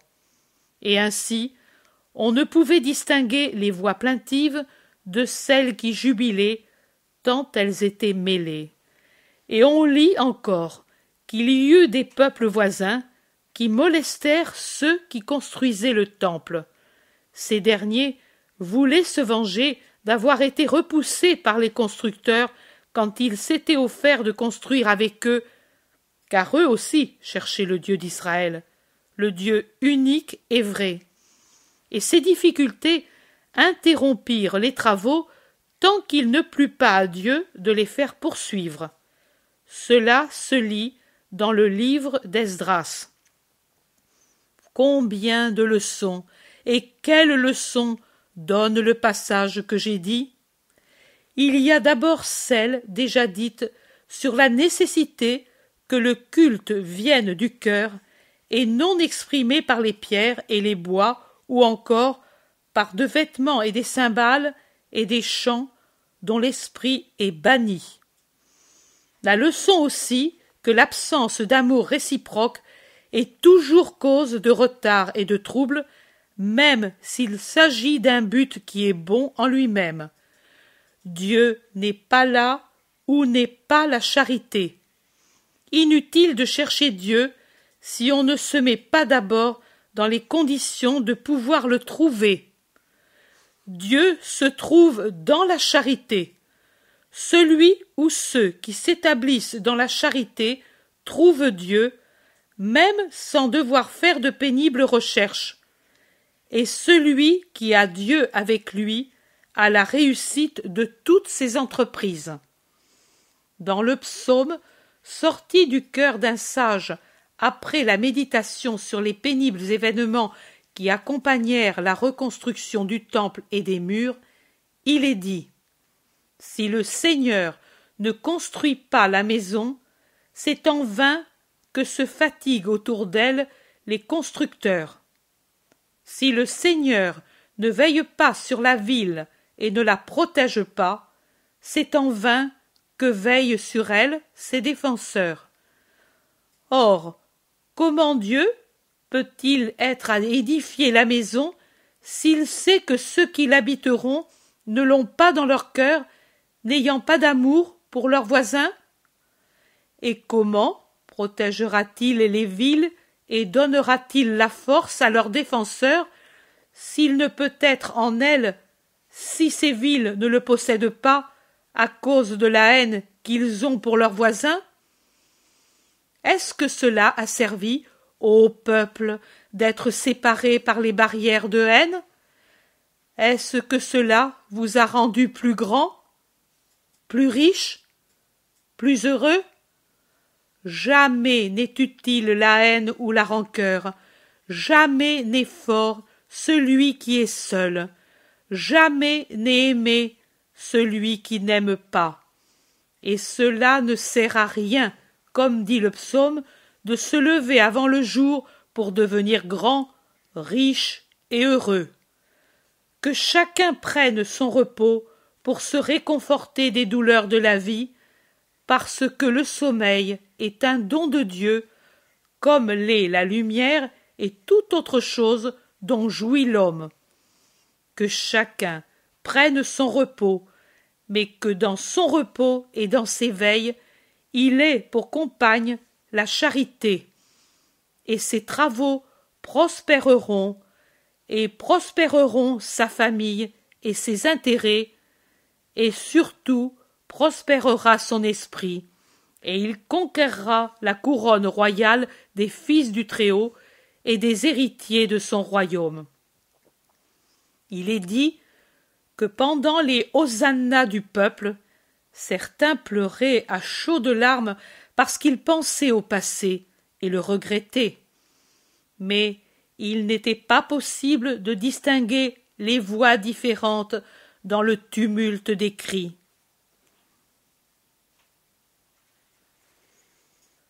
Fils de Samarie, et vous, mes apôtres, fils de la Judée et de la Galilée, aujourd'hui aussi il y a des hosannas et des pleurs pendant que le temple de Dieu s'élève sur ses fondements éternels. Maintenant aussi il en est qui s'opposent aux travaux et qui cherchent Dieu là où il n'est pas. Maintenant aussi il en est qui s'opposent aux travaux et qui cherchent Dieu là où il n'est pas. Maintenant aussi il en est qui veulent édifier selon l'ordre de Cyrus, et non selon l'ordre de Dieu, c'est-à-dire selon l'ordre du monde, et non selon les voies de l'esprit. Et maintenant aussi, il en est qui versent des larmes sottes et humaines sur un passé inférieur, sur un passé qui ne fut pas bon et sage, et fut tel qu'il provoqua l'indignation de Dieu. Maintenant aussi, nous avons toutes ces choses comme si nous étions dans le brouillard des temps reculés et non dans la lumière du temps de la lumière. Ouvrez votre cœur à la lumière, remplissez-vous de lumière pour y voir clair, vous au moins à qui je parle, moi qui suis lumière. C'est le temps nouveau, le temps où tout se reconstruit. Mais malheur à ceux qui ne voudront pas y entrer et s'opposeront à ceux qui édifient le temple de la foi nouvelle dont je suis la pierre angulaire et auquel aussi je me donnerai moi-même tout entier pour faire le mortier qui joindra les pierres afin que l'édifice se dresse saint et fort, admirable dans le cours des siècles, aussi vaste que la terre, qu'il couvrira toute de sa lumière. Je dis lumière et non pas ombre, car mon temple sera formé par des esprits et non par des matières opaques. Pierre pour ce temple, moi avec mon esprit éternel, et Pierre tous ceux qui suivront ma parole et la foi nouvelle, pierres incorporelles, pierres enflammées, pierres saintes. Et la lumière se propagera sur la terre, la lumière du nouveau temple, et la couvrira de sagesse et de sainteté. Et au dehors ne resteront que ceux qui, avec leurs larmes impures, pleureront et regretteront le passé, parce qu'il était pour eux une source de profit et d'honneur tout humain. Ouvrez-vous au temps et au temple nouveau, ô homme de Samarie. En lui tout est nouveau, et les antiques séparations et les frontières matérielles de pensée et d'esprit n'existent plus. Chantez, puisque l'exil hors de la cité de Dieu va finir.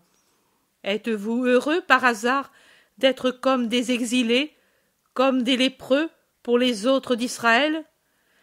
Êtes-vous heureux de vous sentir comme expulsés du sein de Dieu? Car cela vous le sentez, vos âmes le sentent, vos pauvres âmes resserrées dans vos corps, sur lesquels vous faites dominer votre pensée entêtée, qui ne veut pas dire aux autres hommes Nous avons erré, mais maintenant, comme des brebis dispersées, nous revenons au bercail. Vous ne voulez pas le dire aux autres hommes, et cela est déjà mal, mais au moins dites-le à Dieu, même si vous étouffez le cri de votre âme. Dieu entend le gémissement de votre âme qui est malheureuse d'être exilée de la maison du Père universel et très saint. Écoutez les paroles du psaume graduel. Vous êtes bien des pèlerins qui depuis des siècles allaient vers la haute cité, vers la vraie Jérusalem, vers la Jérusalem céleste. C'est de là, du ciel, que vos âmes sont descendues pour animer une chair. C'est là qu'elles désirent retourner. Pourquoi voulez-vous sacrifier vos âmes, leur faire perdre l'héritage du royaume? Quelle faute ont-elles d'être descendues dans des chairs conçues en Samarie Elles viennent d'un unique Père. Elles ont le même Créateur qu'ont les âmes de Judée et de Galilée, de la Phénicie ou de la Décapole. Dieu est la fin de tout esprit. Tout esprit tend vers ce Dieu. Même si des idolâtries de toutes espèces, ou des hérésies funestes, des schismes, des manques de foi, la tiennent dans une ignorance du Dieu vrai, qui serait absolue si l'âme n'avait en elle, ineffaçable, un souvenir embryonnaire de la vérité et une aspiration vers elle. Oh. Faites grandir ce souvenir et cette aspiration. Ouvrez les portes à votre âme. Que la lumière y entre, qui entre la vie, qui entre la vérité, que soit ouvert le chemin, que tout entre en flots lumineux et vitaux, comme les rayons du soleil et les flots et les vents des équinoxes, pour que de son embryon l'arbre s'élance vers les hauteurs, toujours plus près de son Seigneur. Sortez de l'exil, chantez avec moi. Quand le Seigneur fait revenir de la captivité, l'âme semble rêver de joie notre bouche se remplit de sourires et notre langue de jubilation. Maintenant, on dira, le Seigneur a fait de grandes choses pour nous. Oui, le Seigneur a fait de grandes choses pour vous, et vous serez inondés de joie. Ô mon Père, je te prie pour eux comme pour tous. Fais revenir, ô Seigneur, ces prisonniers, ceux-ci qui à tes yeux et aux miens sont pris dans les chaînes d'une entêtée erreur. Ramène-les, ô Père, comme un torrent qui se jette dans un grand fleuve, dans la grande mer de ta miséricorde et de ta paix. Mes serviteurs et moi, c'est dans les larmes que nous semons en eux ta vérité. Père, fais qu'au temps de la grande moisson, nous puissions, nous tous, tes serviteurs, en enseignant ta vérité, moissonner joyeusement dans ces sillons, qui maintenant semblent seulement parsemés de plantes épineuses et empoisonnées, le grain de choix de tes greniers. Père, Père, à cause de nos fatigues, de nos larmes, de nos douleurs, de nos sueurs, de nos morts, qui ont été et seront les compagnons des semeurs, fais que nous puissions venir à toi, en portant comme des gerbes les prémices de ce peuple, les âmes qui de nouveau seront nées à la justice et à la vérité, pour ta gloire. Amen. Le silence, qui était vraiment impressionnant, tant il était absolu dans une si grande foule qui remplissait la synagogue et la place devant elle, fait place à un chuchotement discret, puis à un murmure qui grandit jusqu'à devenir une rumeur, s'épanouit enfin en hosanna. Les gens gesticulent, commentent et acclament. Comme c'est différent ici de la conclusion des discours du temple. Malachi dit au nom de tous Toi seul peux dire ainsi la vérité, sans offenser ni mortifier. Tu es vraiment le Saint de Dieu. Prie pour notre paix. Nous sommes endurcis par des siècles de croyances et des siècles d'affronts, et nous devons rompre cette dure écorce qui nous enveloppe. Et pour nous, de la compassion. Davantage encore, de l'amour. Ayez la bonne volonté, et l'écorce se fendra d'elle-même. Que la lumière vienne à vous. Il se ferait un chemin, et il sort suivi de ses apôtres.